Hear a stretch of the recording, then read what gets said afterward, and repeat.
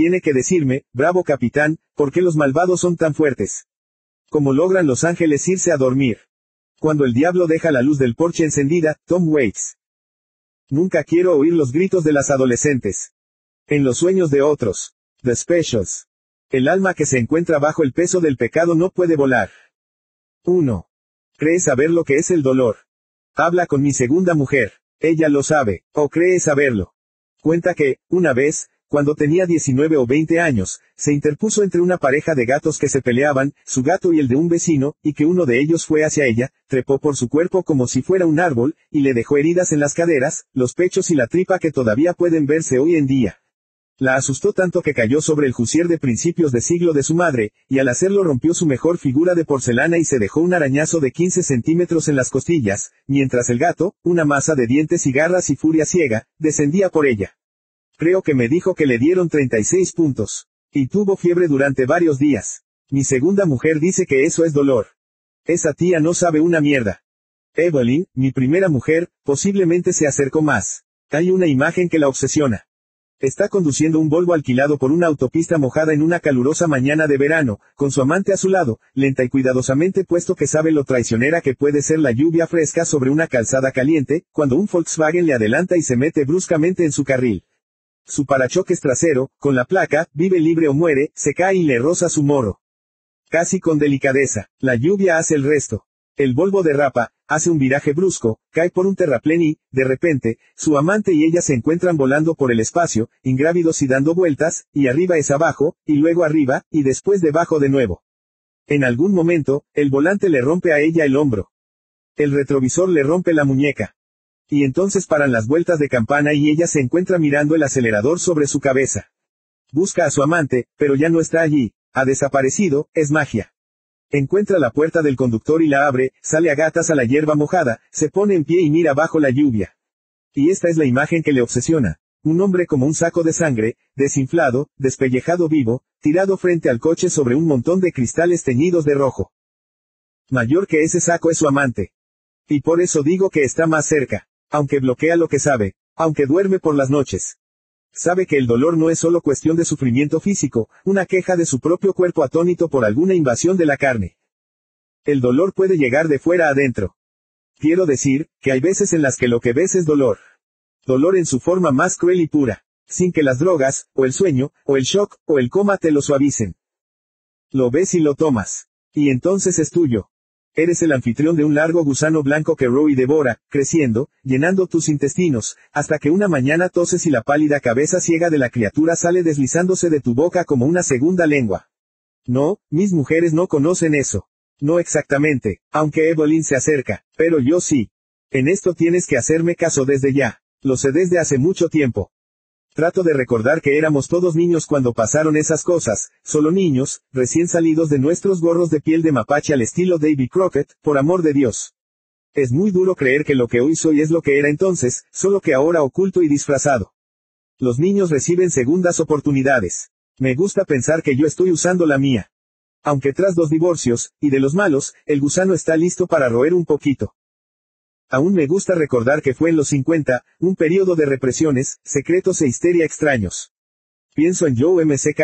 a pesar de que no recuerdo haber pensado en él por aquel entonces, excepto para preguntarme qué era lo que hacía que todos los días mi padre se apresurase a llegar a casa desde el trabajo para escuchar al comité en la tele. Pienso en la Guerra Fría, en los simulacros de ataque aéreo en el sótano del colegio y en las películas sobre pruebas atómicas que veíamos. Maniquíes de las tiendas implosionando, explotando en cuartos de estar falsos, desintegrándose, ardiendo. En ejemplares del Playboy y el Man's Action escondidos en papel encerado en el arroyo, tan blanduzcos al cabo del tiempo que detestabas tocarlos. Pienso en la denuncia sobre Elvis que hizo el reverendo Deitz en la Iglesia Luterana de la Gracia cuando yo tenía 10 años, y en las revueltas del rock and roll en los programas de Alan Fritz en la Paramount. Me digo que estaba pasando algo extraño, algún gran hervor americano a punto de estallar que pasaba en todas partes, no solo en la casa de Ruth, sino en todas partes. Y a veces eso lo hace más fácil. Lo que hicimos. Ahora tengo 41. Nací en 1946, 17 meses después de la bomba que arrojamos en Hiroshima. Matisse acababa de cumplir 80. Gano 55 de los grandes al año trabajando en el parque de Wall Street. Dos matrimonios, sin hijos. una casa en Ray y un apartamento de la empresa en la ciudad. Voy a la mayoría de los sitios en limusina, aunque en Ray conduzco un Mercedes azul. Puede que esté a punto de casarme de nuevo. La mujer a la que amo no sabe nada de lo que estoy escribiendo aquí, ni tampoco mis otras mujeres, y realmente desconozco si alguna vez he tenido intención de contárselo. ¿Por qué debería? Tengo éxito, tengo buen carácter y soy generoso y un amante cuidadoso y considerado. Y nada ha ido bien en mi vida desde el verano de 1958, cuando Ruth y Donnie y Willie y los demás conocimos a Meg Loughlin y a su hermana Susan. 2. Estaba solo en el arroyo, tirado sobre mi estómago en la gran roca con un frasco en la mano. Observaba a los cangrejos. Ya tenía dos de ellos en un frasco mayor que estaba a mi lado. De los pequeños. Buscaba a su mamá. El arroyo fluía rápidamente a ambos lados de donde me encontraba. Podía sentir cómo salpicaba mis pies desnudos, que colgaban cerca del agua. El agua estaba fría, el sol calentaba. Oí un ruido en los arbustos y levanté la vista. La chica más bonita que jamás había visto me sonreía desde la orilla. Tenía largas piernas bronceadas y un largo cabello pelirrojo que se recogía en una coleta larga, llevaba pantalones cortos y una blusa de color claro que se abría en el cuello. Yo tenía doce años y medio. Ella era mayor. Recuerdo haberle sonreído, aunque yo no solía mostrarme amistoso con los extraños. Cangrejos, dije, vacié un frasco de agua. De veras. Asentí. De los grandes. Estos no, pero puedes encontrarlos. Puedo verlos. Saltó de la orilla tal y como haría un chico, sin sentarse primero, solo apoyando la mano izquierda en el suelo y salvando la caída de un metro hasta la primera piedra grande de la hilera que cruzaba zigzagueando el agua. Ella estudió la hilera por un momento y luego cruzó hasta la roca. Estaba impresionado. No dudó y lo hizo con un equilibrio perfecto. Le dejé sitio. De pronto había un estupendo olor sentado a mi lado. Sus ojos eran verdes. Miró a su alrededor. En aquellos tiempos, la roca era para todos nosotros un lugar especial. Se encontraba justo en medio de la parte más profunda del arroyo, y el agua fluía clara y rápida a su alrededor. Había espacio suficiente para cuatro niños sentados o seis de pie. Entre otras cosas, había sido un barco pirata, el Nautilus de Nemo y una canoa para el Len y Lenape. Hoy, el agua tendría más o menos metro y medio de profundidad. Ella parecía feliz de estar allí, y no estaba asustada en absoluto. La llamamos la Gran Roca, le dije. O sea, antes lo hacíamos. Cuando éramos niños. Me gusta, contestó, puedo ver los cangrejos, me llamo Meg. Yo David, claro. Miró dentro del frasco, pasó el tiempo y no dijimos nada. Los estudió, y, entonces, volvió a levantarse. Genial. Solo los cojo y los miro un rato, y luego los suelto. Muerden. Los grandes sí, pero no pueden herirte, y los pequeños solo tratan de escapar. Parecen langostas. Nunca habías visto un cangrejo. No creo que haya en Nueva York, se río. No me importó, pero tenemos langostas. Es así que pueden herirte. Puedes quedártela. Quiero decir, no puedes tener una langosta de mascota o algo así, ¿verdad? Se río de nuevo. No, te las coms. Tampoco puedes quedarte con un cangrejo. Se mueren, un día, o tal vez dos, como mucho. Aunque he oído que hay gente que también se los come. ¿De verdad? Sí, algunos lo hacen, en Luisiana, o en Florida, o en algún sitio. Volvimos a mirar dentro del frasco. No sé, me dijo sonriendo. No parece que tengan mucho que se pueda comer. Cojamos unos grandes. Nos tumbamos sobre la roca uno al lado del otro. Cogí el frasco y metí los dos brazos en el arroyo. El truco estaba en darle la vuelta a las piedras una a una, lentamente, para no enfangar el agua, y luego tener listo el frasco para atrapar cualquier cosa que saliera de debajo. El agua era tan profunda que yo llevaba la camisa de manga corta remangada hasta el hombro. Era consciente de lo largos y escuálidos que debían de parecerle a ella mis brazos. Así era como yo los veía. De hecho, me sentía muy raro a su lado. Incómodo, pero excitado. Era distinta a las otras niñas que había conocido, a Dennis o Cheryl, en el barrio, o incluso a las niñas del colegio. En primer lugar, era unas cien veces más bonita. Por lo que a mí respecta, era incluso más bonita que Natalie Wood. Probablemente también era más inteligente que las niñas que conocía, más sofisticada.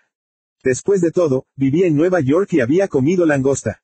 Y se movía como un chico. Tenía un cuerpo fuerte y duro y de movimientos gráciles y desenvueltos. Todo eso me puso nervioso y me perdí el primero. No era un cangrejo enorme, pero sí mayor que los que ya teníamos. Se metió hacia atrás bajo la roca. Me preguntó si podía intentarlo ella. Le di el frasco. Nueva York, eh. Sí. Se remangó y se metió en el agua. Y fue entonces cuando vi la cicatriz. Y JJ, ¿qué es eso? Comenzaba justo en su codo izquierdo y bajaba hasta la muñeca como un largo y retorcido gusano rosa. Se dio cuenta de lo que yo miraba. Un accidente, me dijo. Estábamos en un coche, y volvió a mirar el agua, en donde se podía ver su reflejo. Vaya. Pero no daba la impresión de que quisiera hablar demasiado tras eso. Tienes más. No sé qué tienen las cicatrices que fascinan tanto a los chicos, pero lo hacen, la vida es así, y yo no podía evitarlo. Aún no podía dejarlo, aunque sabía que ella no quería que lo hiciera, aunque nos acabábamos de conocer. La observé mientras giraba una piedra. No había nada debajo, pero lo hizo bien, no enfangó el agua. Me dije que era estupenda. Se encogió de hombros. Unas cuantas, esta es la peor. ¿Puedo verlas? No, me parece que no. Se rió y me miró de tal forma que cogí el mensaje. Y cerré el pico por un rato. Giró otra piedra. Nada. Creo que fue de los malos, no. El accidente. No me contestó, y no pude culparla. En cuanto lo dije, me di cuenta de lo estúpido, extraño e insensible que sonaba. Me ruboricé, y me alegré de que ella no estuviese mirando. Y entonces cogió uno. La piedra se deslizó y el cangrejo se desplazó hacia atrás, justo dentro del frasco, y todo lo que tuvo que hacer fue levantarlo. Vertió un poco de agua y puso el frasco hacia la luz. Se veía el bonito color dorado del cangrejo. Tenía la cola levantada y movía las pinzas, vigilando el fondo del frasco en busca de alguien con el que luchar. Lo cogiste. Al primer intento. Genial, es fantástico. Pongámoslo con los otros. Vertió el agua con lentitud, justo como debía hacerlo para no molestarlo o perderlo, aunque nadie se lo había dicho, y cuando quedaba más o menos un centímetro en el frasco, lo echó al grande. Los dos que ya estaban allí le dejaron un montón de espacio. Lo que era una suerte, puesto que los cangrejos a veces se mataban los unos a los otros, mataban a los de su propia especie, y los otros dos eran pequeñitos. Tras un rato, el nuevo se calmó y nos sentamos a observarlo. Parecía primitivo, eficiente, mortal, precioso. De un color muy bonito y un diseño muy esbelto. Metí un dedo en el frasco para tocarlo. No. Tenía su mano sobre mi brazo. Estaba fría y era suave. Saqué el dedo. Le ofrecí una barrita de Rigolis y cogí otra para mí. Y durante un rato, lo único que pudo oírse fue el viento sobre la alta hierba cruzando la orilla y haciendo ondear el arroyo, el sonido del arroyo que fluía alto debido a la lluvia de la última noche, y a nosotros masticando. Los vas a soltar, ¿verdad? Me lo prometes, claro, siempre lo hago. Bien. Suspiró y se levantó. Creo que debo volver, tenemos que ir a hacer la compra. Pero quería echar un vistazo primero. Quiero decir, nunca habíamos tenido antes un bosque. Gracias, David, ha sido divertido. Estaba ya a medio camino cruzando las piedras cuando se me ocurrió preguntárselo. Eh, ¿volver a dónde? ¿Dónde vas? Sonrió. Nos vamos a quedar con los Chandler. Susan y yo, Susan es mi hermana. Yo también me levanté, como si alguien hubiese tirado de mí con cuerdas invisibles. Los Chandler, Ruth, la madre de Donnie y Willie. Terminó de cruzar, se volvió y me miró. Y, de pronto, había algo diferente en su cara. Recelo. Eso me detuvo. Eso es, somos primos, primos segundos, creo que soy la sobrina de Ruth. Su voz se había vuelto extraña. Sonaba sin entonación, como si hubiese algo que yo no debía conocer. Como si estuviese contándome algo y ocultándomelo a la vez. Me confundió por un momento. Me dio la sensación de que tal vez también a ella. Era la primera vez que la veía nerviosa. Ni siquiera lo estaba cuando lo de la cicatriz. Pero no dejé que eso me preocupara. Porque la casa de los Chandler estaba junto a la mía. Y Ruth era, bueno, Ruth era genial. Aunque sus hijos fueran unos idiotas a veces. Ruth era genial. Oye, le dije, somos vecinos, mi casa es la marrón de al lado. La vi trepar hasta la orilla. Cuando llegó arriba se volvió y su sonrisa había vuelto, con la mirada franca que tenía la primera vez, cuando se sentó a mi lado en la roca. Me saludó. Nos vemos, David, nos vemos, Meg. Genial, pensé, increíble, iba a verla continuamente. Esa fue la primera vez que pensé algo semejante. Ahora me doy cuenta. Ese día, en la roca, conocí a mi amor de adolescencia, Megan Loughlin, una desconocida dos años mayor que yo, con una hermana, un secreto y un largo cabello pelirrojo. Me pareció tan natural que me quedé tranquilo e incluso feliz respecto a una experiencia que me auguraba buenas perspectivas, y, por supuesto, también a ella. Cuando pienso en ello, odio a Ruth Chandler. Ruth, entonces eras tan hermosa. He pensado mucho en ti, no, te he investigado, he llegado tan lejos, escarbando en tu pasado, aparcado un día al otro lado de la calle de ese edificio de la avenida Howard del que siempre nos estabas hablando, donde te encargabas de todo el maldito asunto mientras los chicos se encontraban luchando en la grande. La guerra que acabaría con todas las guerras, segunda parte, es el lugar donde eras totalmente imprescindible hasta que los pequeños soldaditos volvieron a casa, como tú decías, y, de repente, te encontraste sin trabajo. Aparqué allí y parecía un sitio normal, Ruth. Pobre, triste y aburrido.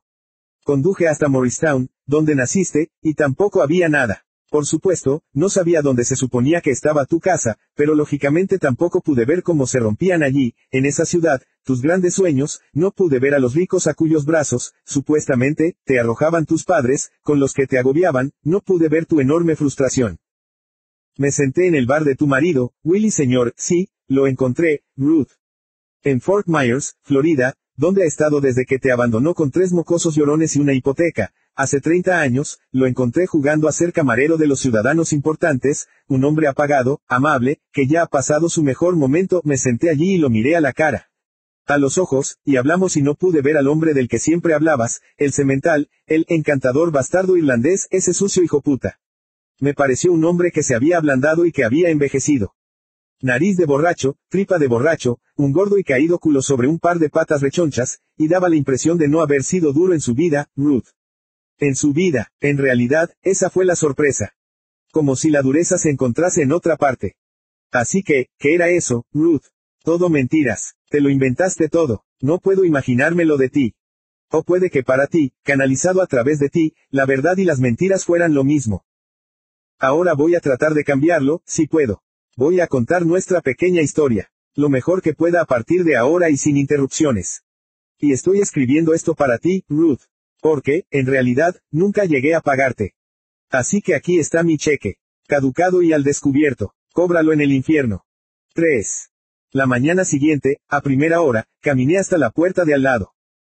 Recuerdo que me sentí asustado, un poco confuso, aunque nada sería más normal que ver qué estaba pasando allí. Era por la mañana, era verano, y eso era lo que hacías. Te levantabas, desayunabas y salías a ver quién estaba por allí. La casa de los Chandler era por donde normalmente se empezaba. La avenida Laurel era una calle cortada por entonces, ya no lo es, una única entrada que cortaba el semicírculo de bosque que bordeaba el sur de West Maple y que recorría al menos una milla a sus espaldas. Cuando se construyó por primera vez el camino, a principios del 19, el bosque era tan frondoso y tenía altísimos árboles, que se le llamaba el callejón oscuro. Todos esos árboles han desaparecido hoy en día, pero sigue siendo una calle bonita y tranquila. Árboles frondosos por todas partes, cada casa diferente de la que tiene al lado y ninguna tan cercana a otra como otras que se ven. Solo había trece casas en el barrio. La de Ruth, la nuestra, cinco más subiendo la colina en nuestra acera y seis en la de enfrente. Todas las familias tenían niños, excepto los Zorn. Y todos los niños conocían a los otros niños como si fueran hermanos. Por lo que, si querías compañía, siempre podías encontrar a alguno en el arroyo o en donde crecían los manzanos silvestres, quienquiera que tuviese ese año la piscina de plástico más grande o la diana para el arco y las flechas. Si querías perderte, eso también era fácil. El bosque era profundo. Los chicos de la calle cortada nos llamábamos. Siempre había sido un círculo cerrado. Teníamos nuestras propias reglas, nuestros propios misterios, nuestros propios secretos. Teníamos un orden en las peleas y lo aplicábamos con saña. Estábamos acostumbrados a hacerlo de esa forma. Pero ahora había alguien nuevo en el barrio. Alguien nuevo donde Ruth. Era extraño. Especialmente porque era ese alguien. Especialmente porque era en ese lugar. De hecho, era realmente extraño. Ralphie estaba en cuclillas cerca del jardín de piedras. Serían las ocho de la mañana y ya estaba sucio. Había regueros de sudor y suciedad por toda su cara y sus brazos y sus piernas, como si hubiese pasado corriendo toda la mañana y hubiese caído, th envuelto en grandes nubes de polvo. Varias veces, lo que, conociendo a Ralphie, era muy probable. Ralphie tenía 10 años y no creo que le hubiera visto limpio en toda mi vida más de 15 minutos seguidos. Sus pantalones cortos y su camiseta también estaban asquerosos. Hola, ladrador. Excepto Ruth, nadie le llamaba Ralphie, siempre ladrador. Cuando quería, se parecía más a Misty, el Basset de los Robertson, que el propio Misty. Hola, Dave. Estaba levantando piedras, y observando cómo huían de la luz los escarabajos de la patata y los cien pies. Pero me di cuenta de que no le interesaban. Seguía moviendo una piedra tras otra. dándoles la vuelta y dejándolas caer de nuevo. Tenía a su lado una lata de alubias Libby y también la movía continuamente, sin apartarla nunca de sus rodillas llenas de costras mientras se trasladaba de piedra en piedra. ¿Qué hay en la lata? Lombrices, contestó, aún no me había mirado. Estaba concentrado, moviéndose con esa energía nerviosa que había patentado. Como si fuera un científico en un laboratorio a punto de realizar algún fantástico e increíble descubrimiento y quisiese que le dejase solo de una santa vez para poder ponerse a ello. Levantó otra piedra. ¿Está Donnie por aquí? Sí, asintió. Lo que significaba que Donnie estaba dentro. Y como la idea de entrar me ponía algo nervioso, me quedé un rato con él. Levantó una grande, y, aparentemente, encontró lo que estaba buscando. Hormigas rojas, montones de ellas bajo esa piedra, cientos, miles de ellas. Todas enloquecidas debido a la repentina luz. Nunca me han gustado las hormigas. Solíamos coger casos de agua hirviendo y verterlos sobre el sitio donde hubieran decidido que sería agradable trepar los escalones de nuestro porche delantero, lo que, por alguna razón, hacían cada verano. Era idea de mi padre, pero yo la apoyaba totalmente. Creía que el agua hirviendo era lo que se merecían las hormigas. Podía oler su aroma a yodo junto con el de la tierra húmeda y del césped recién cortado. Ladrador apartó la piedra de un empujón y cogió la lata de Libby. Sacó una lombriz y después otra y las echó donde las hormigas. Lo hizo desde una distancia de un metro. Como si bombardeara a las hormigas con carne de gusano. Las hormigas respondieron. Los gusanos comenzaron a moverse y a animarse cuando las hormigas descubrieron su suave carne rosa. Eso es asqueroso, ladrador, dije. Realmente asqueroso. Encontré algunas negras por allí, me dijo. Señaló una piedra que estaba al otro lado del porche. Ya sabes, de las grandes. Voy a coger unas cuantas y ponerlas aquí con estas chicas. Voy a empezar una guerra de hormigas. ¿Quieres apostar sobre quién ganará? Ganarán las rojas, respondí. Las hormigas rojas siempre ganan. Era verdad, las hormigas rojas eran feroces. Y aquel juego no me resultaba nuevo. Tengo otra idea, le dije. ¿Por qué no metes allí la mano? Como si fueras el hijo de Como o algo así. Me miró, creo que estaba considerándolo. Y entonces, sonrió. No, contestó, eso es de retrasados. Me levanté, los gusanos seguían retorciéndose. Nos vemos, ladri, dije. Subí por las escaleras hasta el porche. Llamé a la puerta y entré. Tony estaba tirado en el sofá, vestido únicamente con unos arrugados calzoncillos blancos con los que parecía haber dormido. Solo era tres meses mayor que yo, pero tenía un pecho y unos hombros mucho mayores y ahora, desde hacía poco, estaba comenzando a generar una enorme barriga, siguiendo los pasos de su hermano, Willie Jr. No era una visión agradable, y me pregunté dónde estaría Meg. Me miró por encima de un ejemplar de Plastic Man. Personalmente, yo había abandonado los cómics desde que en 1954 se aprobó el Comic Code y ya no podía conseguir la telaraña del misterio. ¿Cómo lo llevas, Dave? Ruth había estado planchando. La tabla estaba apoyada sobre una esquina y se podía oler el punzante y acre olor del tejido limpio sobrecalentado. Miré a mi alrededor. Bastante bien. ¿Dónde están todos? Se encogió de hombros. De compras. Willy ha ido de compras. Estás de broma. Cerró el cómic y se levantó, sonriendo, rascándose el sobaco. No, Willy tenía una cita con el dentista a las nueve. Willy tiene caries. No es mortal. Donnie y Willy Jr. habían nacido con hora y media de diferencia pero, por alguna razón, Willy Jr. tenía problemas con los dientes y Donnie no, siempre estaba en la consulta del dentista. Nos reímos. He oído que ya la has conocido. ¿A quién? Donnie me miró, supe que ya no engañaba a nadie. Oh, a tu prima. Sí, ayer, en la roca. Cogió un cangrejo a la primera. Donnie asintió. Se le da bien, dijo. No es que fuera un elogio entusiasta, pero para Donnie, especialmente cuando hablaba de una chica, era bastante respetuoso. Venga, me dijo, espera aquí mientras me visto y vamos a ver lo que hace Eddie. Gemí. De todos los chicos de la avenida Laurel, Eddie era el único al que trataba de evitar. Eddie estaba loco. Recuerdo una vez que estábamos jugando al béisbol y apareció Eddie, desnudo de cintura para arriba, bajando la calle con una enorme serpiente negra viva entre los dientes. El chico de la naturaleza. Se la tiró al ladrador, que se puso a gritar, y luego a Billy Borgman. De hecho, siguió recogiéndola y tirándosela a todos los niños pequeños y burlándose de ellos mientras agitaba la serpiente hasta que el trauma de golpear el suelo tantas veces pudo con ella y dejó de ser divertido. Eddie te metía en problemas.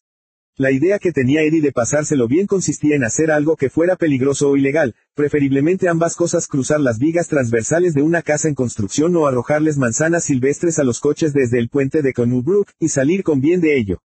Si te cogían o resultabas herido, estaba bien, era divertido. Si lo cogían a él o era él el que resultaba herido también era divertido. Linda y Betty Martin juraban que le habían visto una vez arrancándole la cabeza a una rana de un mordisco. Nadie lo ponía en duda. Su casa se encontraba en lo más alto de la calle, en la acera opuesta a la nuestra, y Tony y Lumorino, que vivían al lado, decían que su padre siempre le estaba pegando. Prácticamente todas las noches, a su madre y a su hermana también. Recuerdo a su madre, una amable mujerona con enormes manos de campesina, que lloraba en la cocina sobre el café con mi madre, con el ojo derecho hinchado y amoratado. Mi padre decía que el señor Crocker era bastante agradable cuando estaba sobrio, pero se volvía un imbécil cuando se emborrachaba. Yo eso no lo sabía, pero Eddie había heredado el carácter de su padre y nunca sabías cuándo iba a ir a por ti. Cuando lo hacía, le daba igual coger un palo o una piedra que usar las manos. Todos teníamos alguna cicatriz en alguna parte. Yo había recibido más de una vez. Y ahora trataba de mantenerme alejado. Pero a Donnie y a Willy les gustaba. La vida con Eddie era excitante, tenías que reconocérselo. Aunque sabían que Eddie estaba loco. Y, junto a Eddie, ellos también se volvían locos. ¿Sabes qué te digo? Le contesté. Iré contigo. Pero no me quedaré. Venga, vamos. Tengo otras cosas que hacer. ¿Qué cosas? Cosas. ¿Qué vas a hacer? Ir a casa y escuchar los discos de Perry como que tiene tu madre. Le miré, él sabía que se había pasado. Todos éramos fans de Elvis. Se río. Tú mismo, Sport, espera un minuto, ahora vuelvo. Cruzó la sala hasta su dormitorio y, de repente, me pregunté cómo se las arreglarían ahora que Meg y Susan estaban allí, donde dormiría cada uno. Me acerqué al sofá y cogí su Plastic Man. Lo ojé y volví a dejarlo. Luego me dediqué a vagar por el cuarto de estar hasta llegar al comedor, en donde se encontraba la ropa recién lavada de Ruth doblada sobre la mesa, y, por último, fui a la cocina. Abrí la nevera. Como siempre, allí había comida para 60. Llamé a Donnie. ¿Puedo coger una coca? Claro. Y ábreme también una, vale. Saqué las cocas, abrí el cajón de la derecha y cogí el abrebotellas. En su interior, la cubertería de plata estaba limpia y brillante. Siempre me pareció raro que Ruth tuviera siempre tanta comida pero solo tuviera cubiertos para cinco, cinco cucharas, cinco tenedores, cinco cuchillos, cinco cuchillos de carne y ninguna cuchara sopera. Por supuesto, que yo supiera, Ruth nunca recibía más visitas que nosotros. Pero ahora vivían allí seis personas. Me pregunté si finalmente se rendiría y compraría alguno más. Abrí las botellas. Donnie salió y le di una. Llevaba pantalones vaqueros, unas bambas y una camiseta. La camiseta le estaba estrecha en la cintura. Le di unas palmaditas en esa zona. Será mejor que la vigiles, Donald, le dije. Mejor vigílala tú mismo, marica. Oh, claro, ahora soy un marica. Eres retrasado, eso es lo que eres. Retrasado. Y tú eres basura. Basura, las niñas son basura, las niñas y los maricas son basura. Tú eres basura, yo soy el duque de Earl. Para reforzarlo me dio un puñetazo en el brazo que yo le devolví, y forcejeamos un rato. Donnie y yo éramos tan buenos amigos como podían serlo dos chicos en aquella época. Salimos al patio por la puerta de atrás y luego cruzamos la carretera hasta llegar al frente y nos dirigimos hacia donde estaba Eddie. Era cuestión de honor el ignorar la acera. Caminábamos en medio de la calle. Le dimos un sorbo a nuestras cocas. De todas formas, allí nunca había tráfico. Tu hermano está matando gusanos en el jardín de piedras, le conté. Me miró por encima del hombro. Un chiquillo encantador, ¿verdad? ¿Y cómo lo llevas? Le pregunté. ¿El qué? Tener a Meg y a su hermana por aquí. Se encogió de hombros. No lo sé, solo están aquí. Bebió un poco de coca, eructó y sonrió. Esa Meg es bastante bonita, ¿verdad? Mierda, es mi prima. No quise hacer ningún comentario, aunque estaba de acuerdo con él. Pero es prima segunda, lo sabías. Eso es distinto. La sangre, o algo. No sé, nunca las habíamos visto antes. Nunca. Mamá dice que una vez. Pero yo era muy pequeño como para recordarlo. Como es su hermana.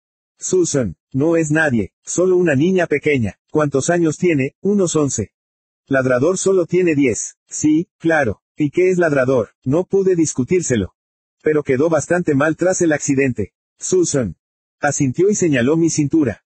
Sí, se rompió todo desde allí hasta abajo, eso dice mamá. Todos los huesos, caderas, piernas, todo. Vaya. Aún no anda bien, está toda escayolada, tiene esas como se llaman. Cosas de metal, los palos, que se ponen en los brazos y los agarras y te llevan. Los niños con polio los llevan. He olvidado cómo se llaman. Como muletas. Vaya, y va a volver a andar. Ya anda. De forma normal. Ni idea. Nos acabamos las cocas. Casi habíamos llegado a lo alto de la colina. Ya casi era el momento de que le dejara. O eso, o aguantar a Eddie. ¿Sabes? Murieron los dos, me dijo.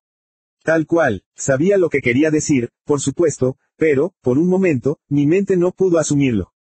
No del todo, era un concepto demasiado raro. Los padres no se mueren. No en mi calle, y, desde luego, no en accidentes de coche. Esa clase de cosas pasaban en otros sitios, en sitios más peligrosos que la Avenida Laurel. Pasaban en las películas o en los libros. Cosas como esas te las contaba Walter Cronkite. La Avenida Laurel era una calle cortada. Caminábamos en medio de la calle. Pero yo sabía que él no mentía. Recordé que Meg no quería hablar del accidente o de las cicatrices y que yo la presioné. Sabía que él no mentía, pero era demasiado difícil de aceptar. Caminábamos el uno junto al otro, sin que yo dijera nada, solo le miraba sin verle. Veía a Meg. Era un momento muy especial. Sé que Meg adquirió en ese momento un glamour especial. De pronto, no solo era bonita, inteligente y capaz de cruzar el arroyo, era casi irreal como nadie al que jamás hubiera conocido fuera a conocer al margen de los libros o la tele. Como si fuera de ficción, algún tipo de heroína. Me la volví a imaginar en la roca y ahora vi a alguien realmente valiente tumbado a mi lado. Vi horror, sufrimiento, supervivencia, desastre, tragedia. Todo eso en un momento. Probablemente tenía la boca abierta. Creo que Donnie pensaba que yo no sabía de lo que estaba hablando. Los padres de Meg, cabeza de chorlito. Los dos. Mamá dice que debieron de morir instantáneamente. Que no supieron que les golpeó, replicó. De hecho, lo que les golpeó fue un Chrysler. Y debió de ser su enorme mal gusto lo que me devolvió a la realidad. He visto la cicatriz de su brazo, le conté. Sí, yo también. Es genial, ¿verdad? Pero deberías ver a Susan. Tiene cicatrices por todas partes. Asqueroso. Mamá dice que tiene suerte de estar viva. Probablemente tenga razón. De todas formas, así es como las conseguimos. No hay nadie más. Éramos nosotros o un orfanato en alguna parte. Sonrió. Qué suerte tienen, eh. Y entonces dijo algo que recordé más tarde. En ese momento, creí que era algo bastante cierto, pero, por alguna razón, lo recordé. Lo recordé muy bien. Me veo a mí mismo de pie en medio de la carretera a punto de darme la vuelta y volver a bajar la colina y perderme en alguna parte, pues no quería tener nada que ver con Eddie, al menos ese día. Veo a Donnie girándose para lanzarme esas palabras sin terminar de volverse mientras cruza el patio hasta el porche. De forma casual, pero con una rara sinceridad, como si fueran el Evangelio. Mamá dice que Meg es la afortunada, me dijo. Mamá dice que se libró con facilidad. 4. Pasó una semana y media antes de que volviera a verla, sin contar con un breve vistazo aquí y allí, una vez sacando la basura, trabajando en el jardín. Ahora que conocía toda la historia, se me hacía aún más difícil acercarme a ella. No sentía pena, le daba vueltas a lo que le iba a decir, pero nada me parecía adecuado. Que le decías a alguien que acababa de perder a la mitad de su familia. Estaba allí como una roca que no podía escalar, por lo que la evité. Y entonces mi familia y yo hicimos nuestro obligado viaje anual al condado de Sussex para visitar a la hermana de mi padre, por lo que, durante cuatro días enteros, no tuve que pensar en ello. Fue casi un alivio, digo casi porque a mis padres les faltaban menos de dos años para divorciarse y el viaje fue espantoso, Tres tensos días de silencio en el coche con montones de alegría fingida entre trayecto y trayecto, supuestamente en beneficio de mis tíos pero que no funcionó. Podías ver a mis tíos mirándose de cuando en cuando, como si dijeran, Jesús, que se vayan ya. Lo sabían, todo el mundo lo sabía. Por entonces, mis padres no habrían podido esconder peniques a un ciego. Pero cuando volvimos a casa volví a pensar en Meg. No sé por qué no se me ocurrió olvidarme simplemente de ello, que a Meg le hacía tanta gracia acordarse de la muerte de sus padres como a mí hablar de ello. Pero no lo hice, creía que había que decir algo, y no lograba adivinar el qué. Era muy importante para mí no quedar como un imbécil. Era muy importante para mí no quedar como un imbécil delante de Meg, punto.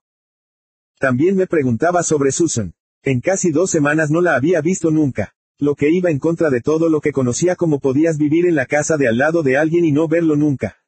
Pensé en sus piernas y en Donnie diciendo que sus cicatrices eran realmente horribles de ver. Puede que tuviera miedo de salir. Eso sí podía creérmelo. Yo mismo estaba pasando por entonces mucho tiempo en casa, evitando a su hermana. Pero eso no podía durar.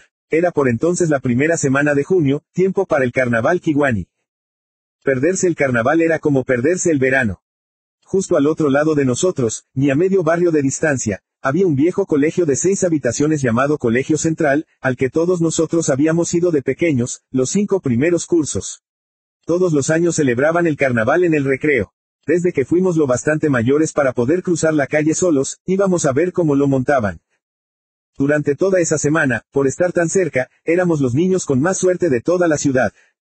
Los kiwani solo se ocupaban de las concesiones, los puestos de comida, los de tiro al blanco, las ruletas. Todas las atracciones las manejaba una compañía de profesionales y se encargaban de ellas unos feriantes. A nosotros, los feriantes nos parecían algo totalmente exótico. Hombres y mujeres de aspecto rudo que trabajaban con un camel entre los dientes, guiñando los ojos por el humo que se les metía en ellos, llenos de tatuajes, callos y cicatrices y oliendo a grasa y a sudor. Decían palabrotas, y bebían schlitz mientras trabajaban como nosotros, no tenía nada en contra de escupir en el suelo.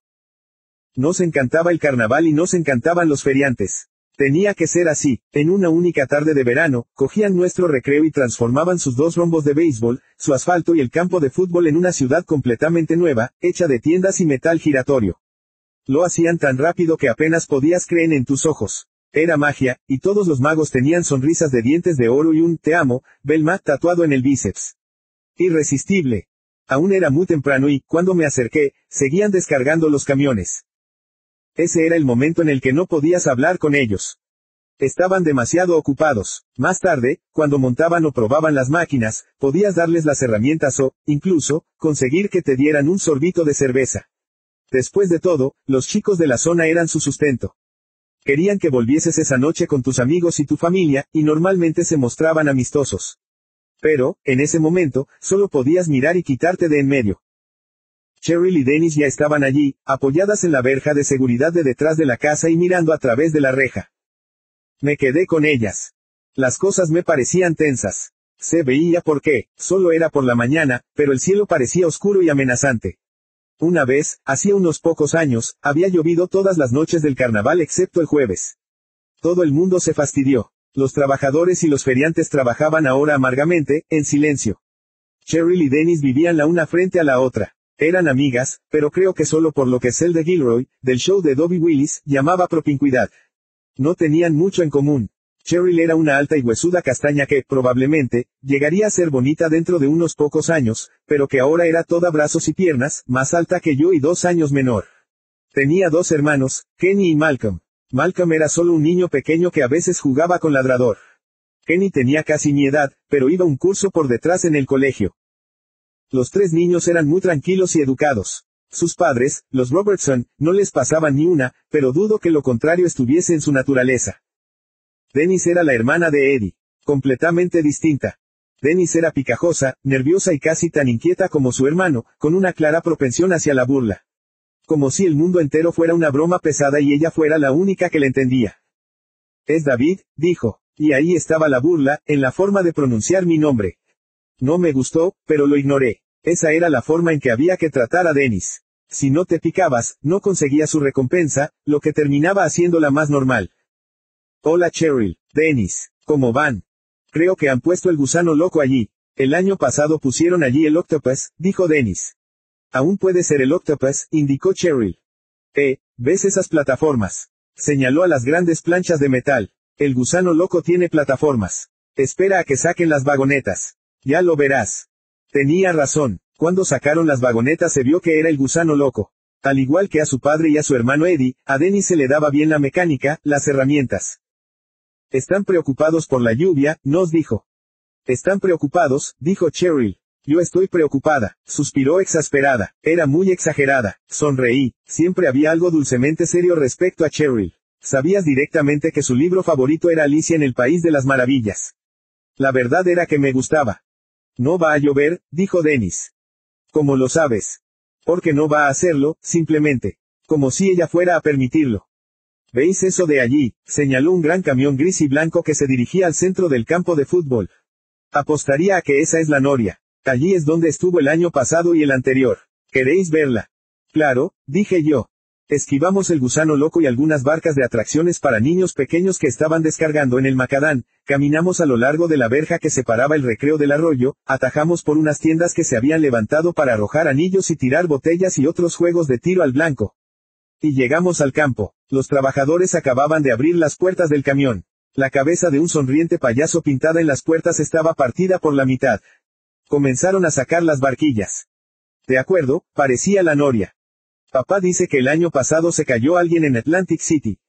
Se puso de pie. ¿Alguna vez os habéis puesto de pie? Preguntó Dennis. Cheryl frunció el ceño. Por supuesto que no, Dennis se volvió hacia mí. Apuesto a que nunca lo has hecho. Ignoré su tonillo. Dennis siempre estaba esforzándose para comportarse todo el tiempo como una idiota. No, repliqué, ¿por qué debería hacerlo? Porque es divertido. Estaba sonriendo, y eso tendría que haberle sentado bien. Tenía unos bonitos dientes blancos y una encantadora y delicada boquita. Pero algo siempre iba mal en las sonrisas de Dennis. Siempre había algo maníaco en ellas. Como si en realidad no estuviera divirtiéndose tanto como quería que creyeras. También desaparecían demasiado rápidamente. Era enervante. Eso hizo ahora, y entonces dijo algo que solo yo pude oír. Antes estuve pensando en el juego. Me miró directamente con los ojos como platos y muy seria, como si hubiera algo más, algo importante. Esperé, pensé que tal vez quería que le contestara. No lo hice. En su lugar, volví a mirar al camión. El juego, pensé, estupendo. No me gustaba pensar en el juego. Pero mientras Dennis y algunos otros se encontraran por allí, suponía que debía hacerlo. Comenzó a principios del verano anterior. Un grupo de nosotros Donnie, Willy, Ladrador, Eddie, Tony, Lumorino y yo, y por último y más tarde, Dennis solíamos reunirnos en el manzanal para jugar a lo que llamábamos el comando. Jugábamos tan a menudo que terminó por ser simplemente el juego. No tengo ni idea de a quién se le ocurrió. Quizás a Eddie, o a uno de los Morino. Simplemente se nos ocurrió un día y desde entonces estuvo allí. En el juego, uno de los chicos era eso. Era el comando. Su casa era el manzanal. El resto era una patrulla de soldados acampada unas pocas yardas más allá, en una colina cercana al arroyo en la que una vez, de pequeños, jugamos al rey de la montaña. Formábamos un extraño grupo de soldados, puesto que no teníamos armas. Creo que las habíamos perdido en alguna batalla. En su lugar, era el comando el que tenía las armas, las manzanas del manzanal, tantas como pudiera cargar. En teoría, también tenía la ventaja de la sorpresa. En cuanto estaba listo, se escabullía del manzanal entre los arbustos y atacaba nuestro campamento. Con suerte, lograba darnos a cada uno con una manzana antes de que lo descubriéramos. Las manzanas eran bombas. Si te daba una manzana, estabas muerto, fuera de juego. Por lo que el objetivo consistía en darles a tantos como pudieras antes de que te cogieran. Siempre te cogían. Esa era la cuestión. El comando nunca ganaba. Te cogían porque, para empezar, todos los demás estaban sentados en una colina bastante grande observando y esperándote, y, a menos que la hierba estuviera muy alta y tuvieras mucha suerte, te tenían que ver. Adiós al elemento sorpresa. Segundo, se trataba de siete contra uno, y solo tenías una única casa, en el manzanal, a metros de distancia por lo que disparaba sin apuntar por encima del hombro mientras corrías como un loco hacia la base con un puñado de niños persiguiéndote de cerca como sabuesos, y quizá lograras darle a uno, o dos, o tres de ellos, pero, a la larga, ellos te cogían a ti. Y, como he dicho antes, esa era la cuestión. Porque al comando capturado se le ataba a un árbol, los brazos a la espalda, las piernas juntas. Se le amordazaba, se le tapaban los ojos. Y los supervivientes le podían hacer todo lo que quisieran, mientras los otros, incluso los muertos, miraban. Algunas veces todos nos controlábamos y otras no, el asalto solía durar una media hora.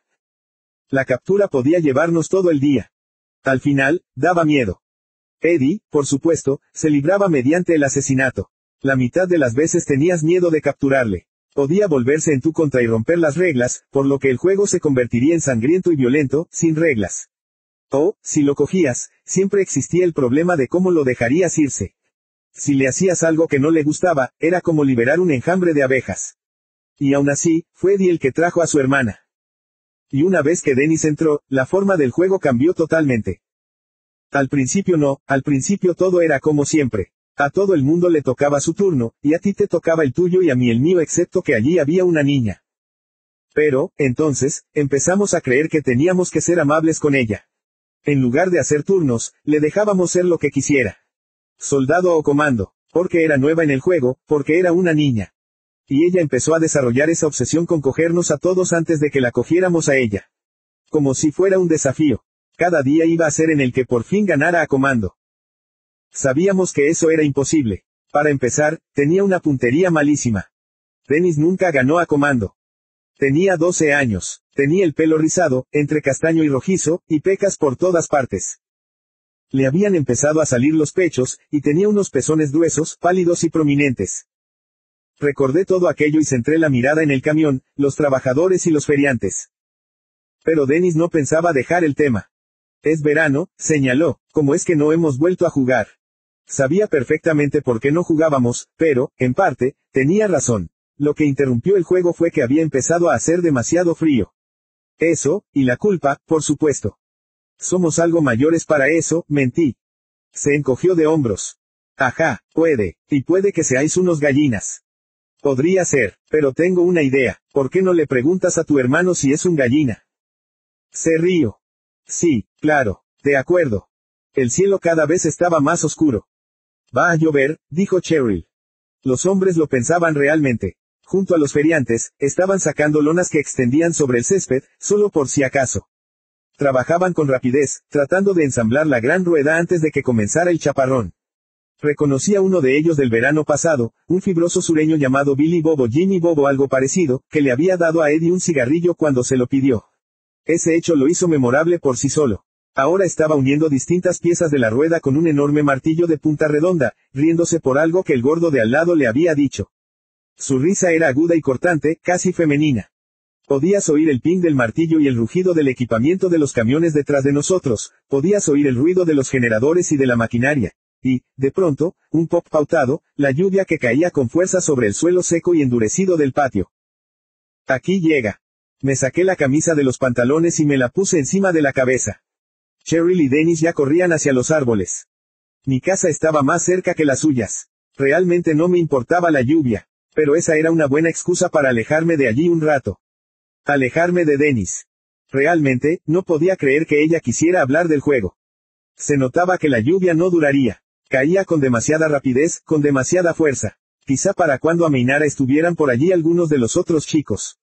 Podría evitarla. Corrí alejándome de ellas, que se escudaban de la lluvia bajo los árboles. Me voy a casa, les dije. A Dennis se le pegaba el pelo a las mejillas y a la frente. Sonreía de nuevo. Su camisa estaba empapada y se transparentaba. Vi que Cheryl estaba tratando de alcanzarme. Con su largo, huesudo y mojado brazo temblequeando. Podemos ir, me gritó. Fingí que no la había oído. La lluvia hacía mucho ruido allí, debido a las hojas. Pensé que Cheryl lo achacaría a eso. Seguí corriendo. Dennis y Eddie, pensé. Chico, vaya par. Si, alguna vez, alguien me mete en líos, serán ellos. El uno, el otro o los dos. Serán ellos. Ruth se encontraba en el patio recogiendo el correo de su buzón cuando pasé corriendo ante su casa. Se volvió en la puerta, sonrió y me saludó, mientras el agua chorreaba del alero. 5.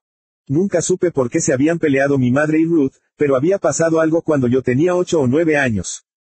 Antes de eso, mucho antes de que llegaran Meg y Susan, yo solía pasar muchas noches con Donnie, Willy y Ladrador, durmiendo en el doble par de literas de su habitación. Willy tenía la costumbre de saltar para meterse en la cama por las noches, con lo que rompió muchas literas con el paso de los años. Willy siempre estaba saltando encima de algo. Ruth decía que, cuando tenía dos o tres años, había destrozado totalmente su cuna. Todas las sillas de la cocina tenían despegado el respaldo. Pero las literas que ahora tenían en su dormitorio eran resistentes. Habían sobrevivido. Desde que pasó lo que quiera que hubiese pasado entre mi madre y Ruth, solo se me permitía ir allí de cuando en cuando. Pero recuerdo esas primeras noches cuando éramos niños. Nos quedábamos allí riendo en la oscuridad durante una hora o dos, soltando risitas, escupiendo sobre los laterales a quien quiera que estuviera en las literas de abajo, hasta que Ruth entraba y nos gritaba y nos íbamos a dormir. Las noches que más me gustaban eran las de carnaval. Desde la ventana abierta del dormitorio, que daba al recreo, podíamos escuchar música de calíope, gritos, y el zumbido y el quejido de las máquinas. El cielo era rojo anaranjado, como el de un rugiente fuego forestal, puntuado por rojos y azules más brillantes cuando el octopus giraba y se perdía de vista tras los árboles. Sabíamos lo que había ahí fuera. Al fin y al cabo, acabábamos de volver de allí, con nuestras manos aún pringosas por el algodón dulce. Pero, de alguna forma, Resultaba misterioso quedarse allí escuchando, mucho después de nuestra hora de irnos a la cama, silenciosos por una vez, envidiando a los adultos y a los adolescentes, imaginando los miedos y las emociones que provocaban esas grandes atracciones para las que éramos demasiado pequeños y de las que venían todos esos gritos. Hasta que las luces y los ruidos se desvanecían lentamente, reemplazados por las risas de los extraños que volvían a sus coches a lo largo y ancho de nuestro barrio. Me juré que, cuando fuera lo suficientemente mayor, sería el último en irme. Y ahora me encontraba solo en el puesto de refrescos, comiéndome mi tercer perrito de la tarde y preguntándome qué demonios iba a hacer. Había montado en todas las atracciones que me interesaban. Había perdido el dinero en todos los juegos y ruletas que ofrecía el lugar y todo lo que tenía para demostrarlo era un pequeño caniche de cerámica para mi madre guardado en el bolsillo. Me había tomado mi manzana de caramelo, mi helado y mi trozo de pizza. Estuve con Kevin y Malcolm hasta que Malcolm se mareó en el bombardero en picado, y, luego, con Tony y Lumorino y con Linda y Betty Martin hasta que se fueron a casa. Fue divertido, pero ahora solo quedaba yo. Eran las diez en punto. Y aún quedaban dos horas. Antes había visto al ladrador. Pero Donnie y Willie Jr. no habían aparecido, ni tampoco Ruth o Meg o Susan. Lo que era extraño, porque, normalmente, a Ruth le encantaba el carnaval. Pensé en cruzar la calle para ver qué pasaba, pero eso sería como admitir que estaba aburrido, y aún no estaba listo para hacerlo. Decidí esperar un rato. Diez minutos después, llegó Meg. Estaba probando mi suerte con el 7 rojo y pensando si tomar una segunda manzana de caramelo cuando la vi caminar lentamente entre la multitud, sola, llevando vaqueros y una blusa verde claro. De repente, ya no me sentí cohibido. Que ya no me sintiera cohibido me sorprendió. Puede que, para entonces, estuviera listo para cualquier cosa. Esperé hasta que volví a perder con el rojo y me acerqué.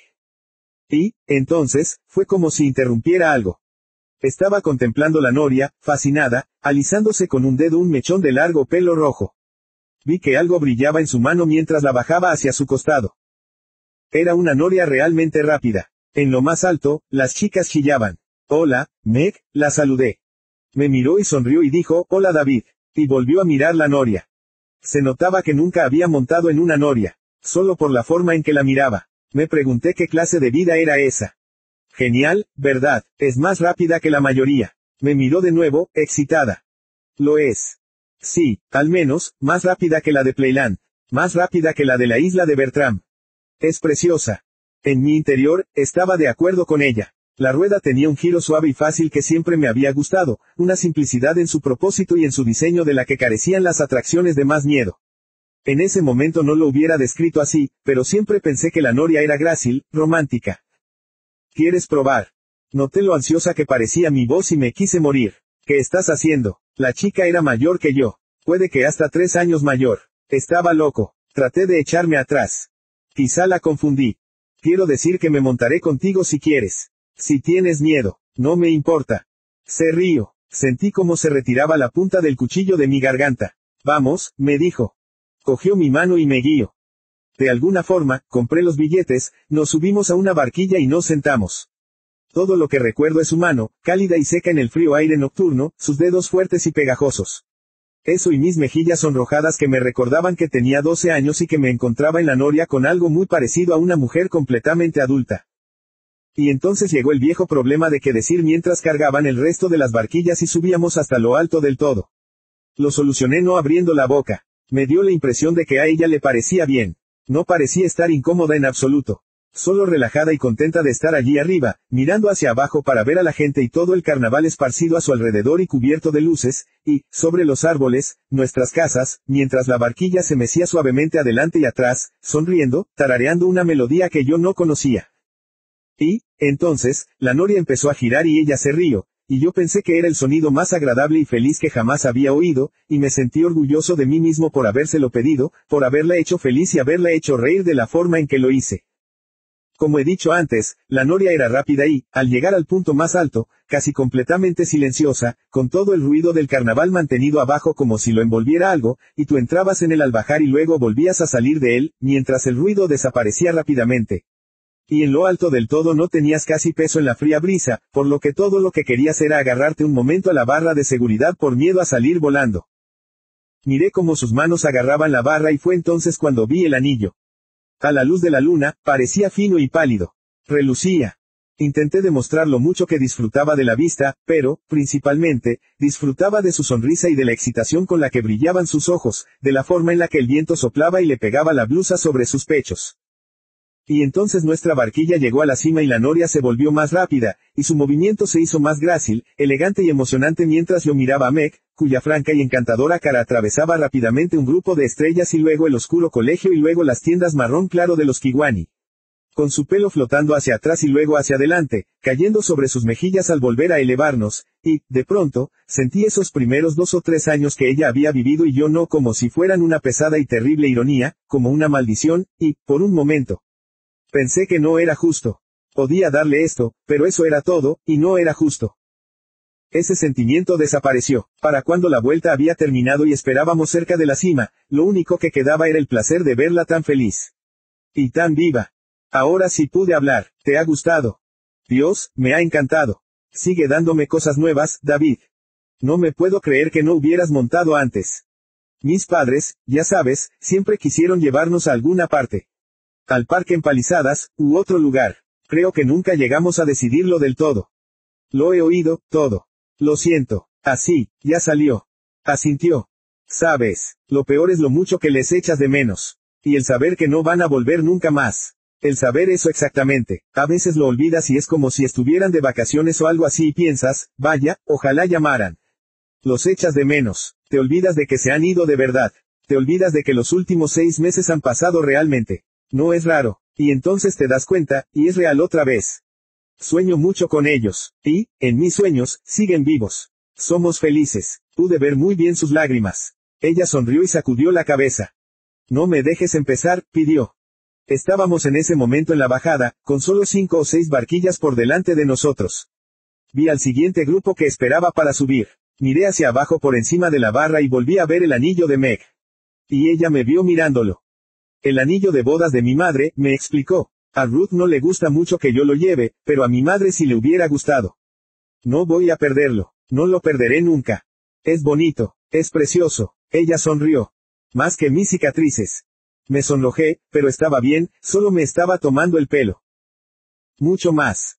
La noria bajó un poco más. Solo quedaban dos barquillas más. El tiempo parecía moverse como en un sueño, pero, aún así, lo hacía demasiado rápido. Yo no quería que acabase.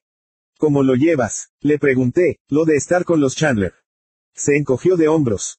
Creo que bien, no es como en casa. Ni como era antes. Ruth es algo, rara a veces. Pero creo que quiere lo mejor para nosotros. Hizo una pausa, y luego añadió. Ladrador es un poco raro. Y que lo digas. Nos reímos, aunque el comentario sobre Ruth me sorprendió. Recordé la cautela en su voz, su frialdad aquel primer día en el arroyo. Ya veremos, dijo, supongo que lleva su tiempo acostumbrarse a las cosas, ¿no? Llegamos al final, uno de los feriantes levantó la barra de seguridad y sujetó la barquilla con un pie.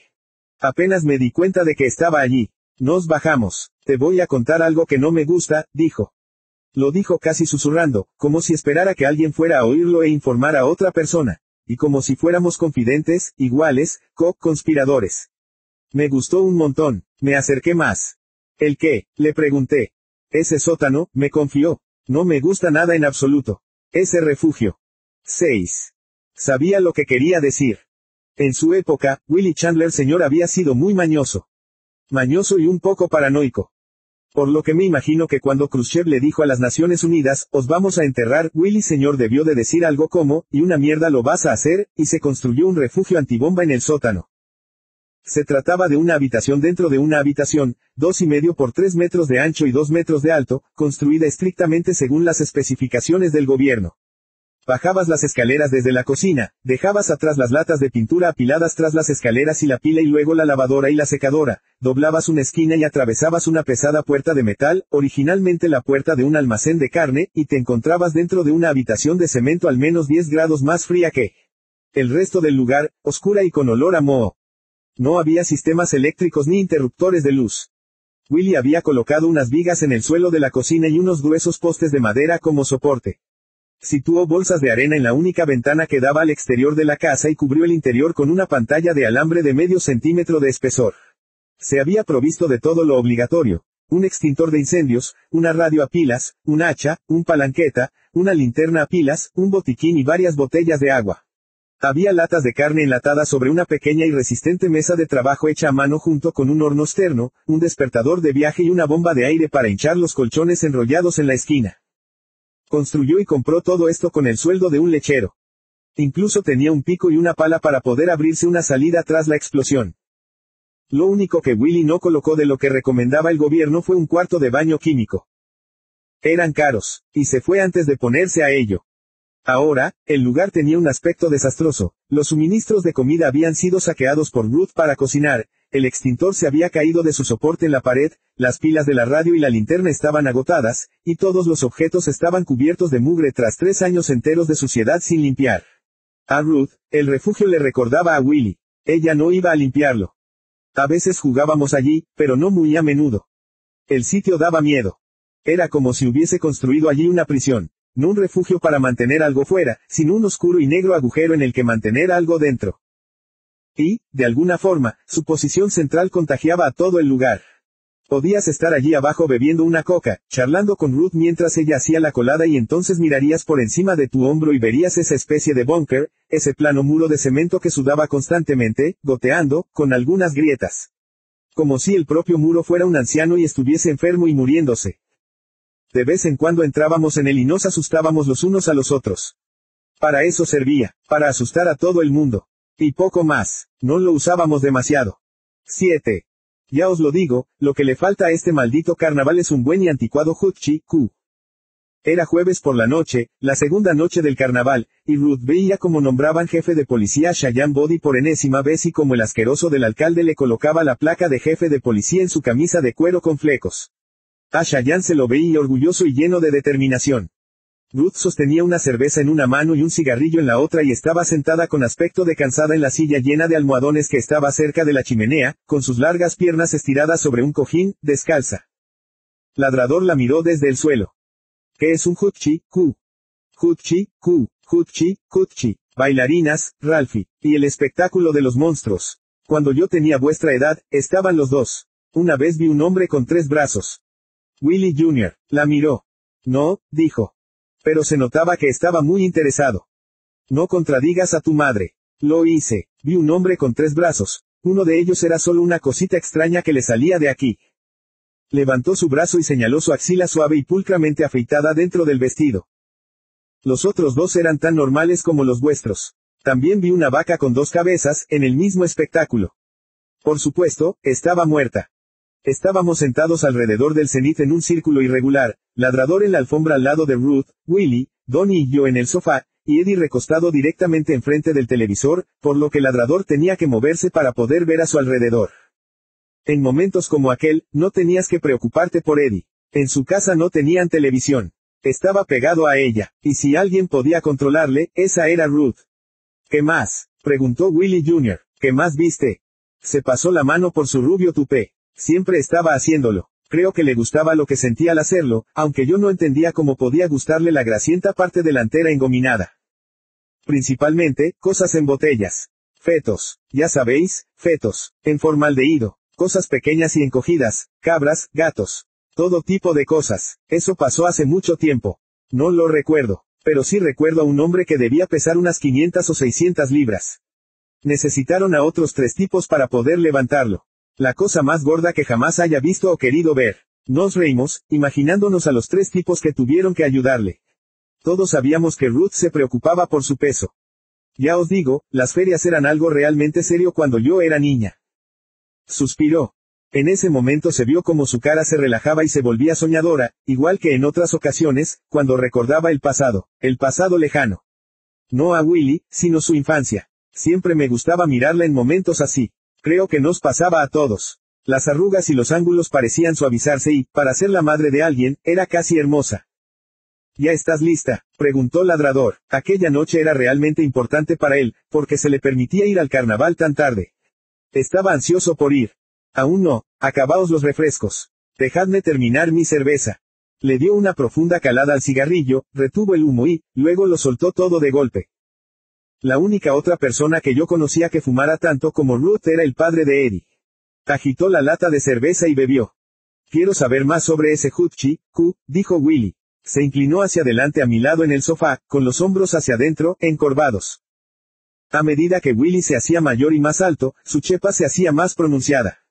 Ruth decía que si seguía creciendo y encorvándose a esa velocidad, iba a convertirse en un jorobado. Uno de dos metros. Sí, dijo ladrador, que se supone que es. No lo pillo. Ruth se rió. Bailarinas, ya te lo he dicho. Y, ¿queréis saber algo? Algunas de ellas iban medio desnudas. Se subió el desvaído vestido hasta la mitad de sus muslos, lo mantuvo allí un momento, agitándolo en nuestra dirección, y se lo bajó de nuevo. Faldas así de cortas, nos contó. Y unos sujetadores minúsculos, y nada más. Quizá un rubí en el ombligo, o algo así. Con pequeños círculos de color rojo oscuro pintados aquí y aquí, se señaló los pezones, dibujando círculos lentamente con el dedo.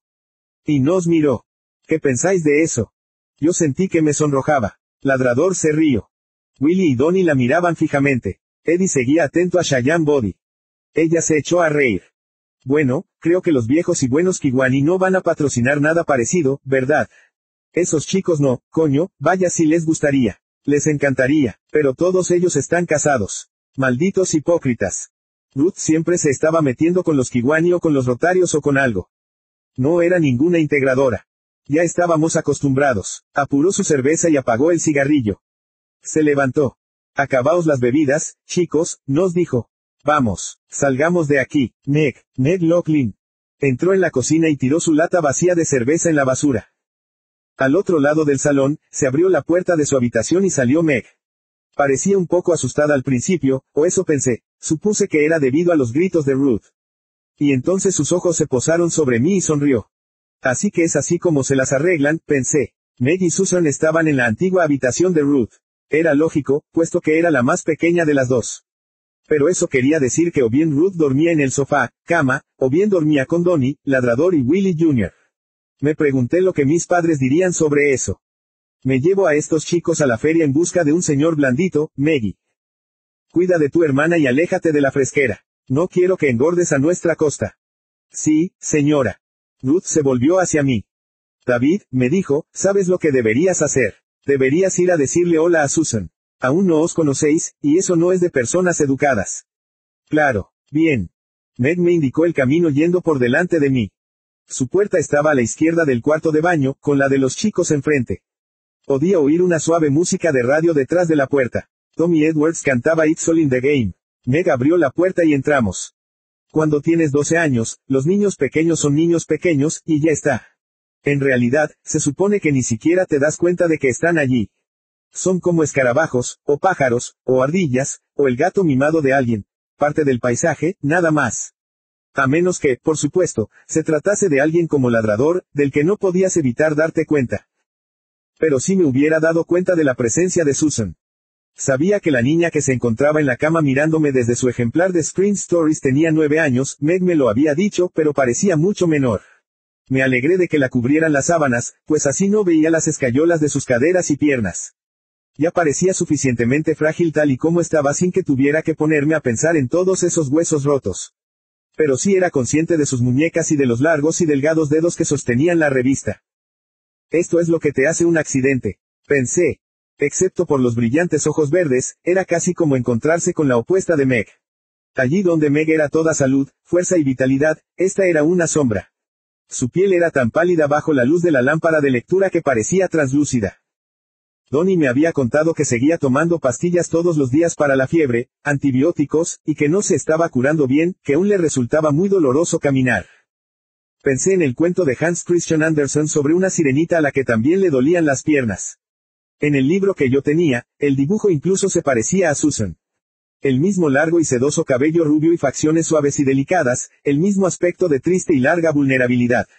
Como alguien que ha sido abandonado. Tú eres David, me dijo. Asentí y le dije hola.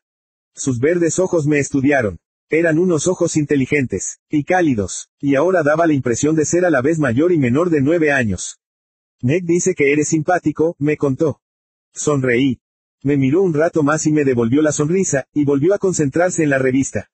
En la radio, Alan Freed interpretaba la canción de los Elegants, Little Star. Meg miraba desde la puerta. No supe qué decir, volví al salón, los demás me estaban esperando. Pude sentir los ojos de Ruth fijos en mí. Bajé la vista hacia la alfombra. Ya está, dijo Ruth. Ya os conocéis. 8. Dos noches después del carnaval, unos cuantos pasamos fuera la noche, todos juntos.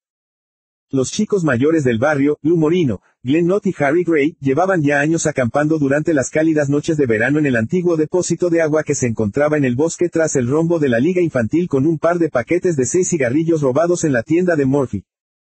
Aún éramos todos demasiado jóvenes para hacer eso, pues el depósito de agua se encontraba al otro lado de la ciudad, pero eso no impedía que les envidiásemos y que nos quejáramos a menudo y en voz alta, hasta que nuestros padres decidieron que nosotros también podíamos acampar, siempre y cuando nos supervisara alguien. Es decir, que lo hiciéramos en el patio de atrás de alguien.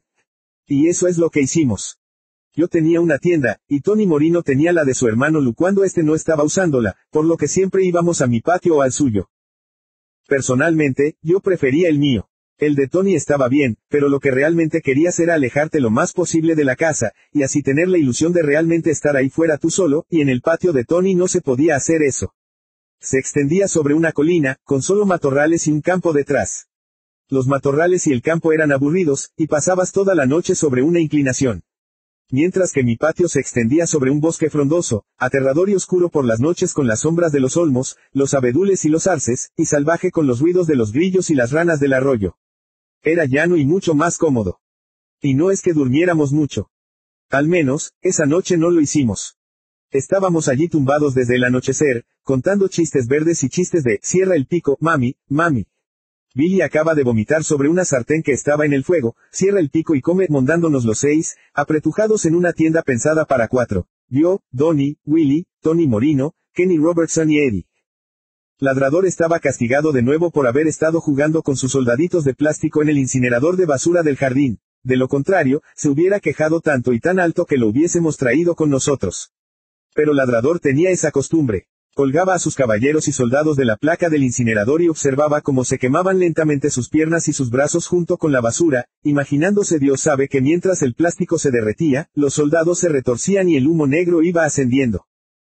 Ruth detestaba que lo hiciera. Los juguetes eran caros y causaban un estropicio en el incinerador.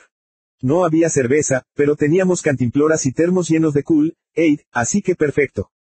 Eddie trajo media cajetilla de cool sin filtro de su padre, y, de cuando en cuando, cerrábamos la tienda y nos pasábamos uno. Echábamos fuera el humo, y entonces volvíamos a abrir la tienda solo por si mi madre venía a echar un vistazo, aunque nunca lo hizo. Donnie cambió de postura a mi lado y pudimos oír cómo crujía bajo su peso un envoltorio de tasty, cake. Esa tarde, cuando llegó el camión, habíamos ido todos a aprovisionarnos. Y ahora, sin importar quién se moviera, crujía algo. Tony contó un chiste. Hay un niño en el cole, vale. Es solo un niño pequeño, sentado en su pupitre, y la agradable y anciana profesora lo mira y se da cuenta de que parece estar realmente triste, y le dice, ¿qué te pasa? Y él contesta, B-U-A-A-A. Me he quedado sin desayuno. Oh, pobrecito, le dice la profesora. Bueno, no te preocupes, no pasa nada, le dice, ya es casi la hora de la comida. Podrás comer algo entonces, de acuerdo. Bueno, volvamos a la geografía. ¿Dónde está la frontera italiana? En la cama, montándoselo con mi madre, dice el niñito. Por eso me he quedado sin desayuno. Nos reímos. Ya lo conocía, dijo Eddie. ¿A que lo has leído en el Playboy? Sí, claro, dijo Willy. Willy se encontraba al otro lado, apoyado sobre la tienda. Podía oler su gomina y, de cuando en cuando, su mal aliento. Claro, repitió, lo leíste en el Playboy. Y yo me he tirado a Debra Payet. Por supuesto.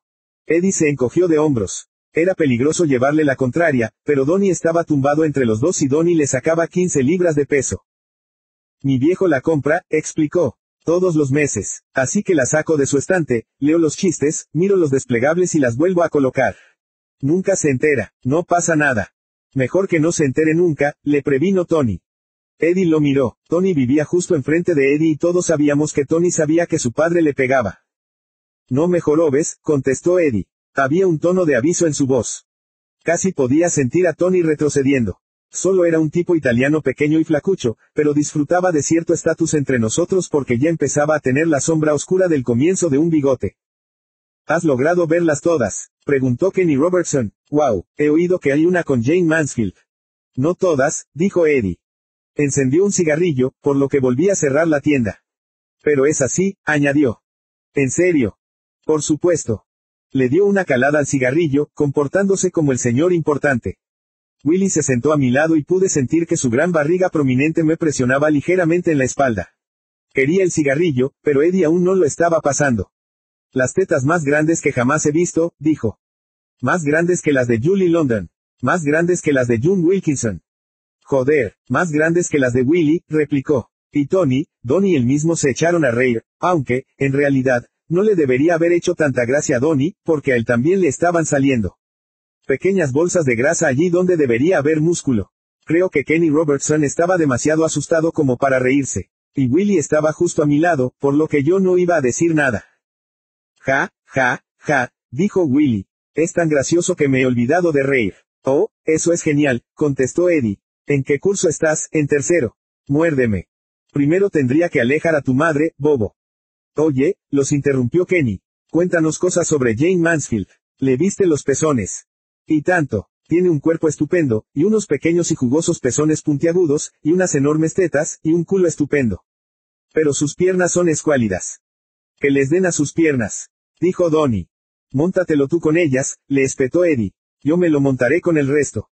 ¡Qué suerte! gritó Kenny. Dios. Pezones y todo. Sorprendente. Eddie le pasó el cigarrillo. Le dio una rápida calada y se lo pasó a Donnie. El caso es, dijo Kenny, que es una estrella de cine. Te lleva a preguntarte por qué haría una cosa así. ¿Qué cosa? preguntó Donnie. Enseñar las tetas en una revista. Pensamos en ello. Bueno, en realidad no es una estrella de cine, dijo Donnie. Quiero decir, Natalie Wood es una estrella de cine. Jane Mansfield solo aparece en algunas películas. Una starlet, apuntó Kenny. No, dijo Donnie, es demasiado mayor para ser una starlet. Dolores Hart es una starlet. Habéis visto Loving You, me encanta esa escena en el cementerio, tíos. A mí también. Esa escena es con Elizabeth Scott, recalcó Willy. ¿Y qué? A mí me gusta la escena de la tienda de refrescos, dijo Kenny. En la que él canta y le pega una paliza al otro tío. Es genial, dijo Eddie. Realmente genial, añadió Willy. Estupenda. De todos modos, hay que tener en cuenta que Playboy no es solo una revista, interrumpió Donnie. Ya sabéis, es Playboy. Quiero decir, Marilyn Monroe salió en ella. Es la mejor revista de la historia. ¿Tú crees? Mejor que Mad. Kenny parecía escéptico. Claro, coño. Es decir, Mad está bien. Pero es para niños, ya sabes. ¿Y qué pasa con monstruos famosos? Preguntó Tony. Eso era un golpe bajo. Monstruos famosos acababa de salir y a todos nos chiflaba. Claro que sí, dijo Donnie. Le dio una calada al cigarrillo y sonrió. La sonrisa estaba llena de sabiduría. Monstruos famosos de la tierra del cine enseña tetas. Añadió. Todos nos reímos. Su lógica era irrefutable. Le pasó el pitillo a Eddie, que le dio una calada final y lo apagó en la hierba, para luego tirar la colilla entre los árboles. Hubo entonces uno de esos silencios en los que nadie tiene nada que decir. Estábamos todos allí, solos, en alguna parte. Y entonces Kenny miró a Donnie. ¿Realmente has visto una? Le preguntó. ¿Una qué? Una teta. Una teta auténtica, sí. Donnie se rió. Las de la hermana de Eddie. Eso provocó más risas, puesto que todos lo habíamos hecho. Me refiero a las de una mujer. No. Algún otro. Miró a su alrededor. Las de mi madre, contestó Tony. Se podía ver que le daba vergüenza. Entré una vez en su cuarto de baño y se estaba poniendo el sujetador. Se las vi durante un minuto. Un minuto. Kenny estaba totalmente enganchado. No, un segundo. Vaya, ¿cómo eran? ¿Qué quieres decir con cómo eran? Por amor de Dios, era mi madre. Madonna, pequeño pervertido. Eh, no te ofendas, tío. Sí, vale, de acuerdo. Pero ahora todos pensábamos en la señora Morino. Era una siciliana de amplias caderas y piernas cortas que tenía más bigote que Tony, pero sus pechos eran realmente grandes. El tratar de imaginárnosla de esa forma era a la vez difícil, interesante y ligeramente repulsivo. Seguro que las de Meg son bonitas, dijo Willy. Quedó allí, flotando, por un momento. Pero dudo que cualquiera de nosotros siguiera pensando en la señora Morino. Tony miró a su hermano. Las de Meg. Sí. Podías ver cómo giraban los engranajes. Pero Willy actuó como si Donnie no lo hubiera entendido. Tratando de ganar puntos a su costa. Nuestra prima, Bobo. Meg. Donnie se limitó a mirarlo. Y entonces dijo, ¿eh? ¿Qué hora es? Kenny tenía un reloj, las once menos cuarto. Genial. Y, de repente, salió reptando de la tienda y se quedó allí plantado. Observando, sonriendo. Venid, tengo una idea. De mi casa a la suya solo había que cruzar el patio y atravesar una línea de setos, y te encontrabas justo detrás de su garaje. Había una luz encendida en la ventana del cuarto de baño de los Chandler, otra en la cocina y otra en el dormitorio de Meg y Susan. Para entonces, ya sabíamos lo que tenía en mente. No estaba seguro de que me gustara, pero tampoco estaba seguro de que no me gustara. Obviamente, era excitante. Se suponía que no debíamos salir de la tienda. Si nos pillaban, se acabaría el dormir fuera, así como muchas otras cosas. Por otro lado, si no nos pillaban, era mejor que acampar en el depósito de agua. Era mejor que la cerveza. Una vez que te empapabas de la emoción de la situación, era realmente difícil el controlar la risa. No hay escalera, susurró Eddie. ¿Cómo vamos a hacerlo? Donnie miró a su alrededor. El abedul, dijo. Tenía razón. A la izquierda del patio, a unos 15 pies de la casa, había un alto abedul blanco azotado salvajemente por los vientos invernales. Estaba medio caído en el césped del patio. Pero no podemos trepar todos por él, dijo Tony. Se romperá. Pues lo haremos por turnos. Dos por turno. Diez minutos cada uno y que gane el mejor. Vale, ¿quién va primero? Demonios, es nuestro árbol, Donnie sonrió. Willy y yo somos los primeros. Me fastidió un poco que hiciera eso. Se suponía que éramos amigos íntimos. Pero entonces me dije, que demonios, Willy era su hermano. Cruzó corriendo el patio y Willy lo siguió. El árbol se bifurcaba en dos gruesas ramas. Allí podían tumbarse el uno al lado del otro. Tenían una buena vista directa del dormitorio y una bastante buena del cuarto de baño. Pero Willy no dejaba de cambiar de posición, tratando de ponerse cómodo. Saltaba a la vista lo poco en forma que se encontraba. Le costaba soportar su propio peso. Mientras que, a pesar de toda su corpulencia, parecía que Donnie había nacido en los árboles. Los observamos mientras espiaban. Contemplamos la casa, la ventana de la cocina, buscando a Ruth, esperando que no apareciera. Tony y yo somos los siguientes, dijo Eddie. ¿Cuánto queda? Kenny miró su reloj. Cinco minutos más. Mierda, dijo Eddie. Sacó la cajetilla de Cools y encendió uno. Eh, susurró Kenny. Podrían verlo. Serás estúpido, le replicó Eddie. Lo cubres con la mano. Así, no lo ve nadie. Yo trataba de verles las caras a Donnie y a Willy, preguntándome si estaría pasando algo en el interior. Era difícil verlo, pero creía que no, solo estaban allí tumbados como si fueran un par de tumores oscuros. Me pregunté si el árbol se recuperaría alguna vez. Antes no me había dado cuenta de las ranas y de los grillos, pero ahora sí, un eco como de percusión en el silencio. Lo único que se oía era a ellos y a Eddie dando fuertes caladas al cigarrillo y exhalando y el ocasional crujir del abedul. Había luciérnagas en el patio parpadeando, revoloteando. Os toca, dijo Kenny. Eddie soltó el Kulz y lo aplastó, y Tony y él corrieron hacia el árbol. Un momento después, estaban arriba y Willy y Donnie abajo con nosotros. El árbol parecía ahora más alto. ¿Habéis visto algo? Les pregunté. Nada, contestó Willy, era sorprendente lo enfadado que parecía. Como si fuera culpa de Meg el no haber aparecido. Como si le hubiese timado. Pero Willy siempre fue un gilipollas. Miré a Donnie. La luz no era demasiado buena, pero me pareció que tenía la misma mirada concentrada y estudiada que cuando Ruth nos había hablado de las chicas Hutchi, y de lo que llevaban y no llevaban puesto. Era como si tratara de imaginarse algo y estuviera algo deprimido por no encontrar la respuesta. Nos quedamos allí juntos, en silencio, y, al cabo de un rato, Kenny me dio un golpecito en el hombro. Nos toca, me dijo. Corrimos hacia el árbol y le di a Tony en el tobillo. Se deslizó hasta abajo. Nos quedamos allí esperando a Eddie. Miré a Tony. Él se encogió de hombros y sacudió la cabeza, mirando al suelo. Nada. Unos pocos minutos después, Eddie también se rindió y se deslizó hasta caer a mi lado. Esto es una chorrada, dijo. Que le den, que la jodan, y se alejaron. No lo pillé. Ahora Eddie también estaba furioso. No dejé que eso me preocupara. Subimos. Era fácil. Al llegar arriba, sentí una enorme oleada de excitación. Quería reírme en alto por lo bien que me sentía. Algo iba a pasar, lo sabía. Qué pena para Eddie y Donnie y Willy. Íbamos a ser nosotros. Se acercaría a la ventana en cualquier momento y nosotros la veríamos. Realmente no me importaba el hecho de que seguramente estuviera traicionando a Meg al espiarla. Apenas pensaba en ella como en Meg. Era como si realmente no fuera a ella a la que buscábamos. Era algo mucho más abstracto que todo eso. Una auténtica chica viva, y no una foto en blanco y negro en una revista. El cuerpo de una mujer. Por fin iba a aprender algo. Se trataba de un caso de extrema prioridad. Nos acomodamos. Miré a Kenny. Sonreía. Se me ocurrió preguntarme por qué los otros chicos se habían comportado de una forma tan quisquillosa. Era divertido. Incluso el estar asustado era divertido. Asustados porque Ruth apareciese de improviso en el porche y nos dijeran que sacáramos nuestros culos de allí. Asustados porque Meg mirara por la ventana del cuarto de baño directamente a nuestros ojos. Esperé, confiado. La luz del cuarto de baño se apagó, pero eso no importó. Era el dormitorio hacia donde yo miraba. Allí fue donde la vi. Primer plano, desnuda, carne y hueso, y de alguien a quien yo en realidad conocía un poco. Me negué incluso a parpadear.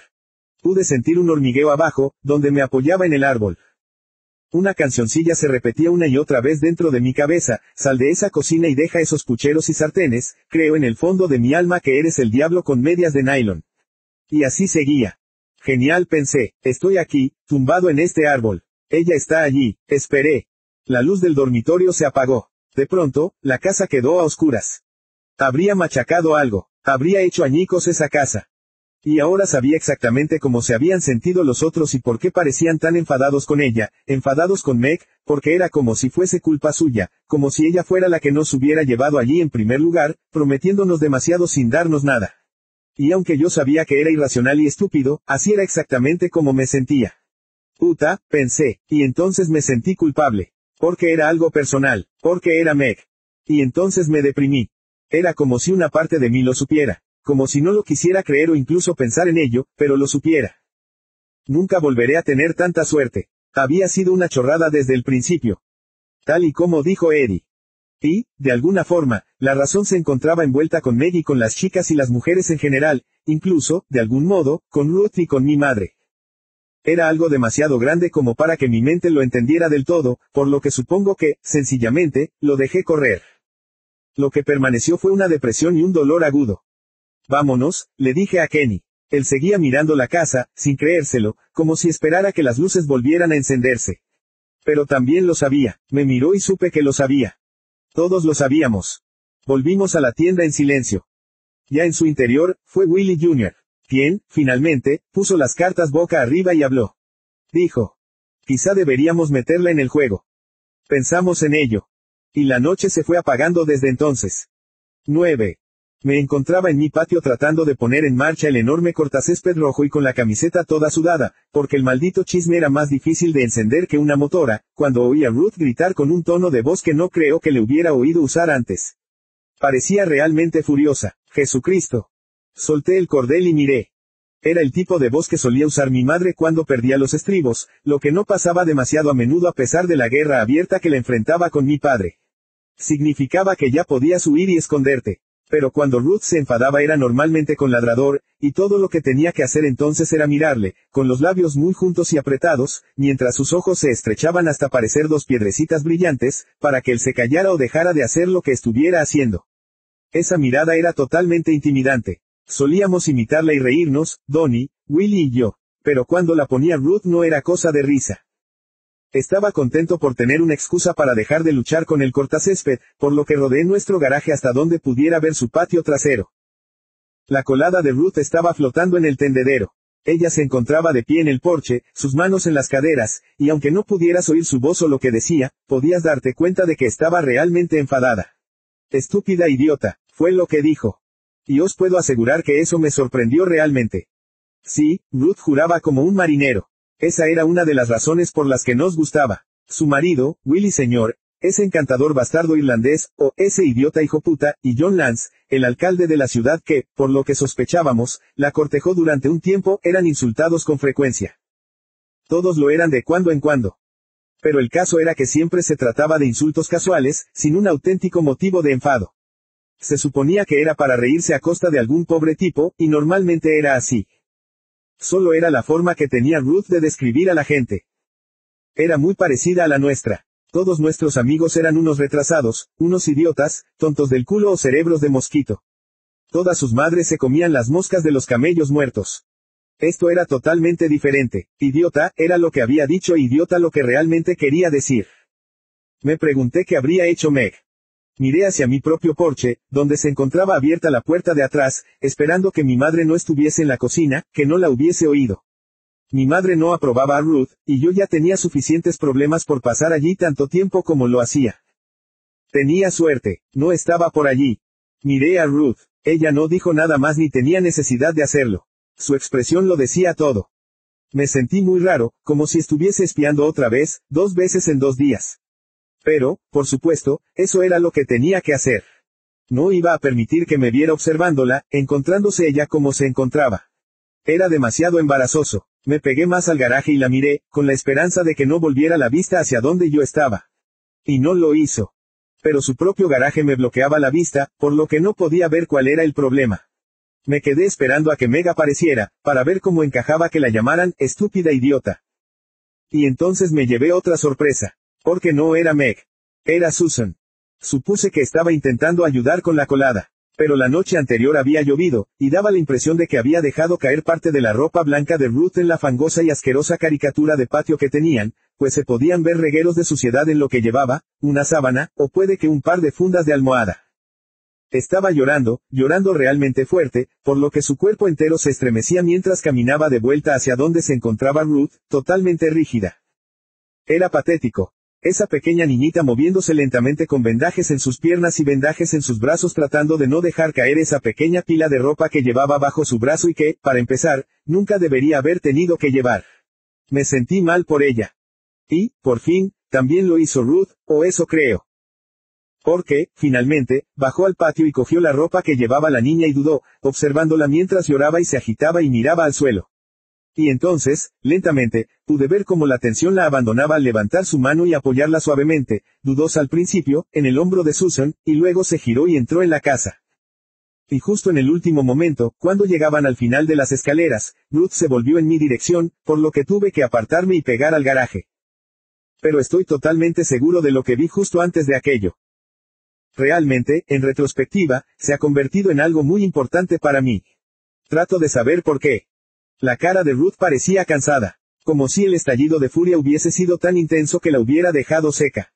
O puede que lo que viera fuera solo un trocito de algo, algo mayor, algo que me hubiera pasado desapercibido durante bastante tiempo y que esto fuera tan solo algún tipo de crescendo en un disco de larga duración. Pero es lo otro que vi lo que realmente me sigue chocando hoy en día, lo que me confunde. Incluso en ese momento me hizo tener dudas justo antes de que me escondiera, cuando Ruth se giró con aspecto delgado y cansado y su mano en el hombro de Susan. Justo en ese momento en el que se giró. Juraría que ella también estaba llorando. Y mi pregunta es, ¿por quién? 10. Lo siguiente que pasó fue lo de las orugas. Dio la impresión de pasar de la noche a la mañana. Un día los árboles estaban limpios y normales y al siguiente estaban repletos de pesados sacos de telaraña. En el fondo de los sacos se apreciaba algo vagamente oscuro y de aspecto poco saludable, y si los mirabas suficientemente cerca, podías ver cómo se movían. Vamos a quemarlos, dijo Ruth. Estábamos de pie en su patio cerca del abedul, ladrador, Donnie y Willy, Meg y yo, y Ruth, que llevaba puesto su viejo vestido azul de casa con los grandes bolsillos. Eran las 10 de la mañana y Meg acababa de terminar sus tareas. Tenía un poco de suciedad bajo el ojo izquierdo. Chicos, vosotros coged unos palos, nos dijo. Largos y gruesos, y aseguraos de que estén verdes, para que no ardan. Nick, trae la bolsa de los trapos del sótano. Se quedó guiñando los ojos bajo la luz del día, observando el daño. Casi la mitad de los árboles de su patio, incluido el abedul, estaban repletos de sacos, algunos del tamaño de pelotas de béisbol, pero otros tan grandes y profundos como una bolsa de la compra. El bosque estaba lleno. Pequeños bastardos, dejarán los árboles sin hojas en un abrir y cerrar de ojos. Meg entró en la casa y el resto nos dirigimos al bosque para coger algunos palos. Tony se llevó su hacha, así que cortamos unas ramas y las limpiamos y las partimos más o menos por la mitad. No nos llevó mucho. Cuando volvimos, Ruth y Meg se encontraban en el garaje empapando los trapos en queroseno. Envolvimos con ellos las ramas y Ruth los ató con un cordel, y entonces volvimos a empaparlos. Nos dio uno a cada uno. Os enseñaré cómo va esto, nos dijo. Y entonces podréis hacerlo vosotros solos. Pero tened cuidado de no incendiar el maldito bosque. Me sentí increíblemente adulto. Ruth iba a confiarnos fuego, antorchas. Mi madre nunca lo hubiera hecho. La seguimos al patio con aspecto, supongo, de campesinos en busca del monstruo de Frankenstein, con nuestras antorchas apagadas en alto. Pero no actuábamos de una forma demasiado adulta, parecía que fuéramos a una fiesta, pues todos estábamos muy excitados y hacíamos el tonto excepto Meg, quien se lo estaba tomando muy seriamente. Willy cogió al ladrador por el cuello y le clavó los nudillos en la coronilla, una llave de lucha que aprendimos del luchador de 300 libras Haystack Scalone, famoso por el ataque del gran chapoteo. Donnie y yo caminábamos el uno al lado del otro tras ellos, moviendo nuestras antorchas como si fuéramos una pareja de jefes de banda con bastones, riéndonos como idiotas. A Ruth no parecía importarle. Cuando llegamos al abedul, Ruth metió la mano en su bolsillo y sacó una caja de cerillas de seguridad. El nido del abedul era de los grandes. Me encargaré de este, dijo Ruth. Vosotros mirad. Encendió la antorcha y la mantuvo así un momento hasta que el fuego bajó un poco su intensidad y fue seguro utilizarla. Pero seguía siendo una buena llama. Tened cuidado, nos dijo. No quiero que queméis el árbol. La mantuvo unos seis centímetros por debajo del saco. El saco comenzó a derretirse. No ardió, se derritió igual que el poliestireno, desvaneciéndose, retrocediendo. Era grueso y tenía muchas capas, pero lo hizo con rapidez. Y, de repente, cayeron todos esos cuerpos retorciéndose y temblando, gusanos gordos, negros y peludos, humeando, chisporroteando. Casi podías oírlos gritar. Debía de haber cientos de ellos en ese único nido. Quemabas una capa del nido solo para que apareciera otra en la que había más. Seguían viniendo, cayendo a nuestros pies como si fueran una lluvia negra. Y entonces Ruth alcanzó la capa principal. Fue como si una capa de alquitrán viviente del tamaño de una pelota de softball se derramara directamente sobre la antorcha, y fuera dividiéndose mientras caía. La llama de la antorcha vaciló, había tantos, y, por un momento, casi dio la impresión de que se apagaría. Entonces cobró nueva intensidad, y los bichos que se habían aferrado allí ardieron y cayeron. Joder, dijo ladrador. Ruth le miró. Lo siento, dijo él, pero tenía los ojos como platos. Hay que admitir que era increíble. Nunca había visto una carnicería semejante. Las hormigas del porche no eran nada en comparación. Las hormigas eran pequeñas, insignificantes. Cuando les arrojabas el agua hirviendo solo se retorcían y morían. Pero algunas de aquellas criaturas tenían un centímetro de longitud. Se retorcían y se encogían. Parecía que querían vivir. Miré el suelo. Había gusanos por todas partes. La mayoría estaban muertos, pero muchos no lo estaban, y los que no lo estaban trataban de huir. ¿Qué pasa con estos? Le pregunté a Ruth. Olvídalos, me contestó, morirán, o los pájaros se los llevarán, se río. Abrimos el horno antes de que estuvieran listos. Aún no estaban hechos del todo. Pues ahora sí que lo están, dijo Willy. Podemos coger una piedra, dijo Ladrador. Aplastarlos. Escúchame cuando hablo. Olvídalos, dijo Ruth. Volvió a meter la mano en su bolsillo. Aquí, comenzó a darnos a todos cajas de cerillas. Recordad, quiero una yarda de distancia cuando estéis dentro. Y no vayáis al bosque. Puede cuidarse solo. Se las cogimos, todos menos Meg, no las quiero, dijo. ¿Qué? Rechazó las cerillas. No, no las quiero. Terminaré la colada, vale. Es, es. Miró al suelo, a los gusanos negros retorcidos que estaban allí, a los vivos que se retorcían. Su cara estaba pálida. ¿Qué? preguntó Ruth, asqueroso. ¿Te da asco, cariño? No, solo que no quiero. Ruth se rió. Que me cuelguen, mirad aquí, Chicos, dijo. Que me cuelguen. Seguía sonriendo, pero su cara se había endurecido de repente. Me confundió y me recordó al otro día, con Susan. Fue como si toda la mañana hubiese estado a punto de estallar con Meg y no nos hubiéramos dado cuenta. Habíamos estado demasiado ocupados, demasiado excitados. Mirad aquí, nos dijo. Lo que tenemos aquí es una lección sobre la feminidad, se acercó más. Meg es muy delicada, entendéis por qué las niñas se vuelven delicadas, ¿verdad, chicos? Las damas lo son, y aquí Meg es una dama. Vaya, claro que lo es. Y entonces abandonó el sarcasmo y pudimos ver su furia sin control. Así que, en el nombre de Jesucristo, en que me convierte eso, Meggy. ¿Crees que yo no soy una dama? ¿Crees que las damas no hacen lo que hay que hacer? Que no se deshacen de las malditas plagas que infestan su puto jardín. Meg parecía confusa, pasó tan rápido que no podías culparla. No, yo. Será mejor que no me digas que no, cariño. Porque no necesito ese tipo de insinuaciones provenientes de una cría en camiseta que no sabe ni siquiera limpiarse la cara. ¿Me entiendes? Sí, señora. Retrocedió un paso. Y eso pareció enfriar un poco a Ruth. Respiró hondo. De acuerdo, dijo, vete abajo. Vamos, acaba tu colada. Y avísame cuando acabes. Te tendré preparado algo más. Sí, señora. Se dio la vuelta y Ruth sonrió. Mis chicos pueden encargarse de esto, dijo. ¿Verdad, chicos? Yo asentí, en ese momento no podía hablar. Nadie dijo nada, despidió a Meg con total autoridad y con un extraño sentido de justicia que realmente me dejó fascinado. Le dio unas palmaditas en la cabeza al ladrador. Miré a Meg, la vi volver a la casa, con la cabeza gacha, secándose la cara, buscando ese poco de suciedad que Ruth le había dicho que tenía. Ruth puso un brazo sobre mis hombros y se volvió hacia los abedules de detrás. Inhalé su olor, jabón, queroseno, cigarrillos y pelo recién lavado. Mis chicos pueden hacerlo, me dijo. Y su voz era de nuevo muy amable. 11. Para cuando llegó la una, habíamos quemado todos los nidos del patio de los Chandler, y tal como Ruth había anunciado, los pájaros estaban dando un banquete. Apestaba a queroseno. Yo estaba muerto de hambre, y hubiera matado en ese momento solo por unos white castres. Me moría por un sándwich de mortadela. Me fui a casa. Me lavé en la cocina y me preparé uno. Podía oír a mi madre planchando en la sala de estar, tarareando el disco original de The Music Man, a quien habían ido a ver ella y mi padre a Nueva York el año anterior, justo antes de que todo se estropeara debido a lo que solo puedo asumir que fue el último lío de mi padre. Mi padre tenía muchas oportunidades para liarse con alguien, y las aprovechaba todas. Era el propietario de un bar-restaurante llamado El Nido del Águila. Se encontraba con ellas tarde y se encontraba con ellas temprano pero sospecho que mi madre se había olvidado de todo eso por un momento y estaba recordando los buenos tiempos con el profesor Harold Hill y compañía. Yo odiaba The Music Man. Me encerré en mi habitación un rato y ojeé mis manoseados ejemplares de macabro y más extraño que la ciencia, pero no tenía nada que me interesara, por lo que decidí volver a salir. Me encaminé a la zona de atrás, y Meg estaba en el porche trasero de los Chandler sacudiendo las alfombras de la sala de estar. Me vio y me saludó. Me sentí raro durante un instante, con mis lealtades divididas. Si Meg se encontraba en la lista negra de Ruth, seguramente sería por una buena razón. Pero, por otro lado, seguía recordando ese viaje en la Noria y esa mañana en la Gran Roca. Colocó con cuidado las alfombras en el raíl de hierro y bajó los escalones cruzando el camino para reunirse conmigo. Había desaparecido la mugre de su cara, pero seguía llevando la sudada camiseta amarilla y los viejos bermudas de Donnie enrollados. Tenía polvo en el pelo.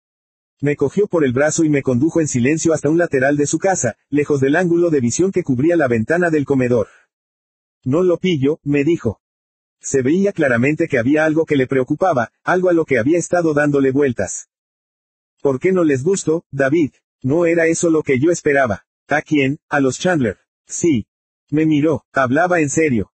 Claro que sí, les gustas. Vamos, Ruth nunca haría eso. Inténtalo. Hazle una a ella, hazle una acuarela, seguro que le encanta, ¿sabes? Puede que solo sea que no está acostumbrada a tener niña cerca. Quizás solo haga falta tiempo. Hazlo, inténtalo. Ella se lo pensó. No puedo, contestó, de veras. Por un momento, nos quedamos allí. Ella temblaba, yo sabía que, fuera lo que fuese lo que estuviera pasando, no estaba bromeando. Tuve una idea. Y para mí, me podrías hacer una a mí. Sin tener la idea en la cabeza, sin el plan, yo nunca habría tenido valor para pedírselo. Pero esto era distinto. Se animó un poco. ¿De verdad quieres una? Claro. Me apetece un montón. Me miró fijamente, hasta que tuve que apartar la mirada. Y entonces sonrió. De acuerdo. Lo haré, David. Volví a aparecer ella misma. Dios. Me encantaba cuando sonreía, y entonces oí cómo se abría la puerta de atrás. Nick, era Ruth. Mejor me voy, me dijo. Me tomó la mano y la apretó. Pude sentir las piedras del anillo de bodas de su madre. Me ruboricé. Lo haré, me dijo, y giró rápidamente la esquina. 12.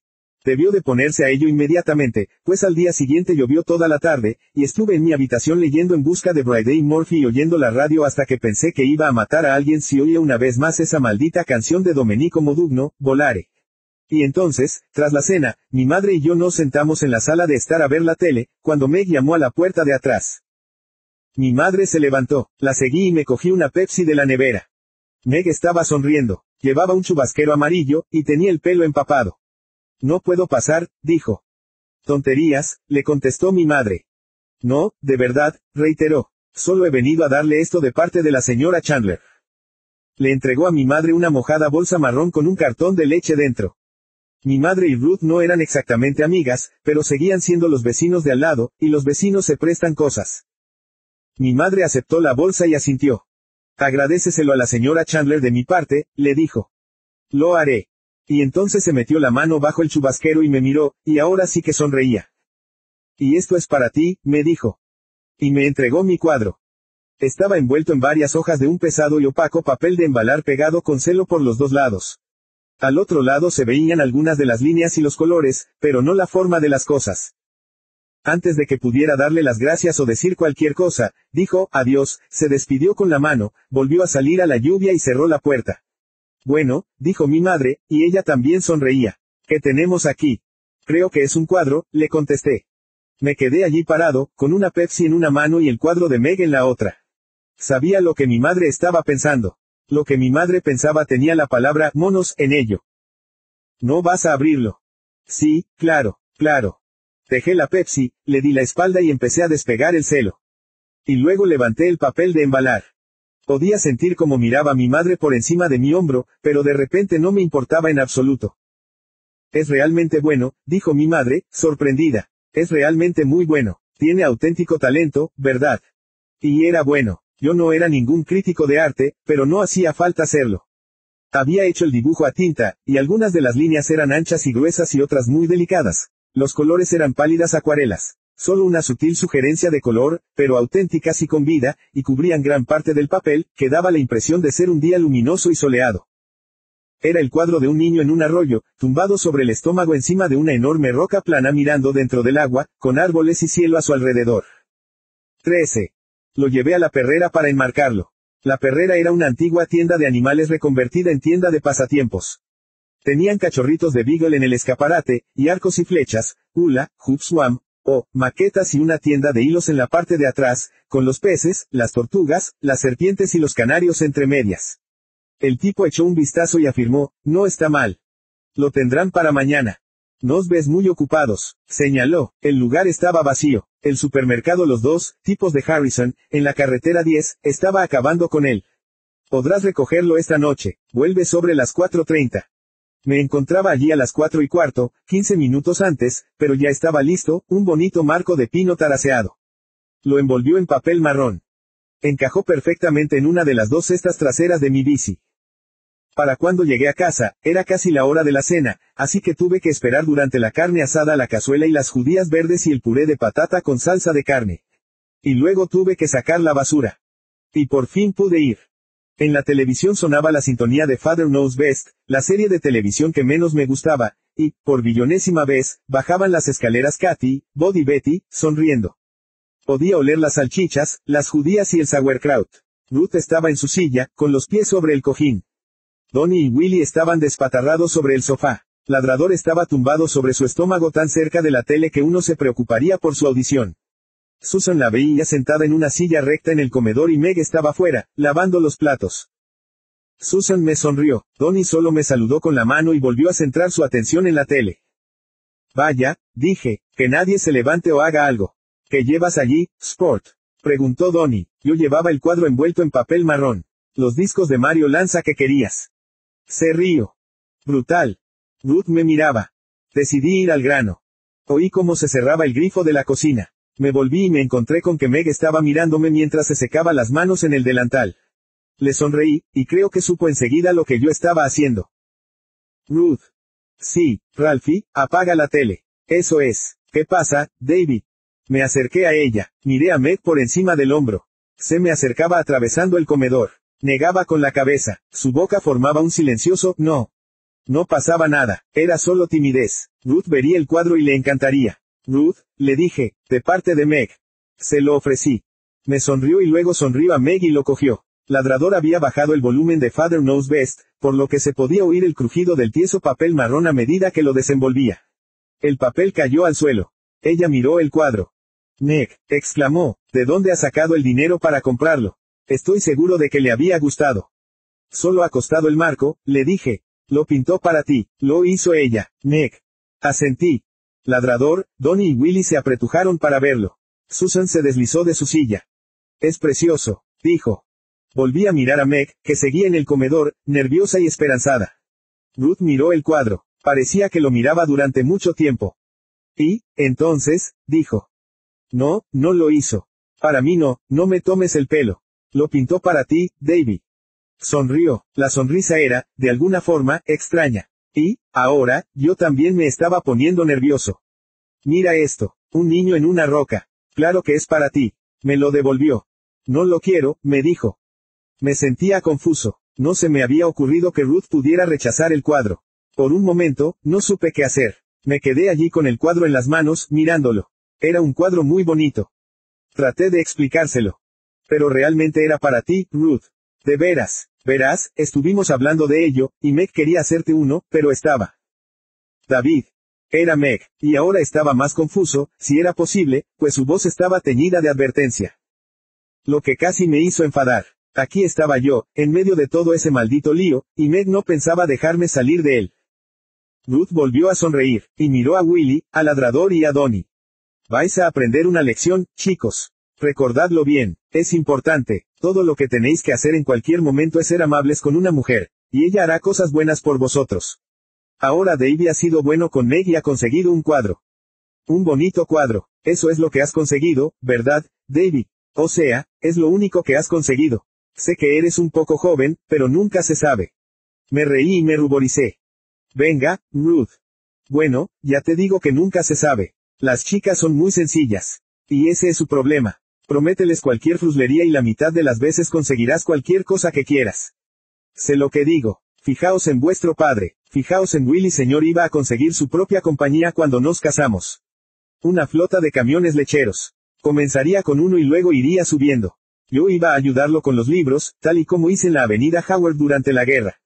Dirigí esa planta durante la guerra. Íbamos a ser más ricos que mis viejos cuando yo era niña en Morristown, y eso era ser bastante rico, os lo digo yo. Pero sabéis que conseguí, nada, ni una maldita cosa, solo a vosotros tres así, uno, dos y tres, y también que ese encantador bastardo irlandés se largara a Dios sabe dónde. Así que conseguí tres bocas hambrientas a las que alimentar, y ahora tengo dos más. Ya os digo, las chicas son tontas. Las chicas son fáciles, unas perdedoras de tomo y lomo. Pasó a mi lado y se acercó a Meg. Le rodeó los hombros con un brazo y se giró para encararse con nosotros. Ahora coge ese cuadro, le dijo. Sé que lo hiciste para David, así que no trates de decirme otra cosa. Pero lo que quiero saber es qué vas a sacar tú de esto. ¿Qué piensas que te va a dar este chico? Sé que Davy es un buen chico. Mejor que la mayoría, me atrevería a decir. Definitivamente, mejor, pero, querida, no te va a dar nada. Si crees que sí, lo que conseguirás será algo muy distinto. Así que lo que te estoy diciendo es que espero que este cuadro sea lo único que le has dado y lo único que le vayas a dar, y te lo digo por tu propio bien. Porque estás a punto de tener lo que los hombres quieren de verdad, y no es tu puto arte. Pude ver que la cara de Meg empezaba a temblar, y me di cuenta de que estaba tratando de no llorar.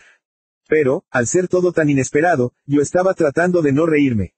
Y también Donnie. Todo era demasiado raro, y puede que fuera por la tensión, pero lo que Ruth había dicho sobre el arte fue gracioso. Su brazo se tensó sobre los hombros de Meg. Y si les das lo que quieren, entonces no serás otra cosa que una zorra, cariño. ¿Sabes lo que es una zorra? ¿Lo sabes, Susan? Por supuesto que no, sois demasiado jóvenes. Bueno, una zorra es alguien que se abre de piernas por un hombre, así de sencillo. Así, ellos pueden metérsele dentro. Ladrador, borra esa maldita sonrisa.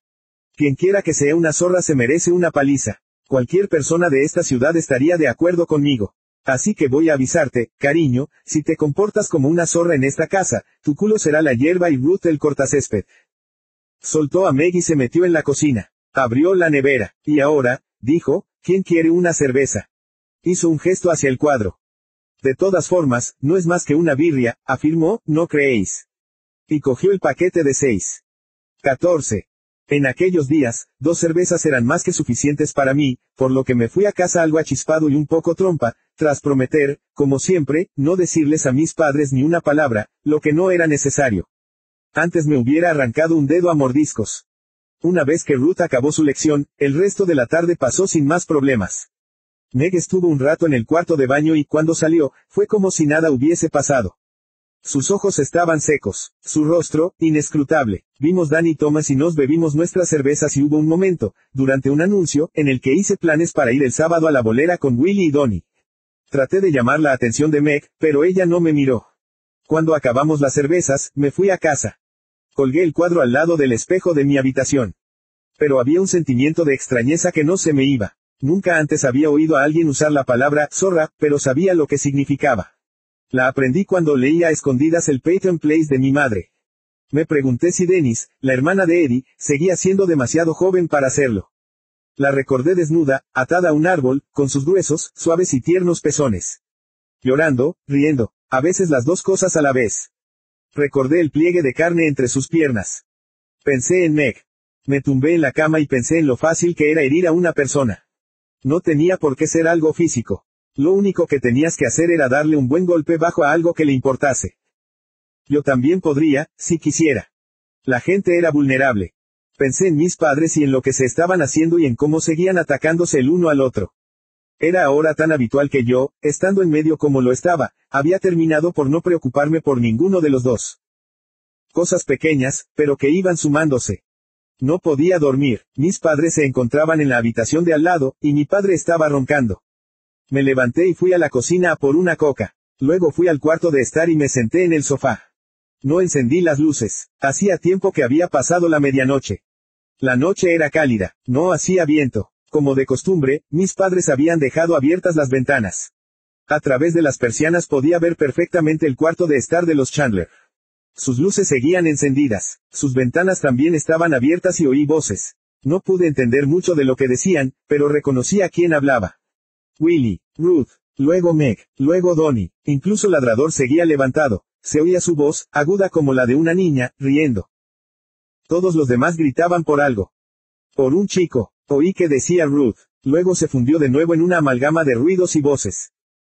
Vi que Meg se acercaba de nuevo a la ventana del cuarto de estar. Señalaba algo, gritando, con todo el cuerpo rígido y tembloroso de furia. No lo harás, le oí decir. Entonces Ruth dijo algo bajo que no alcancé a entender, pero que se parecía a un gruñido. Eso fue lo único que pude captar, y pude ver a Meg al borde del colapso, mientras retrocedía. Entonces se puso a llorar. Y surgió una mano y la abofeteó. Le pegó tan fuerte que cayó lejos de la ventana y ya no pude verla más. Willy se acercó. Empezó a seguirla, lentamente. Como si la estuviese cazando. Basta, oí decir a Ruth, lo que significaba creo, que Willy debería dejarla sola. Hubo un momento en el que, creo, no se movió nadie. Y entonces, los cuerpos empezaron a ir y venir durante un rato, pasando delante de la ventana, todos con aspecto apagado y enfadado, Willy y Ladrador y Donnie y Ruth y Meg, recogiendo cosas del suelo o colocando las sillas u otras cosas, y alejándose lentamente. A la única que no vi fue a Susan. Me quedé sentado, observando. Las luces se apagaron, se veía un tenue brillo en las habitaciones, y nada más. Y luego incluso eso desapareció y la casa se quedó tan a oscuras como la nuestra. 15. Aquel sábado, en las pistas, Kenny Robertson no logró darle a su séptimo bolo en una tirada fácil, en la décima calle, y acabó con un 107. Kenny era delgaducho e impulsaba la bola con toda la fuerza de su cuerpo, por lo que ésta salía despedida sin mucho control. Regresó secándose la frente con el pañuelo de la suerte de su padre, que no le había dado mucha suerte ese día. Se sentó entre Willy y yo, detrás del tablero de puntuaciones. Miramos a Donnie mientras se colocaba en su sitio de costumbre, a la izquierda de la segunda flecha. ¿Has pensado en ello? Le preguntó a Willy, en meter a Meg en el juego. Willy sonrió, supongo que se sentía bien. Probablemente había superado los 150, y eso no pasa a menudo. Negó con la cabeza, ahora tenemos nuestro propio juego, dijo. 16. Esas noches en las que yo dormía en casa de los Chandler, cuando nos cansábamos de hacer el tonto y ladrador se dormía, nos dedicábamos a hablar. Lo hacíamos sobre todo Donnie y yo. Willy nunca tenía mucho que decir, y lo que decía no era nada inteligente. Pero Donnie era lo suficientemente listo y, como ya he indicado, lo más parecido que yo tenía a un mejor amigo, así que hablábamos, sobre el colegio y las chicas, los chicos de American Bandstand, los interminables misterios del sexo, lo que realmente querían decir las canciones de rock and roll que oíamos por la radio. Hasta bien entrada la noche. Hablábamos de deseos, esperanzas, incluso de pesadillas a veces. Siempre era Donnie quien iniciaba estas conversaciones y yo quien las terminaba. En algún momento más allá del cansancio, me reclinaba sobre mi cama y decía algo como, ¿ves lo que quiero decir? Y él ya se había dormido, dejándome solo a merced de mis pensamientos, incómodo e inquieto, a veces hasta el amanecer. Me llevaba tiempo cortar por lo sano con lo que fuera que sentía y, una vez que lo hacía, no podía soportar el haber renunciado a su sabor. Sigo siendo así. Ahora el diálogo es un monólogo. Yo no hablo. Esté quien esté conmigo en la cama, nunca lo hago. A veces, mis pensamientos se convierten en pesadillas, pero no las comparto. Me he llegado a convertir en lo que solo empecé entonces, un ser completamente autónomo. Comenzó, supongo, cuando mi madre entró en mi cuarto cuando yo tenía siete años. Yo dormía. Voy a dejar a tu padre, me dijo, despertándome. Pero no quiero que te preocupes. Te llevaré conmigo. No voy a abandonarte, nunca lo haré, y sé que estuve esperando desde los 7 a los 14 años, preparándome, hasta el punto de que llegué a ser yo quien se separó de cada uno de ellos. Así, creo, fue como empezó. Pero entre los 7 y los 13 pasó lo de Ruth, pasó lo de Meg y Susan. Sin ellas, esa conversación con mi madre pudo incluso haber sido buena para mí. Quizás solo me hubiese evitado la conmoción y la confusión cuando llegara el momento. Porque los niños son resistentes. Siempre vuelven a confiar y compartir. Yo no fui capaz de hacerlo. Y eso se debe a lo que pasó después, y a lo que hice, y a lo que no hice. Mi primera mujer, Evelyn, me llama a veces, y me despierta en mitad de la noche. ¿Están bien los niños? me pregunta, su voz está llena de terror. No tuvimos niños, Evelyn y yo. Ha entrado y salido varias veces de psiquiátricos, a causa de brotes agudos de depresión y ansiedad, pero sigue siendo sorprendente esta fijación que tiene. Porque nunca se lo he contado. Nada de esto, nunca. ¿Cómo puede saberlo? Hablo en sueños, se lo confesé una noche. O sencillamente siente algo oculto en mí, sobre la única auténtica razón por la que no tuvimos hijos, sobre por qué nunca permití que los tuviéramos. Sus llamadas son como pájaros nocturnos que revolotean graznando alrededor de mi cabeza. Sigo esperando que vuelvan. Cuando lo hacen, me toman por sorpresa. Es terrorífico. Están bien los niños. Hace mucho que aprendí a no angustiarla. Sí, Aileen, le digo. Claro, están bien. Vuelve a dormir, le digo. Pero los niños no están bien. Nunca lo estarán. 17. Llamé a la puerta de atrás. No respondió nadie. La abrí y entré. Les oí riendo a lo lejos. Venía de uno de los dormitorios. La risa de Meg era una especie de crujido agudo, la del ladrador, una risilla histérica. Las de Willie Jr. y Donnie eran más graves, más masculinas. Yo no debía estar allí, estaba castigado. Había estado trabajando en una maqueta de un B-52, un regalo de Navidad de mi padre, y no pude ponerle bien una de las ruedas. Así que traté de enderezarla unas tres o cuatro veces y terminé arrojándolo contra la puerta, donde se hizo añicos. Llegó mi madre y se montó un buen follón, y yo estaba acorralado. Mi madre se había ido de compras. Al menos por un momento era libre. Me dirigí hacia los dormitorios. Tenían a Meg contra la pared de la habitación, en una de las esquinas junto a la ventana. Donnie se volvió.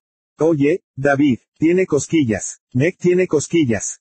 Y fue como si hubiera sido una señal preestablecida, pues fueron todos a por ella a la vez, a por sus costillas, mientras ella se retorcía y trataba de alejarlos a empujones, y luego se dobló sobre sí misma, los codos hacia abajo para protegerse las costillas, riendo. Mientras su larga cola de caballo rojiza se meneaba de un lado para otro. Cogedla. La tengo. Cógela, Willy. Miré más allá y vi a Susan sentada en la cama, y ella también se reía. Ahora. Oí un bofetón. Miré de nuevo. Meg se cubría el pecho con una mano y Ladrador tenía una de las suyas en su cara, donde se empezaba a extender el enrojecimiento, y se notaba que estaba a punto de llorar. Willy y Donnie se separaron. ¡Qué demonios! Donnie estaba enfadadísimo. Estaba bien que él zurrara Ladrador, pero no le gustaba que lo hiciera cualquier otro. Puta, gritó Willy. Hizo un extraño movimiento con la mano abierta hacia la parte superior de la cabeza de Meg. Ella lo esquivó con facilidad. ¿A qué ha venido eso? Ya has visto lo que ha hecho. No ha hecho nada. Me ha peliscado. ¿Y qué? Ladrador ya estaba llorando. Me voy a chivar. Aulló. Adelante, dijo Meg. No te conviene que lo haga, contestó Ladrador. No me importa lo que hagas. No me importa lo que hagáis ninguno de vosotros. Empujó a Willy a un lado y se marchó al cuarto de estar pasando entre ellos y yo. Oí el portazo que dio la puerta principal. Putita, dijo Willy, se volvió hacia Susan, tu hermana es una maldita puta. Susan no replicó, pero él se le acercó y la vi encogerse. ¿Lo has visto? No estaba mirando, contesté. Ladrador lloriqueaba, tenía la barbilla llena de mocos. Me ha pegado, chilló, y entonces salió corriendo a mi lado. Voy a decírselo a mamá, dijo Willy. Sí, yo también, secundó Donnie. No puede salirse con la suya en esto. Solo estábamos haciendo el tonto, por amor de Dios. Donnie asintió. Realmente le ha dado fuerte. Bueno, ladrador le tocó la teta. ¿Y qué? No lo hizo aposta. Pudo hacerlo por capricho. Aún puede hacerlo. Puta. Había una energía nerviosa en la habitación. Willy y Donnie daban vueltas como leones enjaulados. Susan se bajó de la cama. Sus correctores hicieron un ruido metálico. ¿A dónde vas? le dijo Donnie. Quiero ver a Meg, le contestó suavemente. Que le den a Meg. Tú te quedas aquí, has visto lo que hizo, ¿verdad? Susan asintió. De acuerdo, sabes que la van a castigar, ¿no? Sonaba muy razonable, como un hermano mayor que le explica algo con mucha paciencia a una hermana no demasiado inteligente. Ella volvió a asentir. Así que quieres quedarte a su lado y que te castiguen también. Quieres que te quiten todos los privilegios. No. Pues entonces te quedas aquí, vale, vale. En esta misma habitación, vale. Vamos a buscar a mamá, le dijo a Willy. Le seguí fuera de la habitación a través del comedor, salimos por la puerta de atrás. Ruth se encontraba detrás del garaje, sembrando su huerto de tomates. El vestido que llevaba estaba viejo y desvaído y le estaba demasiado grande, ceñido a la cintura. El cuello barco se le abría bastante. Nunca llevaba sujetador, me quedé de pie por encima de ella y pude verle los pechos casi hasta el pezón. Eran pequeños y pálidos, y temblaban mientras trabajaba. Traté de no mirar, temiendo que se diera cuenta, pero era como si mis ojos fueran la aguja de una brújula y sus pechos el norte. Mega pegado al ladrador, le contó Willy. En serio, no parecía que le importase. Siguió sembrando. Le abofeteó, añadió Donnie. ¿Por qué? Solo estábamos haciendo el tonto. Todos le hacíamos cosquillas, dijo Willy. Y ella se liberó y le pegó una torta en la cara. Así de simple. Ella cogió un puñado de semillas. Sus pechos se sacudieron. Los tenía con carne de gallina. Yo estaba fascinado. Me miró y mis ojos miraron a los suyos justo a tiempo. Tú también, David, eh. Tú también le hacías cosquillas a Meg. No, acababa de llegar. Sonrió. No te estoy acusando. Se puso de rodillas y se levantó, y se quitó los sucios guantes de trabajo. ¿Dónde está ahora? No lo sé, contestó Donnie. Salió corriendo por la puerta. ¿Y Susan? En su cuarto. Lo vio todo. Sí. Bien. Cruzó el patio hacia la casa y la seguimos. En el porche, se limpió sus delgadas y huesudas manos en las caderas. Se quitó el pañuelo que sujetaba su corto cabello castaño y se lo dejó suelto. Supuse que quizá tendría unos 20 minutos antes de que mi madre llegara a casa de hacer la compra, así que entré. La seguimos hasta el dormitorio. Susan estaba sentada en la cama, justo donde la dejamos, mirando una revista que estaba abierta con una foto de Liz y Eddie Fisher en una página y otra de Debbie Reynolds en la de enfrente. Eddie y Liz parecían felices, sonreían. Debbie parecía amargada. Susan, ¿dónde está Meg? No lo sé, señora. Se ha ido. Ruth se sentó en la cama a su lado.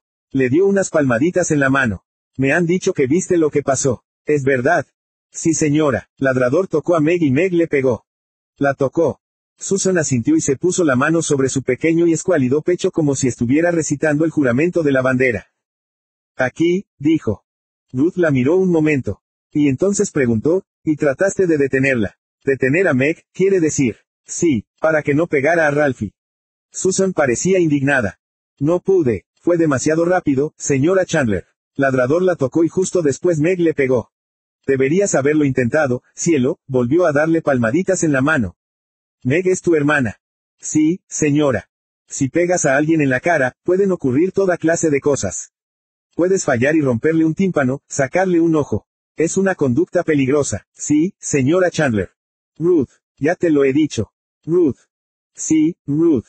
Y sabes lo que significa ser cómplice de alguien que hace ese tipo de cosas. Susan negó con la cabeza. Significa que también eres culpable, aunque puede que no hayas hecho nada en concreto. ¿Me entiendes? No lo sé. Ruth suspiró. Déjame que te lo explique. Quieres a tu hermana, ¿verdad? Susan asintió. ¿Y cómo la quieres? ¿Le perdonarías algo como esto? No es así. Como el pegar a Ralphie. Ella no quería hacerle daño. Solo se enfadó, claro. Así que la perdonarías, ¿verdad? Ajá. Ruth sonrió. Bueno, pues ahora verás que eso está mal, cielo. Eso es justo lo que te hace cómplice. Lo que hizo no estuvo bien, es un mal comportamiento, y el que tú la perdones solo porque la quieres también está mal. Tienes que dejar de darle la razón, Susie. No importa que Meg sea tu hermana. Lo que está bien, está bien. Tienes que recordarlo si quieres ser algo en la vida. Así que bájate de la cama, súbete el vestido y bájate las braguitas. Susan la miró, con los ojos como platos, helada. Ruth se bajó de la cama. Se quitó el cinturón. Venga, cielo, le instó. Es por tu propio bien. Voy a enseñarte lo que significa ser cómplice. Verás, Meg no está aquí para recibir lo suyo. Así que tendrás que recibir por las dos. Tu parte es por no decirle, eh, para, Meg, sea o no sea tu hermana. Lo que está bien está bien. Su parte, ante todo, es por haberlo hecho. Así que ven aquí ahora mismo. No me obligues a arrastrarte. Susan se limitó a mirarla. Era como si no se pudiera mover. De acuerdo, dijo Ruth. La desobediencia es otra cosa. Se acercó y cogió a Susan con fuerza, aunque no diría con violencia, del brazo y la hizo bajarse de la cama. Susan empezó a llorar, los correctores de los brazos hacían un ruido metálico. Ruth la hizo girar hasta ponerla de cara a la cama y la apoyó en ella. A continuación, le levantó la parte de atrás de su vestido rojo de puntitos y se lo metió por el cinturón. Willy se echó a reír. Ruth le hizo callar con una mirada. Le bajó las braguitas blancas de algodón, justo hasta los protectores de sus tobillos. Te vamos a dar cinco por cómplice, diez por Meg. Y cinco por desobedecer, veinte. Susan lloraba ahora lágrima viva. Yo podía oírla. Observé la marea de lágrimas deslizándose por sus mejillas. Me sentí súbitamente avergonzado y comencé a dirigirme hacia la puerta. Un impulso de Donnie me dijo que posiblemente querría hacer lo mismo que yo. Pero Ruth debía de habernos visto. Quietos allí, chicos, las niñas lloran, no hay nada que hacer con ello. Pero es por su propio bien, y el que estéis aquí forma parte de ello, así que quiero que os quedéis. El cinturón era de un tejido delgado, no de cuero. Así que igual no hacía tanto daño, pensé. Lo dobló y lo levantó sobre su cabeza. Silbó al bajar, smack. Susan dio un grito ahogado y comenzó a llorar más fuerte, ruidosamente. Su trasero era tan pálido como los pechos de Ruth y estaba cubierto por un fino vello platino. Y ahora también le temblaba. Pude ver cómo aparecía un punto rojo en lo alto de su nalga izquierda, cerca de la raja. Miré a Ruth mientras ella levantaba de nuevo el cinturón. Tenía los labios apretados. En todo lo demás, carecía de expresión, estaba concentrada. El cinturón volvió a caer y Susan aulló. Una tercera vez y luego una cuarta, en rápida sucesión. Su culo estaba ya todo enrojecido. Una quinta. Parecía que casi se ahogaba con los mocos y las lágrimas, y respiraba a bocanadas. Ruth ampliaba cada vez más el arco. Tuvimos que retroceder. Los conté, seis, siete, ocho, nueve, diez. A Susan le temblaban las piernas. Sus nudillos estaban blancos por la fuerza con la que agarraba a la colcha. Nunca había oído llorar de esa forma. Corre, pensé, Jesús, yo lo habría hecho. Pero, claro, por supuesto, ella no podía correr. Era como si la hubiesen encadenado allí. Y eso me hizo pensar en el juego. Aquí está Ruth, pensé, jugando al juego. Que me maten. Y a pesar de que me encogía cada vez que bajaba el cinturón, no podía dejarlo. La idea me maravillaba. Un adulto. Un adulto estaba jugando al juego. No era exactamente igual, pero se le parecía bastante. Y, de repente, no me pareció algo tan prohibido. La culpa pareció desvanecerse, pero siguió siendo excitante. Podía sentir cómo se me clavaban las uñas en las palmas de las manos. Seguí contando. Once, doce, trece. Había pequeñas gotas de sudor en la frente y el labio superior de Ruth. Golpeaba de forma mecánica. Catorce, quince. Subió el brazo. Bajo el vestido amorfo y sin cinturón, noté cómo se hinchaba su tripa. ¡Wow! Ladrador entró en la habitación deslizándose entre Donnie y yo. 16. Miraba a la cara de Susan, roja y retorcida. ¡Wow! repitió. Y supe que él pensaba lo que yo estaba pensando, lo que todos estábamos pensando. Los castigos eran algo privado. En mi casa al menos lo eran. En todas las casas, por lo que yo sabía. Esto no era un castigo. Era el juego. 17. 18. Susan cayó al suelo. Ruth se inclinó sobre ella. La niña sollozaba, con todo su frágil cuerpo retorciéndose, con la cabeza enterrada entre los brazos y las rodillas tan apretadas contra el pecho como le permitían los correctores. Ruth respiraba con dificultad, le subió a Susan las braguitas. La levantó y la subió de nuevo a la cama, tumbándola de lado y estirándole el vestido sobre las piernas. Venga, dijo con suavidad. Ya está, ahora descansa, me debes dos. Y nos quedamos allí todos por un momento, escuchando el apagado sollozo. Oí llegar un coche al lado. Mierda, exclamé, mi madre. Pasé como una exhalación por el cuarto de estar, salí por la puerta a un lateral de su casa y atravesé los setos. Mi madre ya había llegado al garaje. Tenía abierto el maletero y sacaba bolsas con las siglas AIP.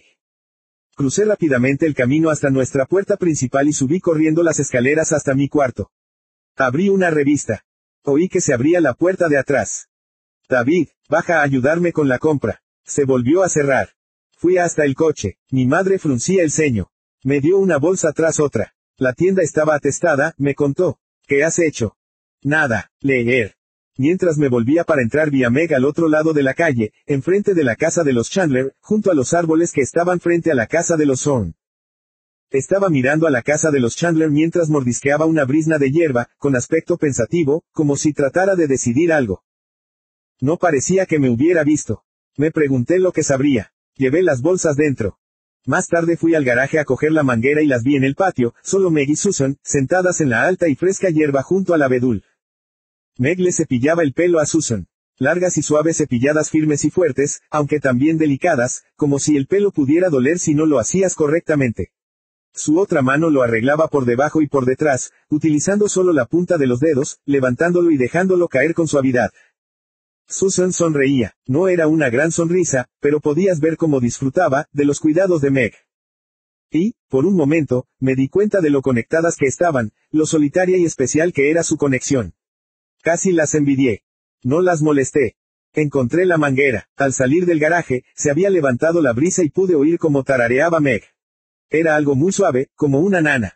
Buenas noches, Irene, una canción que mi madre solía cantar en los largos viajes nocturnos en coche cuando yo era pequeño.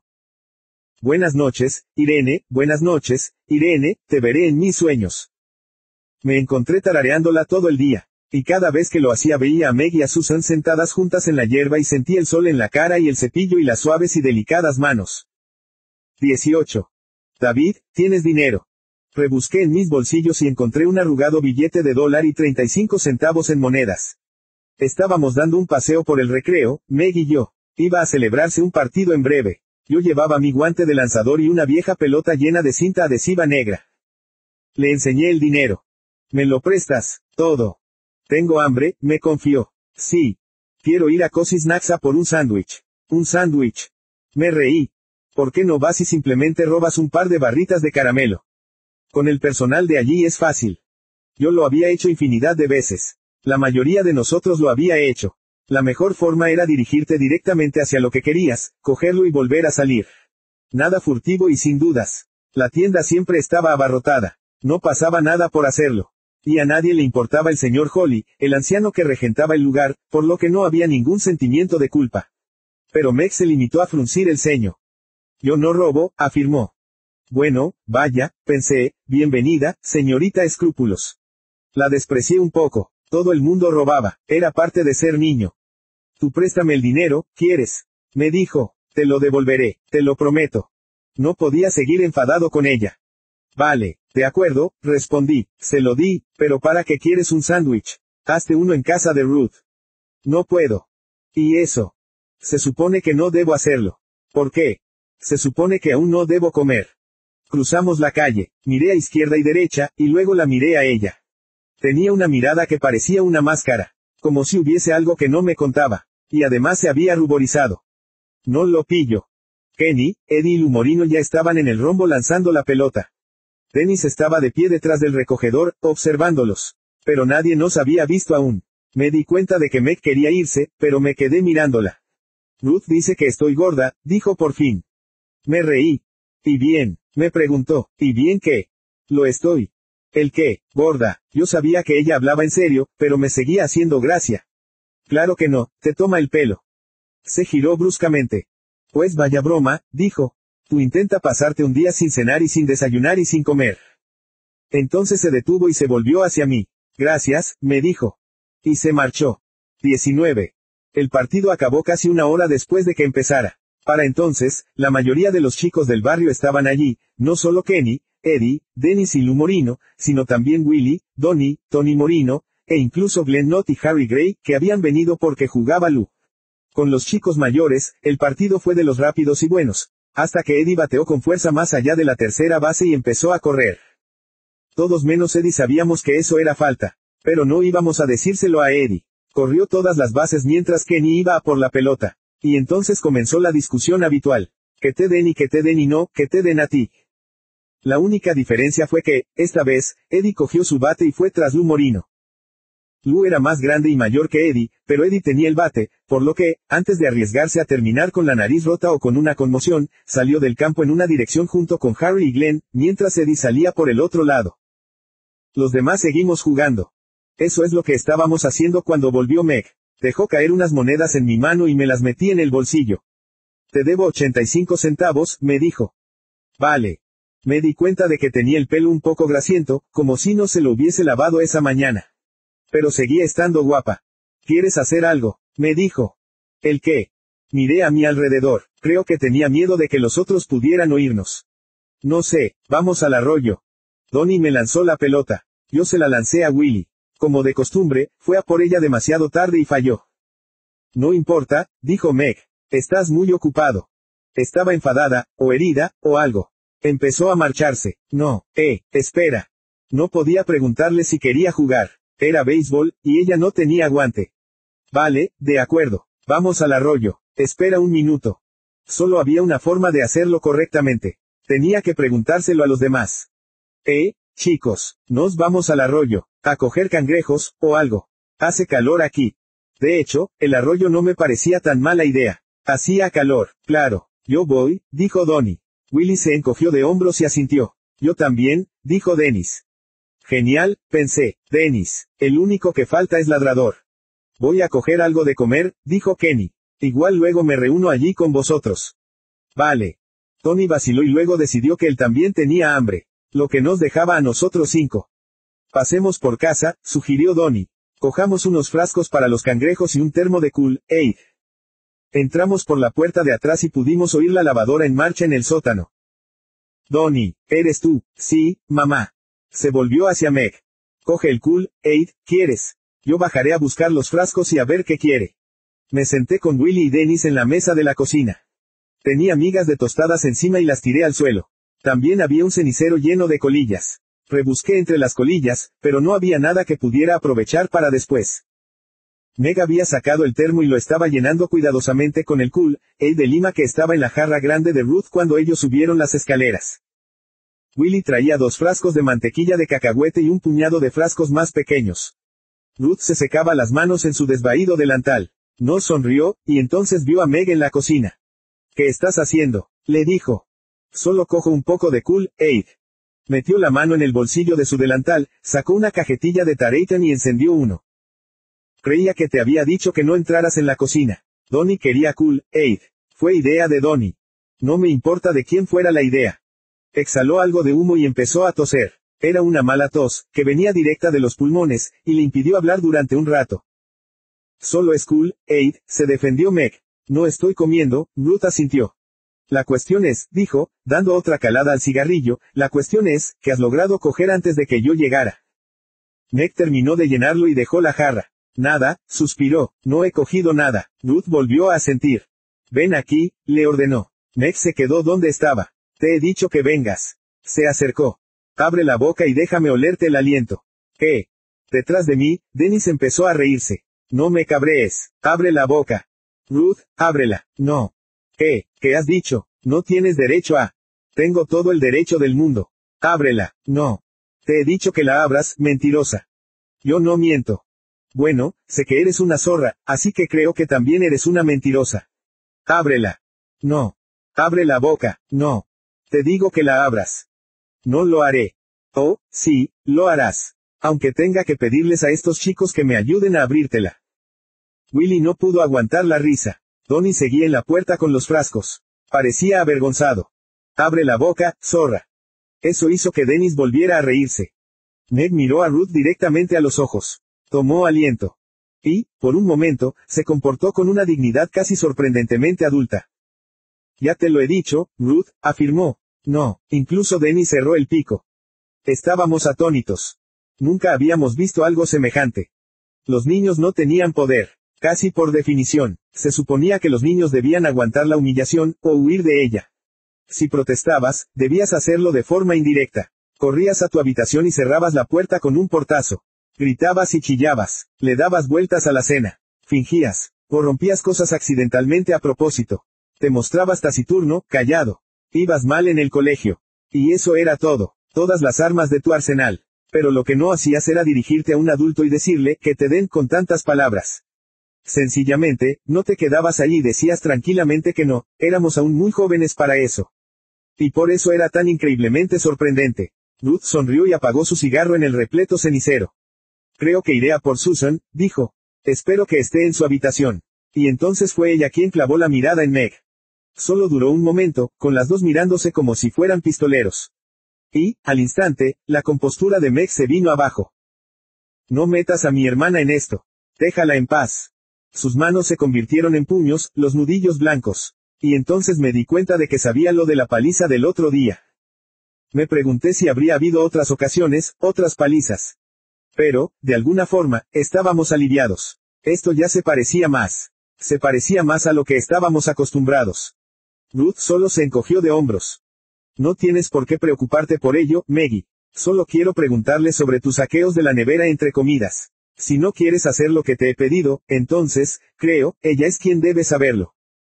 Ni siquiera estaba con nosotros. Estoy segura de que te ha oído, cielo. Estoy segura de que te han oído los vecinos. De todas formas, las hermanas lo saben, no. Es algo instintivo, en realidad. Se volvió hacia el dormitorio. Susan. Meg se abalanzó sobre ella y la agarró por el brazo. Y era como si ahora fuese una chica totalmente distinta, asustada, indefensa, desesperada. Maldita seas, dijo. Todos comprendimos al instante que eso fue un error. Ruth se giró y la abofeteó. Me has tocado, me has tocado, maldita. Te has atrevido a hacerlo. Volvió a pegarla mientras Meg retrocedía, y otra vez, y Meg se tambaleó hasta chocar contra la nevera, perdió el equilibrio y cayó de rodillas. Ruth se inclinó sobre ella, la agarró por la barbilla, y tiró de ella con fuerza. Y ahora abre tu maldita boca, me has oído. os daré una paliza de muerte a ti y a tu querida hermanita. Me has oído. Willy, Donnie. Willy se levantó y se acercó a ella. Donnie parecía confuso. Agarradla. Me quedé helado. Estaba pasando todo demasiado rápido. Era consciente de que Dennis estaba sentada a mi lado, con los ojos saliéndosele de las órbitas. He dicho que la agarréis. Willy se levantó de su silla y la agarró por el brazo derecho, y creo que Ruth le hacía daño al cogerla fuertemente de la barbilla, pues no se resistió. Donnie puso los frascos sobre la mesa y la agarró por el izquierdo. Dos de los frascos rodaron por la mesa y se estrellaron contra el suelo. Ahora ábrela, Furcia. Y entonces Meg luchó, tratando de levantarse, retorciéndose y tratando de soltarse, aunque la tenían bien cogida.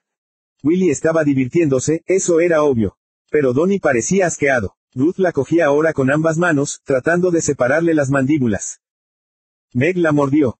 Ruth gritó y cayó hacia atrás. Meg se puso en pie. Willy le retorció el brazo por detrás de la espalda y tiró de él. Ella gritó y se dobló sobre sí misma y trató de soltarse, sacudiendo con fuerza su brazo izquierdo para que Donnie lo soltase, en una especie de pánico simultáneo, y casi lo logró, pues la presa de Donnie ya era bastante débil, y casi la suelta. Y entonces Ruth volvió a acercarse. Por un momento, se limitó a quedarse allí, estudiándola, buscando, creo, un punto débil. Y entonces cerró el puño y la golpeó en el estómago exactamente como un hombre golpearía a otro hombre, y casi tan fuerte. Lo que se oyó fue algo parecido a alguien golpeando una pelota de baloncesto. Meg cayó, sin aliento, tratando de respirar. Donnie la soltó. Jesús, susurró Dennis a mi lado. Ruth dio un paso atrás. ¿Quieres luchar? dijo. Vale, lucha. Meg negó con la cabeza. No quieres luchar, no, negó con la cabeza. Willy miró a su madre. Qué mal, dijo con suavidad. Seguía agarrándole el brazo, y entonces empezó a retorcérselo. Meg se dobló sobre sí misma. Willy tiene razón, dijo Ruth.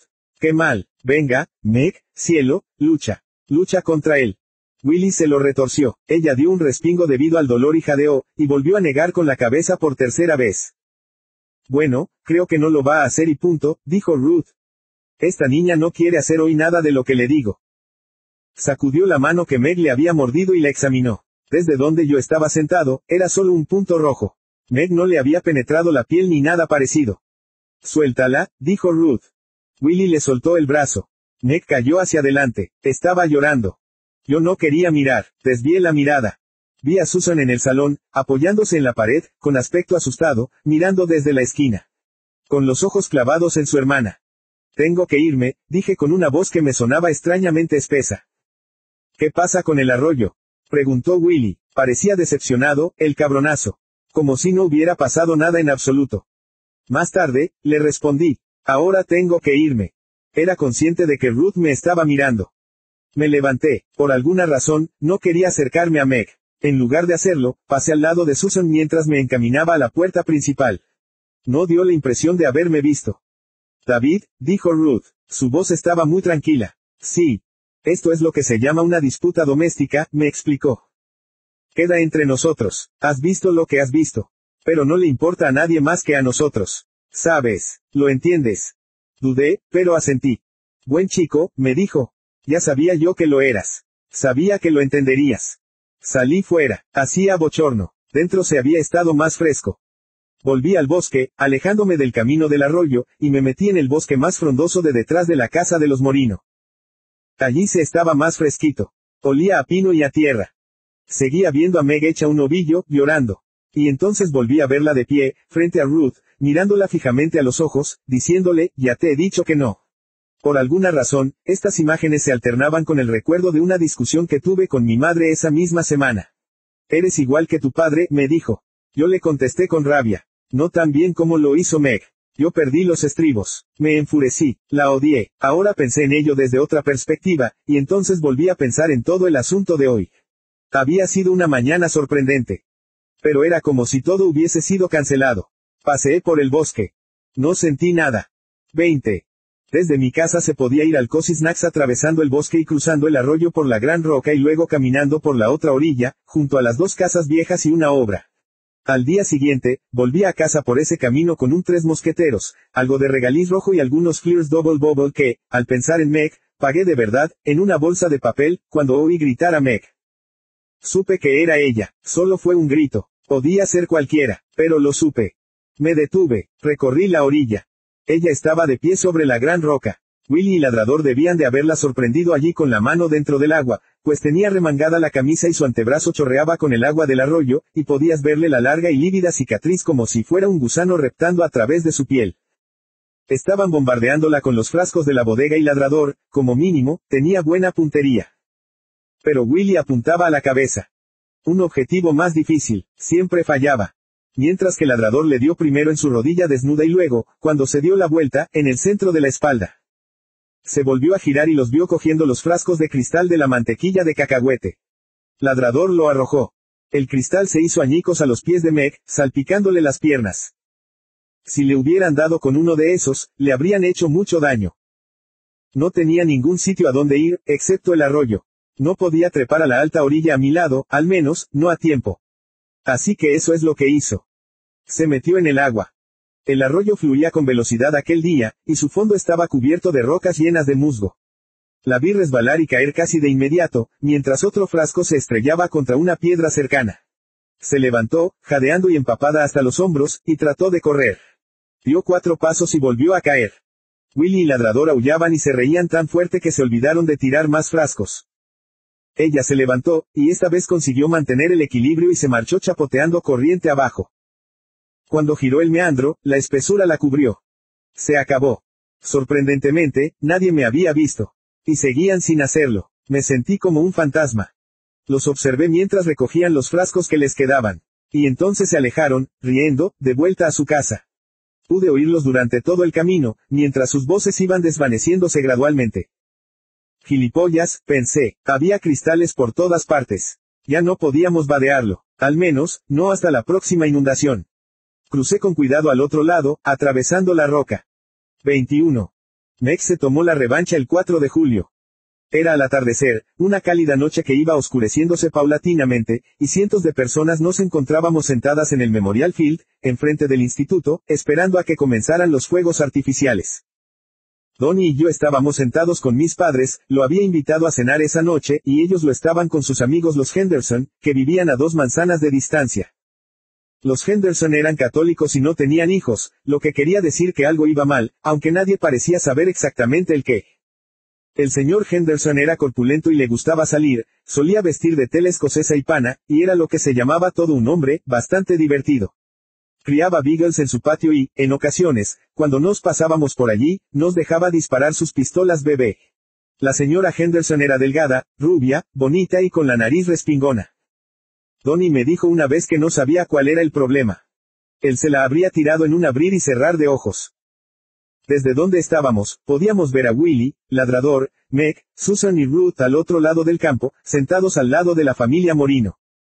Estaba allí toda la ciudad. Si podías andar, conducir o gatear, el 4 de julio ibas a ver los fuegos artificiales. Con la sola excepción del desfile del 30 de mayo, este era el gran espectáculo del año. Y, pro forma, allí estaban los polis. En realidad, nadie esperaba que hubiera problemas. La ciudad aún seguía en ese estado en el que todo el mundo conoce a todo el mundo, o conoce a algún otro que lo hace. Salías y dejabas la puerta abierta todo el día, por si alguien iba por allí y tú no estabas. La mayoría de los polis eran amigos de la familia. Mi padre los conocía del bar o del VFW. Principalmente se aseguraban de que nadie tirase cerezas explosivas demasiado cerca de las mantas. Estaban allí para ver el espectáculo, igual que los demás. Donnie y yo estábamos escuchando al señor Henderson hablar de la nueva carnada de sus Beagles, mientras bebíamos té helado del termo y nos eructábamos el uno al otro por la carne asada en cazuela, riéndonos. Mi madre siempre preparaba la carne asada en cazuela con un montón de cebolla. Lo que volvía loco a mi padre, pero así era como nos gustaba a los demás. A la media hora ya estábamos pedorreándonos. Por el sistema de megafonía sonaba John Philip Sousa. Sobre el instituto brillaba una luna creciente. A la pálida y grisácea luz, podías ver a los niños pequeños metiéndose los unos con los otros en medio de la multitud. La gente encendía bengalas. Detrás de nosotros, toda una ristra de petardos de 5 centímetros estalló como si fuera una ametralladora. Decidimos ir a buscar unos helados. El camión del buen humor estaba haciendo su agosto, con todos los niños apelotonados a su alrededor. Poco a poco nos fuimos abriendo paso sin que llegaran a pisarnos. Yo me compré un Brown Cow y Donnie un Foxside y volvimos a abrirnos paso para salir. Y entonces vimos a Meg junto al camión, hablando con el señor Jennings. Y eso nos dejó helados. Porque el señor Jennings también era el agente Jennings. Era un poli.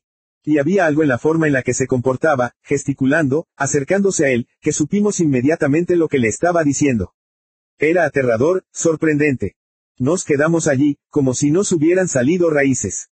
Mex se estaba chivando, traicionando a Ruth, traicionando a Donnie y a todos los demás.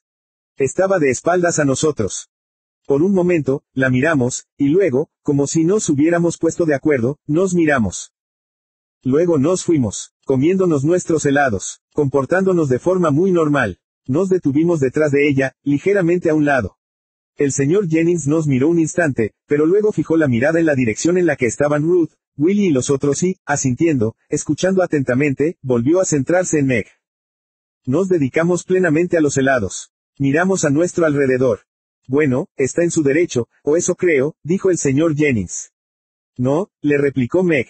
No lo entiende. Pero no pudimos oír el resto. El señor Jennings sonrió y se encogió de hombros. Le puso una manaza pecosa en el hombro. Mira, contestó, por lo que sé, puede que tus padres hubiesen sentido lo mismo. ¿Quién sabe? Tienes que pensar que la señorita Chandler es ahora tu mamá, vale. Ella sacudió la cabeza.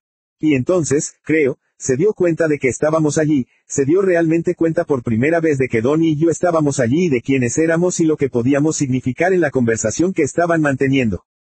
Vimos cómo le cambiaba la cara. Pero Meg siguió hablando, discutiendo. Nos miró por encima del hombro de ella. Nos miró largo y tendido. Y entonces él la tomó del brazo. Demos un paseo, le dijo. La vi lanzar una mirada nerviosa hacia donde estaba Ruth, pero empezaba a ser difícil ver, pues ya era casi noche cerrada, y la luna, las estrellas y alguna que otra bengala ocasional eran la única iluminación, por lo que no era demasiado probable que Ruth los hubiera visto juntos. Desde donde yo estaba, la multitud se veía ya como una masa informe muy parecida a los matorrales y los cactos de una pradera. Sabía dónde estaban sentados, pero no podía distinguirlos, ni tampoco a mis padres y a los Henderson. Pero sabías perfectamente por qué estaba ella tan asustada. Yo también estaba asustado. Lo que estaba haciendo era excitante y estaba prohibido, exactamente igual que el haber tratado de verla a través de las ventanas desde el abedul. El señor Jennings nos dio la espalda y se la llevó con cariño.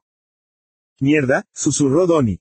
Oí un huosh. El cielo explotó. Aparecieron unas bolas blancas y brillantes y luego se desvanecieron.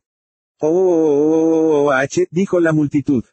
Y en la fantasmal luz blanca de después del estallido, lo miré. Vi confusión y preocupación. Él siempre había sido reacio en todo lo concerniente a Meg. Seguía haciéndolo. ¿Qué vas a hacer? Le pregunté. Sacudió la cabeza. No la va a creer, me dijo. No va a hacer nada. Los polis hablan, pero nunca hacen nada por ayudarte. Se parecía a algo que Ruth nos había dicho una vez. Los polis hablan, pero nunca actúan. Siguió repitiéndolo como un artículo de fe mientras volvíamos a nuestras mantas. Como si tuviera que ser así. Casi como si fuera una plegaria. 22. El coche patrulla llegó la tarde siguiente alrededor de las 8. Vi que el señor Jennings subía las escaleras y llamaba a la puerta, y Ruth lo dejaba entrar.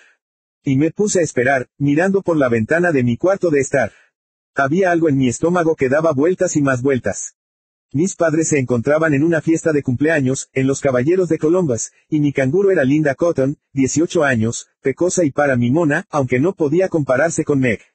Ganando como ganaba 75 centavos por hora, le importaba un comino lo que yo hiciera, siempre y cuando me estuviera calladito y no la molestase mientras veía en la tele las aventuras de Ellery Queen. Linda y yo habíamos llegado a un acuerdo. Yo no diría nada sobre el hecho de que viniera su novio Steve o que los dos se pasaran toda la noche besuqueándose en el sofá, y podía hacer todo lo que yo quisiera, siempre y cuando me encontrase en casa acostado antes de que mis padres volvieran. De todas formas, ella sabía que yo ya era suficientemente mayor como para no necesitar canguros. Así que esperé hasta que el coche patrulla se fue y me acerqué a la casa de al lado. Eran casi las nueve menos cuarto. Se encontraban sentados en el cuarto de estar y en el comedor. Todos ellos, estaban en silencio y nadie se movía, y me dio la sensación de que llevaban así un buen rato. Todos miraban a Meg, incluso Susan. Tenía una sensación de lo más extraña. Más tarde, durante los 60, me di cuenta de lo que era. Al abrir una carta del sistema del servicio selectivo y leer que mi estatus había cambiado a 1A. Era una sensación de superación. Como si las apuestas estuvieran ahora más altas. Me quedé en la puerta. Fue Ruth quien me dio la bienvenida. Hola, David, me dijo quedamente. Siéntate, únete a nosotros, y, entonces, suspiró. Que alguien me traiga una cerveza. Willy se levantó en el comedor y fue hasta la cocina, cogió una cerveza para ella y otra para sí mismo, las abrió y le entregó una a su madre. Y se volvió a sentar. Ruth encendió un cigarrillo. Miré a Meg, sentada en una silla plegable frente al apagado ojo gris de la tele. Parecía asustada, pero decidida. Me acordé de Gary Cooper saliendo a la silenciosa calle al final de Solo ante el peligro. Bueno, dijo Ruth, bueno. Le dio un sorbo a la cerveza y una calada al cigarrillo. Ladrador se removió en el sofá. Casi me doy la vuelta y me voy. Y entonces Donnie se levantó en el comedor. Se acercó a Meg, se quedó allí, de pie, delante de ella. Has traído a un poli para que vaya a por mi madre, le dijo. A por mi madre. Meg le miró, su cara se había relajado un poco. Al fin y al cabo, era Donnie. El reacio Donnie. Lo siento, se disculpó. Solo quería asegurarme de que no, la mano de Donnie salió disparada y la abofeteó en la cara. Calla, cállate. Su mano seguía delante de ella, dispuesta, temblando. Daba la impresión de que eso era todo lo que podía hacer para no volver a pegarle, y esta vez mucho más fuerte. Ella lo miró, angustiada. Siéntate, ordenó Ruth con suavidad. Él no pareció oírla. Siéntate. Donnie se obligó a alejarse. Su cara tenía una expresión casi militar. Volvió a entrar en el comedor. Y todo volvió a quedarse en silencio. Finalmente, Ruth se inclinó hacia adelante. Lo que quiero saber, Maggie, es en qué pensabas. ¿Qué se te pasó por la cabeza? Meg no contestó. Ruth empezó a toser, con esa tos profunda y áspera que tenía. Y luego recuperó el control. Quiero decir, creías que os iban a llevar a otro sitio o algo parecido. A Susan y a ti, Sacaros de aquí. Pues bien, os aseguro que eso no va a pasar. No os van a llevar a ninguna parte, chiquilla. Porque no le importa. Si le importara, lo habría hecho allí mismo, cuando los fuegos artificiales, y no lo hizo, ¿verdad? Así que, ¿qué te queda? ¿En qué pensabas? Creías que le iba a tener miedo. Nex solo se quedó allí, con los brazos cruzados y una mirada de determinación en los ojos. Ruth sonrió y le dio un sorbo a su cerveza. Y, a su manera, ella también parecía llena de determinación. El problema está, dijo, en lo que vamos a hacer ahora. Ni este ni ningún otro hombre me asusta, Maggie. Si no lo sabías antes, espero que ahora sí lo entiendas, en serio. Pero tampoco puedo tenerte corriendo hacia los polis cada 10 o 20 minutos. Así que la cuestión es, ¿qué hacemos ahora? Te enviaría a cualquier sitio si hubiera algún lugar al que llevarte. Créeme, lo haría. Que me cuelguen si necesito que una estúpida putita arruine mi reputación. Y Dios sabe que no me pagan lo suficiente como para que me moleste en corregirte. Coño, con lo que me pagan, es un milagro que llegue a poder darte de comer. Suspiró. Creo que tengo que pensar en esto, anunció. Se levantó y fue a la cocina. Abrió la nevera. Vete a tu habitación. Tú también, Susie, y quedaos allí. Cogió una cerveza y se echó a reír. Antes de que a Donnie se le ocurra volver a bofetearte. Abrió la lata de Budweiser. Meg cogió a su hermana por el brazo y la condujo hacia el dormitorio. Tú también, David, me dijo Ruth. Será mejor que te vayas a casa. Lo siento, pero ahora tengo mucho en qué pensar. Vale. ¿Quieres una coca u otra cosa para el camino? Sonreí, para el camino. Si era la casa de al lado. No, da igual. ¿Quieres que te pase una cerveza? Tenía un brillo malicioso en los ojos. La tensión desapareció. Me relajé, eso estaría bien. Me lanzó una, la cogí. Gracias, le dije. No hace falta que lo digas, me dijo, y, esta vez, todos nos reímos, porque, no hace falta que lo digas, era un código entre nosotros. Era lo que siempre nos decía los niños cuando nos dejaba hacer algo que nuestros padres no querían que hiciéramos o no nos dejaban hacer en casa. No hace falta que lo digas. No lo haré, le aseguré. Me escondí la lata bajo la camisa y salí. Cuando volví a casa, Linda estaba hecha un ovillo frente a la tele viendo a Ed Byrones en los créditos iniciales de 77 Sunset Strip. Parecía algo amargada, supuse que Steve no iba a venir esa noche. Buenas noches, le dije, y subí a mi cuarto. Me bebí la cerveza y pensé en Meg. Me pregunté si debía tratar de ayudarla de alguna forma. Me encontraba dividido. Meg me seguía atrayendo y me gustaba, pero Ruth y Donnie llevaban mucho más tiempo siendo amigos míos. Me pregunté si realmente necesitaba ayuda. Después de todo, a los niños se les pegaba. A los niños se les zurraba todo el tiempo. Me pregunté a dónde nos llevaría todo esto. ¿Qué vamos a hacer ahora? había dicho Ruth. Miré la acuarela de Meg en mi pared y empecé también a preguntármelo. 23. Lo que Ruth decidió fue que, de aquel momento en adelante, Meg no podría dejar nunca la casa sola. Irían con ella la propia Ruth, Donnie o Willie. En la mayoría de las ocasiones, no podría salir. Por lo que nunca tuve la oportunidad de preguntarle lo que quería que hiciera, si es que quería que hiciera algo, con lo que no tenía que preocuparme si decidía hacerlo o no hacerlo. No estaba en mis manos. O eso pensé. Era un alivio. Si sentí que perdía algo, la confianza de Meg, o incluso su compañía, no fui nunca demasiado consciente de ello. Sabía que las cosas se habían vuelto un poco raras en la casa de al lado, y creo que estaba buscando distanciarme de ello por un tiempo, para resolver mis propios asuntos. Así que, durante los siguientes días, vi a los Chandler menos de lo que acostumbraba, y eso también fue un alivio. Estuve por ahí con Tony y Kenny, y Dennis, y Cheryl, e incluso con Eddie de vez en cuando, cuando me parecía seguro. La calle bullía con las noticias de lo que había sucedido. Más tarde o más temprano, todas las conversaciones giraban hacia los Chandler. Lo que lo hacía tan increíble era que Meg había involucrado a la policía.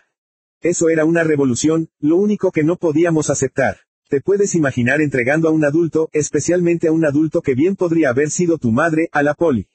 Era prácticamente impensable. Y, aún así, rebosaba potencial. Especialmente se notaba que Eddie estaba rumiando la idea. Soñando despierto sobre su padre, creo. Un Eddie pensativo era otra cosa a la que no estábamos acostumbrados. Lo que se sumaba a la extrañeza. Pero, dejando al margen el asunto de los polis, todos sabían, incluido yo que por aquí se castigaba demasiado a la gente sin razón aparente, aunque eso no era nada nuevo, exceptuando el hecho de que había pasado en casa de los Chandler, a la que todos considerábamos un refugio seguro. Eso, y que Willy y Donnie participaban en ello. Pero incluso eso no nos parecía demasiado raro. Teníamos el juego como precedente. No, principalmente era por los polis. Y fue Eddie quien, tras un tiempo, dijo la última palabra. Bueno, eso no la ha librado de la mierda, ¿verdad? Dijo, Eddie el reflexivo. Pero era verdad, y, curiosamente, en el transcurso de la semana nuestros sentimientos se fueron volcando hacia Meg precisamente por ello desde la admiración por el atrevimiento del todo o nada del acto, por la sola idea de desafiar la voluntad de Ruth de una forma tan completa y pública, terminamos sintiendo algo de pena por ella. De todas formas, ¿cómo pudo ser tan tonta como para creer que un poli iba a ponerse del lado de un niño contra un adulto? ¿Cómo pudo no darse cuenta de que solo iba a empeorar las cosas? ¿Cómo pudo ser tan ingenua, tan confiada, tan estúpidamente patriota? La policía es tu amiga. Y una mierda, ninguno de nosotros lo habría hecho. No éramos tan tontos. En realidad, casi podías enfadarte con ella. Era como si, al fallar con el señor Jennings, nos hubiera arrojado a la cara el poco poder que realmente teníamos los niños. El ser solo un niño alcanzaba ahora un significado más profundo, de ominosa amenaza, que quizá conocíamos durante todo este tiempo, pero en el que nunca antes habíamos tenido que pensar. Joder, podían ahogarnos en un río si querían. Solo éramos niños, éramos una propiedad, pertenecíamos a nuestros padres, en cuerpo y alma. Eso significaba que estábamos condenados ante cualquier peligro que viniera del mundo de los adultos, lo que equivalía a la desesperanza, la humillación y la rabia. Era como si al fallarse a sí misma, Meg también nos hubiera fallado a nosotros. Así que dirigimos nuestra rabia hacia otra parte, hacia Meg. Yo también lo hice. En ese par de días, tuve un lento y radical cambio de ideas. Dejé de preocuparme, le di a Meg totalmente la espalda. Que le den, pensé. A ver a dónde nos lleva todo esto. 24. A dónde nos llevó fue al sótano. 25. El día en el que finalmente fui y llamé a la puerta, nadie contestó, pero allí parado, en la puerta, me di cuenta de dos cosas. Una fue que Susan estaba llorando en su habitación, tan alto que podía oírsela a través de la ventana. La otra sucedía abajo, una pelea, muebles que se deslizaban por el suelo. Voces apagadas, gruñidos, gemidos, el rancio olor a peligro flotaba en el aire. Tal y como se decía, todo se había ido al garete.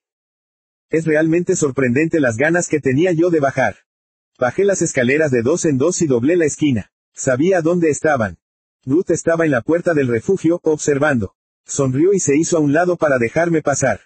Ha tratado de escapar, me contó. Pero Willy la detuvo.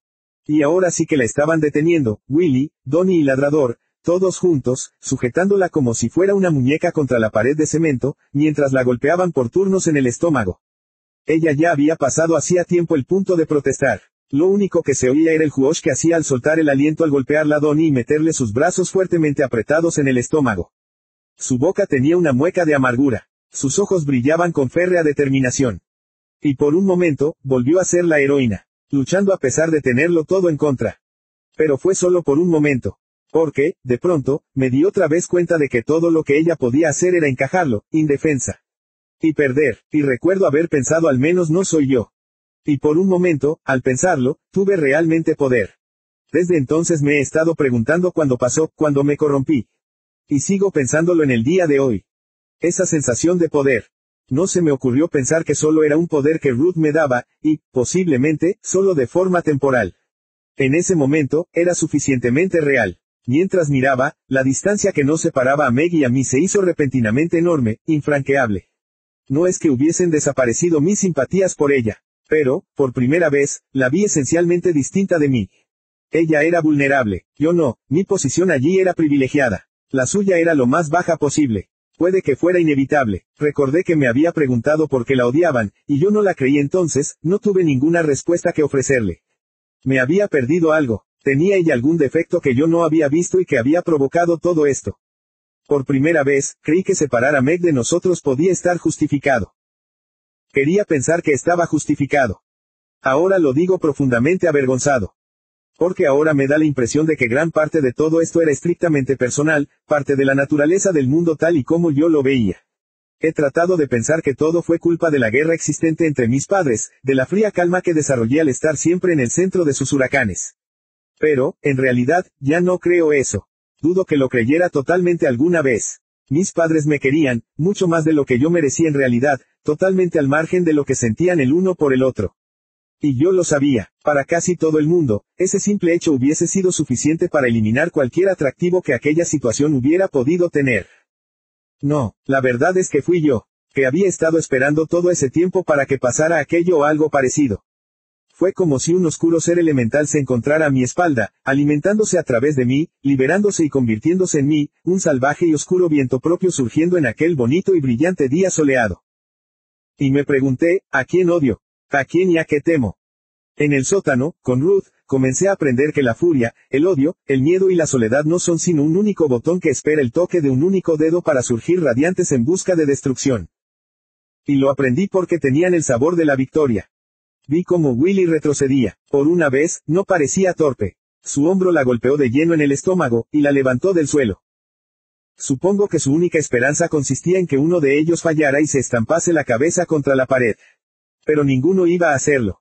Estaba empezando a cansarse. No había sitio en el que maniobrar, ningún sitio al que ir.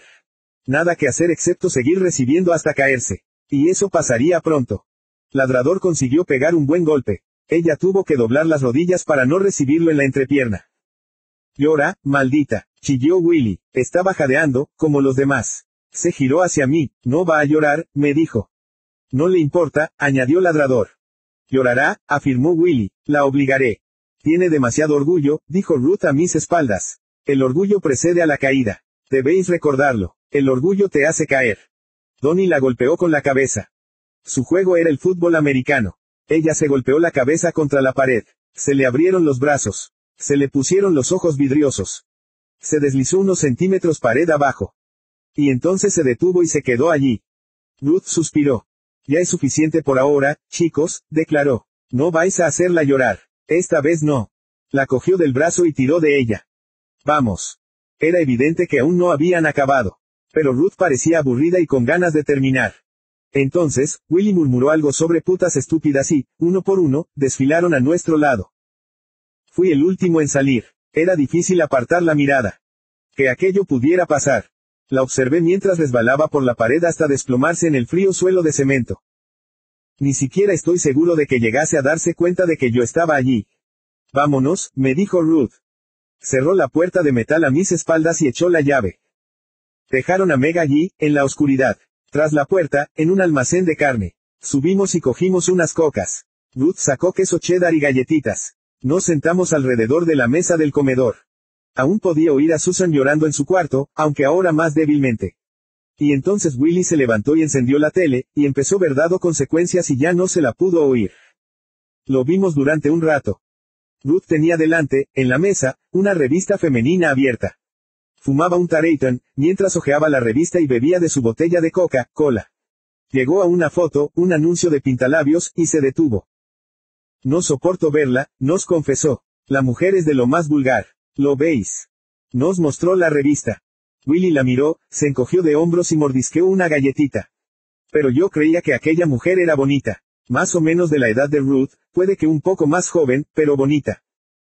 Ruth sacudió la cabeza. La veo por todas partes, nos dijo. Lo juro, por todas partes. Se llama Susie Parker, una gran modelo. Y, simplemente, no veo por qué. Una pelirroja, puede que sea eso. A los hombres les gustan las pelirrojas. Pero, ¿qué demonios? Meg también tiene el pelo rojo. Y el pelo de Meg es mucho más bonito que este, ¿no creéis? Volví a mirar la foto. Estuve de acuerdo con ella. Realmente, no lo pillo, repitió, frunciendo el ceño. Meg es, sin lugar a dudas, mucho más bonita que esta. Muchísimo más bonita, claro que lo es, dijo Donnie. El mundo está loco, afirmó Ruth. Realmente, no tiene ningún sentido. Cortó un poco de queso y lo puso sobre una galletita. 26. Pídele a tu madre que te deje dormir esta noche en mi casa, me dijo Donnie. Hay algo que quiero contarte. Estábamos en el puente de Maple, tirando piedras al agua. El arroyo fluía limpio y lentamente. ¿Y por qué no me lo dices ahora? Por nada en especial. Pero no me dijo lo que pensaba. No sé por qué me resistía a la idea de dormir en su casa. Puede que porque sabía que así, de algún modo, me involucraba más en sus asuntos.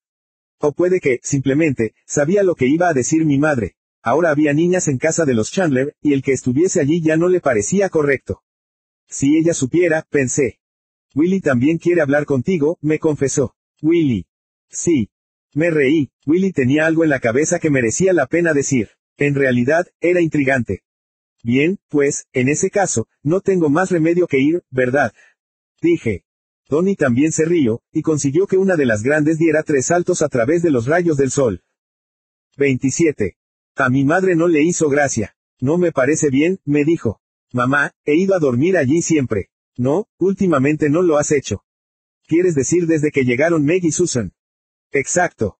Mira, no pasa nada, es igual que antes. Los chicos están en las literas y Meg y Susan en el cuarto de Ruth. En el cuarto de la señora Chandler. Vale, en el cuarto de la señora Chandler. ¿Y dónde duerme la señora Chandler? En el sofá, el que está en el cuarto de estar. ¿Cuál es el problema? Ya sabes cuál es el problema. No, no lo sé. Sí, lo sabes. No, no lo sé. ¿Qué? preguntó mi padre, al mismo tiempo que entraba en la cocina desde el cuarto de estar. ¿Cuál es ese gran problema? Quiere volver a dormir allí, le dijo mi madre. Estaba pelando judías verdes en un cuenco. ¿Dónde? Allí, sí. Pues déjalo, se sentó ante la mesa de la cocina y abrió el periódico. Robert, ahora hay dos niñas allí. ¿Y qué? Ella suspiró. Por favor, pidió, por favor, Robert, no seas tan obtuso. Obtuso, y una mierda, replicó mi padre. Déjalo. Hay café. Sí, dijo ella. Volvió a suspirar y se secó las manos en el delantal. Me levanté, llegué a la cafetera antes que ella, y encendí el fuego. Me miró y volvió a las judías. Gracias, papá, le dije. Yo no he dicho que puedas ir, me señaló mi madre.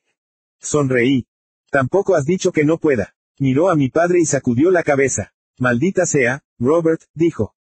Vale, contestó mi padre. Y se puso a leer el periódico. 28. Le hemos contado lo del juego, dijo Donnie. ¿A quién? A Ruth. Mi madre. ¿A quién si no, cerebro de mosquito? Donnie se encontraba solo en la cocina cuando yo llegué, preparándose un sándwich de mantequilla de cacahuete que, supuse, sería su cena para esta noche. En la basura había pegotes de mantequilla de cacahuete y de mermelada de uva, entre migas de pan. Solo por diversión, conté los cubiertos del cajón. Seguía habiendo solo cinco. Se lo habéis contado. Él asintió. Lo hizo ladrador. Le dio un mordisco al sándwich y se sentó en la mesa del comedor. Yo me senté enfrente. La mesa tenía una quemadura de cigarrillo de medio centímetro que yo no había visto antes. Jesús. ¿Y qué dijo? Nada, eso es lo raro. Fue como si ya lo supiera, ¿sabes? Como si ya lo supiera. Supiera el qué. Todo. Como si no hubiera de qué preocuparse. Como si ya se hubiera imaginado lo que hacíamos. Como si lo hicieran todos los niños. Me estás tomando el pelo. No, lo juro. Y una mierda. Como te digo, todo lo que quiso saber fue quién estaba con nosotros, así que se lo dije. Se lo dijiste, yo, Eddie, todos. Como ya te he dicho, no le importó. Eh, ¿te importaría no ponerte histérico por esto, David? No le importó. Dennis, también le contaste lo de Dennis. Sí, todo. Le dijiste que estaba desnuda. No podía creerlo. Siempre había pensado que Willy era el estúpido. Lo miré mientras se comía el sándwich. Me sonrió y sacudió la cabeza. Ya te lo he dicho. No tienes nada de qué preocuparte, me tranquilizó. Donnie. En serio, Donnie. Sí, Davy. Te has vuelto loco. No, Davy. Te has dado cuenta, aunque sea por un maldito segundo, lo que podría pasarme si. Por amor de Dios, no va a pasarte nada. Quieres dejar de portarte como un maldito llorica. Es mi madre, por amor de Dios. ¿Lo recuerdas? Oh, eso hace que me sienta mejor. Tu madre sabe que nos dedicamos a atar niñitas desnudas a los árboles. Genial. Suspiró. David, si hubiese sabido que te ibas a comportar como un maldito imbécil al enterarte, no te lo habría contado. Yo soy el imbécil. Sí, ya se había cabreado. Se metió en la boca la última porción pegajosa de su sándwich. Se levantó. Mira, bobo, ¿qué crees que está pasando ahora mismo en el refugio? En este mismo momento.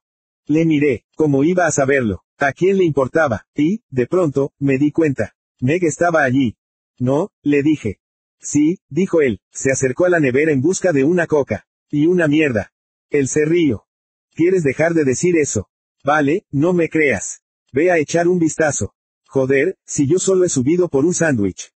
Bajé corriendo. Pude oír cómo se reía a mis espaldas. Fuera empezaba a anochecer, por lo que habían encendido las luces del sótano, unas bombillas al aire sobre la lavadora, secadora, bajo las escaleras y sobre la caldera, en la esquina. Willy estaba de pie detrás de Ruth, delante de la puerta del refugio. Los dos tenían linternas en la mano. Ruth encendió la suya y la dirigió hacia mí como si fuera un poli en un retén. Davy está aquí, anunció. Willy me echó un vistazo. ¿A quién coño le importa?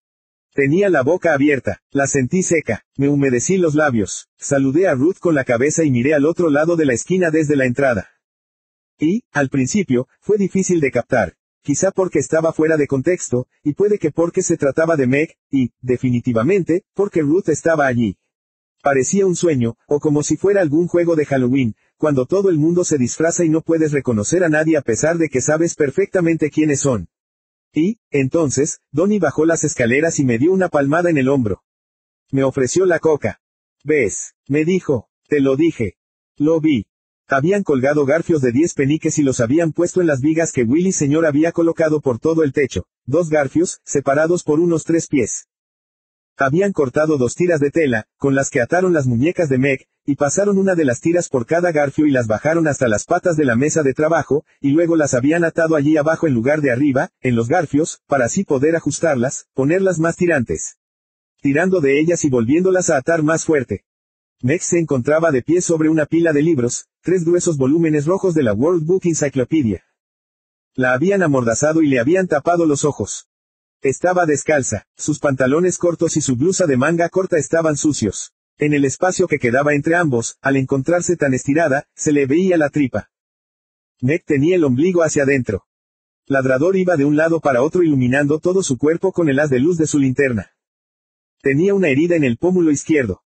Susan estaba sentada sobre una caja de verduras enlatadas, observando. Usaba un lazo azul como diadema para recogerse el pelo.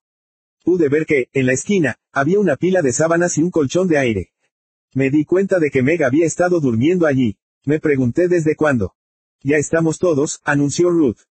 Una pálida luz ámbar iluminaba el resto del sótano, pero allí la iluminación la aportaba sobre todo el haz de luz del ladrador, y las sombras se movían erráticamente cuando él lo hacía, provocando que las cosas parecieran extrañas, fluidas y fantasmales. Daba la impresión de que el alambre de la única y alta ventana avanzaba y retrocedía sutilmente unos pocos centímetros. Los dos postes de madera de 4x4 que sostenían el techo se deslizaban por la habitación en ángulos extraños. El hacha, el pico, la palanqueta y la pala que se encontraban en la esquina opuesta a la cama de Meg parecían cambiar de posición los unos con los otros, creciendo y encogiéndose ante tus ojos, cambiando de forma. El caído extintor rodaba por el suelo. Pero era la sombra de Meg la que dominaba la habitación, la cabeza hacia atrás, los brazos muy abiertos, temblando. Era una imagen sacada directamente de todos nuestros cómics de terror. Del gato negro, con Lugosi y Karloff, de monstruos famosos del mundo del cine, de todas las novelas históricas baratas que se habían escrito sobre la Inquisición. Muchas de las cuales me imagino que coleccionábamos. Era fácil imaginarse la luz de las antorchas, instrumentos extraños y procesiones, braseros llenos de carbones ardientes. Me recorrió un escalofrío, no por el frío, sino por el potencial. El juego consiste en que nos lo tiene que contar, explicó Ladrador. Vale, contarnos el qué, preguntó Ruth. Cualquier cosa, algo secreto. Ruth asintió, sonriendo. Suena bien, solo que, como va a hacerlo, con la mordaza. No queremos que nos lo diga desde el principio, mamá, dijo Willy. De todas formas, siempre sabes cuándo lo van a hacer. ¿Estás seguro? ¿Quieres decirnos algo, Maggie? Le preguntó Ruth. ¿Estás lista? No lo está, insistió Ladrador. Pero no tenía que haberse preocupado. Meg no dijo ni pío. ¿Y ahora qué? preguntó Ruth. Willy se incorporó desde la puerta en la que había estado reclinado y entró en la habitación. Ahora quitamos un libro, afirmó. Se inclinó, sacó el de en medio y dio un paso atrás. Las cuerdas estaban ahora más tirantes. Tanto Willy como Ladrador tenían sus linternas encendidas. La de Ruth seguía en su costado, apagada. Pude ver un enrojecimiento en las muñecas de Meg debido a la presión de las cuerdas. Su espalda se arqueaba ligeramente. La camisa de manga corta se le subió más aún. Solo era capaz de permanecer de pie con los pies firmemente asentados en los dos libros que quedaban, y empezaba a notarse la tensión en sus muslos y pantorrillas. Se puso un momento de puntillas para liberar la presión de sus muñecas y volvió a apoyar los pies. Willy apagó su linterna, así daba más miedo. Meg quedó allí colgada, balanceándose ligeramente. Confiesa, le dijo ladrador. Y se echó a reír. No, no lo hagas, añadió. Quita otro libro, sugirió Donnie. Miré a Susan para ver cómo estaba aceptando todo esto. Seguía sentada con las manos en la falda de su vestido, con una cara muy seria, y miraba fijamente a Meg, pero no había forma de interpretar lo que estaba pensando o sintiendo. Willy se agachó y quitó el libro. Ella ya estaba casi de puntillas. Seguía sin decir ni pío. Tenía los músculos de las piernas muy marcados contra la piel. Veamos cuánto aguanta así, sugirió Donnie. Dentro de un rato le va a doler. No, protestó Ladrador, aún es demasiado fácil, quitemos el último, que tenga que ponerse de puntillas. Quiero mirarla durante un rato. Ver qué pasa.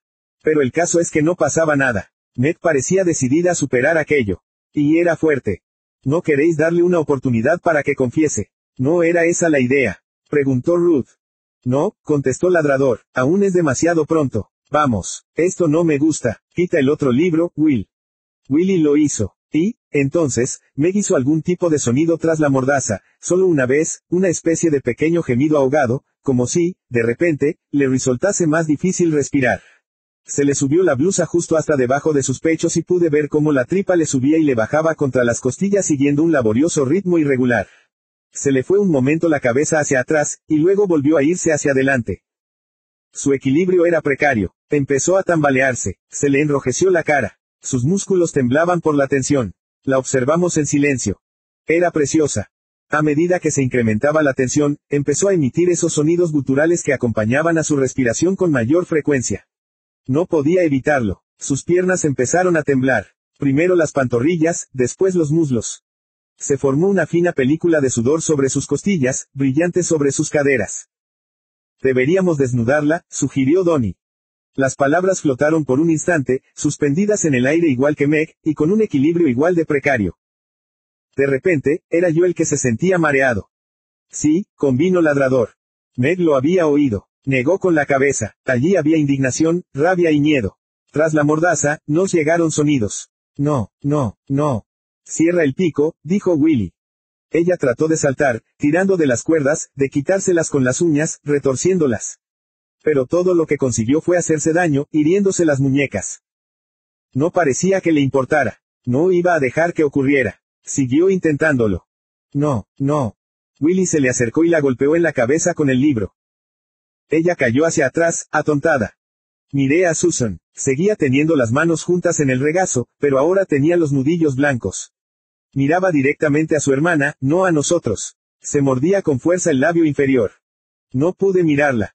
Me aclaré la garganta y me salió algo parecido a una voz. Oíd, eh, chicos, escuchad, no creo que. Ladrador se me enfrentó. Tenemos permiso. Chilló, lo tenemos. Quitémosle la ropa, desnudémosla. Miramos a Ruth. Se encontraba apoyada en el marco de la puerta, con los brazos cruzados sobre el estómago. Parecía algo tensa, como si estuviese enfadada, o pensando en algo difícil.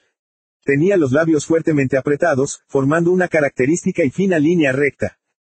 No dejaba de mirar a Meg. Y, por fin, se encogió de hombros. Es el juego, ¿no? En comparación con el resto de la casa, e incluso con el sótano, allí hacía frío, pero, de pronto, fue como si dejara de hacerlo. En su lugar, en la habitación surgió una cercanía creciente, la sensación de que las cosas se iban llenando de una cercanía cada vez mayor, de un calor eléctrico que, lentamente, parecía emanar de cada uno de nosotros, llenando y cargando el ambiente, rodeándonos, aislándonos. Y, a la vez, de alguna forma, uniéndonos también a todos. Podías verlo en la forma en la que Willy se inclinaba hacia adelante, con el World Book en las manos. En la forma en la que el ladrador se acercó más, el haz de luz de su linterna menos errático ahora, en el mismo lugar, bañando la cara de Meg, sus piernas, su estómago. Pude sentirlo en Donnie y Ruth a mi lado, fluyendo en mí, sobre mí y a través de mí como un dulce veneno, un silencioso conocimiento compartido. Íbamos a hacerlo, íbamos a hacerlo. Ruth encendió un cigarrillo y tiró la colilla al suelo. Adelante, nos animó. El humo de su cigarrillo llenó el refugio. ¿Quién va a hacerlo? preguntó Ladrador. Yo, afirmó Donnie. Pasó a mi lado. Tanto Ladrador como Willy le iluminaban ahora con sus linternas. Pude ver que Donnie rebuscaba en su bolsillo y sacaba la navaja que siempre llevaba consigo. Se volvió hacia Ruth. ¿Te importa la ropa, mamá? Le preguntó. Ella le miró. No tengo que hacerles nada a los pantalones, continuó diciendo. Pero. Tenía razón. La única forma en la que podía quitarle la blusa era arrancándosela o cortándola. No, respondió Ruth, no me importa, vamos a ver qué tiene, dijo Willy. Ladrador se rió. Donnie se aproximó a Meg, desnudando la hoja. No intentes nada, le advirtió. No quiero hacerte daño, pero si intentas algo tendremos que volver a pegarte. ¿Ves? Es estúpido. Le desabrochó la blusa con cuidado, separándosela del cuerpo como si se avergonzara de tocarla. Se había ruborizado. Sus dedos se movían con torpeza. Temblaba. Ella empezó a debatirse, pero entonces, creo, se lo pensó mejor. Desabrochada, la blusa colgaba de su cuerpo, informe. Pude ver que llevaba debajo un sujetador blanco de algodón. Por algún motivo, eso me sorprendió. Ruth nunca llevaba sujetador. Creo que había asumido que Meg tampoco lo llevaba. Donnie se acercó con la navaja y cortó la manga izquierda hasta el cuello. Tuvo que cerrar las costuras. Pero mantenía la hoja afilada. La blusa cayó detrás de ella. Meg empezó a llorar. Él se movió hacia el otro lado y cortó la manga derecha de la misma forma. Y entonces rasgó las costuras, con un rápido sonido de desgarro. Y dio un paso atrás. Los pantalones, señaló Willy. Podías oírla llorar suavemente, tratando de decir algo a través de la mordaza. No, por favor. No de patadas, advirtió Donnie. Los pantalones tenían la cremallera en el lateral. Los desabrochó y los deslizó hacia abajo por sus caderas, subiendo las delicadas braguitas blancas mientras lo hacía, y luego los dejó caer sobre sus piernas hasta el suelo. Los músculos de las piernas se contrajeron y empezaron a temblar. Dio un paso atrás, alejándose de ella, y la miró. Lo hicimos todos. Supongo que ya habíamos visto a Meg con tan poca ropa. Tenía un bikini, lo tenían todas aquel año. incluso las más pequeñas, y la habíamos visto con él. Pero esto era distinto. Un sujetador y unas braguitas eran algo privado, y se suponía que solo podían verlo otras chicas, y las únicas chicas de la habitación eran Ruth y Susan. Y Ruth lo permitía, nos animaba a hacerlo. La idea era demasiado intensa como para pensar en ella demasiado tiempo. Por otro lado, allí estaba Meg, justo enfrente. Delante de nuestros ojos, los sentidos ahogaron todo pensamiento, toda consideración. Vas a confesar, Maggie. La voz de Ruth era muy suave. Ella dijo que sí con la cabeza. Un sí entusiasta. No, no lo hará, dijo Willy. Ni hablar, una película de sudor grasiento le bajó desde el nacimiento del pelo por la frente. Se lo secó. Todos estábamos sudando. Meg más que nadie. Le brillaban gotas en los sobacos, en el pecho, en la tripa. Quítale lo que queda, continuó Willy. Entonces, puede que le dejemos confesar. Ladrador soltó una risita. Justo después de que le dejemos hacer el hut Ku. Donnie dio un paso hacia adelante. Le cortó el tirante derecho del sujetador, luego el izquierdo. Los pechos de Meg se deslizaron ligeramente hacia afuera, tratando de salirse de las copas. Pudo haberlo desabrochado por detrás, pero, en vez de eso, se puso delante de ella. Colocó la cuchilla bajo la delgada tira blanca que unía las copas y comenzó a cerrar. Meg sollozaba. Tenía que dolerle llorar de aquel modo, pues cada vez que su cuerpo se movía las cuerdas tiraban de ella. La navaja estaba afilada, pero tardó un rato. Y entonces hubo un pequeño pop y el sujetador cayó al suelo. Sus pechos quedaron al desnudo. Eran más blancos que el resto de su piel, pálidos, perfectos y encantadores. Temblaban con sus sollozos, los pezones eran de un marrón rosado y para mí sorprendentemente largos, casi planos en la punta. Pequeñas plataformas de carne, una forma que nunca antes había visto y que deseé tocar de inmediato. Me adentré más en la habitación. Ruth quedaba ahora totalmente a mis espaldas. Pude oír mi propia respiración. Donnie se arrodilló delante de ella y levantó las manos. Por un momento, parecía que la estuviese adorando. Y entonces sus dedos se cerraron sobre sus braguitas y se las bajaron por las caderas, por sus piernas. Se tomó su tiempo. Y entonces hubo otra conmoción. El pelo de Meg. Una pequeña mata de un suave rubio anaranjado en la que brillaban gotas de sudor. Vi pequeñas pecas en la parte superior de sus muslos. Vi el pequeño pliegue de carne medio escondido entre sus piernas. La estudié, sus pechos, cómo sería tocarlos, su carne me parecía algo inimaginable. El pelo de su entrepierna. Sabía que sería suave, más suave que el mío. Quería tocarlo. Su cuerpo debía de estar caliente. Temblaba sin control. Su tripa, sus muslos, su culo firme y pálido. La marea del sexo se abrió en mí, engordando. La habitación olía a sexo. Sentí un peso duro entre mis piernas. Me acerqué más, fascinado. Pasé al lado de Susan.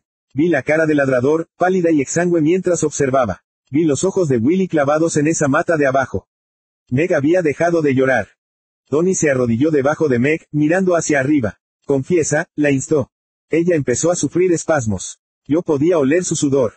Ella asintió. Tenía que asentir. Estaba rindiéndose. Suelta las cuerdas, le dijo a Willy.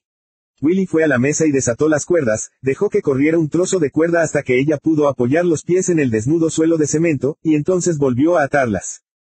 Su cabeza cayó hacia adelante con alivio. Tony se levantó y le quitó la mordaza. Me di cuenta de que era el pañuelo amarillo de Ruth. Ella abrió la boca y él le sacó el trapo hecho un guiñapo que le habían metido dentro. Tiró el trapo al suelo y se metió el pañuelo en el bolsillo trasero de sus vaqueros. Una de las esquinas quedó colgando. Por un instante, se pareció a un granjero. Podrías. Los brazos, pidió ella. Los hombros, me duele. No, replicó Donnie, ya está, esto es todo lo que vas a tener. Confiesa, dijo Ladrador. Dinos cómo juegas contigo misma, dijo Willy. Seguro que te metes el dedo, ¿no? No, que no se hable de la Sifi. Ladrador se echó a reír. Eso, las purgaciones, dijo Willy, sonriendo. Llora, le dijo Ladrador. Ya lo he hecho, señaló Meg. Y era evidente que volvía a tener algo de aquella dura actitud desafiante, ahora que ya no le dolía tanto. Ladrador se limitó a encogerse de hombros. Pues vuelve a hacerlo, dijo. Meg no dijo nada. Me di cuenta de que sus pezones se habían suavizado, un rosa tierno y brillante, con aspecto sedoso. Dios, era preciosa. Fue como si me leyera el pensamiento. ¿Está David aquí? preguntó. Willy y Donnie me miraron. No pude contestar. Está aquí, respondió Willy. David, dijo ella, pero supongo que no pudo terminar. Aunque no necesitaba hacerlo, ya lo sabía por la forma en que lo dijo. No quería que yo estuviera allí.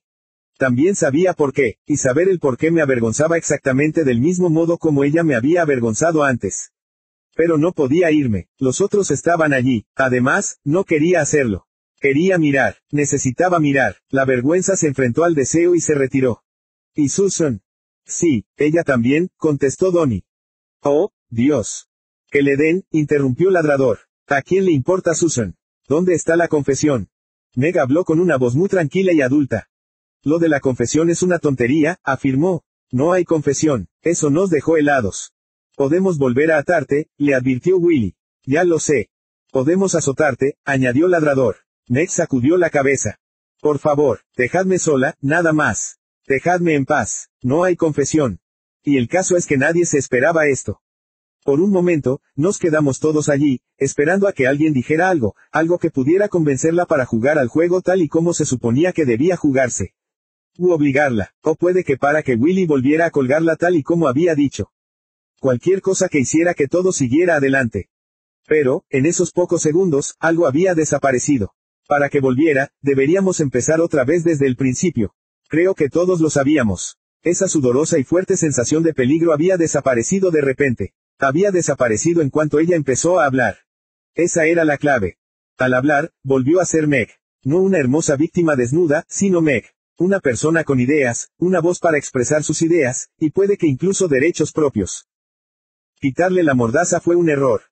Todo esto nos dejó amargados, furiosos y frustrados. Por lo que permanecimos allí. Fue Ruth quien rompió el silencio. Podemos hacerlo, dijo. ¿Hacer qué? preguntó Willy. Lo que dice, dejarla sola, dejar que piense en esto durante un tiempo. Me parece bien. Pensamos en ello. Sí, dijo ladrador, dejarla sola, en la oscuridad, allí colgada. Esa sí que era una forma, pensé, de volver a empezar. Willy se encogió de hombros. Donnie miró a Meg, me di cuenta de que no quería irse. La miró fijamente. Levantó la mano, lentamente, lleno de dudas, la acercó a sus pechos. Y, de pronto, fue como si yo formase parte de él. Pude sentir mi propia mano allí, con mis dedos casi tocándola. Casi podía sentir el resbaladizo sudor de su piel. Ah, ah, dijo Ruth. No. Donnie la miró, y se detuvo, a escasos centímetros de sus pechos. Tomé aliento. No toques a esa chica, dijo Ruth. No quiero que ninguno de vosotros la toque. Dejó caer la mano. Una chica como ella, no se explicó Ruth, ni siquiera está limpia. Mantened las manos lejos de ella. Me habéis oído. La habíamos oído. Sí, mamá, contestó Donnie. Ruth se giró para irse. Tiró la colilla al suelo, la aplastó y nos hizo un gesto con la mano.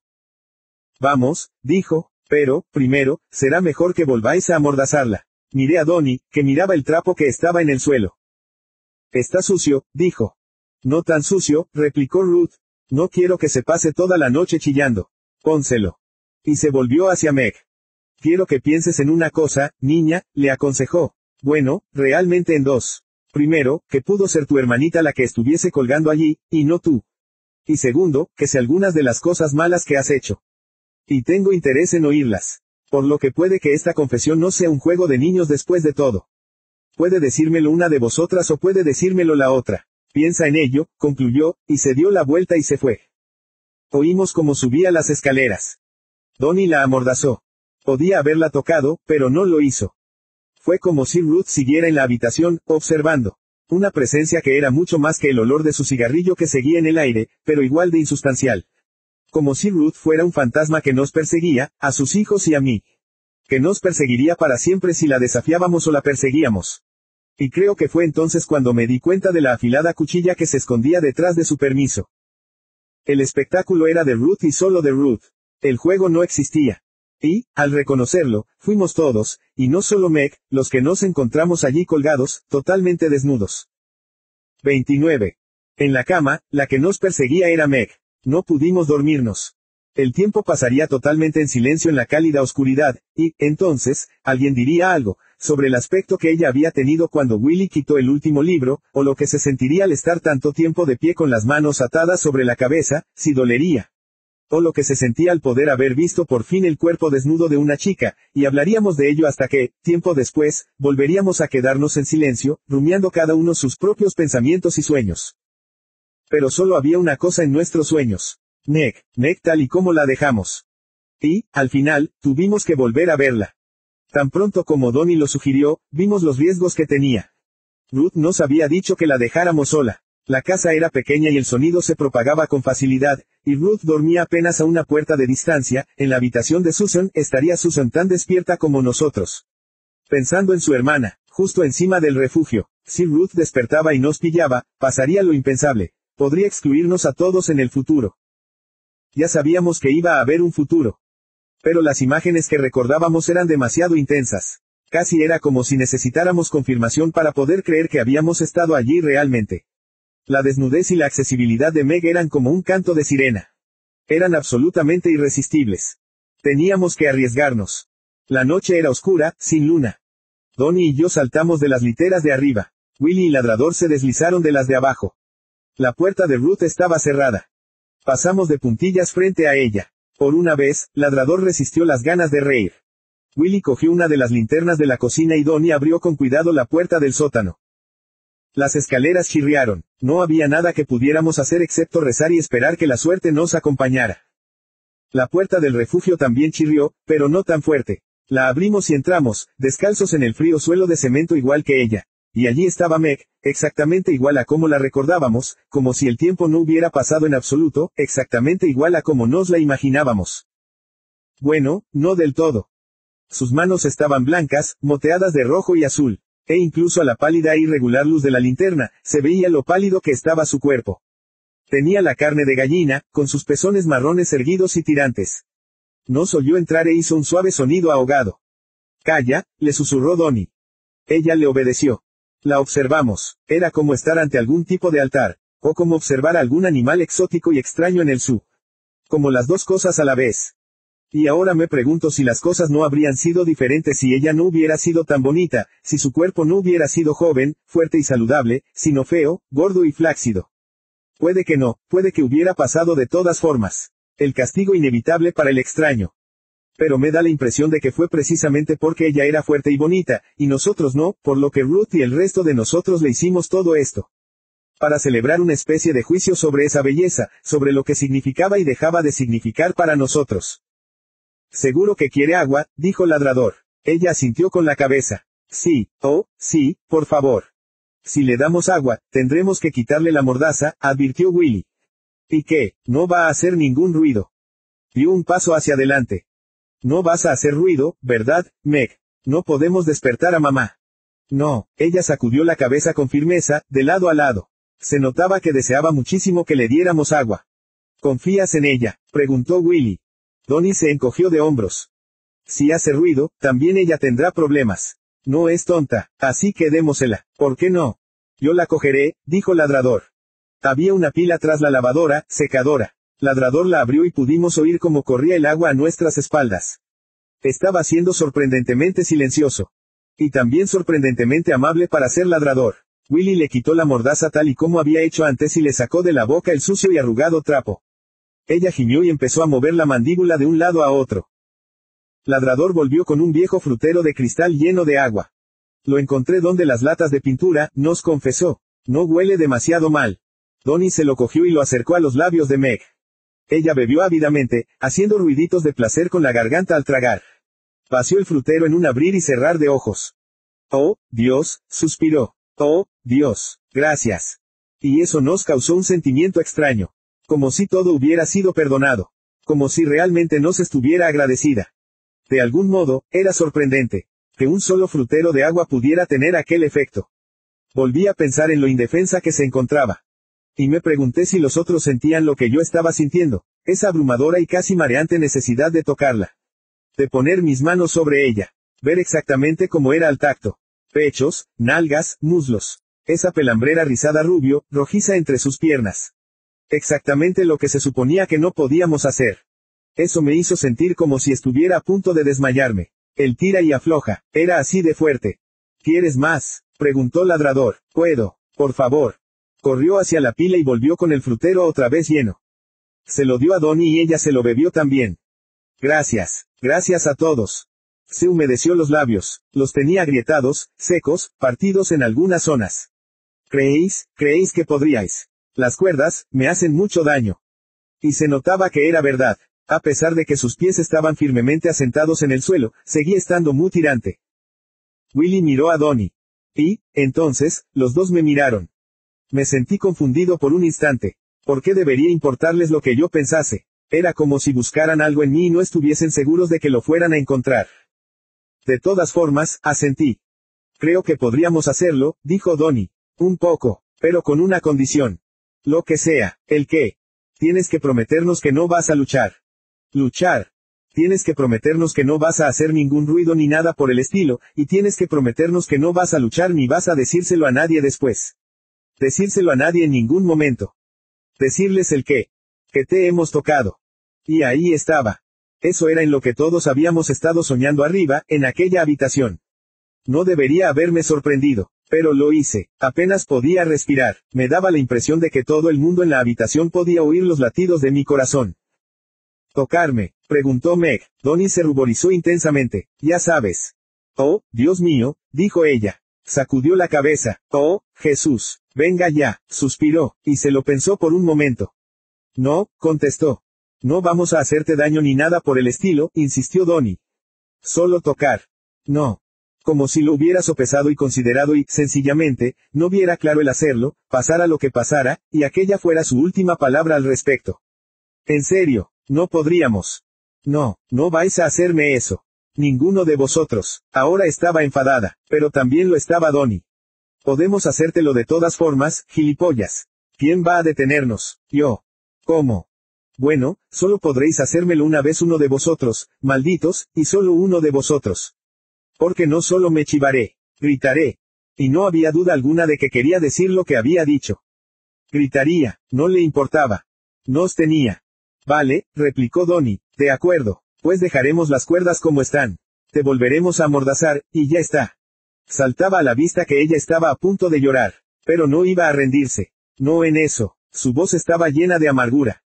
De acuerdo, contestó, amordazadme, hacedlo. Marchaos, salid de aquí, lo haremos. Le hizo una señal a Willy y este se adelantó con el trapo y la bufanda. Ábrela, ordenó. Por un momento, ella dudó. Y, entonces, abrió la boca. Él le metió el trapo y le ató la bufanda a su alrededor. La ató más fuerte de lo que necesitaba, más fuerte que antes. Seguimos teniendo un trato, le advirtió Donnie. Tú has conseguido algo de agua. Pero nosotros nunca hemos estado aquí. ¿Me entiendes?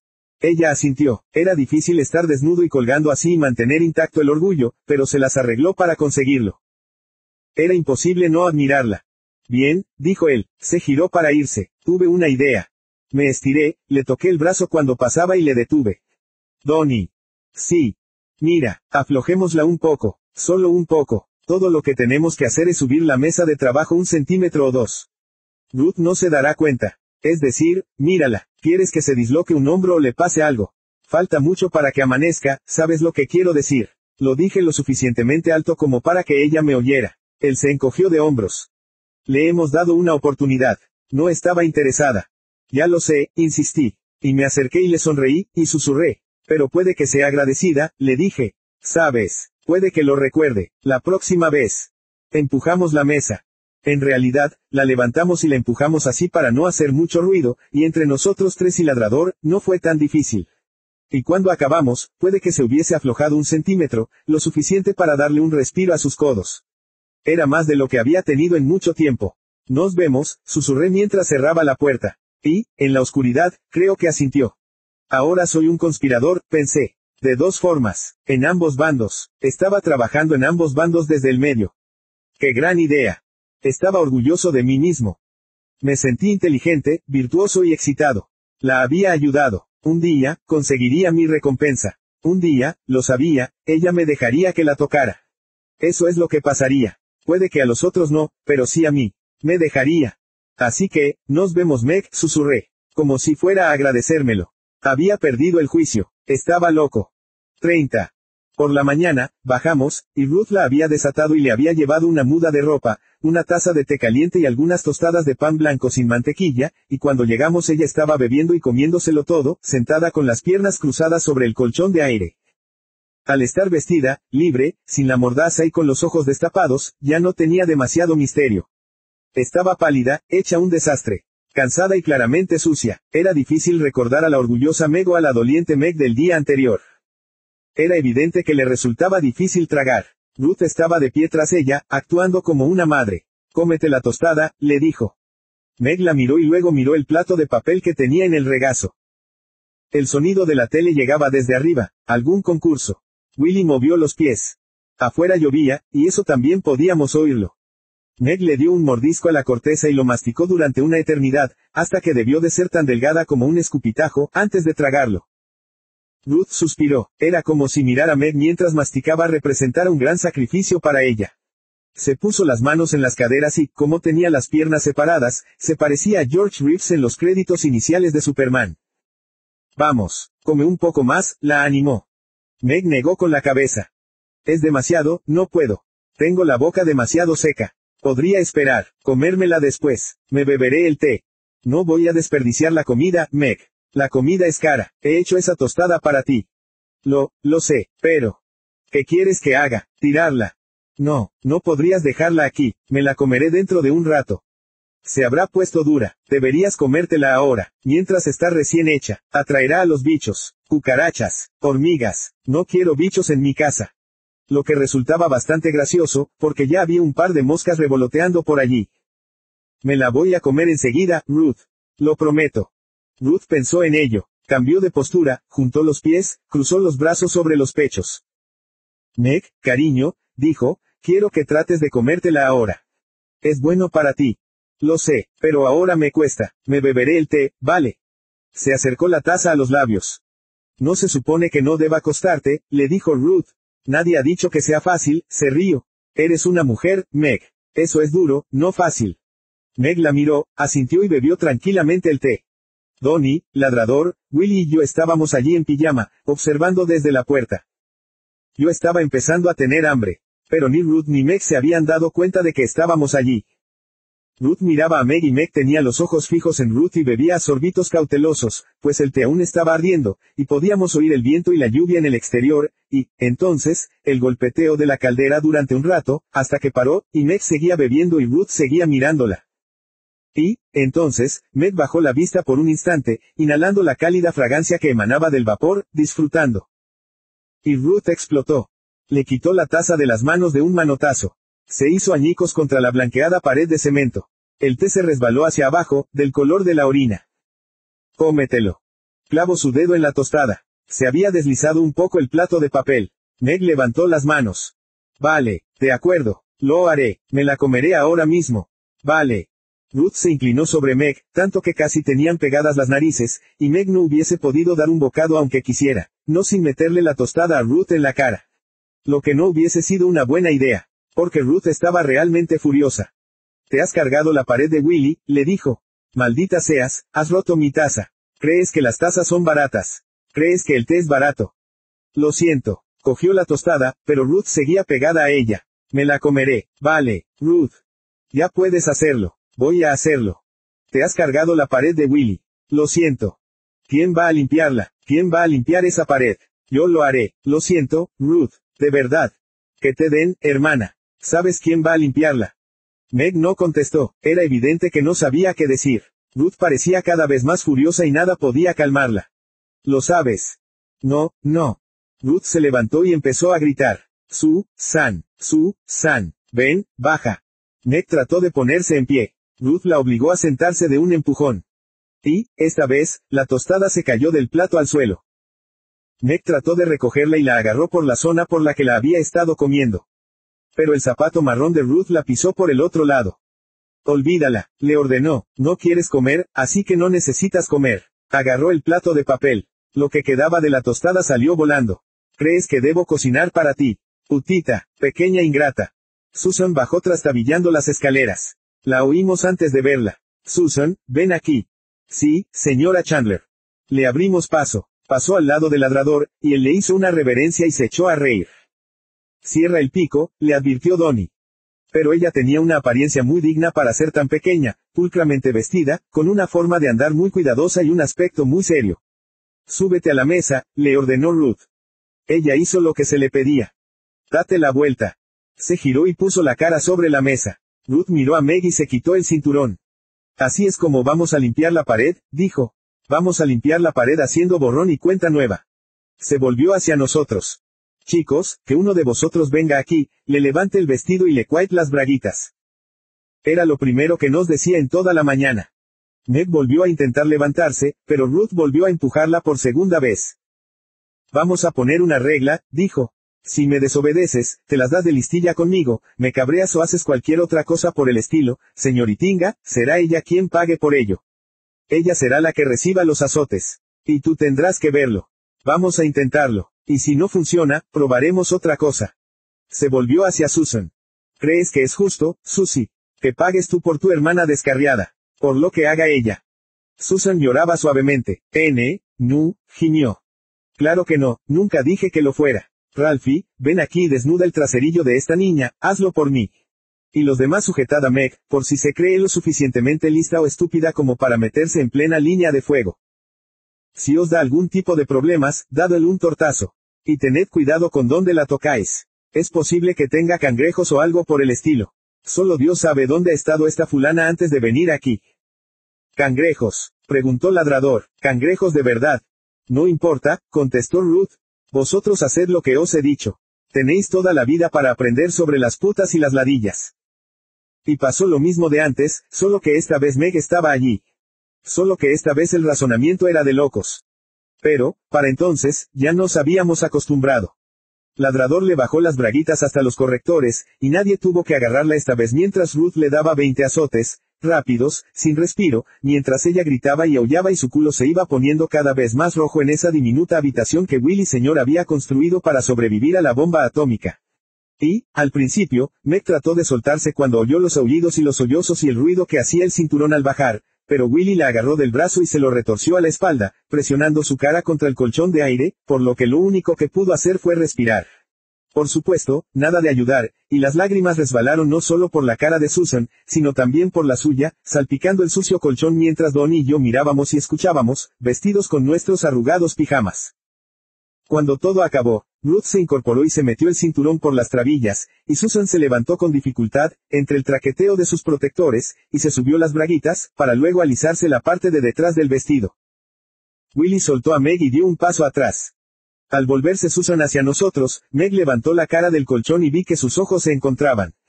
Vi que algo se transmitía entre ellas. Algo que parecía súbitamente plácido en medio de las lágrimas, triste y extrañamente tranquilo. Me puso nervioso. Me pregunté si, al fin y al cabo, no serían más fuertes que todos nosotros. Y volví a darme cuenta de que la situación, de algún modo, había subido una vez más de nivel. Entonces Meg fijó sus ojos en Ruth y entendí el cómo. Sus ojos eran salvajes. Ruth también lo vio y retrocedió un paso involuntario alejándose de ella. Sus propios ojos se estrecharon y abarcaron toda la habitación. Se fijaron en la esquina en la que estaban juntos el pico, el hacha, la palanqueta y la pala, como una pequeña familia de acero y destrucción. Ruth sonrió. Creo que Meg se ha cabreado con nosotros, chicos, se burló. Meg no replicó. Bueno, todos sabemos que eso no la va a llevar a ninguna parte. Pero recojamos esas cosas de allí, para que no tenga tentaciones. Puede que sea lo suficientemente tonta como para intentarlo. Así que nos los llevamos. Y cerrad la puerta con llave cuando salgáis. Por cierto, Meggy, añadió, acabas de quedarte sin comida y sin cena. Que tengas un buen día. Se dio la vuelta y salió de la habitación. Vimos cómo se iba, pensé que tenía el paso un poco inestable, casi como si hubiera estado bebiendo, cosa que yo sabía que no era verdad. ¿Quieres que volvamos a atarla? Le preguntó ladrador a Willy. Inténtalo, le desafió Meg. Willy bufó. Eso sí que es genial, Meg, le dijo. Hazte la dura, podemos hacerlo siempre que queramos, y lo sabes. Y Susan está aquí, recuérdalo. Meg le miró, él se encogió de hombros. Quizá más tarde, ladri, dijo Willy, y se acercó al hacha y a la pala y las cogió. Ladrador cogió el pico y la palanqueta y le siguió. Y empezó una discusión sobre dónde ponerlo todo ahora que estaba fuera del refugio. El sótano se inundaba a veces y existía el peligro de que se oxidaran. Ladrador quería que los colgásemos de las vigas de soporte del techo. Tony sugirió que los clavásemos a la pared. Willy dijo, que les den, echémoslos a la caldera. Que se oxiden. Ganó Donnie, por lo que acabaron en la vieja taquilla de la Segunda Guerra Mundial de Willy Señor, junto a la secadora, que se usaba ahora como caja de herramientas, para los clavos y el martillo. Miré a Meg, tuve que forzarme a hacerlo. Creo que esperaba odio. Medio temía y medio esperaba que lo hubiese, pues así, al menos, sabría en qué situación me encontraba respecto a ella y los demás. Ya podía darme cuenta de que quedarme en medio iba a ser duro. Pero no pude ver odio. Sus ojos estaban tranquilos, casi neutros. Podrías huir, le dije suavemente. Puede que te ayudara. Ella sonrió, pero sin alegría. ¿Y qué es lo que querrías por tu ayuda, David? me preguntó, ¿alguna idea? Y, por un momento, habló como si fuera la furcia que Ruth decía. No, nada, le contesté, pero me había pillado. Me ruboricé. De verdad. De verdad, en serio, nada, ya sabes, no tengo ni idea de a dónde podrías ir, pero, al menos, podría salir de aquí. Asintió y miró a Susan. Y, de pronto, su voz sonó totalmente distinta, totalmente concentrada, increíblemente razonable y, de nuevo, muy adulta. Yo podría, me dijo. Pero ella no. Y, de repente, Susan se echó a llorar de nuevo. Miró a Meg un momento y, entonces, se abalanzó sobre ella y la besó en los labios, en la mejilla y de nuevo en los labios. Haremos algo, la tranquilizó. Meg, haremos algo. Vale, vale, contestó Meg, haremos algo. Me miró. Se abrazaron y, cuando acabaron, Susan se acercó a mí, que estaba junto a la puerta, y me cogió de la mano. Y, juntos, volvimos a encerrarla. 31. Pero, como si retirase mi oferta de ayuda, me mantuve alejado. En aquellas circunstancias, era lo mejor que podía hacer. Las imágenes me obsesionaban. Meg riéndose en la noria, tumbada en la roca sobre el arroyo. Trabajando en el jardín, vestida con pantalones cortos y una camiseta atada en la nuca y con un enorme sombrero de paja en la cabeza. Recorriendo las bases, veloz, en el recreo. Pero, sobre todo, Meg desnuda, cubierta de sudor, vulnerable y totalmente abierta para mí. Por otro lado, veía el pelele de Willy y Donnie. Veía una boca estampada sobre un colchón de aire por no haber sido capaz de tragar un trocito de tostada. Las imágenes eran contradictorias, me confundían. Así que, mientras decidía qué hacer, si es que iba a hacer algo, y poniendo como excusa una triste y lluviosa semana en la que vivir, me mantuve aparte. Vi a Donnie un par de veces esa semana. A los demás no los vi en absoluto. La primera vez que lo vi, yo vaciaba la basura y él salía corriendo a la gris y lluviosa tarde con una sudadera sobre la cabeza. Adivina qué, me dijo. Esta noche sin agua, llevaba tres días lloviendo. Eh. Meg, idiota, Ruth no va a dejar que beba agua esta noche. Nada hasta mañana por la mañana. ¿Y eso? Sonrió. Una larga historia, me dijo. Ya te la contaré más tarde. Y volvió a entrar corriendo en la casa. La segunda vez fue un par de días más tarde. El tiempo había mejorado y yo iba en mi cuatro velocidades a la tienda a hacerle unos recados a mi madre. Donnie llegó detrás de mí montando su vieja y baquete a Dashwin. ¿Dónde vas? A la tienda. Mi madre necesita leche y otras mierdas. ¿Y tú? A casa de Eddie. Luego va a haber un partido en el depósito de agua. Los bravos contra los potros. ¿Quieres que te esperemos? No, era la liga infantil, y no me interesaba. Donnie sacudió la cabeza. Tengo que salir de aquí, me confesó. Todo ese asunto me está volviendo loco. ¿Sabes lo que me obligan a hacer ahora? ¿Qué? Vaciar de mierda su sartén en el patio de atrás. ¿Te lo puedes creer? No lo pillo. ¿Por qué? Ya no se le permite subir por ningún motivo. Ni privilegios de cuarto de baño ni nada. Así que la estúpida putita trata de aguantarse. Pero incluso ella tiene que mear y cagar alguna vez, así que ahora yo tengo que cargar con el muerto. Te lo puedes creer, ¿qué demonios tiene de malo ladrador? Se encogió de hombros, pero mamá dice que tiene que ser uno de nosotros, los mayores. ¿Por qué? ¿Cómo demonios voy a saberlo? Se adelantó. ¿Estás seguro de que no quieres que te esperemos? No, hoy no. Vale, ya nos veremos. Pásate, vale, vale, lo haré. Pero no lo hice, entonces no. Me parecía todo demasiado raro. Apenas podía imaginármela yendo al cuarto de baño, y mucho menos usando una sartén que algún otro tenía que vaciar en el patio. ¿Qué pasaría si iba allí y aún no habían limpiado ese día? ¿Y si tenía que oler su pis y su caca allí abajo? Todo el asunto me daba asco. Ella me daba asco. Esa no era Meg, era otra persona se convirtió en otra extraña imagen nueva que me preocupaba. Y el problema era que no tenía a nadie con quien hablar de ella, nadie con quien compartir esas cosas. Si hablabas con los chicos del barrio, quedaba claro que todo el mundo sabía algo de lo que estaba pasando allí, algunos de una forma vaga y otros de forma bastante concreta. Pero nadie opinaba sobre aquello. Era como si lo que estaba sucediendo fuera una tormenta o una puesta de sol, alguna fuerza de la naturaleza, algo que pasaba de cuando en cuando. Y no tenía ningún sentido discutir sobre chaparrones veraniegos. Yo sabía lo suficiente como para darme cuenta de que, si eres un niño, se supone que debes tratar ciertos asuntos con tu padre. Así que lo intenté. Ahora que era mayor, se suponía que debía ir de cuando en cuando al nido del águila para ayudar con el inventario, a limpiar y otras cosas por el estilo, y me encontraba trabajando con la parrilla de la cocina con un estropajo y algo de sifón, quitando la grasa con el estropajo mientras la parrilla se enfriaba y el sifón ablandaba la grasa. Un trabajo sucio del tipo que había visto hacer a Meg miles de veces cuando, finalmente, empecé a hablar. Mi padre estaba preparando una ensalada de cangrejo, mezclando trocitos de pan para hacerla más abundante. Acababa de llegar un pedido de licor, y, a través de la división acristalada que existía entre el bar y la cocina, podíamos ver a Odi, el camarero de día de mi padre, marcando las cajas en una hoja de pedido y discutiendo con el repartidor sobre un par de cajas de vodka. Era del de la casa y, evidentemente, el tipo le había entregado de menos. Odi estaba furioso. Odi era un cracker georgiano delgado como un junco y con un temperamento tan volátil que lo había tenido en el calabozo la mitad de la guerra. El repartidor estaba sudando. Mi padre lo observaba, divertido. Salvo para Odi, dos cajas no eran un problema demasiado grande. Siempre que mi padre no tuviera que pagar por algo que no recibía. Pero puede que fuera el enfado de Odi lo que me hizo empezar a hablar. Papá, le pregunté, ¿has visto alguna vez a un chico pegar a una chica? Mi padre se encogió de hombros. Claro, me contestó, ya lo creo. Niños, borrachos, he visto unos cuantos por qué. ¿Crees que alguna vez está, bien, hacerlo? Bien, quieres decir justificado. Sí. Se echó a reír. Esa es difícil, confesó. Hay veces en las que una mujer realmente te saca de quicio. Yo diría que, generalmente, no, es decir, hay formas mejores de tratar con una mujer.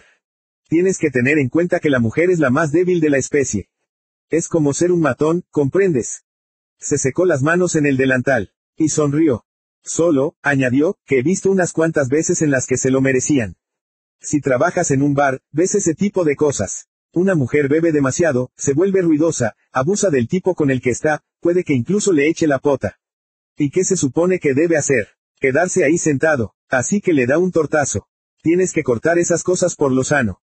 ¿Ves? Esa es la excepción que confirma la regla. Nunca debes pegar a una mujer, nunca. Y que Dios te ayude si alguna vez te pillo haciéndolo.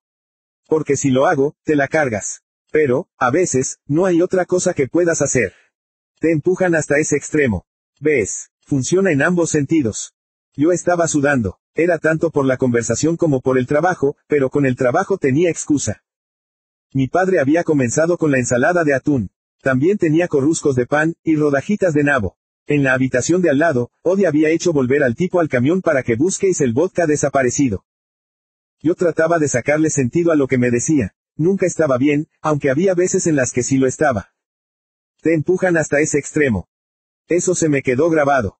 Había empujado Mega Ruth hasta ese extremo en algún momento. Había hecho algo que yo no había visto. Era esta una situación de nunca o de en ocasiones. ¿Por qué me lo preguntas? Dijo mi padre. No sé, le respondí. Algunos hemos estado hablando. Asintió. Bueno, lo mejor es que mantengas tus manos lejos de cualquiera. Hombre o mujer, así es como evitas los problemas. Sí, señor. Eché un poco más de sifón en la parrilla y miré cómo burbujeaba. Pero la gente dice que el padre de Eddie pega a la señora Crocker. Y también a Dennis y a Eddie. Mi padre frunció el ceño. Sí, lo sé. Así que es cierto. Yo no he dicho que lo fuera. Pero lo es, ¿verdad? Suspiró. Mira, me dijo, no sé por qué estás tan interesado de repente. Pero creo que eres lo bastante mayor como para saber, para entenderlo, es lo que te he dicho antes. A veces te presionan, un hombre se siente presionado, y hace, lo que no debería hacer. Y tenía razón, yo ya era lo suficientemente mayor para entenderlo. Y escuché allí algo más. Tan claro como los ecos de los gritos de odio hacia el repartidor, allí fuera. En algún momento y por alguna razón, mi padre había pegado a mi madre. Y en ese momento casi lo recordaba. Despertarme de pronto de un profundo sueño. El ruido de muebles que se rompían. Gritos. Y un tortazo. Hacía mucho tiempo. Me sentí repentinamente enfadado con él. Observé su corpulencia y pensé en mi madre. Y, lentamente, volvió la calma, la sensación de aislamiento y de seguridad. Y se me ocurrió que con quien tenía que hablar de esto era con mi madre. Ella sabía lo que se sentía, lo que significaba. Pero en ese momento no podía hacerlo. Ni aunque hubiese estado justo allí. No podía intentarlo. Miré a mi padre mientras preparaba las ensaladas y se volvía a secar las manos en el blanco delantal de algodón con el que solíamos bromear sobre las sanciones del Comité de Salud, y después se puso a cortar salami en la cortadora eléctrica de carne que acababa de comprar y de la que se sentía tan orgulloso. Y yo quité la grasa hasta que la parrilla quedó limpia y brillante. Y no se había resuelto nada. Así que volví poco después. 32. Lo que me llevó de vuelta fue la sola e imparable imagen del cuerpo de Meg. Me inspiraba miles de fantasías, día y noche. Algunas eran tiernas, algunas violentas, algunas, ridículas. Podía encontrarme en la cama por la noche con la radio escondida bajo la almohada, escuchando el At the Top de Danny and the Juniors, y cerraría los ojos y allí estaría Meg, charlando con un compañero invisible en la cantina adolescente, y bailando en pareja con solo unos calcetines blancos enrollados en la parte de arriba y nada más. Tan cómoda con su desnudez como si acabase de comprar el traje nuevo del emperador. O estaríamos jugando al Monopoly, uno enfrente del otro, y yo llegaría a la casilla de Boardwalk de los jardines Marvin y ella se levantaría, suspiraría y se quitaría sus finas braguitas de algodón blanco. Pero lo más frecuente es que la canción de la radio fuese algo parecido a Twilight Time, de los Platters, y Meg se encontraría desnuda entre mis brazos bajo la oscura luz azul en Technicolor de las estrellas y nos besaríamos. O el juego sería el juego, y no tenía nada de divertido. Me sentía nervioso y a punto de saltar. Me sentía como si debiese ir allí, tanto como nervioso estaba por lo que me encontraría cuando lo hiciera. Incluso mi madre se dio cuenta de ello. La pillé observándome, con un mohín en su boca, pensativa, como si yo hubiese saltado de la mesa tirando el vaso de agua o me hubiese metido a hurtadillas en la cocina en busca de una coca. Puede que esa fuera una de las razones por las que nunca hablé con ella. O puede que fuera porque Meg era una mujer, y mi madre también. Pero volví. Y, cuando lo hice, las cosas habían vuelto a cambiar. Me colé y lo primero que oí fue a Ruth tosiendo y luego hablando en voz baja, y me di cuenta de que tenía que ser Meg con quien hablaba. Tenía ese tono que nunca usaba con el resto de nosotros, como si fuera una maestra enseñando a una niña pequeña, instruyéndola. Bajé las escaleras. Habían colocado la lámpara de trabajo, pasando el cable sobre la lavadora hasta uno de los garfios que habían puesto en una de las vigas de Willy señor la bombilla oscilaba, con un brillo cegador. Ruth estaba sentada en una silla plegable, parte del viejo conjunto de jardín que guardaban allí, dándome la espalda y fumando. El suelo estaba lleno de colillas, como si llevase allí un buen rato. Los chicos no estaban. Meg estaba de pie delante de ella, vestida con un liviano vestido amarillo. No era el tipo de vestido que uno asociaría con ella, así que pensé que era de Ruth, uno viejo, y además saltaba a la vista que tampoco estaba demasiado limpio. Tenía unas manguitas cortas abultadas y una falda tableada, por lo que los brazos y las piernas quedaban al aire. Ruth llevaba algo parecido de color verde, azulado, pero más liso, con menos abombamiento y menos tablas. Por encima del cigarrillo olía alcanfor. Naftalina. Ruth seguía hablando. A primera vista parecía que eran hermanas, más o menos del mismo peso, aunque Ruth era más alta y flaca. Ambas tenían un pelo ligeramente grasiento y ambas llevaban esos viejos y apestosos vestidos, como si estuvieran ensayando para una fiesta. Solo que Ruth estaba allí sentada, fumando. Mientras que Meg estaba de pie contra uno de los postes de apoyo de 4x4 de Willy, con los brazos fuertemente atados alrededor del poste y a sus espaldas y con los pies también atados. Estaba amordazada, pero no tenía los ojos vendados. Cuando yo era una niña como tú, contaba Ruth, lo hice, busqué a Dios. Fui a todas las iglesias de la ciudad. Baptista, luterana, episcopaliana, metodista, di la que quieras. Incluso fui a las novenas de San Matías y me senté en la balaustrada donde se encontraba el órgano. Pero eso fue antes de saber, ya sabes, lo que son las mujeres. ¿Y sabes quién me lo enseñó? Mi madre. Por supuesto, ella no sabía que me estaba enseñando, no de la forma en que yo lo estoy haciendo contigo. Se trataba más de lo que yo veía. Quiero que sepas y entiendas que mis padres me lo dieron todo, todo lo que una niña podía desear, eso es lo que tuve.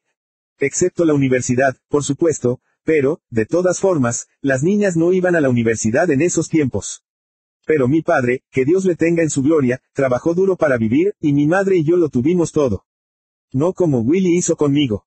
Encendió un nuevo Tareyton con la colilla del anterior y tiró la colilla al suelo.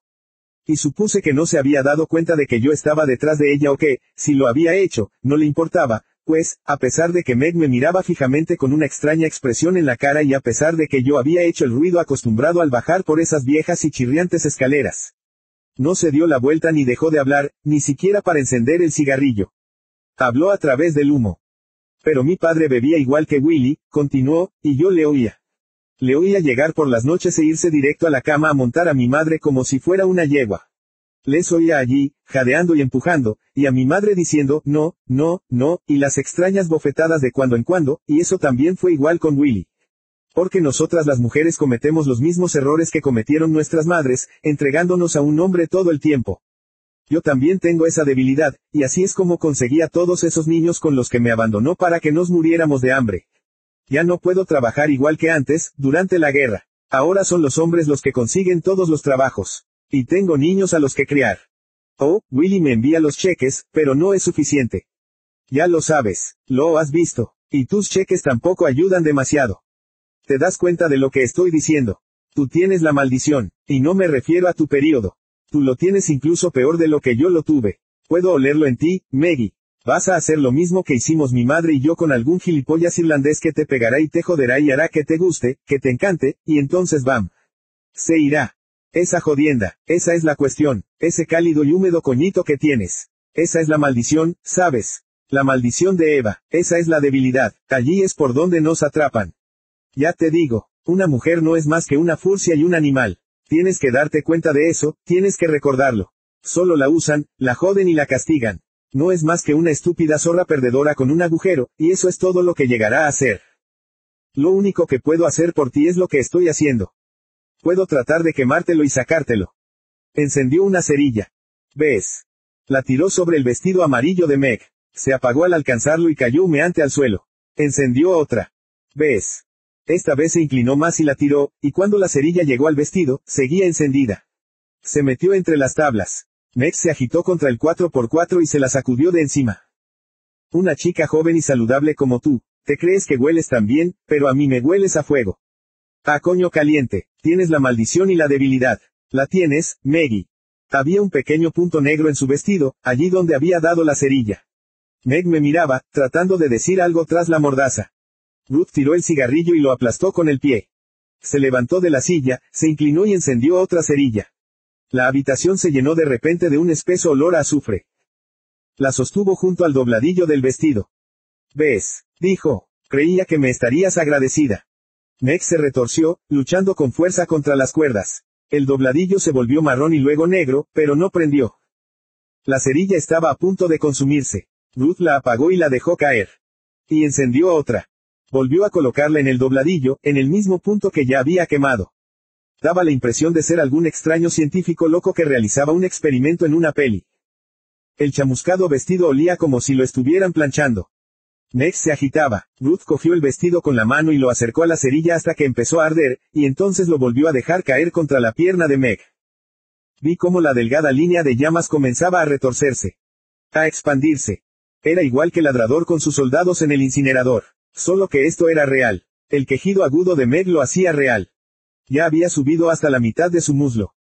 Comencé a acercarme para apagar las llamas con las manos. Pero entonces Ruth se agachó y apagó su vestido con la coca que tenía a su lado, en el suelo. Me miró y se rió. Meg se desplomó, aliviada. Supongo que yo debía de parecer muy asustado. Porque Ruth siguió riendo, y me di cuenta de que una parte de ella debía de haber sido consciente todo el tiempo de que yo me encontraba a sus espaldas. Pero no le importaba, no le importaba que espiara. No le importaba nada excepto concentrarse en la lección que le estaba dando a Meg. Estaba en sus ojos, algo que yo no había visto antes. Lo he visto desde entonces. Con demasiada frecuencia. En los ojos de mi primera mujer, tras su segunda crisis nerviosa. En los ojos de algunos de sus compañeros en la casa de reposo. Uno de los cuales, por lo que me han contado, asesinó a su mujer y a sus hijos pequeños con unas tijeras de podar. Es un vacío frío y brillante, sin ningún humor, sin compasión y sin piedad. Es feroz, como los ojos de un animal de presa. Como los ojos de las serpientes. Esa era Ruth. ¿Tú qué crees? me preguntó, ¿crees que me hará caso? No lo sé, le contesté. ¿Quieres jugar a las cartas? A las cartas. A los ocho locos, o algo así. Claro, creo. Lo que sea, pensé. Lo que quieras. Hasta que los chicos vuelvan a casa, me dijo. Subimos y jugamos, y no creo que nos dijéramos ni diez palabras el uno al otro durante toda la partida. Bebí un montón de cocas. Ella fumó un montón de cigarrillos. Ganó ella. 33. Resultó que Willy, Donnie y Ladrador habían ido a la sesión matinal de cómo fabricar un monstruo.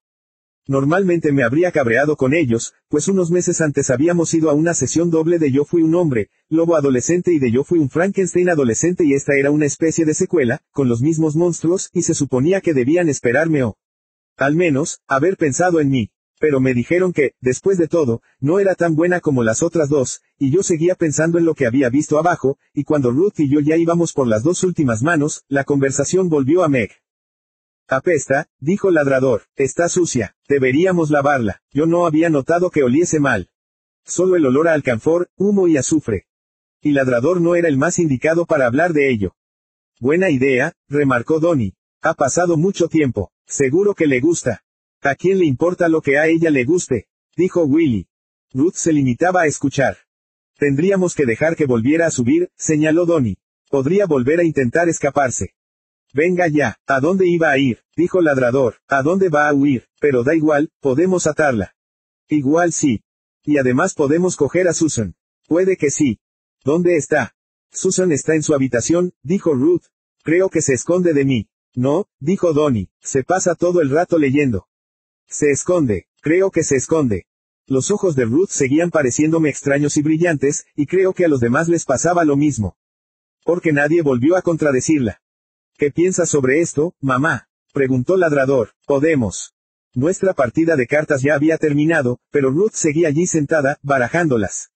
Y entonces asintió. Creo que no le vendría mal del todo, dijo sin ningún tipo de entonación. Tendríamos que desnudarla, señaló Willy. Lo haré yo, saltó Ruth. Recordadlo, chicos. Sí, dijo Ladrador, lo recordamos. No tocar. Eso es. Miré a Willy y a Donnie. Willy estaba frunciendo el ceño. Tenía las manos en los bolsillos. Arrastraba un pie, con los hombros hundidos. Vaya imbécil, pensé, pero Donnie parecía pensativo, como un hombre hecho y derecho con un propósito y un trabajo que realizar, que estuviera considerando la forma más eficiente de hacerlo. Ladrador exhibía una amplia sonrisa. De acuerdo, dijo, a por ella. Bajamos todos juntos, con Ruth siguiéndonos a bastante distancia. Donnie la desató primero las piernas y después las manos, le dejó que se las masajease un momento y luego volvió a atárselas por delante. Le quitó la mordaza y la metió en su bolsillo. Nadie mencionó ni las quemaduras ni las manchas de coca del vestido. Aunque era lo primero que se veía. Ella se humedeció los labios. Algo de beber, pidió. Enseguida, le aseguró Donnie. Vamos arriba, todos. Sí. No preguntó por qué. Donnie la condujo hacia arriba tirando de la cuerda, con ladrador por delante y Willy y yo justo detrás. Ruth se quedó otra vez bastante atrás. Yo era muy consciente de su presencia. Le pasaba algo raro, de eso estaba seguro. Parecía cansada, distante, como si no estuviera allí del todo. Sus pasos al subir la escalera parecían más ligeros que los nuestros, más ligeros de lo que deberían ser, casi un suspiro. Como si se moviese lentamente y con dificultad, como si pesase 10 kilos más. Por aquel entonces, yo no sabía demasiado sobre los problemas mentales, pero sí sabía que lo que estaba viendo no era normal del todo.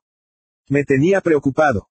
Cuando llegamos arriba, Donnie hizo que Meg se sentara ante la mesa del comedor y le llevó un vaso de agua de la pila de la cocina. Fue la primera vez que me di cuenta de la pila. Estaba repleta de platos sucios, más de los que podían haber usado en un único día. Daba la impresión de que allí se acumulaban los de dos o tres días.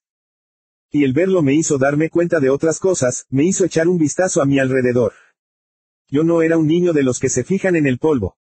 ¿Quién lo hacía? Pero en aquel momento sí que me di cuenta de lo sucia y llena de polvo que estaba la casa, de forma más visible en los bordes de las mesas del cuarto de estar, donde podías ver las huellas de las manos marcadas sobre la superficie. Había migas de tostada en la mesa, delante de Meg. El cenicero que estaba a su lado parecía que llevaba décadas sin limpiarse. Vi dos cerillas de madera tiradas en la alfombra del vestíbulo, cerca de un trozo de papel que parecía ser la arrugada parte superior de una cajetilla de cigarrillos, tirada descuidadamente. Tenía una sensación de lo más extraña, como si algo se estuviera viniendo abajo, desintegrándose lentamente. Meg acabó su vaso de agua y pidió otro. Por favor, dijo. No te preocupes, la tranquilizó Willy. Tendrás agua. Meg parecía confundida. Vamos a lavarte, le confesó. ¿Qué? Los chicos pensaron que estaría bien que te dieras una ducha, le explicó Ruth. ¿Te parece bien, verdad?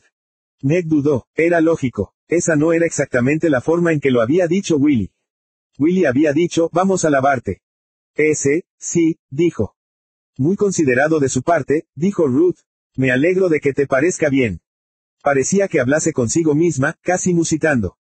Donnie y yo nos miramos. Me di cuenta de que ella lo ponía un poco nervioso. Creo que me voy a tomar una cerveza, anunció Ruth. Se levantó y fue a la cocina. Alguien quiere acompañarme. Al parecer, nadie quiso. Eso en sí mismo no era normal. Miró dentro de la nevera. Miró a su alrededor, y volvió a cerrarla. No queda ninguna, nos dijo al volver al comedor arrastrando los pies. ¿Por qué nadie ha comprado las cervezas? Mamá, le dijo Donnie. No podemos, somos niños, no nos dejan comprar cerveza. Ruth se echó a reír. Es verdad, dijo. Y entonces volvió a darse la vuelta. Pues entonces me tomaré un whisky. Rebuscó en el mueble, Barry regresó con una botella. Volvió al comedor, cogió el vaso de agua de Meg y se sirvió unos dos centímetros del brebaje. ¿Vamos a hacerlo o no? preguntó Willy. Ruth bebió. Claro que sí, le aseguró. Meg nos miró uno por uno. No lo entiendo, nos dijo. ¿Hacer el qué? Creía que iba, creía que ibais a dejarme que me diera una ducha. Y vamos a hacerlo, le aseguró Donnie. Pero tenemos que supervisarte, añadió Ruth.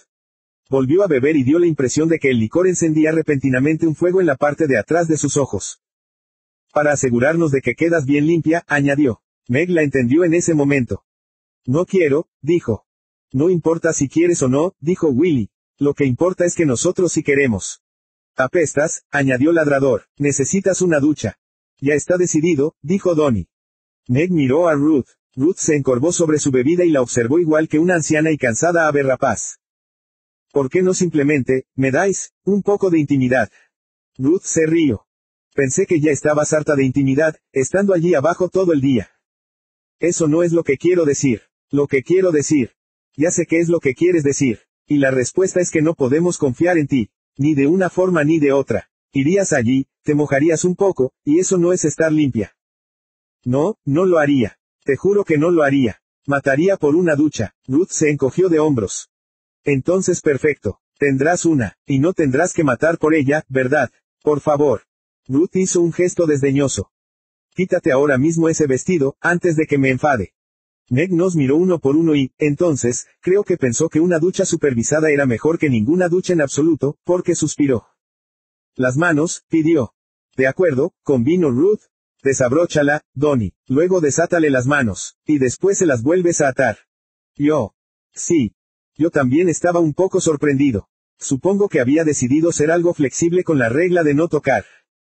Meg se levantó, y lo mismo hizo Donnie. Le desabrochó el vestido hasta la mitad de su espalda. La desató, y, entonces, volvió a su espalda para quitarle el vestido de los hombros. Podría tener al menos una toalla. Ruth sonrió. Aún no estás mojada, repuso. Le hizo un gesto a Donnie. Meg cerró los ojos y se quedó muy quieta y rígida mientras Donnie le quitaba las abultadas y cortas mangas a través de los brazos y exponía sus pechos, y luego sus caderas y muslos, hasta que cayó al suelo.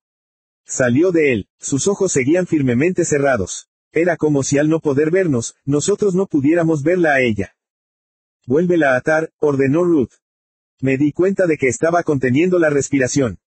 Donnie se puso delante de ella. Ella unió sus manos y Donnie empezó a atárselas. No, dijo Ruth, esta vez átaselas a la espalda. Los ojos de Meg se abrieron por la sorpresa. A la espalda, como voy a lavarme sí. Ruth se puso en pie. Maldición, no me cabrees, niña. Si digo a la espalda es a la espalda, y si digo que te las metas por el culo lo haces. No me cabrees, me has oído. Maldición, maldita seas. Yo te lavaré, eso es lo que vamos a hacer. Ahora haz lo que te digo. Deprisa, y aunque resultaba evidente que Meg estaba asustada, no se resistió cuando Donnie le puso las manos a la espalda y se las ató por las muñecas. Volvió a cerrar los ojos. Pero, esta vez, los tenía rodeados por pequeños charcos de humedad.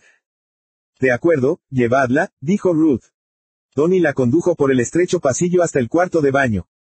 Lo seguimos. El cuarto de baño era pequeño, pero nos agolpamos todos dentro. Ladrador se sentó en el cesto. Willy se apoyó en el lavabo. Yo me quedé de pie a su lado. En la habitación situada enfrente del cuarto de baño había un armario, en el que Ruth rebuscó frenéticamente. Salió de allí con un par de guantes de goma amarillos. Se los puso. Le llegaban hasta los codos. Se giró sobre la bañera y giró el grifo. El grifo con la marca, C de caliente. Solo ese grifo. Dejó que corriera un rato. La probó con la mano, dejándola correr sobre el guante de goma. Su boca era una fina línea de amargura. El agua corría y echaba humo. Golpeaba con fuerza sobre la bañera. Entonces, cambió la posición a ducha, y cerró la cortina de plástico. El vapor se concentró. Meg seguía con los ojos cerrados. Le corrían lágrimas por la cara. El vapor nos envolvió a todos en una especie de niebla. De pronto, Meg lo sintió. Y supo lo que significaba. Abrió los ojos y se echó hacia atrás, asustada, chillando, pero Donnie ya la agarraba por un brazo y Ruth la agarró por el otro. Luchó contra ellos, embistiendo y retorciéndose, gritando, no, no. Y era fuerte, seguía siendo fuerte. A Ruth se le escapó. Que Dios te maldiga, aulló, quieres que vaya a por tu hermana. Quieres que vaya a por tu querida Susan. Quieres que sea ella la que esté allí, quemándose. Meg se enfrentó a ella. Repentinamente furiosa, salvaje, enloquecida. Sí, gritó, sí, puta, trae a Susan, tráela, ya no me importa una mierda. Ruth la miró, con los ojos entornados. Y, entonces, se volvió hacia Willy. Se encogió de hombros. Tráela, dijo tranquilamente. No tuvo que hacerlo. Me volví mientras él pasaba y le vi detenerse, pues Susan ya estaba allí, mirándonos desde el pasillo. Y estaba llorando. Meg también la vio. Y se vino abajo. Nu, gimió, Nu, por favor. Por un instante, nos quedamos en silencio en la cálida y pesada niebla, oyendo el agua hirviendo y sus sollozos. Sabiendo lo que iba a pasar. Sabiendo cómo iba a ser. Y, entonces, Ruth hizo a un lado la cortina. Métela, le ordenó a Donnie. Y ten cuidado. Les vi meterla dentro y vi como Ruth ajustaba la alcachofa de la ducha para orientar el hirviente chorro, lentamente, hacia sus piernas y muslos y tripa y, por último, hacia sus pechos, donde golpeó sus pezones, mientras sus brazos luchaban desesperadamente a sus espaldas para liberarse. Y allí donde la tocaba el agua se volvía repentinamente rojo, rojo, el color del dolor. Y, al final, no pude aguantar los gritos. Y huí. 34. Pero solo una vez. Nunca más volví a huir. Tras ese día, me convertí en un adicto, y mi droga era saber. Saber lo que era posible. Saber lo lejos que se podía llegar. Hasta dónde se atreverían a llegar. Siempre se trataba de ellos. Yo me mantenía al margen, o me sentía como si lo estuviera. Tanto de Meg y Susan por un lado como de los Chandler por otro.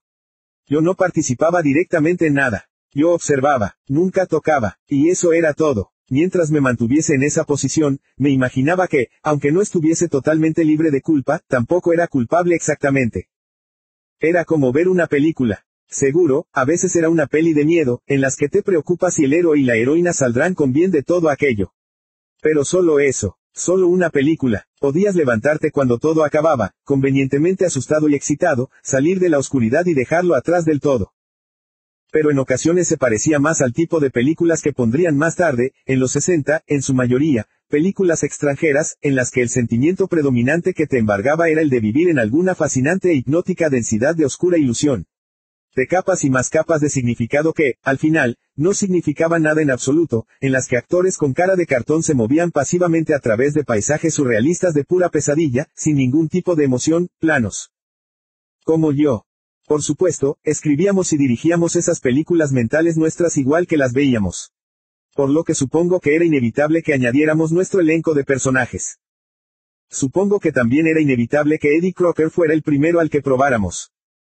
Era una soleada y brillante mañana de finales de julio, tres semanas de cautividad para Meg, la primera vez que fui y me lo encontré allí.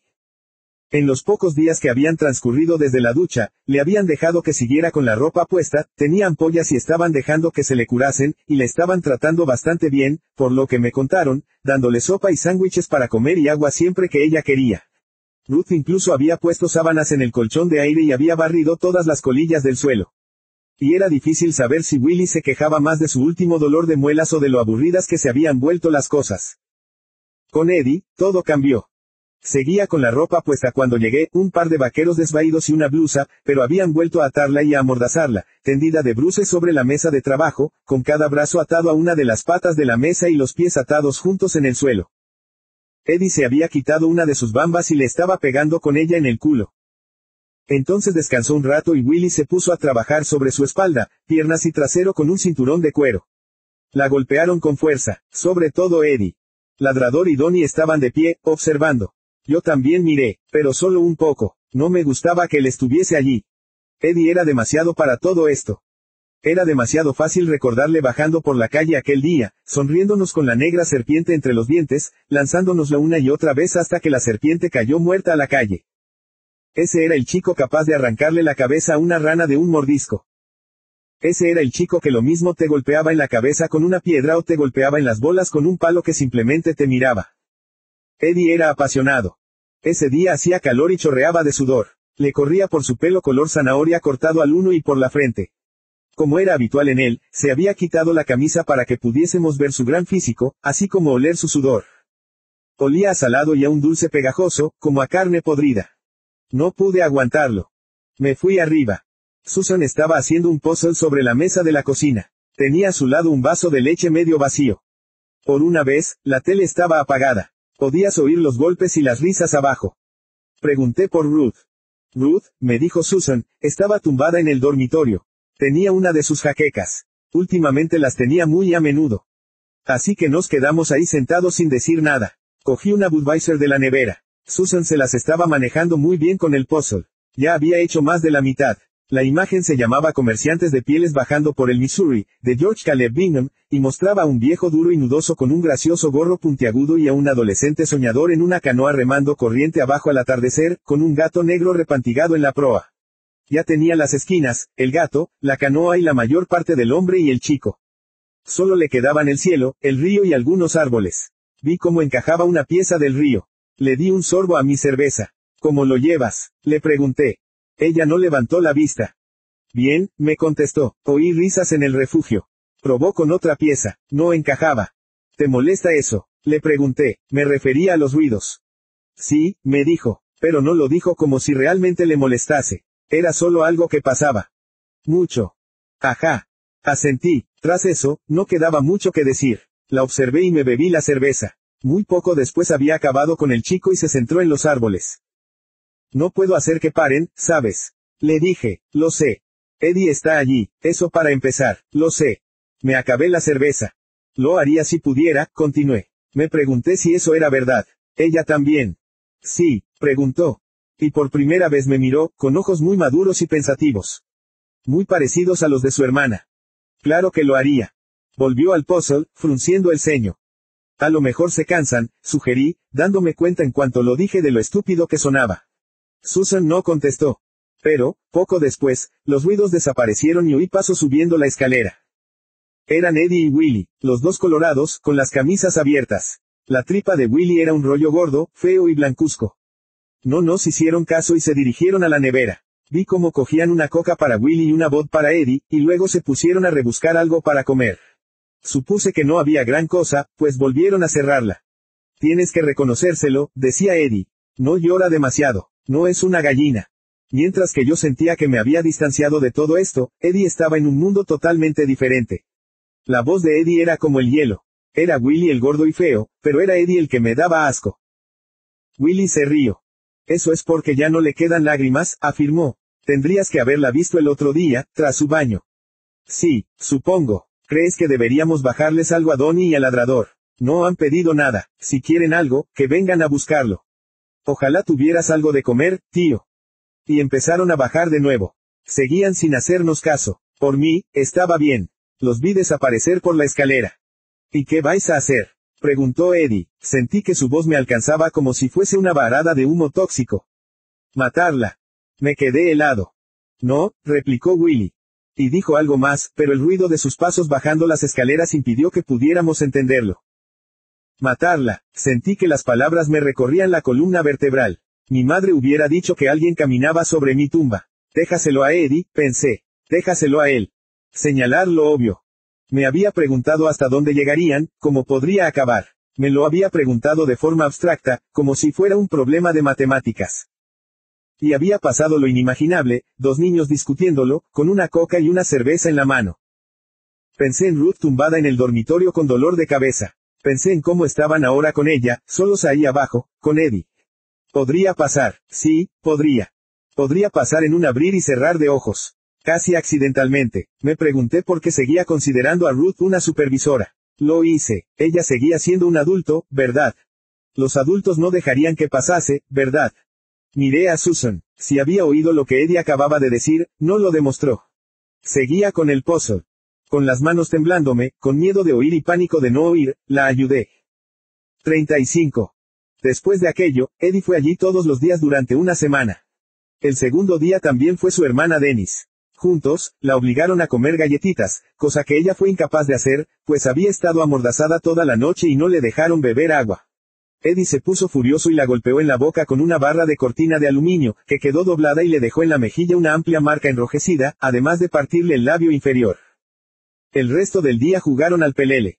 Ruth apenas iba por allí. Le daban dolores de cabeza cada vez con más frecuencia. Se quejaba de que le picaba la piel, sobre todo la de la cara y las manos. Me daba la impresión de que había perdido peso. Le salió una calentura que le duró varios días. Incluso con la tele encendida podías oír como tosía arriba, una tos profunda, procedente de los pulmones.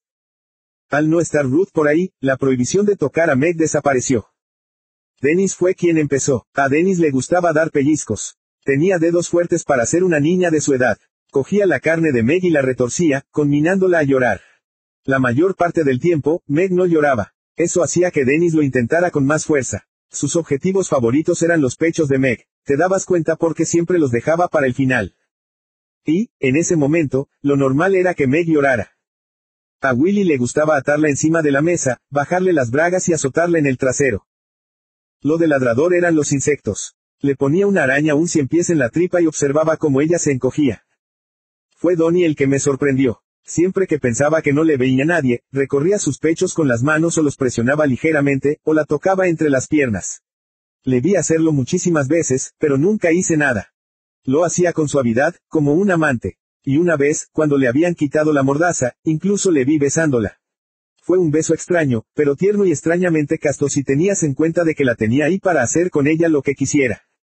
Entonces, Eddie llegó un día riéndose con una caca de perro en un vaso de plástico y la bajaron y pusieron sobre la mesa mientras Ladrador le tapaba la nariz hasta que ella tuvo que abrir la boca para respirar, y entonces Eddie se la metió en la boca.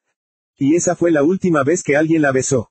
El viernes de esa semana estuve trabajando en el patio toda la tarde hasta más o menos las cuatro, y, cuando me acerqué, pude oír la radio a todo volumen desde la puerta de atrás, así que me acerqué y vi que el grupo había vuelto a crecer. Se había corrido la voz. No solo estaban allí Eddie y Dennis, sino también Harry Gray, Tony Lumorino, Glenn Knott e incluso Kenny Robertson, una docena de personas allí agolpadas en ese pequeño refugio, incluidos Meg y yo, y Ruth estaba en la puerta observando, sonriendo mientras la empujaban de un lado a otro con los hombros y los codos como si fuera una bola. Humana de billar automático atrapada entre una docena de lanzadores humanos. Tenía las manos atadas a la espalda. En el suelo había latas de cerveza y cocas. El humo de cigarrillo llenaba la habitación en forma de espesas nubes grises.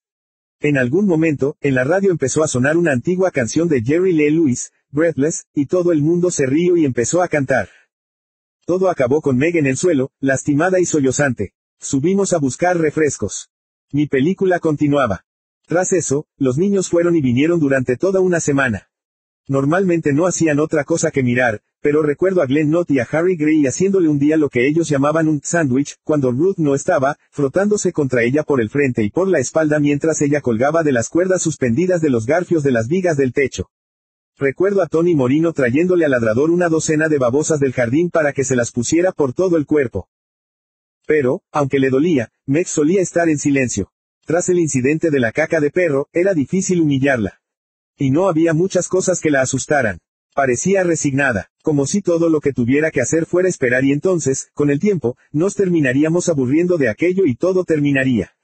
Pocas veces se revelaba, si lo hacía, bastaba con que llamásemos a Susan.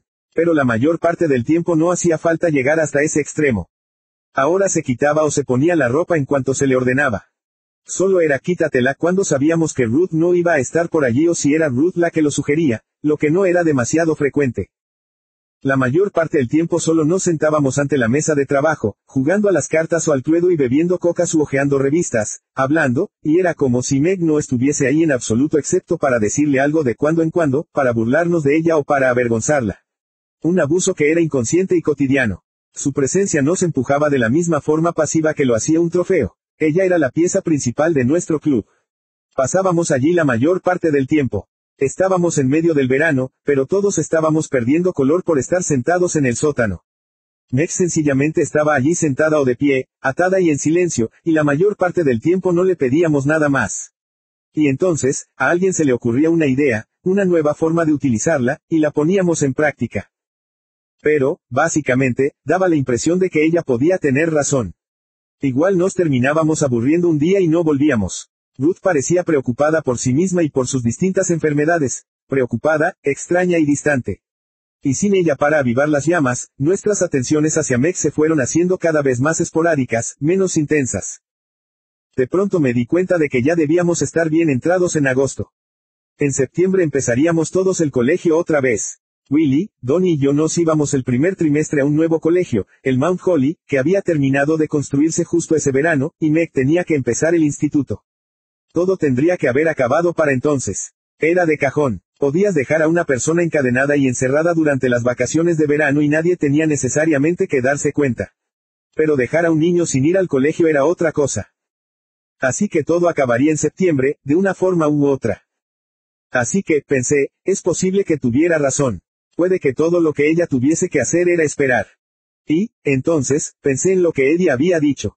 Y empecé a preocuparme por sí, en vez de eso, estaría totalmente equivocada. Fue Eddie quien acabó con el club. Lo hizo al exigir más aún. Pasaron dos cosas. La primera sucedió en un feo día de lluvia, el típico día que comienza gris y nunca pasa del color de la crema de champiñones antes de volver a ponerse totalmente negro. Eddie le había robado a su padre un par de paquetes de seis cervezas y se los trajo consigo, y Dennis, Tony Morino y él se bebieron ávidamente unas cuantas, mientras que Willy, ladrador, Donnie y yo nos bebimos las nuestras con más lentitud. Pronto, ellos tres estaban borrachos y los paquetes de seis se habían acabado, por lo que Willy subió a por más. Justo cuando Eddie decidió que tenía que mear, lo que le dio una idea. Nos la susurró. Cuando Willy volvió, él y Tony Morino bajaron a Meg al suelo, la tumbaron sobre su espalda y le ataron fuertemente los brazos a las patas de la mesa. Dennis la agarró por los pies. Le pusieron varios periódicos bajo la cabeza. Y entonces Eddie le meó en la cara. Si Meg no hubiese estado atada a la mesa, creo que hubiese intentado matarle. Pero en vez de eso, la gente se echó a reír mientras ella se debatía, hasta que, al final, se rindió y se quedó allí tumbada. Y entonces a Donnie se le ocurrió que a Ruth no le iba a hacer mucha gracia. Sería mejor que lo limpiaran todo. Así que levantaron a Meg y le ataron los brazos a la espalda y la mantuvieron así, mientras Ladrador recogía los papeles y los sacaba al incinerador y Donnie echaba algo de agua en la gran pila de cemento que tenían en el sótano para desaguar la lavadora. Echó dentro un montón de Tide. Luego volvió y entre Tony, Willy y él la sacaron del refugio hasta el sótano propiamente dicho, junto a la pila. Le metieron la cabeza en el agua jabonosa y la mantuvieron allí debajo, riéndose, mientras Willy le frotaba el pelo. Tras un instante o dos empezó a debatirse. Cuando la dejaron salir, jadeaba sin respiración. Pero estaba limpia. Y entonces a Eddie se le ocurrió otra idea. Tenemos que aclararla, dijo. Tiró toda el agua, secó la pila y la volvió a llenar con el agua de aclarado muy caliente, exactamente igual a como Ruth había hecho con la ducha. Luego, él solo, le hundió la cabeza. Cuando le dejó volver a la superficie, su cara estaba tan roja como un cangrejo y ella chillaba, y la mano de Eddie estaba tan roja que realmente te preguntabas cómo había sido capaz de mantenerla ahí debajo. Pero ahora ya estaba aclarada. Lavada y aclarada acaso Ruth no iba a alegrarse por ello. Ruth se puso furiosa. El día siguiente mantuvo unas compresas frías sobre los ojos de Meg. Temía realmente por su vista. Tenía los ojos tan hinchados que apenas podía abrirlos, y manaba de ellos un líquido muchísimo más espeso que las lágrimas. Su cara estaba llena de manchas, horrible, como si fuera un caso mastodóntico de infección con hiedra venenosa. Pero eran los ojos los que tenían a todos preocupados. La mantuvimos en el colchón de aire. Le dimos de comer, sabiamente, Eddie se mantuvo alejado. Al día siguiente, estaba mejor. Al tercer día, Eddie volvió. Yo no estaba allí ese día, mi padre me tenía ocupado en el nido del águila, pero me lo contaron bastante pronto. Al parecer, Ruth estaba arriba, tumbada, y se imaginaron que dormía debido a otra de sus jaquecas. Ladrador, Donnie y Willy estaban jugando a los ocho locos cuando Eddie y Dennis entraron. Eddie quería volver a quitarle la ropa, solo para mirar, dijo, y todo el mundo estuvo de acuerdo. Estaba calmado y silencioso. Bebía una coca. La desnudaron, la amordazaron y la ataron boca arriba sobre la mesa de trabajo, pero esta vez ataron cada pie a una pata distinta de la mesa. Idea de Eddie. Quería abrirla de piernas. La dejaron por un tiempo mientras acababan la partida de cartas y Eddie se terminaba su coca. Y entonces Eddie trató de meterle dentro la botella de coca. Supongo que estaban todos tan sorprendidos y tan embebidos con lo que Eddie estaba haciendo que no oyeron a Ruth que bajaba a sus espaldas, pero cuando ella cruzó la puerta, Eddie tenía el cuello de la verde botella de coca casi metido dentro de Meg y todos los demás se agolpaban a su alrededor. Ruth echó un vistazo y empezó a chillar que se suponía que nadie debía tocarla, nadie, que estaba sucia, que tenía enfermedades, y Eddie y Dennis pusieron pies en polvorosa, dejando al ladrador, a Willy y a Donnie para que se enfrentaran a su furia. El resto lo supe por Donnie. Y Donnie me confesó que estaba aterrado. Porque Ruth estaba totalmente fuera de sí. Se dedicó a dar vueltas por la habitación rompiendo cosas y gritando incoherencias sobre que no había vuelto a salir, ni a ver una película, ni a cenar, ni a bailar, ni a fiestas, que todo lo que había hecho era quedarse allí sentada, cuidando de esos malditos y jodidos niños. Limpiando, planchando, preparando la comida y el desayuno, y que se estaba volviendo vieja allí dentro, vieja, todos sus buenos años perdidos, que todo su cuerpo se había ido al infierno, mientras golpeaba sin parar las paredes y la pantalla de alambre de la ventana y la mesa de trabajo. Y le daba patadas a la botella de coca de Eddie hasta que ésta se hizo añicos contra la pared. Y entonces le dijo algo como, ¿y tú? ¿Tú? A Maggie la miró como si fuera culpa suya el que el cuerpo de Ruth se estuviera yendo al infierno y el que no hubiera podido volver a salir, y la llamó puta y zorra y jodida basura inútil, y, entonces, se descalzó y la golpeó, dos veces, entre las piernas. Ahora tenía heridas en esa zona. Heridas terribles. Por fortuna, dijo Donnie, Ruth llevaba zapatillas. Me lo pude imaginar. Tuve un sueño esa noche, la noche en la que me lo contó. Estaba en casa viendo la tele y ponían un combate de boxeo, Sugar Ray Robinson contra algún tipejo blanco enorme sin nombre y sin rostro, y mi padre dormía a mi lado, roncando, sentado en la silla llena de cojines, mientras que yo lo veía desde el sofá, y, aparte de la luz de la tele. La casa estaba a oscuras y yo estaba cansado, muy cansado. Y, de pronto, las cosas cambiaron y me encontré en el combate, al lado del cuadrilátero, con gente gritando a mi alrededor, y Sugar Ray esquivaba al tipo con esa forma típica suya, moviéndose como un tanque. Con los pies planos, moviendo la cintura. Era excitante. Así que yo estaba animando a Sugar Ray y busqué a mi padre para ver si él también estaba haciéndolo, pero él estaba profundamente dormido en el asiento de al lado, igual que lo había estado en el sofá, hundiéndose lentamente en el suelo. Despierta, le dijo mi madre, dándole codazos. Supongo que había estado allí todo el tiempo, pero no la había visto antes. Despierta, repitió. Pero no lo hizo. Y yo volví a mirar al cuadrilátero, pero, en lugar de Sugar Ray, era Meg la que estaba dentro, Meg tal y como la vi por primera vez, en el arroyo, vestida con pantalones cortos y una blusa pálida y sin mangas, con su coleta tan roja como el fuego moviéndose de un lado para otro a sus espaldas mientras pegaba al tipo. Le pegaba, y me puse en pie, animando, gritando. Meg, Meg, Meg.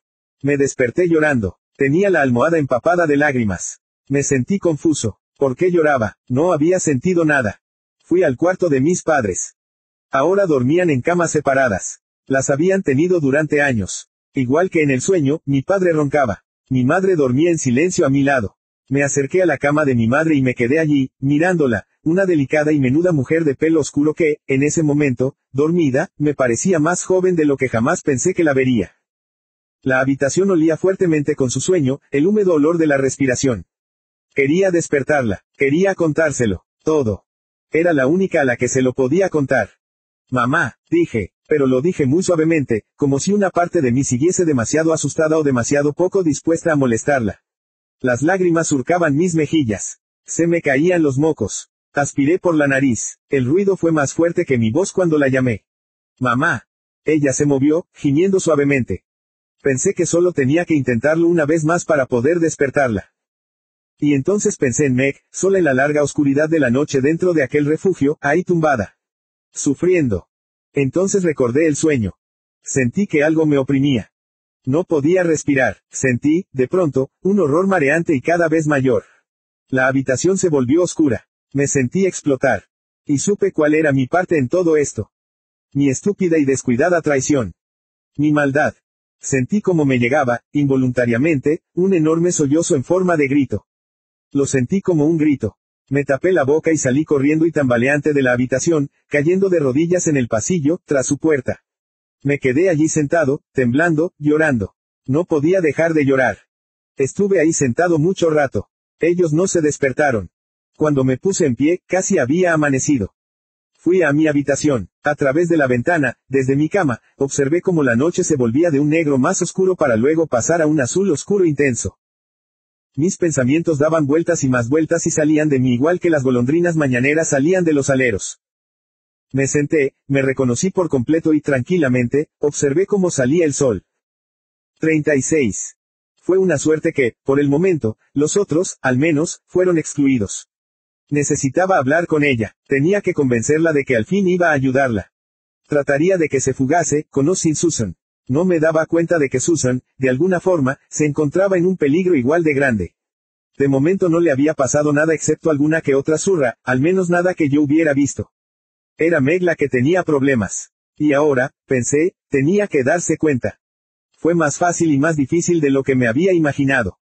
Más difícil porque me encontré con que yo también había sido excluido.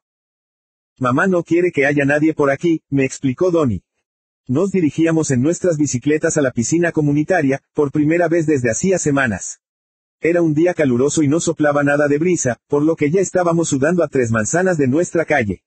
Y eso, yo no hice nada, ¿por qué yo? Bajamos una loma, no tuvimos que esforzarnos durante un rato. No es eso, has oído lo que hizo Tony Morino. ¿Qué? Se lo contó a su madre. ¿Qué? Sí, el muy estúpido, su hermano, Louis, nos lo contó. Ya sabes, no todo. Creo que no pudo contarle todo. Pero sí lo suficiente. Le dijo que teníamos a Meg en el sótano. Le contó que Ruth la llamaba puta y zorra y que le pegaba. Jesús, ¿y qué dijo? Donnie se echó a reír. Por suerte para nosotros, los morinos son unos católicos realmente estrictos. Su madre dijo que probablemente se lo merecía, que posiblemente es una perdida, o algo así. Dijo que los padres tienen derechos y que Ruth es ahora su madre. Así que, ¿sabes lo que hicimos? ¿Qué? Willy y yo fingimos que no lo sabíamos. Llevamos a Tony a Bleakers Farm, a los bosques que hay allí. No conocía ese sitio en absoluto. Hicimos que se perdiera y luego le dejamos en los pantanos. Le llevó dos horas y media encontrar el camino de vuelta y llegar a su casa, y, para entonces, ya estaba oscuro. Pero sabes qué es lo mejor. Su madre le dio una zurra por perderse la cena y llegar a casa lleno de fango del pantano y de porquería. Su madre. Nos reímos. Nos metimos en el camino recién construido que conducía al edificio de los recreativos, dejamos las bicis en el aparcamiento de bicicletas y atravesamos a pie el suelo pegajoso y de olor dulzón hasta la piscina. Enseñamos en la puerta nuestras bolsas de plástico. La piscina estaba abarrotada, niños pequeños pateando y salpicando en las orillas como una escuela de pirañas. La piscina para bebés llena de madres y padres que guiaban a sus pequeños, dedos regordetes agarrados a los tubos interiores de patitos y dragones. Había largas colas de gente impaciente ante los trampolines y el puesto de refrescos. Chaquetas amarillas en cada papelera esquivando envoltorios de helados y refrescos. Los gritos, chapoteos y chillidos que daba la gente que corría por el vallado recinto de hierba y cemento eran ensordecedores. Daba la impresión de que el silbato del socorrista sonaba cada 30 segundos. Colocamos nuestras toallas, fuimos a la zona de dos metros y medio y nos sentamos con las piernas balanceando dentro del agua que olía a cloro. Así que, ¿qué pasa conmigo? Le pregunté. Se encogió de hombros. No sé, respondió, mi madre está ahora muy preocupada. Por si alguien lo cuenta. Yo, vaya, yo no lo contaré, repliqué. Me recordé en la oscuridad, de pie al lado de mi madre dormida. Sabes que no lo contaré. Lo sé, Ruth está rara estos días. No seguí presionándolo. Donnie no era tan tonto como su hermano. Me conocía, se daría cuenta si trataba de forzarlo y se preguntaría por qué. Así que esperé, salpicamos con los pies. Mira, me dijo, hablaré con ella, vale. Es una chorrada, llevas viniendo a nuestra casa, ¿cuántos años? Un montón. Así que, que le den. Hablaré con ella, vamos al agua, nos metimos en la piscina. La parte fácil fue convencer a Meg para que se fuera. Había una razón. Por última vez, me dije a mí mismo, tendría que quedarme y mirar, esperando el momento en el que pudiera hablar. Y entonces la convencería, incluso tenía un plan en la cabeza. Y entonces se acabaría. Tenía que fingir que estaba con ellos pasara lo que pasara, que no importaba. Una última vez. Pero casi no llegó a pasar. Porque esa última vez fue casi suficiente como para ponernos a los dos en el disparadero. Esa última vez fue espantosa. 37. Está bien, me dijo Donnie al día siguiente. Mamá dice que puedes venir. ¿Ir a dónde? preguntó mi madre. Estaba detrás de mí en el fregadero de la cocina, cortando cebollas. Donnie estaba en el porche, detrás de la pantalla. Al estar yo en medio, no se había dado cuenta de que ella se encontraba allí. La cocina apestaba a cebolla. ¿A dónde vais? repitió. Lo miré, pensó con rapidez. Vamos a tratar de ir a Sparta el próximo sábado, señora Morán. Una especie de picnic familiar. Habíamos pensado que igual David también podía venir. Puede, ¿verdad? No veo por qué no, contestó mi madre, sonriendo. Donny siempre era muy educado con ella sin resultar cargante, y ella lo apreciaba precisamente por ello, aunque no sentía lo mismo por el resto de la familia. Genial, gracias, señora Morán. Nos vemos, David, dijo él. Así que, poco después, fui allí. Ruth había vuelto al juego. Su aspecto era espantoso. Tenía heridas por toda la cara, y resultaba evidente que se las había rascado porque dos de ellas tenían la costra casi arrancada del todo. Tenía el pelo grasiento, pegado y con caspa. Aparentaba haber dormido varios días con el fino camisón de algodón. Y ahora sí que estaba seguro de que había perdido peso. Podías vérselo en la cara, las bolsas bajo los ojos, la piel estirada sobre los pómulos.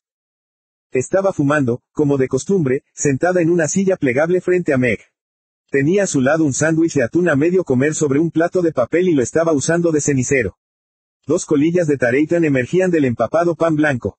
Estaba mirando fijamente, inclinada hacia adelante sobre la silla, guiñando los ojos. Y pensé en el aspecto que tenía cuando veía sus concursos por la tele, programas como 21. Charles Van Doren, el profesor de inglés de Colombia, acababa de ser acusado de hacer trampas al ganar 129 mil dólares en el concurso la semana anterior. Ruth estuvo tristísima, como si ella también hubiera hecho trampas. Pero ahora observaba a Meg con la misma pensativa intensidad con la que lo hacía con Van Doren en su cabina insonorizada. Jugando con él. Mientras, Ladrador pinchaba a Meg con su navaja. La habían vuelto a colgar del techo, y se encontraba de puntillas, sufriendo, con varios volúmenes de la World Book esparcidos a sus pies. Estaba desnuda, estaba sucia, llena de heridas. Bajo la capa de sudor, tenía ahora una extraña palidez. Pero no importaba nada de eso. Debería, pero no lo hacía. La magia, la pequeña y cruel magia de verla de aquella forma, flotó por un momento sobre mí como si fuera un hechizo. Ella era todo cuanto yo conocía sobre el sexo. Y todo cuanto sabía sobre la crueldad. Por un momento, sentí que me inundaba como si fuera un vino peleón. De nuevo estaba con ellos. Y entonces miré al ladrador.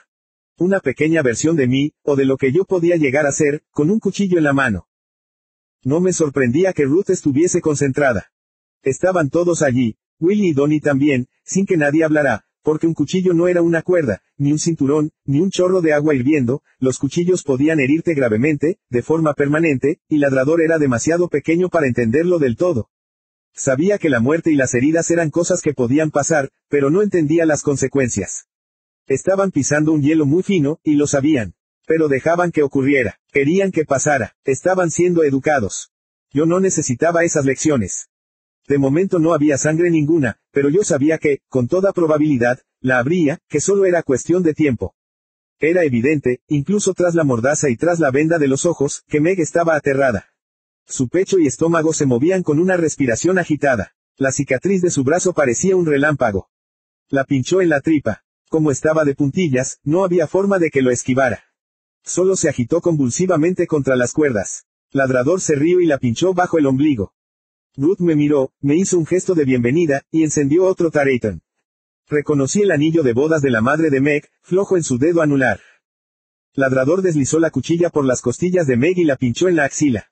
Lo hizo con tanta rapidez y de una forma tan descuidada que me quedé esperando a que surgiera sangre de sus costillas. Pero, esa vez, tuvo suerte. Pero vi otra cosa. ¿Qué es eso? ¿Qué es qué? preguntó Ruth, distraída. Eso, lo de la pierna.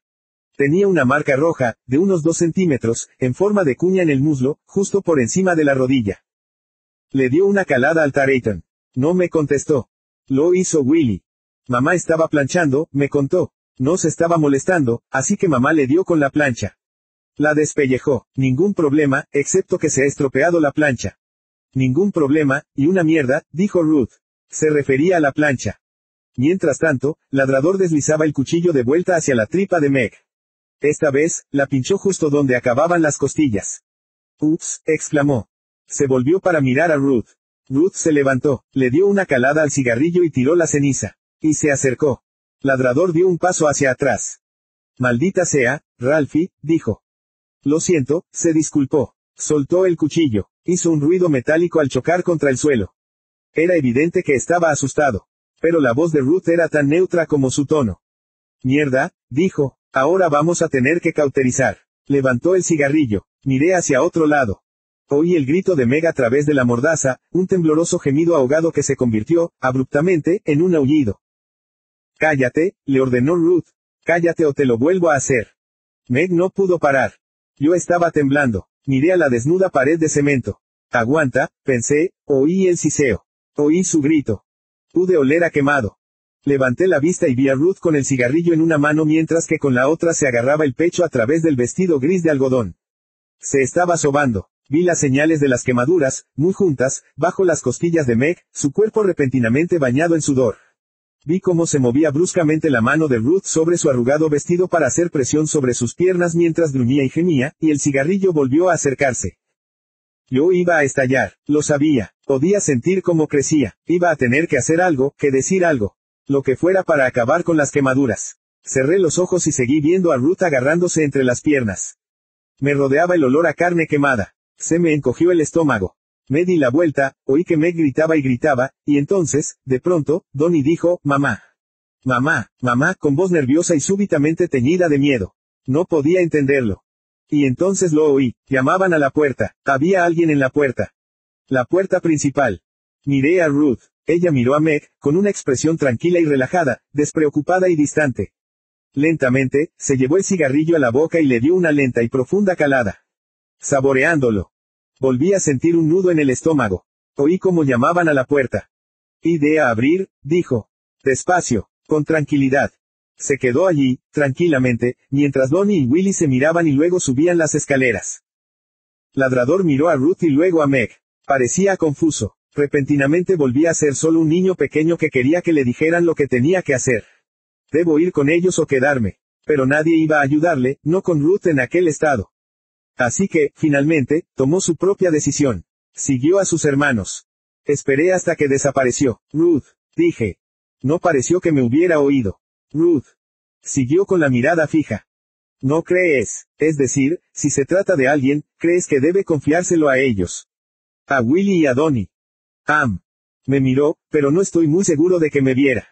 Nunca había visto a nadie que pareciera tan vacío.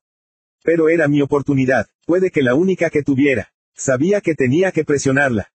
¿No crees que debería ser tú quien lo manejara, Ruth?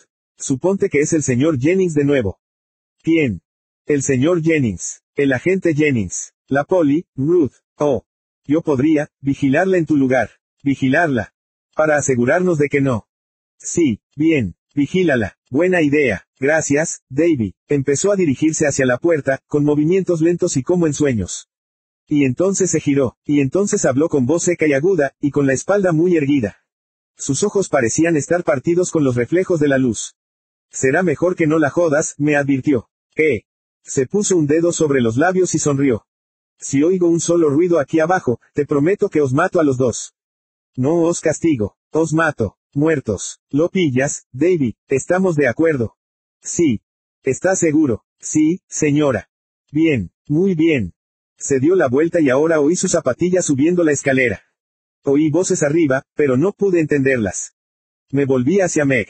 Descubrí dónde la había quemado por tercera vez. El pecho derecho. Oh, Jesús, Meg, exclamé. Me acerqué a ella. Soy David. Le quité la venda de los ojos para que pudiera verme. Sus ojos brillaban de forma salvaje.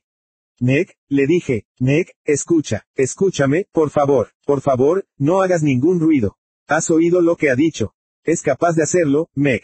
Por favor, no grites ni hagas nada, vale. Quiero ayudarte. No tenemos mucho tiempo. Escúchame. Te voy a quitar la mordaza, vale. No vas a gritar, ¿verdad? Eso no te ayudaría. Podría ser cualquiera el que ha llamado. La chica de Avon. Ruth podría convencerle de que no es nada. Podría convencer a cualquiera de cualquier cosa. Pero voy a sacarte de aquí, ¿me entiendes? Voy a sacarte. Estaba hablando a una velocidad de vértigo, pero no podía parar. Le quité la mordaza para que me pudiera contestar. Se humedeció los labios. ¿Cómo? me preguntó. Su voz era un débil y doloroso sonido áspero. Esta noche, tarde, cuando están dormidos, tiene que dar la impresión de que lo hiciste sola. Totalmente sola. Vale. Asintió. Tengo algo de dinero, continué. Estarás bien, y puedo pasarme por aquí para asegurarme de que no le pasa nada a Susan. Y puede que para entonces se nos ocurra algún modo de sacarla también de aquí. Puede que volver a ir a la poli. Enseñarles, esto. Vale. Vale. Vale, esta noche, lo prometo. Oí cómo se cerraba la puerta y ruido de pasos cruzando el cuarto de estar, los oí bajando la escalera. Volví a amordazarla, volví a taparle los ojos. Eran Donnie y Willy. Me miraron. ¿Cómo lo sabías? Me preguntó Donnie. ¿Saber el qué? Se lo has contado. ¿Contárselo a quién? ¿Contarle qué? ¿De qué estás hablando? No intentes tomarme el pelo, David. Ruth nos ha contado que le dijiste que podía ser Jennings el que llamaba a la puerta. Oh, Jesús, pensé. Oh, mierda, y yo que le había suplicado que no gritase. Podíamos haberlo parado en aquel mismo momento. Pero tenía que seguir fingiendo ante ellos. Estás de broma, le dije. No bromeo. El señor Jennings. Dios mío, si solo era una suposición. Una suposición muy acertada, señaló Willy. Solo era algo que dije para que ella. Para que ella que, subiera, pensé. Para que ella volviera a reaccionar. Cristo, la habéis visto. Parecía un maldito zombie. Se miraron el uno al otro. Estaba realmente muy rara, señaló Donnie. Willy se encogió de hombros. Sí, supongo. Quería que siguiesen por ese camino. Así no pensarían que había estado a solas con Meg. ¿Qué creéis? Pregunté, buscaba a Meg. Más o menos, contestó Donnie. Dijo que solo pasaba por aquí para ver cómo estaban esas agradables niñitas.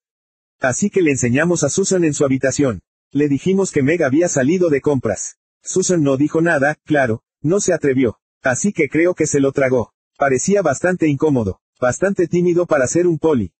¿Dónde está tu madre? Dijo que quería echarse un rato. ¿Qué vais a cenar? Era una pregunta un tanto absurda, pero fue lo primero que se me ocurrió. No sé, igual preparamos unos perritos en la parrilla. ¿Por qué? ¿Quieres venir? Le preguntaré a mi madre, contesté. Miré a Meg, ¿qué pasa con ella? Le pregunté. ¿Qué pasa con ella? ¿La vais a dejar así o qué? Deberíais hacer algo con esas quemaduras, al menos. Se le podrían infectar. Que le den, contestó Willy. No estoy seguro de haber acabado aún con ella. Se agachó y cogió el cuchillo del ladrador. Lo sopesó en la mano, de la cuchilla al mango, y se agachó y sonrió. Aunque puede que si lo haya hecho, continuó. No lo sé, no lo sé, se acercó a ella, y repitió para que ella pudiera oírlo y entenderlo bien. Simplemente no lo sé, burlándose de ella. Decidí ignorarlo. Voy a preguntárselo a mi madre, le dije a Donnie. No quería quedarme y ver lo que decidía. De una forma o de otra, no había nada que yo pudiera hacer. Tenía que dejar que algunas cosas siguieran su rumbo. Tenía que concentrarme en lo que sí podía hacer. Me di la vuelta y subí las escaleras. Arriba del todo, me tomé un momento para comprobar la puerta. Contaba con su pereza, con su falta de organización. Comprobé el candado. Y sí, seguía roto. 38. Hubo un tiempo en el que hasta los culpables tenían una extraña inocencia.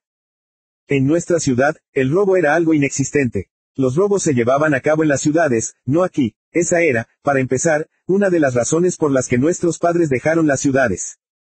Las puertas se cerraban debido al frío, el viento y la lluvia, no por las personas. Así que cuando el candado de una puerta o una ventana se rompía o se oxidaba tras años de mal tiempo, lo más normal es que se dejase así. Nadie necesitaba un candado para dejar fuera la nieve. La casa de los Chandler no era ninguna excepción. Tenían una puerta trasera con un candado que no creo que hubiera funcionado nunca, en toda mi vida. Luego había una puerta de madera que se había combado ligeramente de tal forma que el cierre del pestillo ya no encajaba con el hueco de la jamba. Incluso estando Meg allí prisionera, no se habían molestado en arreglarlo. Lo que dejaba la puerta de metal que conducía al propio refugio, que chirriaba. Sería algo desmañado y ruidoso, pero lo único que había que hacer era descorrer el pestillo. Creía que se podía hacer. A las 3 y 25 de la mañana, me acerqué a echar un vistazo. Llevaba en el bolsillo una linterna pequeña, una navaja y 37 dólares en billetes pequeños. Llevaba puestas unas zapatillas de deporte, unos vaqueros y la camiseta que mi madre me había teñido de negro a imitación de la que Elvis llevaba en Loving You. Para cuando crucé el camino hasta su patio, la camiseta se me había pegado a la espalda como si fuera una segunda piel. La casa estaba a oscuras. Entré en el porche y esperé, tratando de oír algo. La noche estaba silenciosa y clara bajo una luna casi llena. Daba la impresión de que la casa de los Chandler me echaba el aliento, crujiendo como los huesos de una vieja dormida. Daba miedo. Por un momento, quise olvidarme de todo, ir a casa, meterme en la cama y taparme con las mantas. Quería estar en otra ciudad totalmente distinta. Estuve toda la tarde imaginándome que mi padre o mi madre me decían, bueno, David, no sé cómo decírtelo, pero nos mudamos. No hubo suerte. Seguía pensando que me pillarían en las escaleras. La luz se encendería de repente y allí estaría Ruth, apuntándome con una pistola.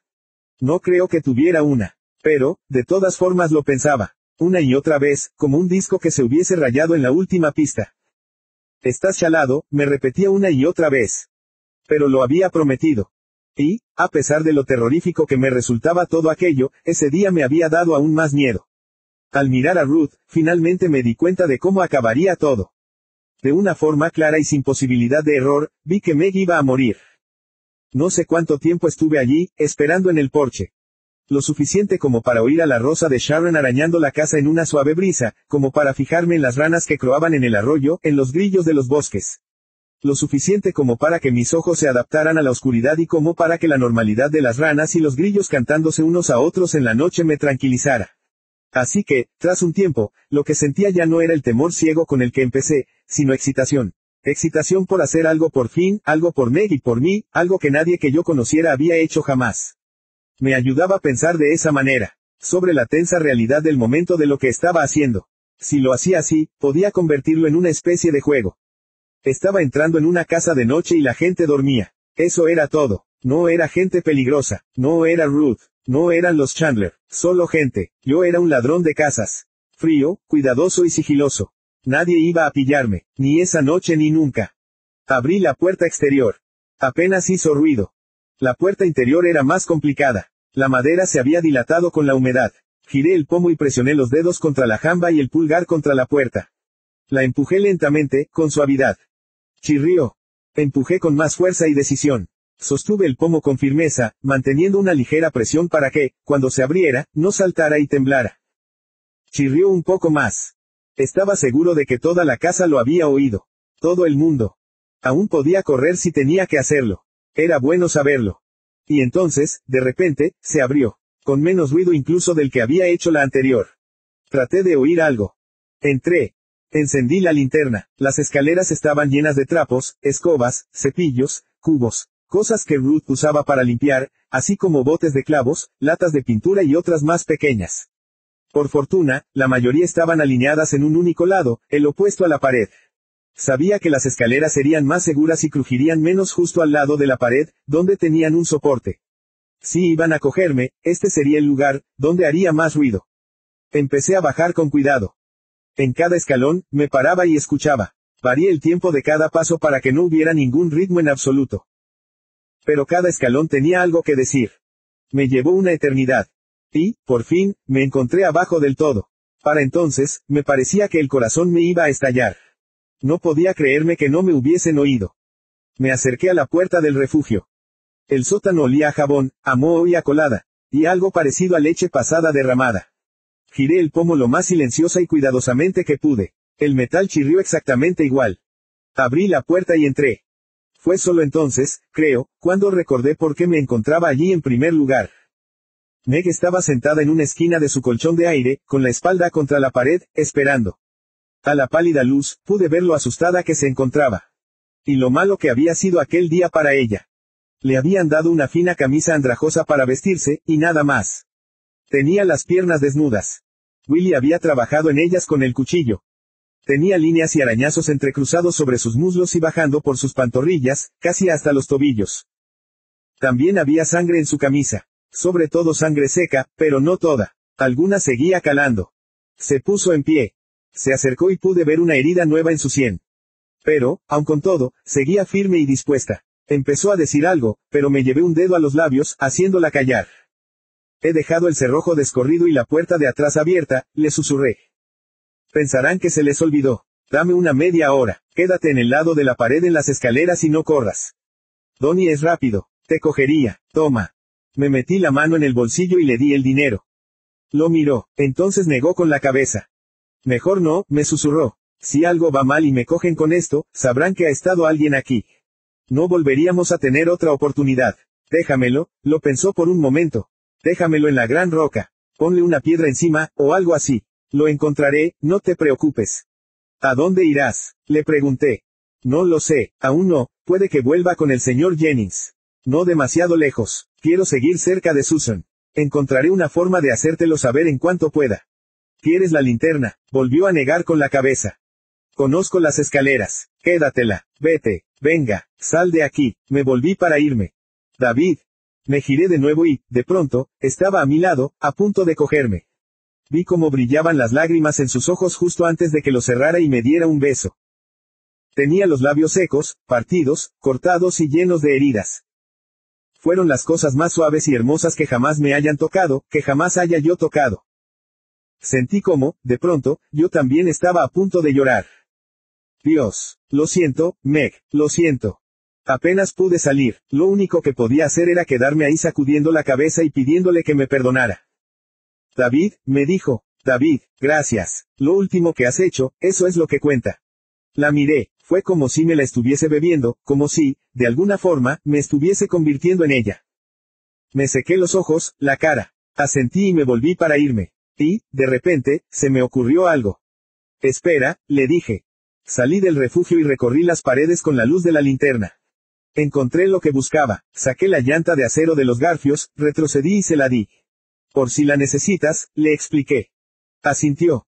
Buena suerte, Meg, dije, y, en silencio, cerré la puerta. Y volví a encontrarme en medio de todo aquello, en el abrumador silencio de la casa dormida, moviéndome lentamente hacia arriba, hacia la puerta de salida, sopesando cada paso contra el crujido de las camas y los susurros de las ramas de los árboles. Y entonces salí por la puerta. Crucé el patio a la carrera hasta el camino, atajé por la parte de atrás de mi casa y por los bosques. La luna brillaba, pero yo conocía el camino sin necesidad de la luna. Oí cómo fluía el agua del arroyo. Me detuve en la roca para recoger algunas piedras y bajé con cuidado por la orilla.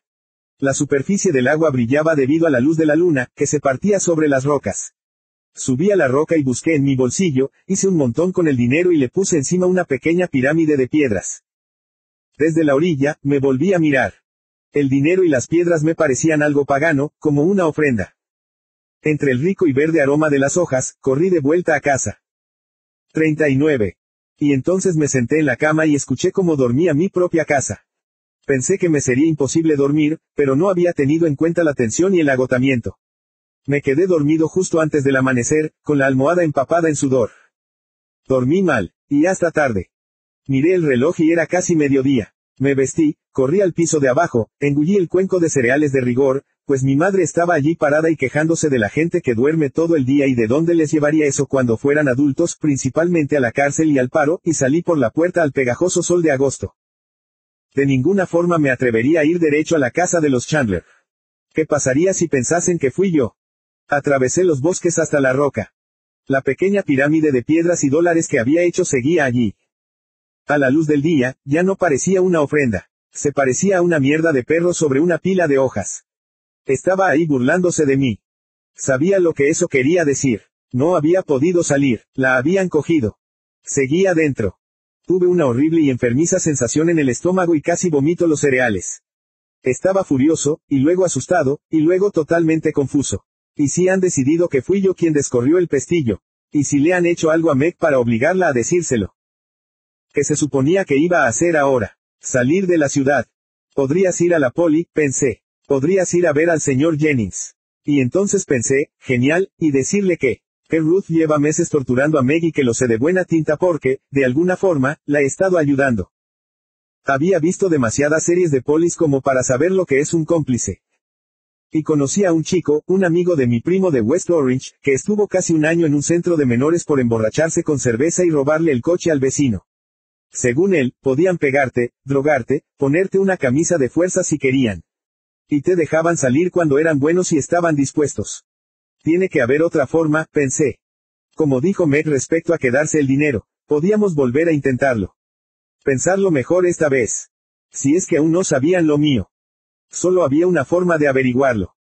Me subí a la roca, cogí los billetes de cinco y de uno y me los metí en el bolsillo. Entonces respiré profundamente, y fui allí. 40. Willy me recibió en la puerta y quedó claro que, aunque lo supiesen o lo sospechasen, él tenía asuntos más urgentes en la cabeza. Entra, me dijo. Parecía hecho polvo y cansado, aunque excitado, y los dos factores se combinaban para volverlo más feo que nunca. Saltaba a la vista que no se había lavado y le olía mal el aliento incluso para ser él. Cierra la puerta al pasar.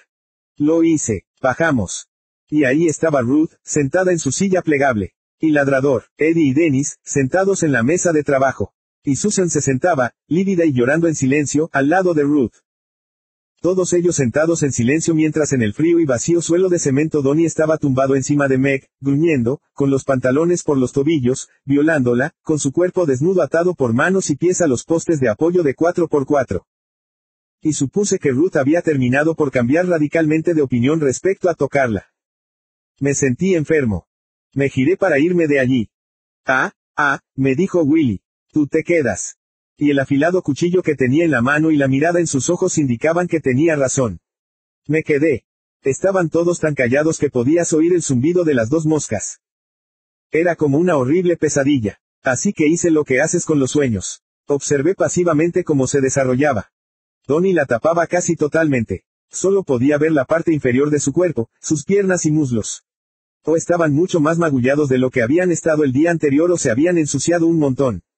Las plantas de sus pies estaban negras. Casi pude sentir su peso encima de ella, empujándola hacia abajo, golpeándola contra el duro y rugoso suelo. Estaba amordazada, pero no le habían vendado los ojos. Tras la mordaza, pude oír su dolor y su ultrajada indefensión. Él gruñó y se arqueó de pronto, y apretó su pecho moreno, y entonces se retiró lentamente de encima de ella. A mi lado, Willy suspiró con alivio. Ya está, dijo Ruth, asintiendo. Para eso es para lo que sirves. Dennis y Ladrador se rieron. Donnie se subió los pantalones. Se los abrochó, me miró, pero no directamente a los ojos. No podía culparle, yo tampoco podría mirarle directamente a los ojos. Probablemente hayas cogido la gonorrea, le dijo Ruth. Pero no importa, hoy en día tiene cura. Susan empezó de pronto a sollozar. Mami, se movía adelante y atrás en su silla. Quiero a mi mami. Oh, que cierre el pico de una santa vez, dijo Ladrador. Sí, apoyó Eddie. Cierra el puto pico, le ordenó Ruth. Cállate. Le dio una patada a su silla. Retrocedió y le dio otra, y Susan se cayó. Se quedó allí tumbada, gritando, arañando el suelo con sus protectores. Quédate ahí, le dijo Ruth. Quédate ahí, quédate donde estás. Y entonces se volvió para enfrentarse al resto de nosotros. ¿Quién más quiere? preguntó. Davy, Eddie. Yo, dijo Willy. Ruth lo miró. No sé si es posible, contestó. Tu hermano acaba de montárselo con ella. Me parece que es incesto. No sé. Oh, mierda, mamá. Protestó Willy. Bueno, pues lo es. No es que la putita me importe una mierda. Pero me sentiría muchísimo mejor si se tratase de Eddie o de Davy. Davy no la desea, por amor de Dios. Claro que sí. No, no la desea. Me miró, yo aparté la vista. Se encogió de hombros. Puede que no, es un chico sensible. Sé que yo no la tocaría. Pero no soy un hombre, ¿verdad? Eddie. Yo quiero cortarla, dijo Eddie. Sí, yo también, apoyó Ladrador. Cortarla. Ruth parecía confusa. Dijo que podíamos cortarla, señora Chandler, remarcó Dennis. Ah, sí.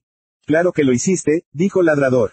¿De veras? ¿Cuándo? ¿Cortarla de qué forma? Eh, vamos, quiero tirármela, la interrumpió Willy.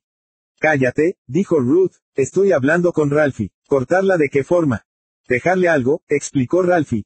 Para que la gente lo sepa. Para que la gente sepa que es una puta. Eso es, como una letra escarlata o algo así, apoyó Dennis. Como en los cómics clásicos. Oh, queréis decir marcarla, dijo Ruth. Queréis decir marcarla, no cortarla.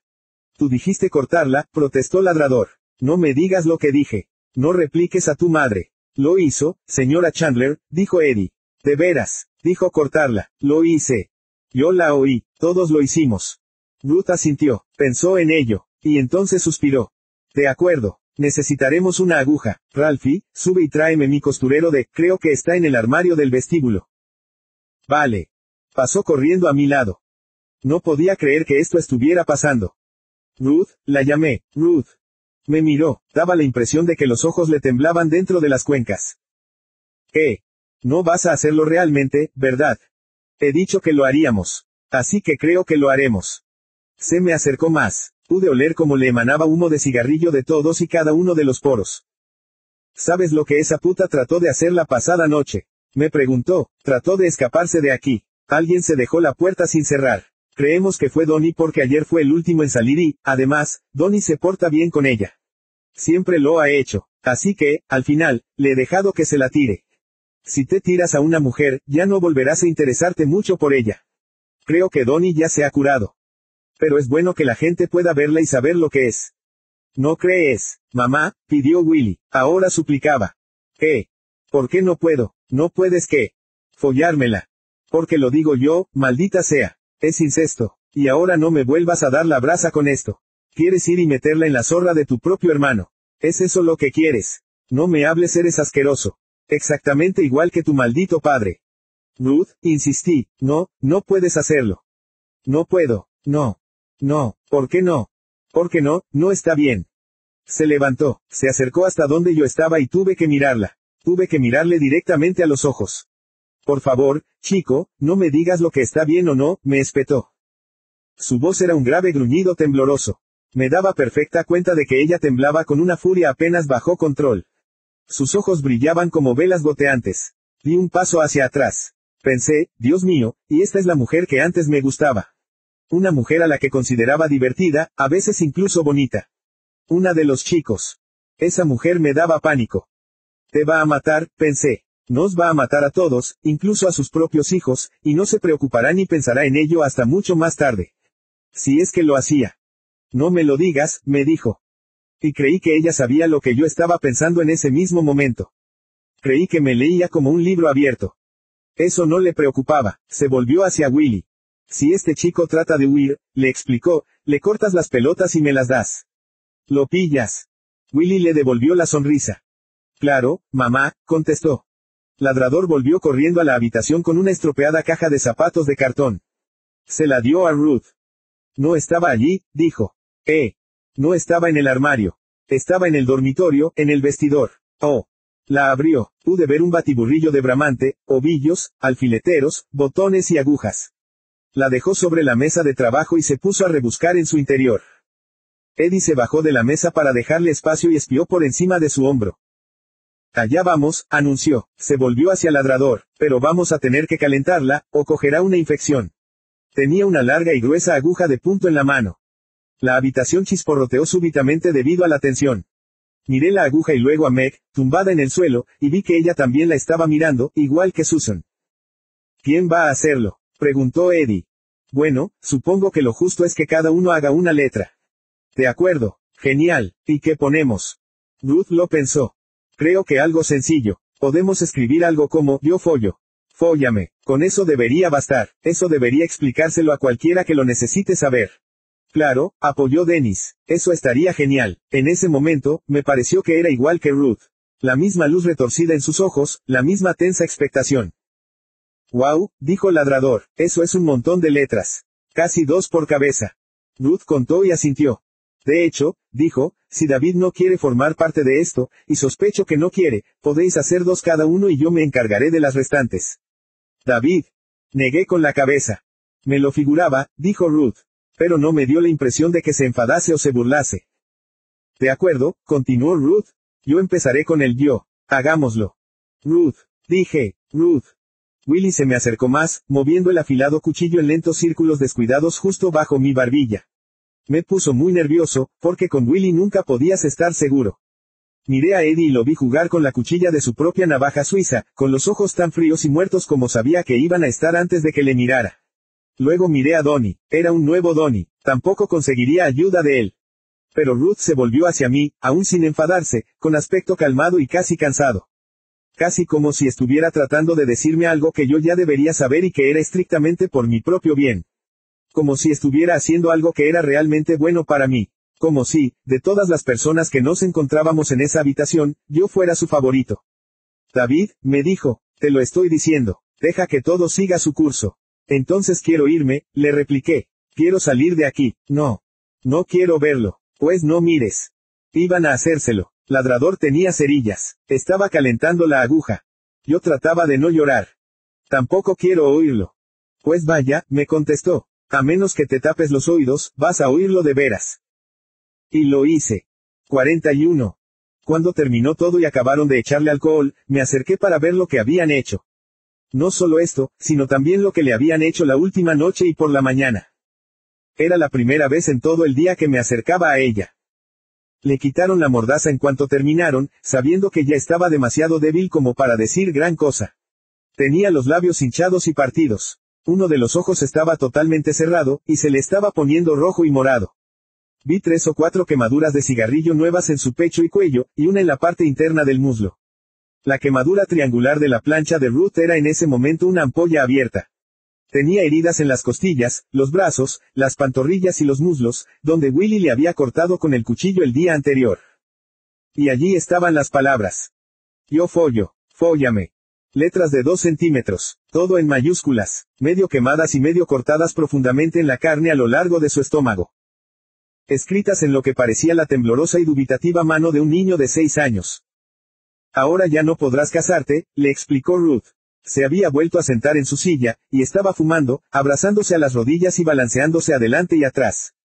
Willy y Eddie habían subido a por unas cocas. La habitación apestaba a humo y a sudor y a alcohol. ¿Ves? Es para siempre, Maggie, continuó. Ya no podrás desvestirte, para nadie, nunca, porque verá esas letras de ahí. Miré y me di cuenta de que era verdad. Ruth la había cambiado. Cambiado de por vida. Las quemaduras y las heridas podrían desaparecer, pero esto perduraría legible, aunque desvaído, incluso 30 años después.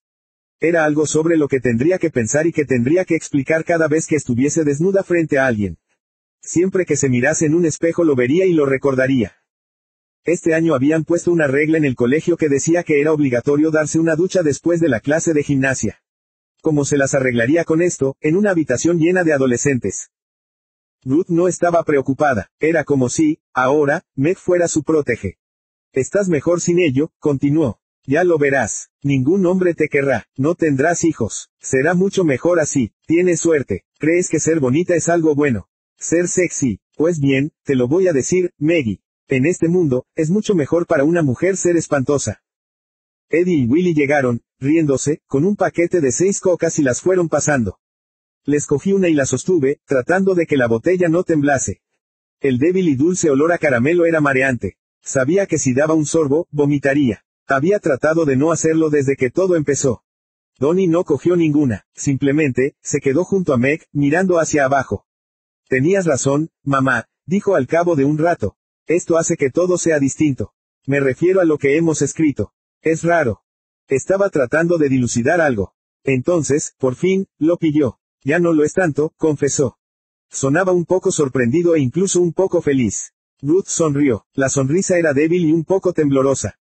Te lo dije, contestó. ¿Te das cuenta? Eddie se echó a reír, se acercó y le pegó una patada en las costillas. Meg apenas soltó un gruñido.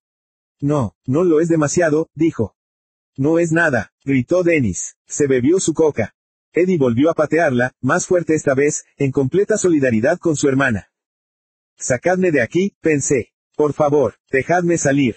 Supongo que ahora podemos volver a levantarla, sugirió Ruth. Dejémosla ahí, dijo Willy. Hace frío allí abajo. No quiero narices llenas de mocos ni estornudos. Levantémosla y echémosle un vistazo. Eddie le desató los pies y Donnie le liberó las manos de los cuatro por cuatro, pero las mantuvo atadas juntas y pasó la cuerda por uno de los garfios del techo. Meg me miró, se notaba lo débil que se encontraba. Ni siquiera una lágrima, ni siquiera tenía fuerzas para llorar. Solo un triste aspecto de derrota que parecía decir, ves en lo que me he convertido. Donnie tiró de la cuerda y le levantó los brazos por encima de la cabeza. La ató a la mesa de trabajo, pero esta vez la dejó algo floja. Era algo de descuido e impropio de él, como si ya no le importase en realidad. Como si ella no mereciera el esfuerzo. De acuerdo, algo había cambiado. Era como si, al grabarle esas letras, la hubiesen despojado de todo su poder para excitar, para provocar miedo, o lujuria, u odio. Lo que quedaba ahora solo era un montón de carne. Débil, y, de alguna forma, desdeñable. Ruth estaba sentada, contemplándola como un pintor estudia su lienzo. Hay algo que deberíamos hacer, dijo. ¿Qué? preguntó Donnie. Ruth lo pensó. Bueno, contestó, ahora ningún hombre va a desearla. Pero el problema es que Meg puede seguir deseándolos, sacudió la cabeza. Eso es una vida de tormento. Y. Lo pensó, la miramos. Voy a decirte lo que vas a hacer, dijo por fin. Sube a la cocina, coge algunos periódicos de la pila y tráelos aquí abajo. Un montón, ponlos en la pila de ahí atrás. ¿Por qué periódicos? ¿Qué vamos a hacer con los periódicos? Leérselos, sugirió Dennis. Se rieron. Hazlo, exigió Ruth. Subió, cogió los periódicos y volvió a bajar. Los amontonó junto a la lavadora. Ruth se puso en pie. Bien, ¿quién tiene una cerilla? Yo ya no tengo. Yo tengo algunas, dijo Eddie. Se las dio, ella se paró y cogió la llanta de acero que yo le había dado a Meg la otra noche. Me pregunté si había tenido ocasión de utilizarla.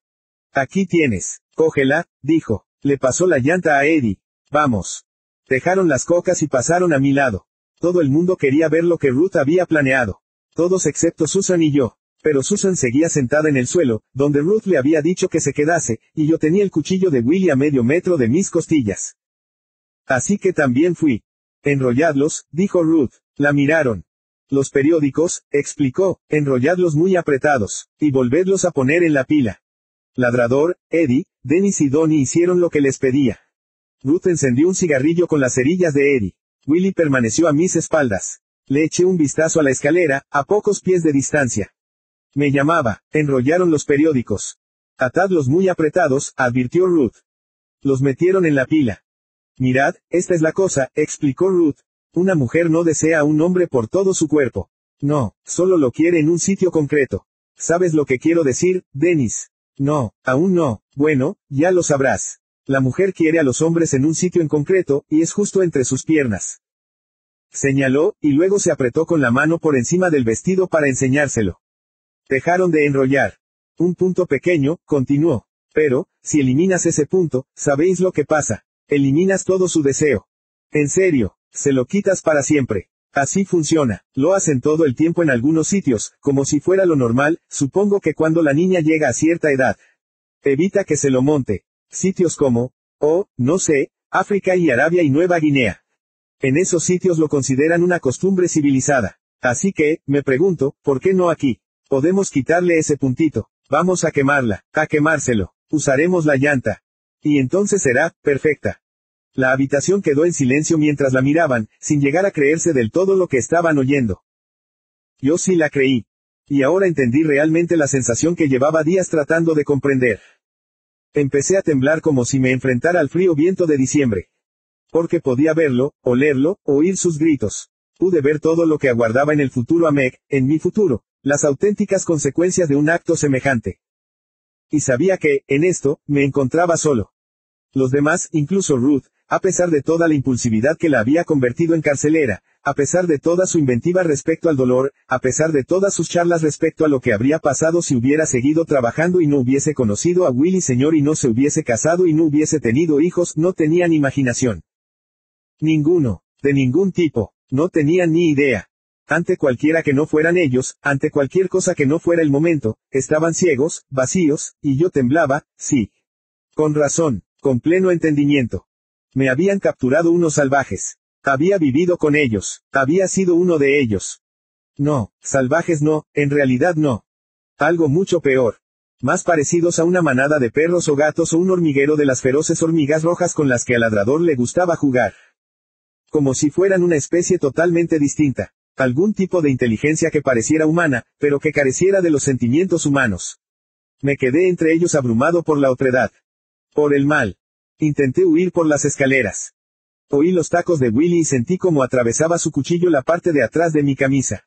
Me agarré a la barandilla de madera y me retorcí para alcanzar los escalones. Trastabillé, por debajo de mí, vi a Ruth señalando, gritando, con la boca convertida en un enorme y vacío agujero negro abierto.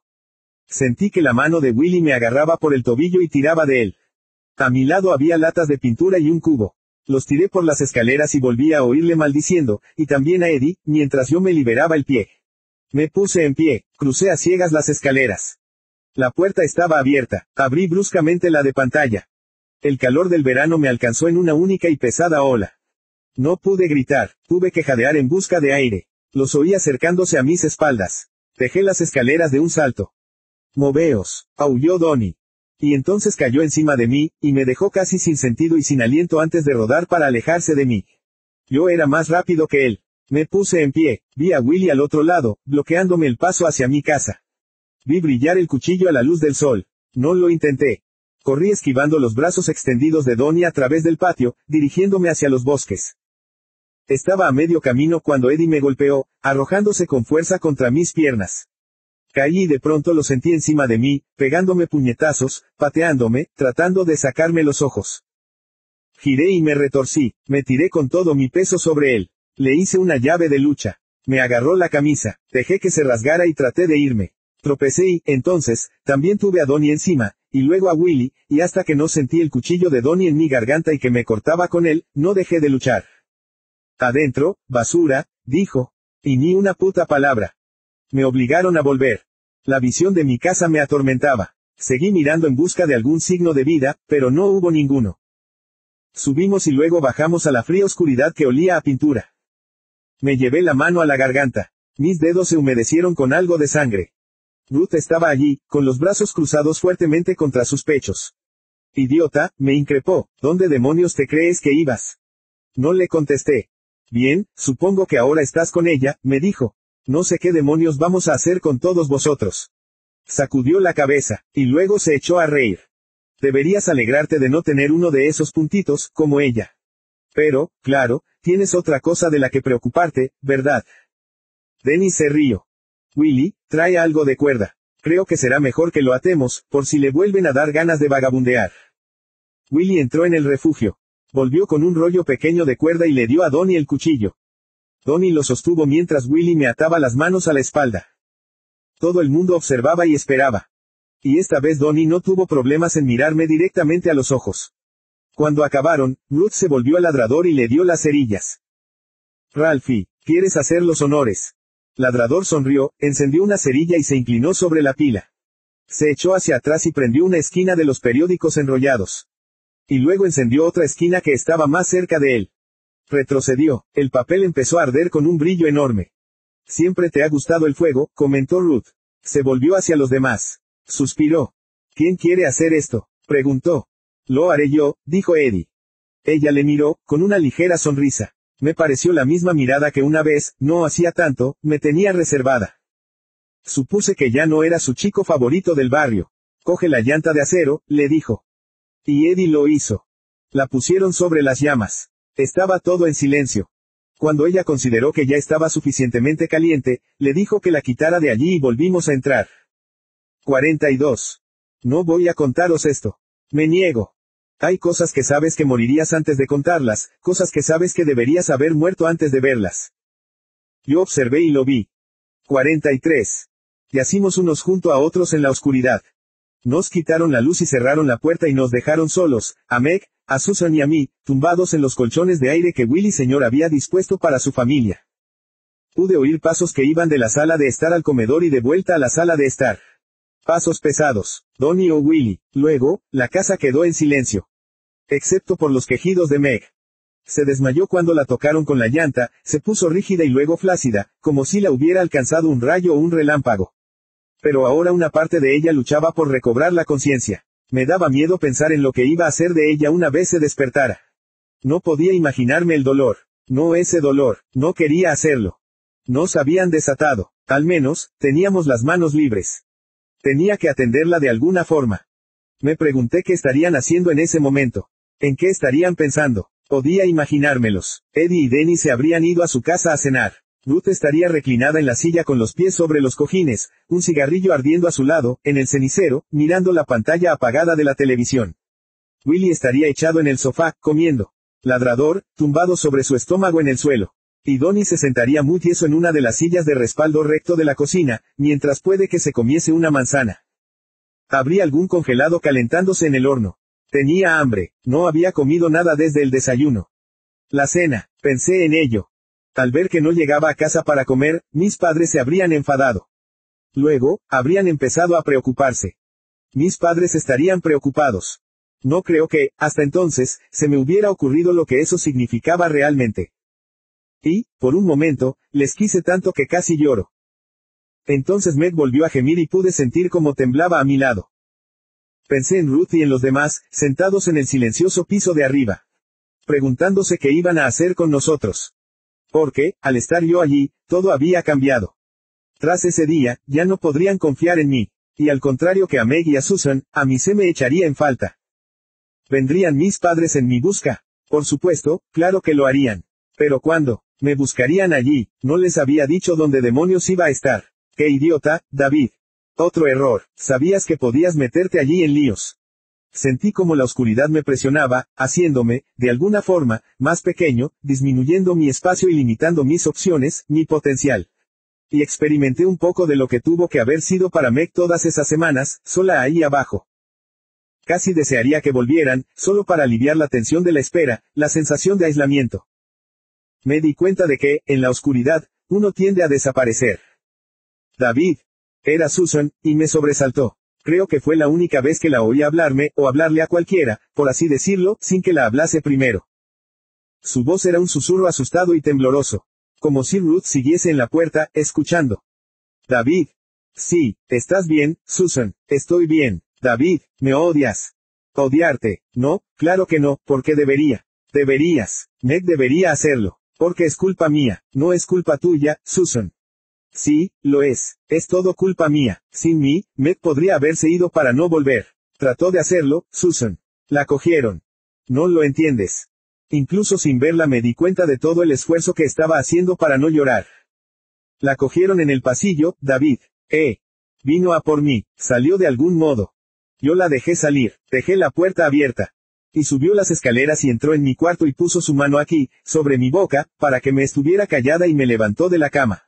Y me estaba llevando abajo, hacia el pasillo, cuando Ruth, cuando Ruth. No pudo aguantar más. Se echó a llorar. Me acerqué a ella y la toqué en el hombro. Eh, no pasa nada. No pasa nada. Cuando Ruth salió del cuarto de los chicos creo que no soy yo, sabes. Y agarró a Meg del pelo y la tiró al suelo y yo caí justo encima de ella, por lo que, al principio, no pudo moverse, y entonces salieron Willy, y Donnie, y Ladrador, y empezaron a golpearla, y a pegarla, y a darle patadas. Y entonces Willy fue a la cocina y cogió un cuchillo y se lo puso aquí, en la garganta, y le dijo que, si se movía, le cortaría la cabeza. Le cortaría la cabeza, eso es lo que dijo. Y entonces nos llevaron abajo. Más tarde, me tiraron los correctores. Este está estropeado. Oí el traqueteo. Y entonces le pegaron otro rato, y Ruth le puso su cigarrillo en, en. Se vino abajo y yo la rodeé con mi brazo mientras ella lloraba sobre mi hombro. No lo pillo, le dije. Iba a volver a por ti. Íbamos a encontrar el modo. ¿Por qué ahora? ¿Por qué trató de llevarte? ¿Por qué trató de llevarte con ella? Se secó los ojos. Oí cómo se sorbía los mocos. Creo que porque, Ruth, me explicó. Ruth, me toca, abajo, ya sabes, ahí abajo. Y una vez, me hizo sangrar. Y Meg, se lo conté a Meg, y se puso furiosa, muy furiosa, y le dijo a Ruth que lo sabía, y Ruth la volvió a pegar, le pegó con fuerza con una pala de la chimenea, y, se le quebró la voz. Lo siento, no quería hacerlo, debería haberse ido, debería haberlo hecho, no quería que le hicieran daño. No pude evitarlo, odio cuando me toca, odio a Ruth, la odio, y yo se lo conté a Meg, le conté lo que me hizo, y por eso la cogieron. Por eso vino a buscarme. Por mí, David, por mí, la sostuve y fue como acunar a un bebé, igual de frágil. Su, tranquila, todo irá, bien. Pensé en Ruth tocándola, podía imaginármelo. La rota e indefensa niñita, incapaz de luchar, la mujer con los ojos vacíos y brillantes como la superficie de un veloz riachuelo. Y lo bloqueé en mi mente. Tras un largo rato, se calmó. Tengo algo, dijo, sorbiendo por la nariz. Se lo di a Meg. Está detrás de la pata más alejada de la mesa de trabajo. Más allá de dónde está Meg. Búscalo. Lo hice. Volví con una caja de cerillas y una vela de dos centímetros. ¿De dónde? Se lo quité a Ruth. Encendí la vela. Su brillo de color miel llenó el refugio. Me hizo sentir mejor, hasta que vi a Meg. Hasta que lo hicimos los dos. Estaba tirada de espaldas, cubierta hasta la cintura con una vieja, delgada y sucia sábana que le habían echado por encima. Tenía los pechos y los hombros al aire. Tenía heridas por todas partes. Se le habían abierto las quemaduras y resumaban líquido. Incluso en sueños, los músculos de su cara le tensaban la piel debido al dolor. Su cuerpo temblaba. Las letras brillaban. Yo follo. Fóllame. Miré a Susan y me di cuenta de que estaba a punto de volver a llorar. Date la vuelta, le aconsejé. Porque era malo. Todo eso era malo. Pero lo peor no era lo que le habían hecho, sino lo que se estaba haciendo a sí misma. Tenía los brazos por fuera de la sábana. Dormía. Y se arañaba constante y profundamente con esas uñas sucias y rotas desde el codo izquierdo hasta la muñeca. Se estaba rasgando la cicatriz. Abriéndosela. El cuerpo, del que habían abusado y al que habían golpeado, se estaba volviendo contra sí mismo. No mires, le dije. Me quité la camisa y me las arreglé para morder y rasgar las costuras. Le arranqué dos tiras de la parte de abajo. Retiré los dedos de Meg. Le envolví con fuerza, dos veces, el brazo con la camisa. Luego la até arriba y abajo. Ahora no podría causarse demasiado daño. De acuerdo, dije. Susan estaba llorando. Lo había visto. Lo suficiente como para darse cuenta. ¿Por qué? me preguntó. ¿Por qué hace eso? No lo sé. Pero, de algún modo, lo sabía. Casi podía sentir lo furiosa que estaba Meg consigo misma. Por haber fallado. Por no haber podido liberarse, por fallarse a sí misma y a su hermana. Puede que incluso por ser el tipo de persona a la que le pasan este tipo de cosas. Por permitir que pasara y pensar que, de alguna forma, podría superarlo. Era injusto y equivocado que se sintiera así, pero creo que lo entendía. Había sido engañada, y, ahora esa buena y aguda inteligencia estaba furiosa consigo misma. ¿Cómo pude haber sido tan estúpida? Casi como si ahora se mereciera su castigo. Se había engañado al pensar que Ruth y los otros eran tan humanos como ella y que, en consecuencia, no podrían llegar tan lejos. No tan lejos, y eso no era verdad. No eran iguales en absoluto. Se había dado cuenta de ello. Demasiado tarde. Observé cómo sus dedos trataban de llegar a la cicatriz. La sangre calaba la camisa. Aún no demasiada, pero sentí la extraña y triste ironía de saber que con el tiempo igual tendría que usar el resto de la camisa para atarla y, así, contenerla. Arriba, sonó el teléfono. Cogedlo, oí que decía Ruth. Unos pasos cruzaron la habitación. Oí la voz de Willy, luego hubo una pausa y, después, la voz de Ruth hablando por teléfono. Me pregunté qué hora sería. Miré la pequeña vela y me pregunté cuánto duraría. La mano de Meg dejó la cicatriz. Jadeó en busca de aire y giñó. Sus párpados trataron de abrirse. Meg. Abrió los ojos. Estaban velados por el dolor. Sus dedos volvieron a la cicatriz. No, le dije, no lo hagas. Me miró, sin comprender al principio. Luego retiró la mano. David. Sí, soy yo, y Susan está aquí. Susan se acercó para que pudiera verla y los filos de la boca de Meg se elevaron en la más débil sombra de una sonrisa. E incluso eso pareció causarle dolor. Gimió. Oh, Dios, protestó. Duele. No te muevas, le aconsejé. Sé que duele, le subí la sábana hasta la barbilla. ¿Hay algo, algo que quieras que? No, contestó, solo dejadme, oh, Dios. Nick, dijo Susan, estaba temblando. Pasó por mi lado, pero no pudo llegar hasta ella. Lo siento, Meg, lo siento, lo siento. Está bien, Sus, lo intentamos, está bien, está. Casi podía sentir el dolor eléctrico que la recorrió. No se me ocurría qué podía hacer.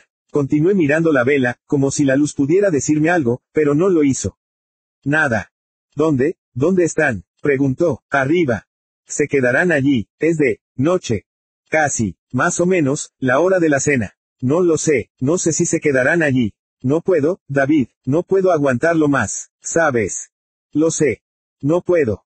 Descansa, tú descansa, sacudí la cabeza. ¿Qué? dijo ella. Ojalá hubiera algo, ¿qué? Con lo que pudiéramos herirlos.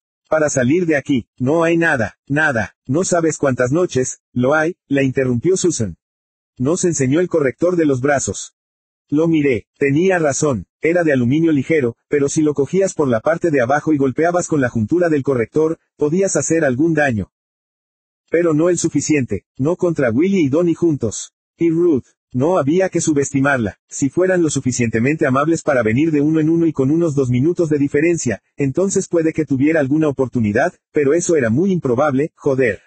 De todos modos, yo nunca había sido un gran luchador. Bastaba con que le preguntases a Eddie. Necesitábamos algo más. Miré a mi alrededor, se habían llevado casi todo. El extintor, la radio, las cajas de comida, incluso habían desaparecido el despertador y la bomba de aire para hinchar los colchones. Hasta se habían llevado las tiras de ropa con las que nos habían atado. Todo lo que teníamos era la mesa de trabajo demasiado pesada para moverla, y no digamos para arrojarla, los colchones, la sábana de Meg, su taza de plástico para beber y la ropa que llevábamos puesta. Y las cerillas y la vela. Y entonces se me ocurrió un uso para las cerillas y la vela. Al menos podíamos hacerles bajar cuando nosotros quisiéramos, no cuando a ellos les diera la gana. Podíamos confundirlos y sorprenderlos, y eso ya era algo. Algo. Inhalé profundamente, se me estaba ocurriendo un plan. De acuerdo, dije, ¿queréis que intentemos un par de cosas? Susan asintió, débilmente, también lo hizo Meg. Puede que no funcione, pero es posible que sí. Adelante, dijo Meg, hazlo, gimió, no te muevas, le aconsejé. No te necesito. Vale, solo hazlo, me contestó. A por ellos. Me quité las bambas altas que llevaba, le saqué los cordones y los até juntos. Luego cogí los zapatos de Susan y até sus cordones a los míos de tal forma que conseguí una mecha de unos 12 pies con la que empezar. Deslicé uno de los extremos por el cierre inferior de la puerta y lo até con fuerza, y luego pasé la mecha por el primero de los postes de apoyo de 4x4 y la até a unos 3 centímetros del suelo. Esto me proporcionó una trampa en un ligero ángulo de la puerta al poste, que delimitaba un tercio de la parte izquierda de la habitación según entrabas. Escuchad, les dije, esto va a ser duro. Y peligroso. Me refiero a que no solo van a ser ellos. Quiero provocar un incendio aquí dentro justo allí, frente a la mesa, más o menos en medio de la habitación. Olerán el humo y bajarán. Y esperemos que alguno tropiece con la cuerda. Mientras tanto, yo puedo estar al otro lado de la puerta con uno de los correctores de Susan. Pero va a haber un montón de humo y no hay mucho aire. Será mejor que vengan pronto o tendremos problemas. ¿Entendéis lo que quiero decir? Gritaremos, propuso Susan. Sí, espero que eso funcione, pero tendremos que esperar un rato para que puedan oler el humo. A la gente le entra pánico con el fuego, y eso ayudará. ¿Qué creéis? ¿Qué puedo hacer yo? preguntó Susan. No tuve más remedio que sonreír. No demasiado, Sus. Pensó en ello, con sus delicados rasgos infantiles muy serios. Ya sé qué puedo hacer. Puedo quedarme aquí, junto a los colchones, y si alguien trata de acercarse, le pongo la zancadilla. Vale, pero ten cuidado. No más huesos rotos, y asegúrate de que me deja suficiente espacio como para que pueda golpear con esa cosa. Lo haré. Meg, ¿te parece bien? Parecía estar pálida y débil. Pero asintió. Lo que sea, contestó. Me quité la camiseta. Voy, voy a necesitar la sábana, le dije. Cógela. Se la quité con cuidado. Se tapó con las manos la zona donde le habían quemado. Pero no antes de que yo viera la brillante herida roja y negra. Me encogí y Meg lo vio, y apartó la cara. Volvió a rascarse la cicatriz por encima de la camisa. No tuve valor para detenerla, para llamarle la atención acerca de lo que estaba haciendo. Y entonces sentí unas ganas locas de atizarle a alguien con el corrector. Estrujé la sábana y la puse justo donde quería, frente a la mesa. Coloqué mi camiseta y mis calcetines encima. Los míos también, dijo Susan. No es que fueran a marcar una gran diferencia, pero ella necesitaba ayudar, así que se los cogí y los tiré también al montón. ¿Quieres la camisa? preguntó Meg. No, quédatela. Vale, contestó, las uñas seguían escarbando. Su cuerpo parecía envejecido, los músculos, finos y flácidos. Cogí el corrector que me daba Susan y lo coloqué junto a la pared al lado de la puerta. Luego cogí la vela y me acerqué al montón. Tenía tanto miedo que se me hizo un nudo en el estómago. Vamos allá, dije, y bajé la vela. 44. El fuego ardió lentamente, pero había humo. Se elevó hacia el techo y empezó a salir. Nuestro propio hongo, dentro del refugio. Segundos después, había llenado totalmente la habitación. Apenas podía ver a Meg tumbada en el suelo. Nuestras toses eran auténticas. A medida que el humo iba haciéndose más espeso, nuestros gritos aumentaron. Se oían voces arriba, confusión, miedo, y luego un ruido de pasos que bajaban por la escalera. Corrían, estaban preocupados. Agarré con fuerza el corrector y esperé justo al lado de la puerta. Alguien trataba de descorrer el cerrojo. Y entonces se abrió la puerta y apareció Willy a la luz del sótano, sudando, mientras el humo le envolvía como una repentina niebla. Se tambaleó, se encontró con la cuerda de cordones y tropezó, cayó y resbaló por el suelo hasta caer de cabeza dentro del montón, gritando, golpeando el trapo que ardía en su mejilla y al crepitante y grasiento peinado que se derretía sobre su frente. Ruth y Donnie entraron juntos, con Donnie más cerca de mí, tratando de descubrir entre el humo lo que estaba pasando. Golpé con el corrector, vi cómo surgía sangre de la cabeza de Donnie y salpicaba a Ruth y el marco de la puerta mientras él caía, tratando de agarrarme. Bajé el corrector como si fuera un hacha, pero lo esquivó. El corrector se estrelló contra el suelo. Y, de pronto, Ruth pasó como una exhalación a mi lado, hacia Susan. Susan, su peón, su escudo. Me giré, golpé con el corrector y la alcancé en las costillas y en la espalda, pero no bastó para detenerla. Era rápida, Fui tras ella, levantando el corrector del suelo como un revés de tenis, pero ella alcanzó el escuálido pecho de Susan y la empujó contra la pared, la cogió del pelo y tiró de él hacia atrás. Oí un ruido parecido al que hace al caer una calabaza y Susan resbaló por la pared hasta el suelo. Golpé con el corrector, con todas mis fuerzas, la parte de abajo de la espalda de Ruth. Ella huyó y cayó de rodillas. Vi un movimiento por el rabillo del ojo. Me giré. Tony se había puesto en pie y venía hacia mí a través del humo cada vez menos denso. Luego lo hizo Willy. Agité el corrector de un lado a otro por delante de mí. Al principio, se acercaban lentamente, con cuidado. Estaban lo suficientemente cerca como para que pudiera ver lo quemada que estaba la cara de Willy, que tenía un ojo cerrado y la cara llena de lágrimas. Había sangre en la camisa de Donnie. Entonces Willy se agachó, y me placó. Golpé con el corrector, que se estampó contra su hombro, se levantó y soltó un chasquido al frenarse bruscamente contra su cuello. Willy lanzó un chillido y cayó. Vi a Donnie inclinarse hacia adelante y coger el corrector y oí un estruendo a mis espaldas. Ruth se subió a mi espalda y me clavó las uñas, siseando como un gato.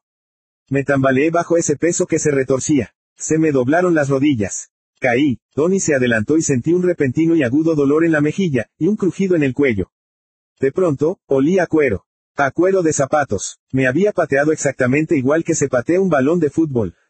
Vi una luz cegadora, mis dedos trataron de aferrarse con más fuerza al corrector, pero ya no estaba allí. Había desaparecido. La brillante luz se convirtió rápidamente en oscuridad. Me puse a duras penas de rodillas. Me pateó en el estómago. Volví a caer, jadeando en busca de aire. Volví a intentar levantarme, pero me fallaba el sentido del equilibrio. Sentí que me inundaba una ola de mareo y confusión. Y entonces alguien más empezó a patearme, en las costillas, en el pecho.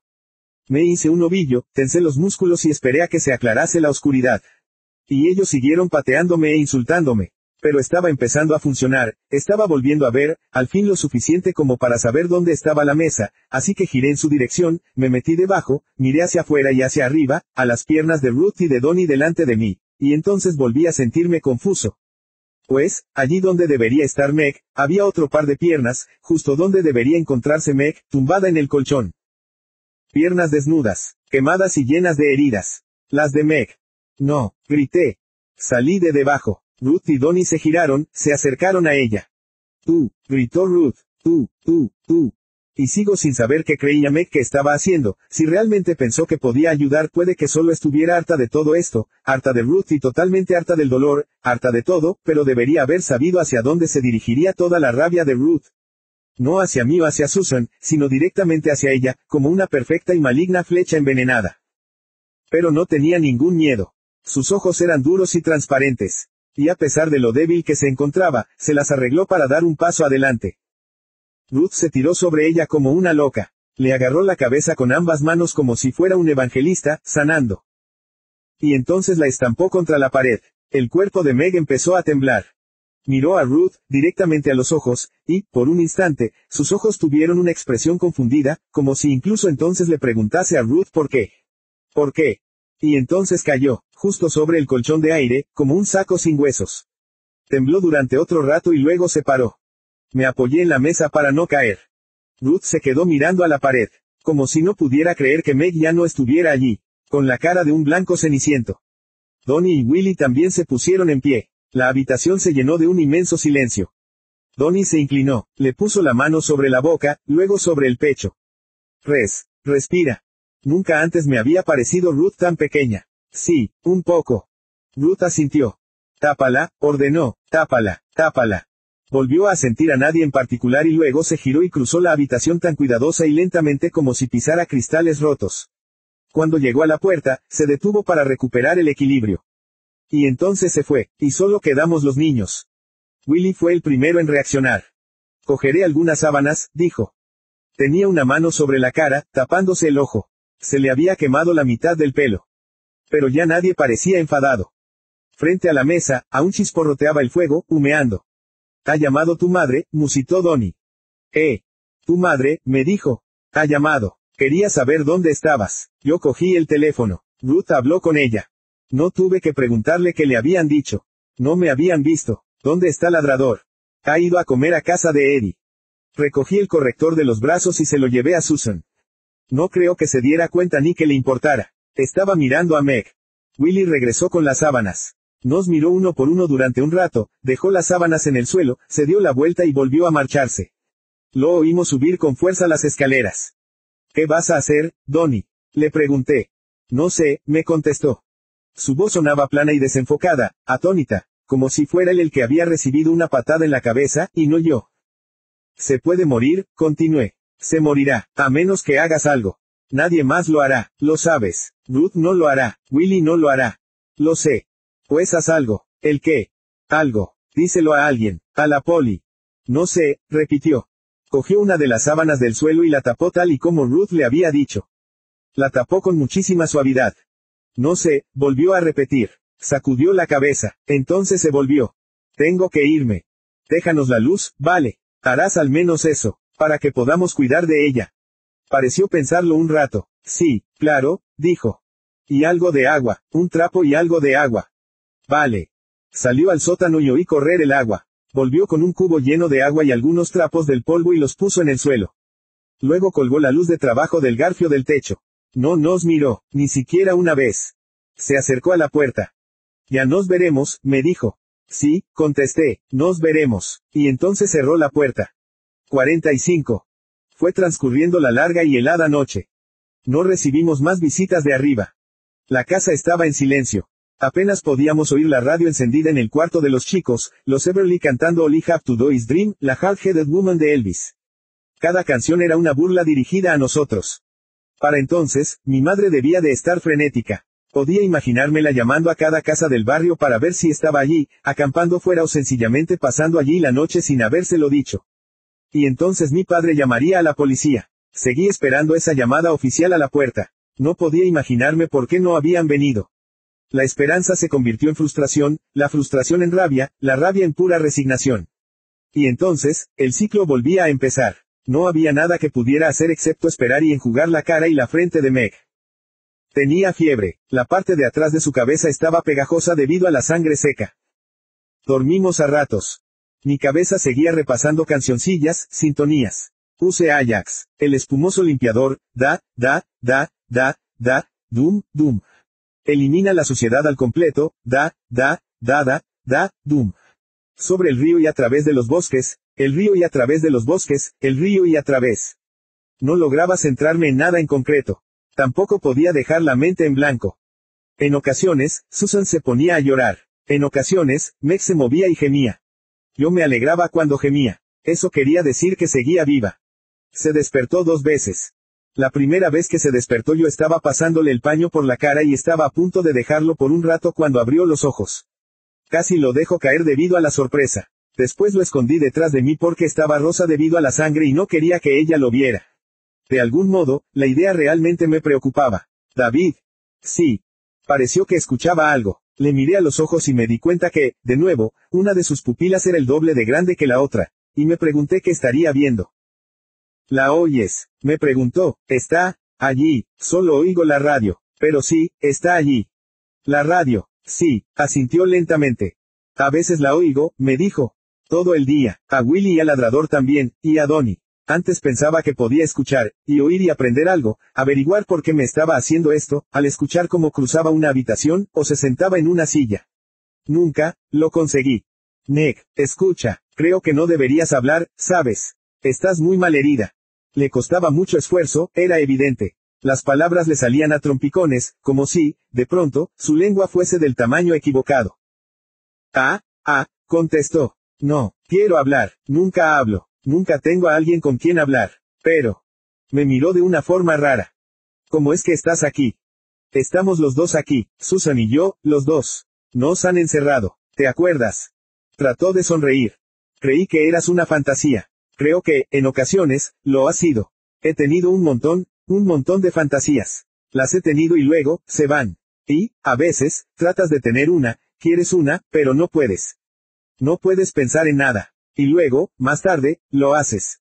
Antes le suplicaba, sabes, que parara, que me dejara en paz. Pensaba, tiene que hacerlo, lo hará durante un tiempo y luego me dejará en paz, se dará cuenta de que puedo caerle bien, y luego pensaba, no, no va a parar, tengo que salir de aquí, pero no puedo, no la entiendo, ¿cómo pudo dejar que me quemara? Por favor, Meg, se humedeció los labios. Sonrió, pero tú estás cuidando de mí, ¿verdad? Sí, y Susan también, sí. ¿Dónde está? Duerme. También es duro para ella, me dijo. Lo sé, sé que lo es. Estaba preocupado. Su voz iba haciéndose cada vez más débil. Ahora tenía que acercarme mucho para poder oírla. Me harías un favor, me dijo. Claro. Me cogió la mano. Su apretón fue muy débil. Recuperarás el anillo de mi madre. ¿Sabes cuál es el anillo de mi madre? Ella no me escuchará, no le importa, pero igual, podrías pedírselo. Podrías recuperar mi anillo. Lo recuperaré. ¿Lo prometes? Sí. Me soltó. Gracias, me dijo. Luego, tiempo después, continuó. Sabes, nunca quise a mi madre lo suficiente. No es raro. ¿Y tú? No, supongo que no, cerró los ojos. Creo que ahora me gustaría dormir un rato. Claro, le dije, descansa. Es raro, me dijo. No siento dolor, lo lógico sería sentirlo. Me quemaron y me quemaron, pero no siento dolor. Descansa, le dije. Asintió, y lo hizo. Y me quedé sentado, esperando oír cómo llamaba a la puerta el agente Jennings, mientras la letra de Green Door daba absurdamente vueltas y más vueltas en mi cabeza como si fuera un carrusel pintado de forma extravagante, una y otra vez, medianoche, una noche más sin dormir, observando. Hasta que la mañana llega sigilosa, puerta verde, ¿cuál es el secreto que guardas, puerta verde? Hasta que yo también me dormí. Cuando desperté, probablemente ya amanecía. Susan me estaba sacudiendo. Deténla, me decía, su voz un susurro asustado. Deténla, por favor, no dejes que lo haga. Por un momento, creí que me encontraba en casa, en mi cama. Miré a mi alrededor, recordé. Y Meg ya no estaba a mi lado. Mi corazón empezó a latir con fuerza, se me secó la boca. Y entonces la vi. Se había quitado la sábana, por lo que estaba desnuda, encorvada en la esquina junto a la mesa de trabajo. Su largo pelo caía sobre sus hombros. Su espalda estaba cubierta de secas manchas marrones, canales entrecruzados de sangre seca. La parte de atrás de su cabeza brillaba húmeda bajo la luz de trabajo. Pude ver cómo se le tensaban los músculos del cuello y los que rodeaban la columna vertebral mientras trabajaba. Oí ruido de uñas. Me levanté y me acerqué a ella. Estaba escarbando. Estaba escarbando con los dedos en el suelo de cemento, allí donde se encontraba con la pared. Cavando un túnel para salir. Se le escapaban pequeños ruidos de agotamiento. Se le habían roto las uñas y le sangraban, ya había perdido una de ellas, las yemas de sus dedos también sangraban, y su sangre se mezclaba con la tierra que escarbaba del cemento debilitado en una extraña aleación de ambas sustancias. Su última negativa a someterse. Su último acto de desafío. La voluntad que surgía de un cuerpo derrotado, para forzarlo a convertirse en piedra sólida. La piedra era Ruth, impenetrable, solo tierra y fragmentos. La piedra era Ruth. Meg, venga, por favor, le insté. Puse mis manos bajo sus brazos y la levanté. Lo hice con tanta facilidad como si fuera un bebé. Su cuerpo parecía cálido y lleno de vida. Volví a tumbarla sobre el colchón y la tapé con la sábana. Susan me acercó el cubo y le lavé los dedos. El agua se enrojeció. Empecé a llorar. No quería llorar, porque Susan estaba allí, pero no podía evitarlo ni ocultarlo. Simplemente llegó, me inundó, como la sangre de Meg sobre el cemento. Estaba caliente por culpa de la fiebre. Su calidez era una mentira. Casi pude percibir el olor de la muerte sobre ella. Podía verlo en la distendida pupila de su ojo, un agujero cada vez mayor, en el que podía desaparecer una mente. Le lavé los dedos. Cuando acabé, levanté a Susan para que pudiera tumbarse entre los dos y nos quedamos tumbados juntos y en silencio, observando su agitada respiración, mientras cada bocanada de aire que penetraba en sus pulmones era otro momento que unía los momentos, otros segundos de gracia.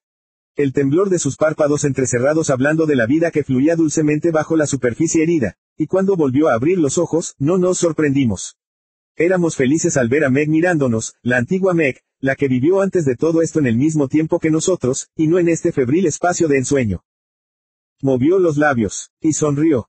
Creo que lo voy a conseguir, nos dijo, y buscó la mano de Susan. Creo que estaré bien.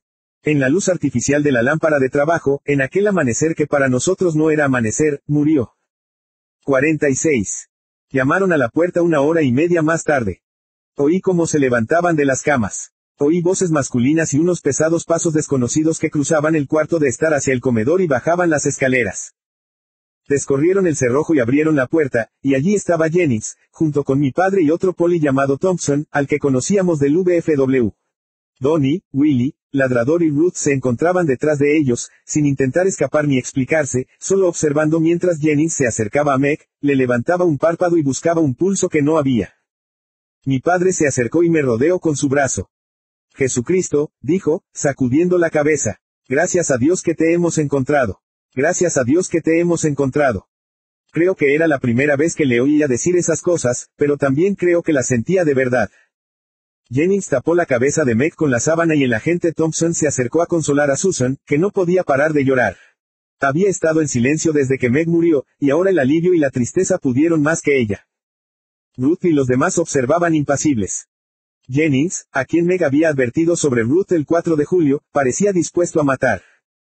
Con la cara enrojecida, apenas controlando su voz, siguió disparándole preguntas a Ruth, y saltaba a la vista que lo que en realidad quería disparar no eran preguntas, sino la pistola que seguía aferrando en su cadera. ¿Cómo pasó esto? ¿Cómo pasó esto otro? ¿Cuánto tiempo estuvo aquí abajo? ¿Quién escribió eso de ahí?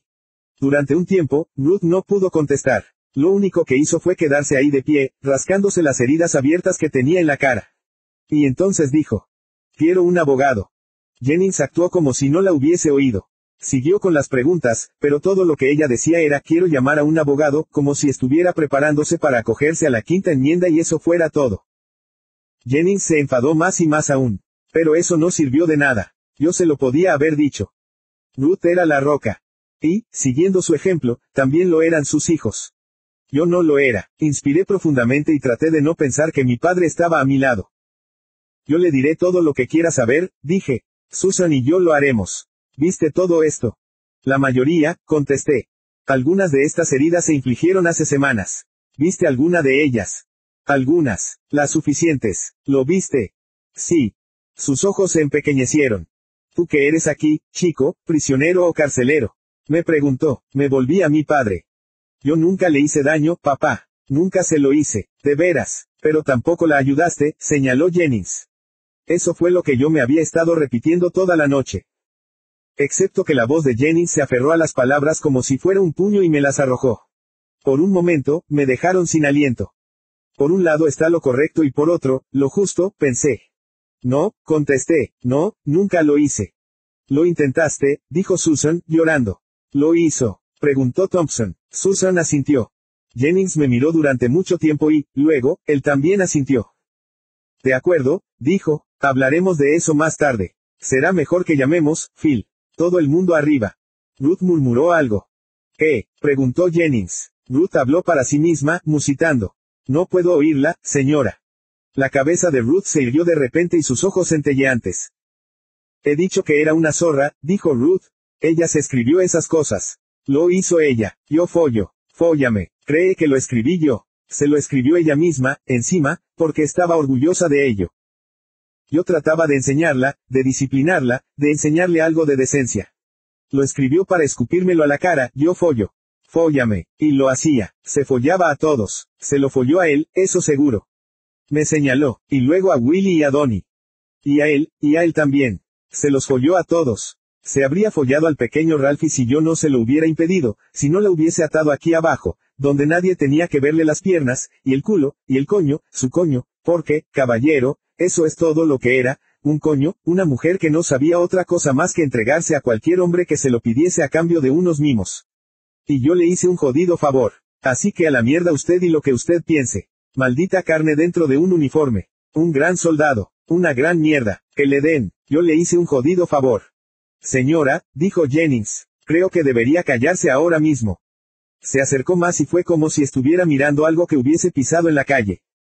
¿Entiende lo que quiero decir, señora? Señora Chandler, por favor, realmente espero que lo haga. Esa puta ranura que usted llama boca, manténgala cerrada.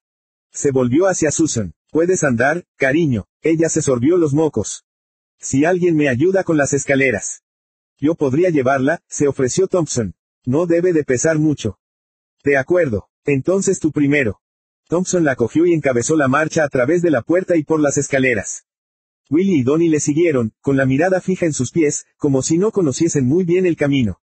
Mi padre subió detrás de ellos, como si ahora fuera parte de la policía, vigilándoles, y yo lo seguí. Ruth vino justo detrás de mí, pisándome los talones, como si, de pronto, tuviera prisa porque acabara todo. Miré por encima de mi hombro y vi que el ladrador iba prácticamente a su lado, y el agente Jennings le seguía. Entonces, vi el anillo. Brillaba con la luz del sol que lo bañaba procedente de la ventana de atrás. Seguí subiendo las escaleras, pero, por un instante, apenas fui consciente de dónde me encontraba. Sentí un calor que me recorría todo el cuerpo. Seguía viendo a Meg y oyendo su voz haciéndome prometer que recuperaría el anillo de su madre, que se lo pediría a Ruth, como si de entrada no fuera de Meg, sino que se lo hubiesen prestado, como si Ruth tuviese algún derecho sobre él, como si no fuera una puta ladrona. Y pensé en todo lo que Meg había pasado antes incluso de que la conociésemos, perdiendo a todos los que amaba, y quedándose solo con Susan, solo para conseguir esta sustituta. Esta cruel parodia de madre que le había robado no solo el anillo, sino todo, su vida, su futuro, su cuerpo, y todo con el pretexto de criarla, aunque lo que hacía en realidad no era criarla, sino empujarla, hundirla cada vez más, disfrutando de ello, exultante, hasta, por amor de Dios, terminar fundiéndola con la misma tierra en la que ahora yacía, sin poder crecer, borrada, desaparecida. Pero el anillo seguía allí, y en mi repentina furia me di cuenta de que yo también podía empujar. Me detuve, me di la vuelta y llevé mi mano a la cara de Ruth, con los dedos muy abiertos, y observé cómo sus ojos negros me miraban sorprendidos por un momento y llenos de miedo justo antes de que desaparecieran bajo mi mano. Supe que lo sabía, y que quería vivir. Vi que intentaba cogerse a la barandilla. Sentí que abría la boca. Por un momento, sentí la flácida carne de sus mejillas bajo mis dedos. Era consciente de que mi padre seguía subiendo las escaleras por delante de mí. Casi había llegado arriba del todo. Empujé. Nunca me he sentido tan bien ni tan fuerte, ni entonces ni nunca. Ruth gritó y Ladrador trató de cogerla, lo mismo que la gente Jennings, pero el primer escalón con el que se golpeó fue el de la gente Jennings, y se retorció mientras se golpeaba, por lo que él casi no pudo ni tocarla. Las latas de pintura cayeron al cemento del fondo. Ruth hizo lo mismo, aunque más lentamente. Se partió la boca contra las escaleras. Eso la hizo volar y girar como una acróbata, por lo que, cuando se golpeó contra el fondo, volvió a hacerlo con la cara, rompiéndose la boca, la nariz y el pómulo bajo el peso de todo su cuerpo, que cayó como un saco de piedras. Pude oír cómo se le partía el cuello. Y entonces se quedó allí tumbada. De pronto, un pestazo llenó la habitación. Estuve a punto de sonreír. Se había cagado encima como un bebé y pensé que era lo más apropiado, que estaba bien. Y entonces, de pronto, todo el mundo bajó las escaleras, Donnie y Willy, mi padre y el agente Thompson sin el peso de Susan, empujándome para pasar, y todos ellos gritaban y rodeaban a Ruth como si fuera un hallazgo arqueológico. ¿Qué ha pasado? ¿Qué le ha pasado a mi madre? gritaba Willy, y Ladrador estaba llorando. Willy había perdido realmente el juicio, y estaba agachado sobre ella, agarrando sus pechos y tripa, tratando de devolverla a la vida a base de masajes. ¿Qué demonios ha pasado? gritó Donnie. Todos me miraban desde el suelo como si pensaran descuartizarme, mientras mi padre se situaba en la base de las escaleras por si lo intentaban. ¿Qué ha pasado? preguntó el agente Thompson. Jennings se limitó a mirarme. Lo sabía, sabía demasiado bien lo que había pasado. Pero en ese momento no me importaba. Me sentía como si hubiese aplastado a una avispa. Una que me hubiese picado. Nada más y nada menos que eso. Bajé las escaleras y me enfrenté a él. Me miró durante otro rato. Luego se encogió de hombros. El chico tropezó, dijo. La falta de comida, la falta de sueño, ver morir a su amiga. Un accidente, es una pena, a veces pasa. Ladrador, Willy y Donnie no se lo tragaron, pero nadie parecía tenerles demasiado en cuenta en aquel momento, ni importaba lo que se tragaban o dejaban de tragarse. El olor de la mierda de Ruth era espantoso. Traeré una sábana, dijo Thompson. Pasó a mi lado. Ese anillo, dije, lo señalé, el anillo que lleva en el dedo era de Meg. Perteneció a la madre de Meg. Debería tenerlo Susan ahora, puedo dárselo. Jennings me lanzó una mirada apenada que me decía que ya era suficiente y que no le presionara más. Pero eso tampoco me importaba. El anillo le pertenece a Susan, insistí. Jennings suspiró. ¿Es eso verdad, chicos? Preguntó, las cosas irán mejor a partir de ahora si no mentís. Supongo, dijo Donnie. Willy miró a su hermano. Que te den, musitó. Jennings levantó la mano de Ruth y miró el anillo. De acuerdo, dijo, y, de pronto, su voz se volvió amable. Dáselo, se lo sacó del dedo. Dile que no lo pierda, me dijo. Lo haré. Me fui arriba. De pronto me sentía muy cansado. Susan estaba tumbada en el sofá. Me acerqué a ella y, antes de que pudiera preguntarme qué estaba pasando, se lo di. Vi que miraba el anillo y se daba cuenta de lo que era, y la mirada en sus ojos hizo que cayera de rodillas a su lado. Ella me buscó con sus pálidos bracitos, y yo la abracé, y lloramos y lloramos. Epílogo. Éramos menores, no criminales, sino delincuentes. Así que, según la ley, éramos inocentes por definición, no se nos podía pedir cuenta de nuestros actos, como si todo aquel que tuviera menos de 18 años fuera legalmente loco e incapaz de distinguir el bien del mal. Nunca se facilitaron nuestros nombres a la prensa. No tendríamos antecedentes penales ni se nos daría publicidad. Me pareció muy raro, pero, como estábamos excluidos de los derechos de los adultos, supongo que era normal que también se nos excluyese de las responsabilidades de los adultos. Normal, a menos que fueras Meg o Susan. A Donnie, a Willy, a Ladrador, a Eddie, a Dennis y a mí se nos llevó ante un juez de menores, y Susan y yo testificamos. No había fiscal ni abogado defensor, solo el honorable juez Andrew Silver y un puñado de psicólogos y asistentes sociales que discutieron encarecidamente qué hacer con cada uno de nosotros. Incluso desde el principio, resultaba obvio lo que había que hacer.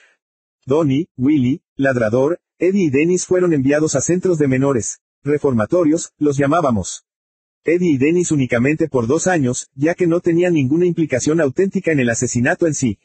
Donnie, Willy y Ladrador hasta que cumplieran los 18, la sentencia más dura que te podían aplicar en aquellos tiempos. A los 18 los soltarían y destruirían sus expedientes. Los actos del niño no se tendrían en cuenta contra el hombre. Encontraron un hogar adoptivo para Susan en otra ciudad, en el distrito de los lagos, lejos. Debido a lo que ella dijo sobre mí en la audiencia y al hecho de que, bajo la ley del menor, no existía, estrictamente hablando, nada parecido a un cómplice, se me dejó bajo la custodia de mis padres y se me asignó una asistente social que era psiquiatra, una mujer blanda con aspecto de maestra de escuela llamada Sally Beth Cantor que estuvo viniendo a verme una vez a la semana, y luego una vez al mes, durante un año, y que siempre parecía preocupada por mis progresos en enfrentarme a lo que había visto y hecho, y dejado de hacer, pero que, a la vez, siempre parecía estar medio dormida. Como si hubiera pasado por aquello un billón de veces y decis contra toda razón y evidencia que mis padres fueran muchísimo más duros conmigo o que yo fuera por ellos con un hacha o algo así, solo para proporcionarle algo más jugoso a lo que hincarle el diente. Y entonces el año acabó y ella dejó de venir. Pasaron tres meses antes de que la echara en falta. Nunca más volví a ver a ninguno de ellos. Al menos, no en persona. Me escribí con Susan por un tiempo. Sus huesos se soldaron. Le gustaban sus padres adoptivos. Se las había arreglado para hacer unos cuantos amigos. Y entonces dejó de escribir. No le pregunté por qué. No la culpé. Mis padres se divorciaron. Mi padre se fue de la ciudad. No le veía demasiado a menudo. Creo que, después de todo, se avergonzaba de mí. Tampoco le culpé. Me gradué en el colegio en el tercio inferior de la promoción, lo que no sorprendió a nadie. Fui a la universidad durante seis años, con dos años de interrupción en Canadá para evitar ser alistado, y salí de allí con un máster en empresariales. Esta vez me gradué el tercero de mi promoción, lo que fue una gran sorpresa para todos. Conseguí un trabajo en Wall Street, me casé con una mujer a la que conocí en Victoria, me divorcié, me volví a casar, y me volví a divorciar un año después. Mi padre murió de cáncer en 1982. Mi madre tuvo un infarto en el 85 y murió en el suelo de la cocina, junto al fregadero, agarrando una cabeza de brécol. Incluso al final, sola y sin nadie para quien cocinar, seguía teniendo la costumbre de comer bien. Nunca sabías cuándo podía volver la depresión. Volví a casa con Elizabeth, mi prometida, para vender la casa de mi madre y leer su testamento, y, juntos, recogimos las reliquias que había almacenado tras 40 años de vivir allí. Encontré unos cheques sin cobrar en una novela de Agatha Christie. Encontré cartas que le había escrito desde la universidad y dibujos aceras que había realizado en primero. Encontré artículos de periódico, marrones por el tiempo, sobre la apertura del nido del águila y sobre premios que le habían otorgado a mi padre los Kiwani, o la VFW, o los Rotarios. Y encontré recortes sobre las muertes de Meg Locklin y Ruth Chandler. Esquelas del periódico local, la de Meg era breve, casi dolorosamente breve, como si la vida que tuvo apenas pudiera considerarse una vida. Locklin, Megan, 14, hija del difunto Daniel Locklin y de la difunta Joan Haley Locklin. Hermana de Susan Locklin, el funeral se llevará a cabo en la funeraria Fisher, Avenida Oakdale 110, Farmvale, NJ, el sábado a las 1.30 de la tarde horas. La de Ruth era más larga. Chandler, Ruth, 37, esposa de William James Chandler, hija del difunto Andrew Perkins y de la difunta Barbara Bryan Perkins. La sobreviven su marido y sus hijos, William Jr., Donald y Ralph. El funeral se llevará a cabo en la funeraria Hopkins, Valley Road 15, Farmdale, NJ, el sábado, a las 2 de la tarde horas. Era más larga, pero igual de vacía. Observé los recortes y me di cuenta de que sus funerales se habían celebrado el mismo día con un lapso de media hora entre ambos, en funerarias que se encontraban a dos o tres manzanas la una de la otra. No fui a ninguno de los dos. No puedo imaginarme quién lo hizo. Miré la casa de al lado desde la ventana del cuarto de estar. Mi madre me había contado que ahora vivía allí una pareja joven. Gente agradable, añadió, sin niños, aunque esperaban tenerlos algún día. Iban a construir una zona de juegos en cuanto tuvieran dinero. El siguiente recorte era una foto. La foto de un joven bien parecido con un cabello corto y castaño y una sonrisa algo desmañada, con los ojos muy abiertos. Me parecía familiar. La desdoblé. Era un artículo del Star, Ledger de Newark, fechado el 5 de febrero de 1978. El titular decía, hombre de Manasquan acusado de asesinato, y la historia contaba que el hombre de la foto había sido arrestado el 25 de diciembre junto a un menor sin identificar debido a su conexión con las muertes por apuñalamiento y quemaduras de dos adolescentes, Patricia Highsmith. 17 años, de Manasquan, y Debra Cohen, también 17 años, de Ashbury Park. Ambas víctimas mostraban señales de violencia sexual y, aunque a las dos se las había apuñalado en numerosas ocasiones, la causa de la muerte fueron las quemaduras. Se las había empapado con gasolina y se les prendió fuego en un campo abandonado. El hombre de la foto era ladrador. Mi madre nunca me lo contó. Miré la foto y creí ver al menos una buena razón para que no lo hiciera. Yo podría haber mirado el periódico y visto la foto. En la veintena, Ladrador se parecía tanto a Ruth que daba miedo. Al igual que el resto de los recortes, este había estado metido en una caja de camisas colocada sobre las escaleras del ático, y las esquinas estaban secas, marrones y medio deshechas. Pero me di cuenta de que había algo en el borde. Le di la vuelta y reconocí la letra de mi madre. Lo había escrito a lápiz, por lo que estaba un poco borroso, pero aún se podía leer. Junto al lado del titular y elevándose por un lado de la foto, había escrito con fina ironía, me pregunto cómo lo llevarán Willy y Donnie. Y ahora, en la víspera llena de incertidumbres de mi tercer matrimonio, con una mujer que tiene la misma edad que tendría Mex si estuviese viva, atormentado por pesadillas que parecen centrarse en volver a fallar, en fallarle a alguien, abandonándole descuidadamente a las crueldades del mundo y añadiendo a esos nombres que ella garabateó en el borde del recorte los nombres de Dennis y de Eddie Crocker, y el mío, yo también me lo pregunto. Nota del autor, mientras escribo la chica de al lado. ¿Quién te quiere, muñeca? dice Koyak. Bueno, citando las palabras del jugador griego de Atlantic City más fiable del mundo, quién sabe. Pero si sé quién y qué me da miedo. El que generalizando, es lo impredecible. No es que un encuentro fortuito con un pelirrojo me lleve a volver corriendo a mi apartamento en busca de un crucifijo y algo de ajo. Cosas más en la línea del Alzheimer, el SIDA un fallo en los motores de un avión. Un día, me encontraba yo bajando por Broadway cuando todo un armario ropero de roble cayó zumbando a la calle apenas a dos pasos de donde yo me encontraba. Eso me asusta, me asusta y me enfurece. Y me siento igual respecto a la gente que me da miedo. Me cabrean de verdad, me molesta compartir mi planeta con engendros como Bondi, que tienen un aspecto parecido al mío, y que hablan como yo, y que son totalmente encantadores salvo por esa pequeña tontería, vaya, que les gusta arrancarle a la gente los pezones a mordiscos. No se trata solo de empatía con la víctima. Es decir, yo también tengo pezones. Los sociópatas me asustan y me enfurecen. No solo los sociópatas de las ligas mayores, los Manson y los Gary Tyson, sino también los tipos que dejan sin blanca a las ancianitas mediante estafas de terrenos en Florida. Todos esos tipos sin conciencia. Conozco a una mujer cuyo marido perdió su puesto en la bolsa y que, para cubrir sus deudas, utilizó el nombre de ella para firmar pagarés que ascienden a un cuarto de millón de dólares, además de formularios de Hacienda, y ahora se ha desatado un infierno con la casa hipotecada y un montón de impuestos atrasados y ella con un hijo al que mantener, quien, trágicamente, sigue queriendo al tipejo como un niño de ocho años tiene que querer a su padre, no le ha visto ni vuelto a saber de él desde marzo de 1989. Ni ella ni nadie, desapareció, nadie puede tocarle, mientras que el mundo se les viene encima a su mujer y a su hijo como si fuera un enjambre de moscas. Hace mucho que quería escribir sobre uno de estos bastardos. Su otredad, y lo que nos pasa a la gente de verdad cuando nos creemos que son humanos. Encontré uno en and Batman, de J. Robert Nash. Su crimen era algo poco habitual y totalmente repulsivo.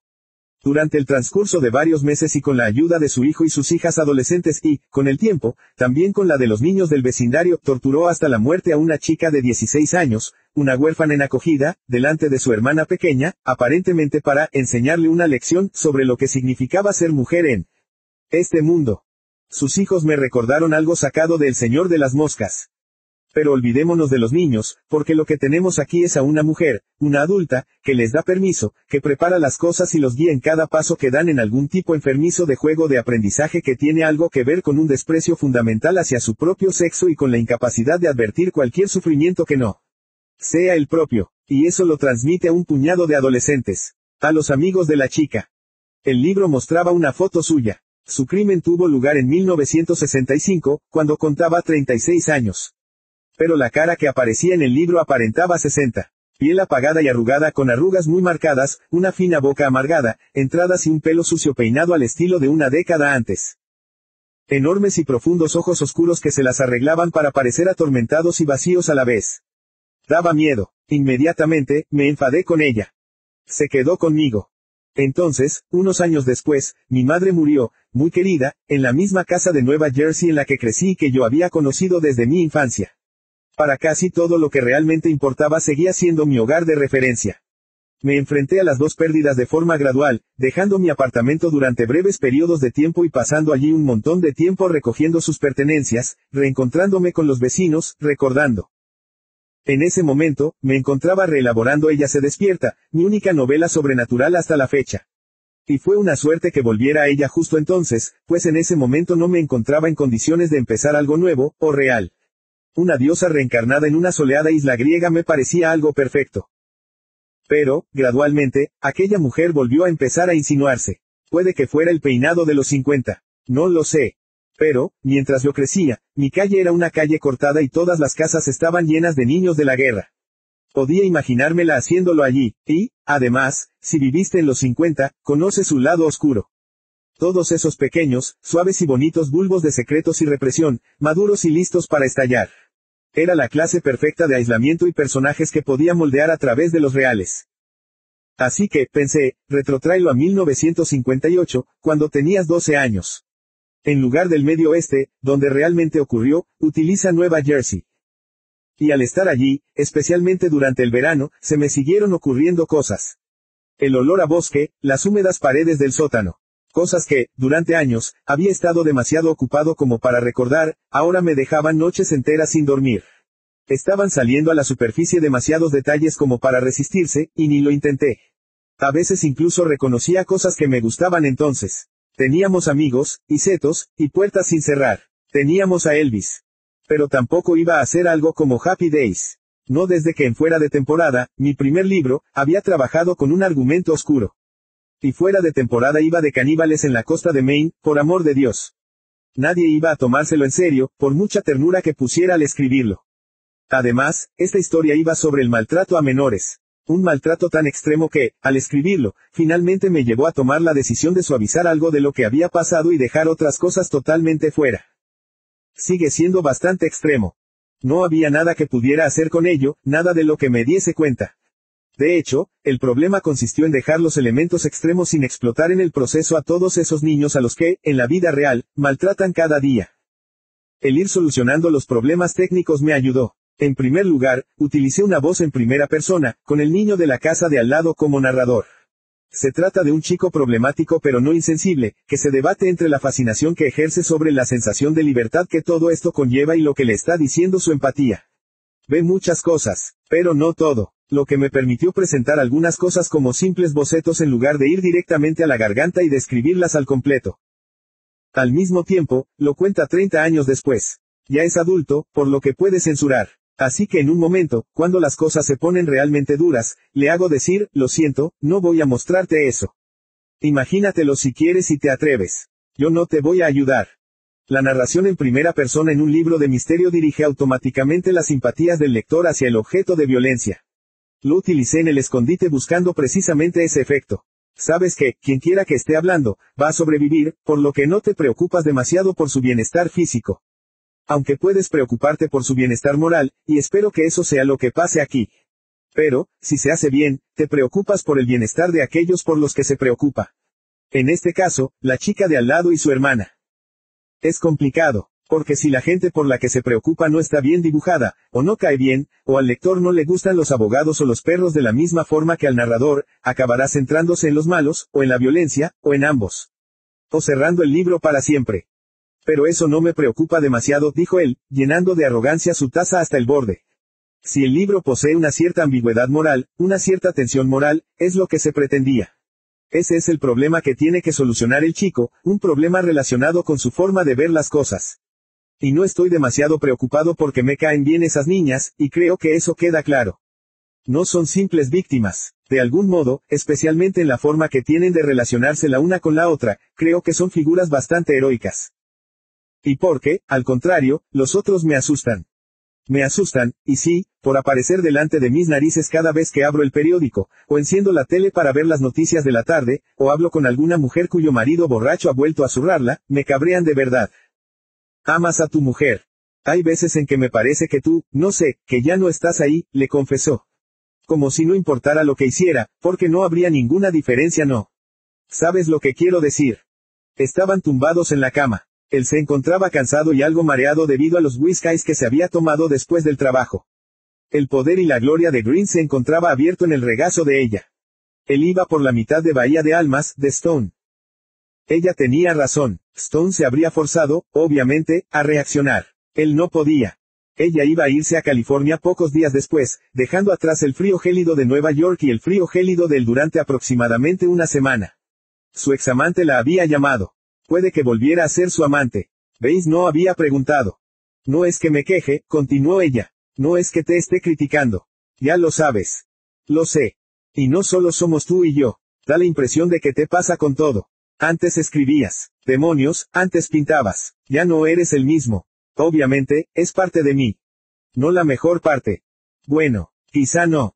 Ella no continuó con el resto. Incluso después de tres largos años sigue siendo ella, ¿verdad? No tenía la más mínima necesidad de herirle con ello. Simplemente estaba haciendo una observación y dejándole una puerta abierta por si él quería hablar. No quiso. De todas formas, no era precisamente la pérdida de Anabel lo que lo preocupaba esos días. Era lo que quedaba de él en su ausencia. Lo que parecía ser cada vez menos. Una sutil pero clara diferencia. Continuaba sintiéndose sumergido hasta muy abajo en la ola de blanca espuma de su partida. Justo donde el agua está muy tranquila, muy profunda y muy tenue. Enfréntate a ella, le aconsejó Gary. A Anabel. Sí, a Anabel. ¿A quién si no, después de tanto tiempo? Exactamente, no te estás haciendo más joven. Es más fácil decirlo que hacerlo. Ahora está casada, recuerdas. Igual que Laura y tú, a vuestra extraña manera.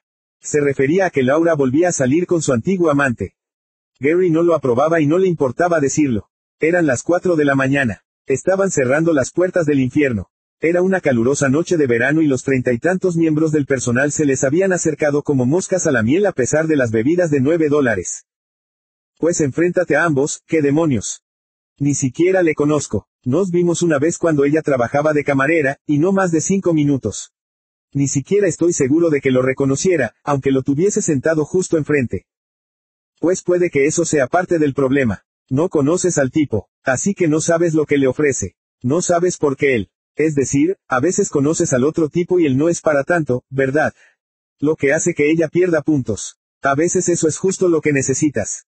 La echas de menos y crees que echas de menos esa, enorme personalidad. Pero solo la ves en el contexto de vosotros dos. No tienes perspectiva, te encuentras ahí, dándole vueltas a las cosas. Sin perspectiva, crees que conoces a alguien, pero no es así, no hasta que vives con ese alguien o lo ves en una situación totalmente nueva, como si fuera otra persona. Eso es lo que yo pienso, al menos. Y sigo pensando que estás chiflado si dejas que Laura corra a encontrarse con algún payaso en California. Ignoró la última parte, no podía decirle a Laura lo que tenía que hacer, y tampoco quería hacerlo, de todas formas. Tenía que pensar que ella sabía lo que hacía. Pero pensó que era posible que Gary tuviera algo de razón respecto a Annabel. Cuando se fue, insistió en cortar con él en todo. Sin llamadas, sin correos electrónicos, sin cartas. Una ruptura limpia, según ella. Recordaba haberse estremecido por culpa del gastado cliché. Al principio, no se creyó que ella fuera capaz de una medida tan draconiana, no con respecto a ellos dos, así que lo intentó. Pero pronto quedó claro que no iba a producirse ningún enfrentamiento, ningún seguimiento, ninguna clase de aparición en su apartamento. Sabía a dónde conduciría esa pequeña visita. El acceso a su casa era solo con invitación. Solo conseguiría que le cerrara en las narices una puerta que antes estaba abierta de par en par. El último mensaje de correo electrónico que ella le había enviado era tranquilo y deliberado, le informaba de que había tirado todas las fotos de ellos dos y le sugería que hiciera lo mismo. Eso aceleraría el proceso de curación. Otro cliché, pero lo dejó pasar. Tres meses después, se casó con un tipo al que había conocido y con el que había salido mucho tiempo antes de que ellos dos se conocieran, y eso fue lo último que supo de ella. Se había sentido furioso, herido y sorprendido por las dos cosas. Primero la ruptura y luego el matrimonio. Pero no había ningún tribunal de apelación ni servía de nada aullarle al viento. Le había parecido intolerable el cortar sin más, el suspender toda comunicación. Por un tiempo, Bates estuvo muy cerca de odiarla. Tres años después, él ya no sentía ningún tipo de furia. Simplemente se preguntaba a dónde se habría ido. Porque por aquel entonces el lo superarás con el tiempo, junto con el rompamos limpiamente, y el acelerar el proceso de curación, parecían el Padre, el Hijo y el Espíritu Santo de la psico, zarandajas más inútiles. Lo asqueaban y lo enfurecían. Pero puede que, a largo plazo, acabaran por hacer efecto después de todo. La victoria a través de la inacción. Porque allí estaba él. Curioso de una forma pasiva respecto a si habría algo que pudiera volver a despertar su muerto trasero, a resucitar su sentido del compromiso en una vida después de Anabel. Pero la palabra clave seguía siendo pasivo. Enfrentamiento. Tres años atrás, en un segundo. Pero ahora ni siquiera estaba seguro de que le quedase energía suficiente. Era posible que ya hubiera pasado el momento para las explicaciones, el entendimiento y la más odiosa de las palabras, el cierre definitivo. Nunca llegó a tirar sus fotos. Así que, al día siguiente, se puso a verlas mientras comía un estofado de ternera con maíz. Sintió una leve punzada al hacerlo. Como la de un músculo que puedes estirar poco después y deshacerte de ella. Pero seguía siendo algo. Trató de buscarla en Internet. Había pensado antes en hacerlo, pero desistió, temiendo una mayor humillación. Probó con su nombre de soltera y no encontró nada. Luego lo intentó con su apellido de casada. Lo que apareció fue una única foto. Una foto de boda de hacía dos años y medio. Annabel y su marido, Gerard, sonriendo de pie bajo una panoplia de verdes y saludables palmeras frente a algún viejo hotel de Nueva Orleans. Annabel tenía un aspecto encantador con su vestido sin mangas verde pálido, su marido era algo más bajo que ella y se estaba quedando calvo, llevaba una camisa de seda blanca de manga corta, una sonrisa torcida y un sombrero panamá totalmente nuevo. Ella no miraba a la cámara, sino al cielo.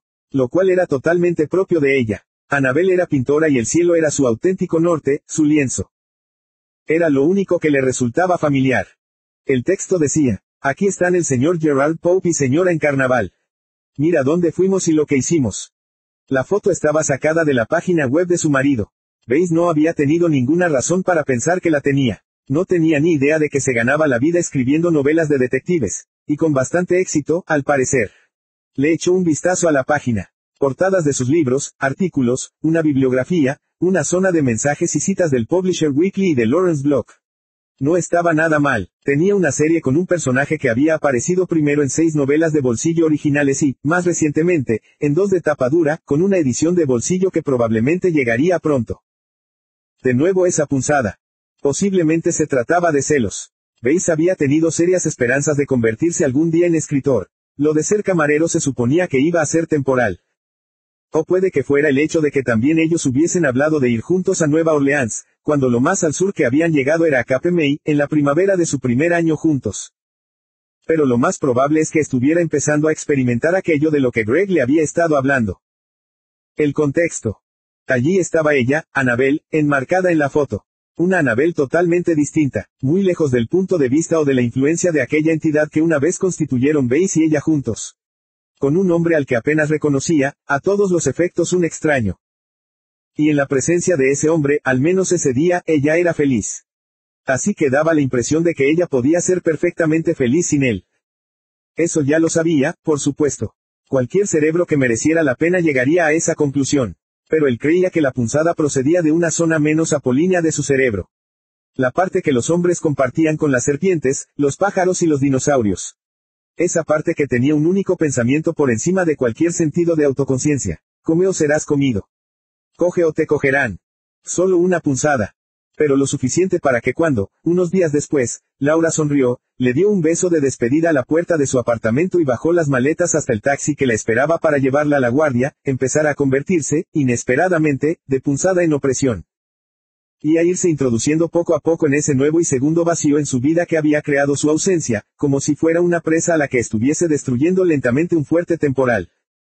Su foco inmediato fue Gerard, no Annabel. Lo que le parecía raro, pues, dejando al margen la página web, no tenía la más mínima idea de quién era Gerard.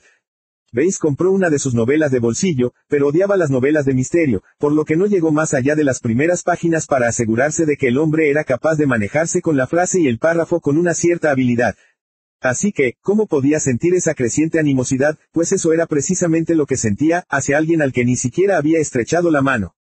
Del que ignoraba por completo las costumbres, los gustos, el tono de voz, y si tenía o no tenía ingenio. ¿Cómo podía empezar a no gustarte lo que no era más que una abstracción humana? Buena pregunta, pensó. Pero su vida de sueños no pedía permiso. Y Gerard estaba empezando a aparecer en ella con bastante frecuencia. En uno de los sueños, Gerard y él trataban de descifrar las instrucciones de preparación, bastante borrosas, de la parte de atrás de un paquete de comida congelada, una especie de pan relleno italiano. Necesitaban saber el tiempo que debía estar en el horno, pero no podían leer la maldita cosa. Era realmente frustrante. En otro, jugaban al ajedrez. Las piezas no paraban de desaparecer. Un peón allí, un alfil allá. Base sospechaba que él mismo hacía trampas. En otro más, estaban sentados bajo un frondoso árbol en Central Park, observando a una niñita que jugaba en el castillo, y la niñita era Annabel. Eso no le parecía extraño a ninguno de los dos. Base encendió un Winston, le dio una calada, y Gerald se inclinó sonriendo, se lo quitó de los labios y lo tiró. Annabel se rió, se bajó del castillo y lo aplastó con el pie. Base se puso furioso con los dos. Y después estaba el realmente malo.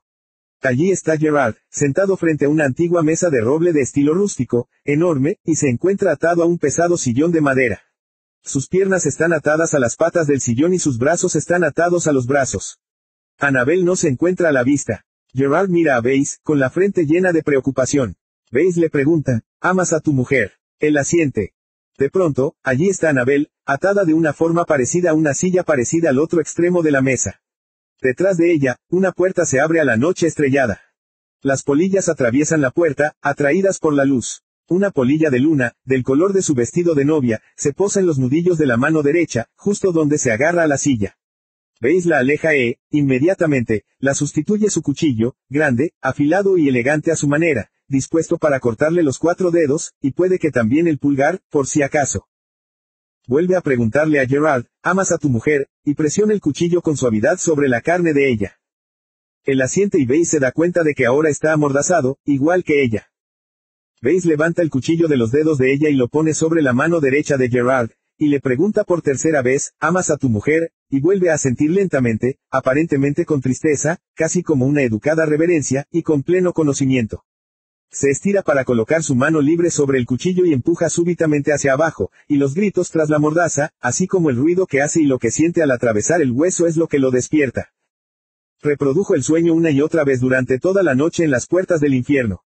No lo buscó, sencillamente, no se le iba de la cabeza. Si Gary le hubiese preguntado tan solo cómo le iba, le habría contado el sueño en un abrir y cerrar de ojos y con tanto detalle como fuera posible, pero no lo preguntó, y Base no podía soltárselo así, sin más, entre daiquiris de plátano y cócteles billu. Pero fue el sueño y el darle vueltas al sueño lo que lo llevó a entrar en acción al día siguiente. La página web oficial de Gerard Pope no tenía ninguna dirección de correo electrónico, pero sí una página de mensajes en la que los lectores podían discutir su trabajo, poner sus observaciones y dar opiniones, y Bay se dio cuenta en su primera visita de que Gerard solía entrar una vez a la semana. Sobre el fin de semana, y contestar todas las preguntas que se le hubieran hecho. Lo hacía con regularidad, su estilo en esos mensajes era alentadoramente abierto y sin ninguna afectación.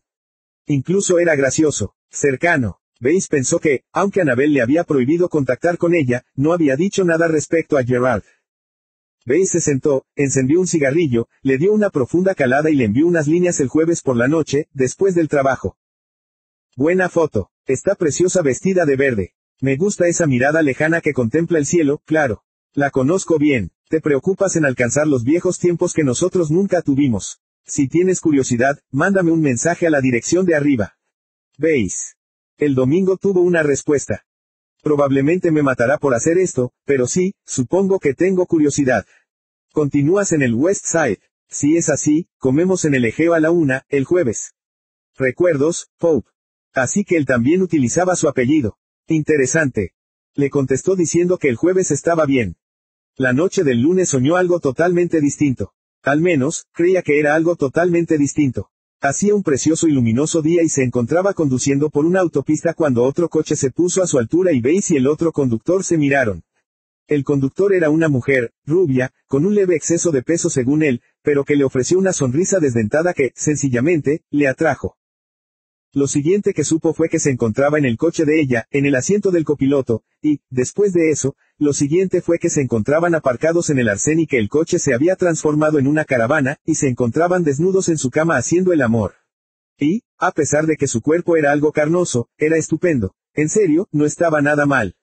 Fue aún mejor cuando ella se transformó en una esbelta y preciosa castaña, la modelo Paulina Poriskova, a la que Beis había deseado desde la primera vez que la vio. Y siguió haciéndolo transformándose de Paulina a la rubia sin dientes y a la inversa. Pensé que podrías quedarte a pasar la noche, dijo ella con la forma de la rubia. Él respondió. Pensé que nunca me lo pedirías. Se despertó con apenas suficiente tiempo para ducharse, afeitarse y tomarse un café por el camino. El Egeo no estaba haciendo demasiada caja con el almuerzo, por lo que había montones de mesas libres, pero Pope se encontraba en el bar, justo en la esquina frente a la puerta. Sonrió inmediatamente y le ofreció la mano. Gerard Pope, se presentó. John Bass, ¿cómo sabías que era yo? Eh, ah, las fotos, las fotos. Sí. Guarda las fotos. Algunas, supongo. No sé cuántas, solo te conozco de las que me enseñó. La mayoría, de Cape. Ya sabes lo que pasa con las mujeres, esas en las que ella sale realmente bien. Sonrió y sacudió la cabeza. Joder. ¿Qué va a tomar? preguntó el camarero. Pope bebía una doble sin alcohol. Amstel Light, ahora mismo. Pensé que las había destruido todas. Anabel, Anabel es incapaz de tirar incluso una bombilla fundida. Su cerveza llegó en una jarra helada, pidieron la carta y hablaron de trivialidades, principalmente sobre su página web, a la que Bates admitió que admiraba y que se la había hecho un fan de Colorado a cambio de objetos de colección, primeras ediciones y cosas por el estilo. Hicieron sus pedidos y luego, poco a poco, la conversación fue haciéndose más personal, y Bay se enteró de que se habían mudado dos veces en tres años, a mejores y mayores pisos, de Hell's Kitchen al West Side y, por último, al Soho. Se enteró de que querían hacer películas de dos de los libros de Pope, pero que él no esperaba que surgiera necesariamente algo de todo ello. Descubrió que Anabel trabajaba ahora en un estilo mixto, marinas como playas estilizadas que se estaban vendiendo bastante bien en su loft. En estos momentos trataban de crear una página web para promocionar también sus cosas. Para cuando él terminó su ensalada de pulpo hervido y calamar y Pope su pollo lemoni, Bay se dio cuenta de algo que no le hizo feliz en absoluto. El tipo empezaba a caerle bien. Vaya grano en el culo. Y supuso que Pope se lo podía leer en la cara, puesto que se echó a reír. Decepcionado, no soy un mamón al que puedes odiar. Yo nunca. Vamos, si no me odiabas, seguro que estabas trabajando en ello. Mira, soy escritor, soy bueno con el lenguaje corporal. Definitivamente, tenías un palo metido en el culo cuando entraste. Te has librado de él hace solo un momento. Bates pensó en el sueño, la triste afirmación de Gerard que era casi una reverencia. Él también era bastante bueno con el lenguaje corporal, pero solo ahora se dio cuenta de lo que el asentimiento quería decir. No resignación ante el cuchillo, tal y como había pensado a la mañana siguiente. Reconocimiento, reconocimiento del otro. En su mente quería decir, amas a tu mujer, pero lo que le salió fue, la quieres, ¿verdad? Por supuesto, es bastante fácil de querer. Precisamente tú de entre todos deberías saberlo. Trataba de hacerte un favor, ¿veis? Ah, sí, ¿cómo? Esperaba que no le hubiese salido tan amargado como sonaba. Diciéndote que tiró las fotos, para empezar. Diciéndote que hicieras lo mismo. Para cortar contigo totalmente, eso es lo principal. Cortar contigo totalmente, recordó el sueño y, de pronto, quedó totalmente claro y le sorprendió. Se dio cuenta de que, en las sutiles inversiones que ocurren en los sueños, no había sido Gerard el que estaba atado a la silla. Era él, incapaz de moverse o defenderse, incapaz de hablar o presentar su versión. Esperando, asintiendo tristemente, reconociendo a Gerard. Y, finalmente, cortando totalmente justo en el momento de despertar. Ella sabía que no iba a funcionar. Trataba de ser amable contigo al impedir que siguiera. Y con ella también, y conmigo también, por supuesto. Bates pensó en ello por un momento. Luego asintió. Una vez soñé contigo, le explicó. Yo encendía un cigarrillo, tú me lo quitabas y lo tirabas lejos. Un auténtico bastardillo, eh. No, era por mi bien, joder. Pagaron a medias. Me preguntaste si amaba a mi mujer, dijo Gerard, aunque no lo había hecho exactamente. Si tú la amaras, habrías hecho lo mismo que ella trató de hacer por ti. Tira esas malditas fotos, aunque sea metafóricamente hablando. Hazlas pedacitos. Puede que, algún día, cuando seamos viejos y canosos, hagamos algunas nuevas. O puede que no. O puede que no, me alegro de haberte conocido, veis. Esto nunca pasa, pero me alegro de que lo hiciera, si sabes lo que quiero decir. Veis pidió otra cerveza y se la bebió despacio, pensando en todo aquello. Poco después, se pasó al whisky. A mitad del segundo, salió afuera a fumar y observó a la gente de la calle. Niñeras y madres jóvenes y enérgicas con cochecitos de anchura doble. Camioneros repartiendo objetos de papel y de consumo diario. Una mujer al otro lado de la calle corriendo en su sitio, ante el semáforo, y vociferando al móvil. Un tipo con cresta de moicano, mocasines y orejeras de piel, desnudo hasta la cintura, todo cuero y bronceado. ¿De qué va ese? se preguntó, de idiota moderno. Orejeras en agosto. Daba la impresión de que ahí fuera había gente bastante más rara y obsesiva que él mismo. Volvió dentro, acabó su whisky y pidió otro. Tardó bastante en bebérselo. El camarero no hizo ningún esfuerzo por entablar conversación. En ocasiones, lo sabían. Pagó la cerveza y los whiskies y se fue a casa. Su casa estaba tal y como esperaba que estuviera. Vacía, en su mayor parte, vacía de Laura. Se sirvió un último whisky que ciertamente no necesitaba, se sentó pesadamente en el sofá, le dio un sorbo, y le pareció que echaba una cabezada, pues lo siguiente que supo es que su cara estaba húmeda por las lágrimas. Ahora lloraba en sueños, por amor de Dios, eso era distinto, y pensó en el sueño, y en lo que posiblemente quisiera que le hiciese, así que fue a la cocina, abrió el cajón y sacó el cuchillo. Miró la larga y pesada cuchilla. Necesitaba ser afilado, pero serviría. Miró sus dedos, extendidos sobre el fregadero. Un símbolo, pensó, eso es lo que son los sueños, ¿verdad? Símbolos de lo que necesitas hacer con tu vida. Encendió un cigarrillo y volvió a pensar en ello. No, pensó, eso es más loco que lo de las orejeras. Ni siquiera la punta de un meñique. No quieres interpretar la terminología del sueño demasiado literalmente. Además, le había pasado algo más. En su sueño, el final de su relación con Anabel era, pura y simplemente, una pérdida. Simbolizada por unos cuantos dedos desaparecidos. Pensó que era algo más complejo que todo eso. Has perdido algo, seguro. Pero, cuando lo hiciste, también añadiste algo. Tejido cicatrizal. Podía vivir con ello.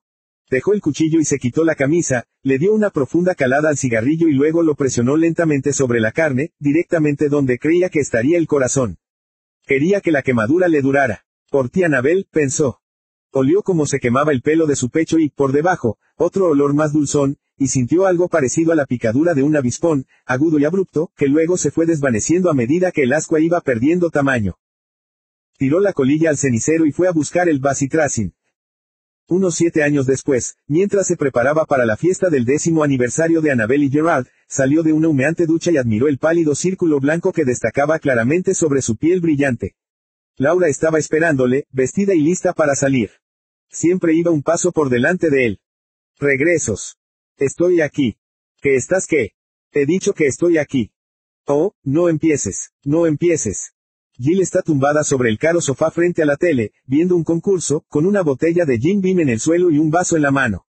Ella no me ve, pero Zoe sí. Zoe está hecha un ovillo al otro lado del sofá esperando su desayuno, el sol ha salido ya hace cuatro horas, son las diez, y suele tomar sus friskis a las ocho. Siempre tuve la sensación de que los gatos ven cosas que las personas no pueden ver. Ahora lo sé. Me está mirando con un cierto interés suplicante. Los ojos muy abiertos, la negra nariz retorciéndose. Sé que espera algo de mí. Estoy tratando de dárselo. Por amor de Dios, se supone que debes darle de comer. Hay que cambiar la arena de su caja. ¿Qué? ¿Quién? La gata, Zoe, comida, agua, la caja de arena, ¿recuerdas? Volvió a llenar el vaso. Jill lleva toda la noche y toda la mañana haciendo lo mismo, con pequeñas cabezadas ocasionales. Ya era malo cuando estaba vivo, pero desde que el taxi me cortó en dos hace cuatro días en la 72 con Broadway, se ha vuelto muchísimo peor. Puede que, a su manera, me eche de menos. Acabo de volver justo la pasada noche de solo Dios sabe dónde sabiendo que hay algo que debo hacer o intentar, y puede que sea esto. Hacer que lo deje. Jesús, déjame sola, estás en mi puta cabeza. Sal de mi puta cabeza. Lo grita lo suficientemente alto como para que lo oigan los vecinos. Los vecinos están en el trabajo. Ella no, así que nadie golpea las paredes. Sui se limita a mirarla, y luego vuelve a mirarme a mí. Yo estoy de pie junto a la puerta de la cocina. Sé que es allí donde estoy, pero no puedo verme. Muevo las manos, pero no aparecen manos junto a mí. Miro en el espejo del vestíbulo, y no hay nadie allí. Da la impresión de que solo mi gata de siete años puede verme. Cuando llegué, estaba en el dormitorio, dormida sobre la cama. Saltó de ella y se me acercó con su cola blanca y negra levantada, con el extremo blanco doblado. Siempre puedes saber si un gato está contento por el lenguaje de la cola. Estaba ronroneando. Trató de golpearme con un lateral de su mandíbula, allí donde están las glándulas de olor, tratando de marcarme como de su propiedad, para confirmarme de la forma en la que lo hacen los gatos, de la forma en la que lo había hecho miles de veces antes, pero algo no iba bien. Me miró confundida, me agaché para rascarle las orejas, pero, claro, no pude, y eso pareció confundirla más aún. Trató de marcarme con sus ancas. No hubo forma. Lo siento, le dije. Y lo sentía, sentí el pecho como si estuviese lleno de plomo. Vamos, Jill, levanta, tienes que darle de comer, ducharte, hacer café, lo que sea. Esto es de locos, dijo ella. Pero se levanta, mira el reloj de la repisa. Se dirige al baño con piernas temblorosas. Y entonces oigo como corre el agua de la ducha. No quiero entrar ahí, no quiero verla, no quiero volver a verla desnuda, y no he tenido que hacerlo durante un buen rato. Hubo un tiempo en el que fue actriz. La temporada de verano y algún que otro anuncio. Nada importante, pero, Dios mío, era preciosa. Entonces nos casamos, y pronto la bebedora social se convirtió en bebedora solitaria, y luego empezó a beber todo el día, y su cuerpo empezó a ganar mucho peso aquí y perder mucho allí. Pequeños momentos de abuso de sí misma. No sé por qué me quedé. Perdí a mi primera mujer debido al cáncer. Puede que, sencillamente, no soportara perder otra, puede que, simplemente, sea leal. No lo sé. Oigo cerrar el grifo y, poco después, ella vuelve al cuarto de estar con su vestido blanco puesto y el pelo envuelto en una toalla rosa. Le echa un vistazo al reloj. Se acerca a la mesa en busca de un cigarrillo. Lo enciende y le da una calada furiosa. Aún sigue inestable, pero menos. Tiene el ceño fruncido. Zoe la observa con precaución. Cuando está así, medio borracha, medio sobria, es peligrosa. Lo sé. Sigues aquí, sí. Se ríe, no es una risa agradable. Seguro que lo estás. Lo estoy. Una mierda, me volvías loca cuando estabas vivo. Me sigues volviendo loca ahora que estás muerto. Estoy aquí para ayudaros, Jill. A Zoe y a ti. Mira alrededor de la habitación, como si finalmente creyera que quizá, quizá, estoy allí, y no soy una voz en su cabeza. Como si tratara de localizarme, encontrar la fuente. En realidad, todo lo que tiene que hacer es fijarse en Zoe, que me está mirando directamente. Pero está guiñando los ojos de una forma que ya he visto antes. Una forma que no me gusta. Bueno, ya no tienes que preocuparte por Zoe, me dice. Estoy a punto de preguntarle qué quiere decir cuando llaman a la puerta. Apaga el cigarrillo, se acerca a la puerta y la abre.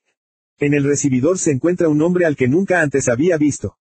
Un hombrecillo tímido y de aspecto sensible, a mediados de la treintena, con una calva incipiente, vestido con un mono azul.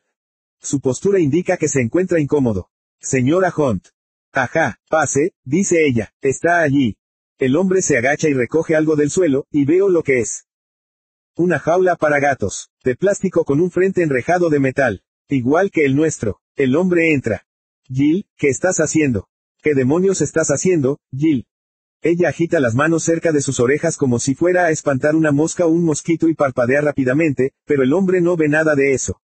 El hombre no deja de mirar a mi gata, que no deja de mirarme a mí, cuando debería fijarse en el hombre, cuando debería fijarse en la jaula, sabe demasiado bien lo que significa, por amor de Dios, va a ir a alguna parte, a algún sitio que no le va a gustar. Zoe, vete, sal de aquí, corre. Doy palmadas, no hacen ruido. Pero ella nota la alarma en mi voz y ve la expresión que debo de tener en la cara y, en el último momento, se vuelve hacia el hombre, justo cuando él va a por ella, va a buscarla al sofá, la coge y la mete de cabeza en la jaula. Corre el doble cerrojo. Es rápido, es eficiente. Mi gata está atrapada dentro. El hombre sonríe, apenas le importa, no ha ido tan mal, dice. No, ha tenido suerte, muerde, a veces, monta unas peleas monumentales. Puta mentirosa, le digo a ella. En ese momento me encuentro justo detrás de ella. Se lo estoy diciendo al oído. Puedo sentir su corazón latiendo con fuerza debido a la adrenalina, y no sé si soy yo quien le asusta o si lo que le asusta es lo que ha hecho o ha permitido que pasara, pero, al fin y al cabo, esa actriz, no va a reconocer que estoy allí.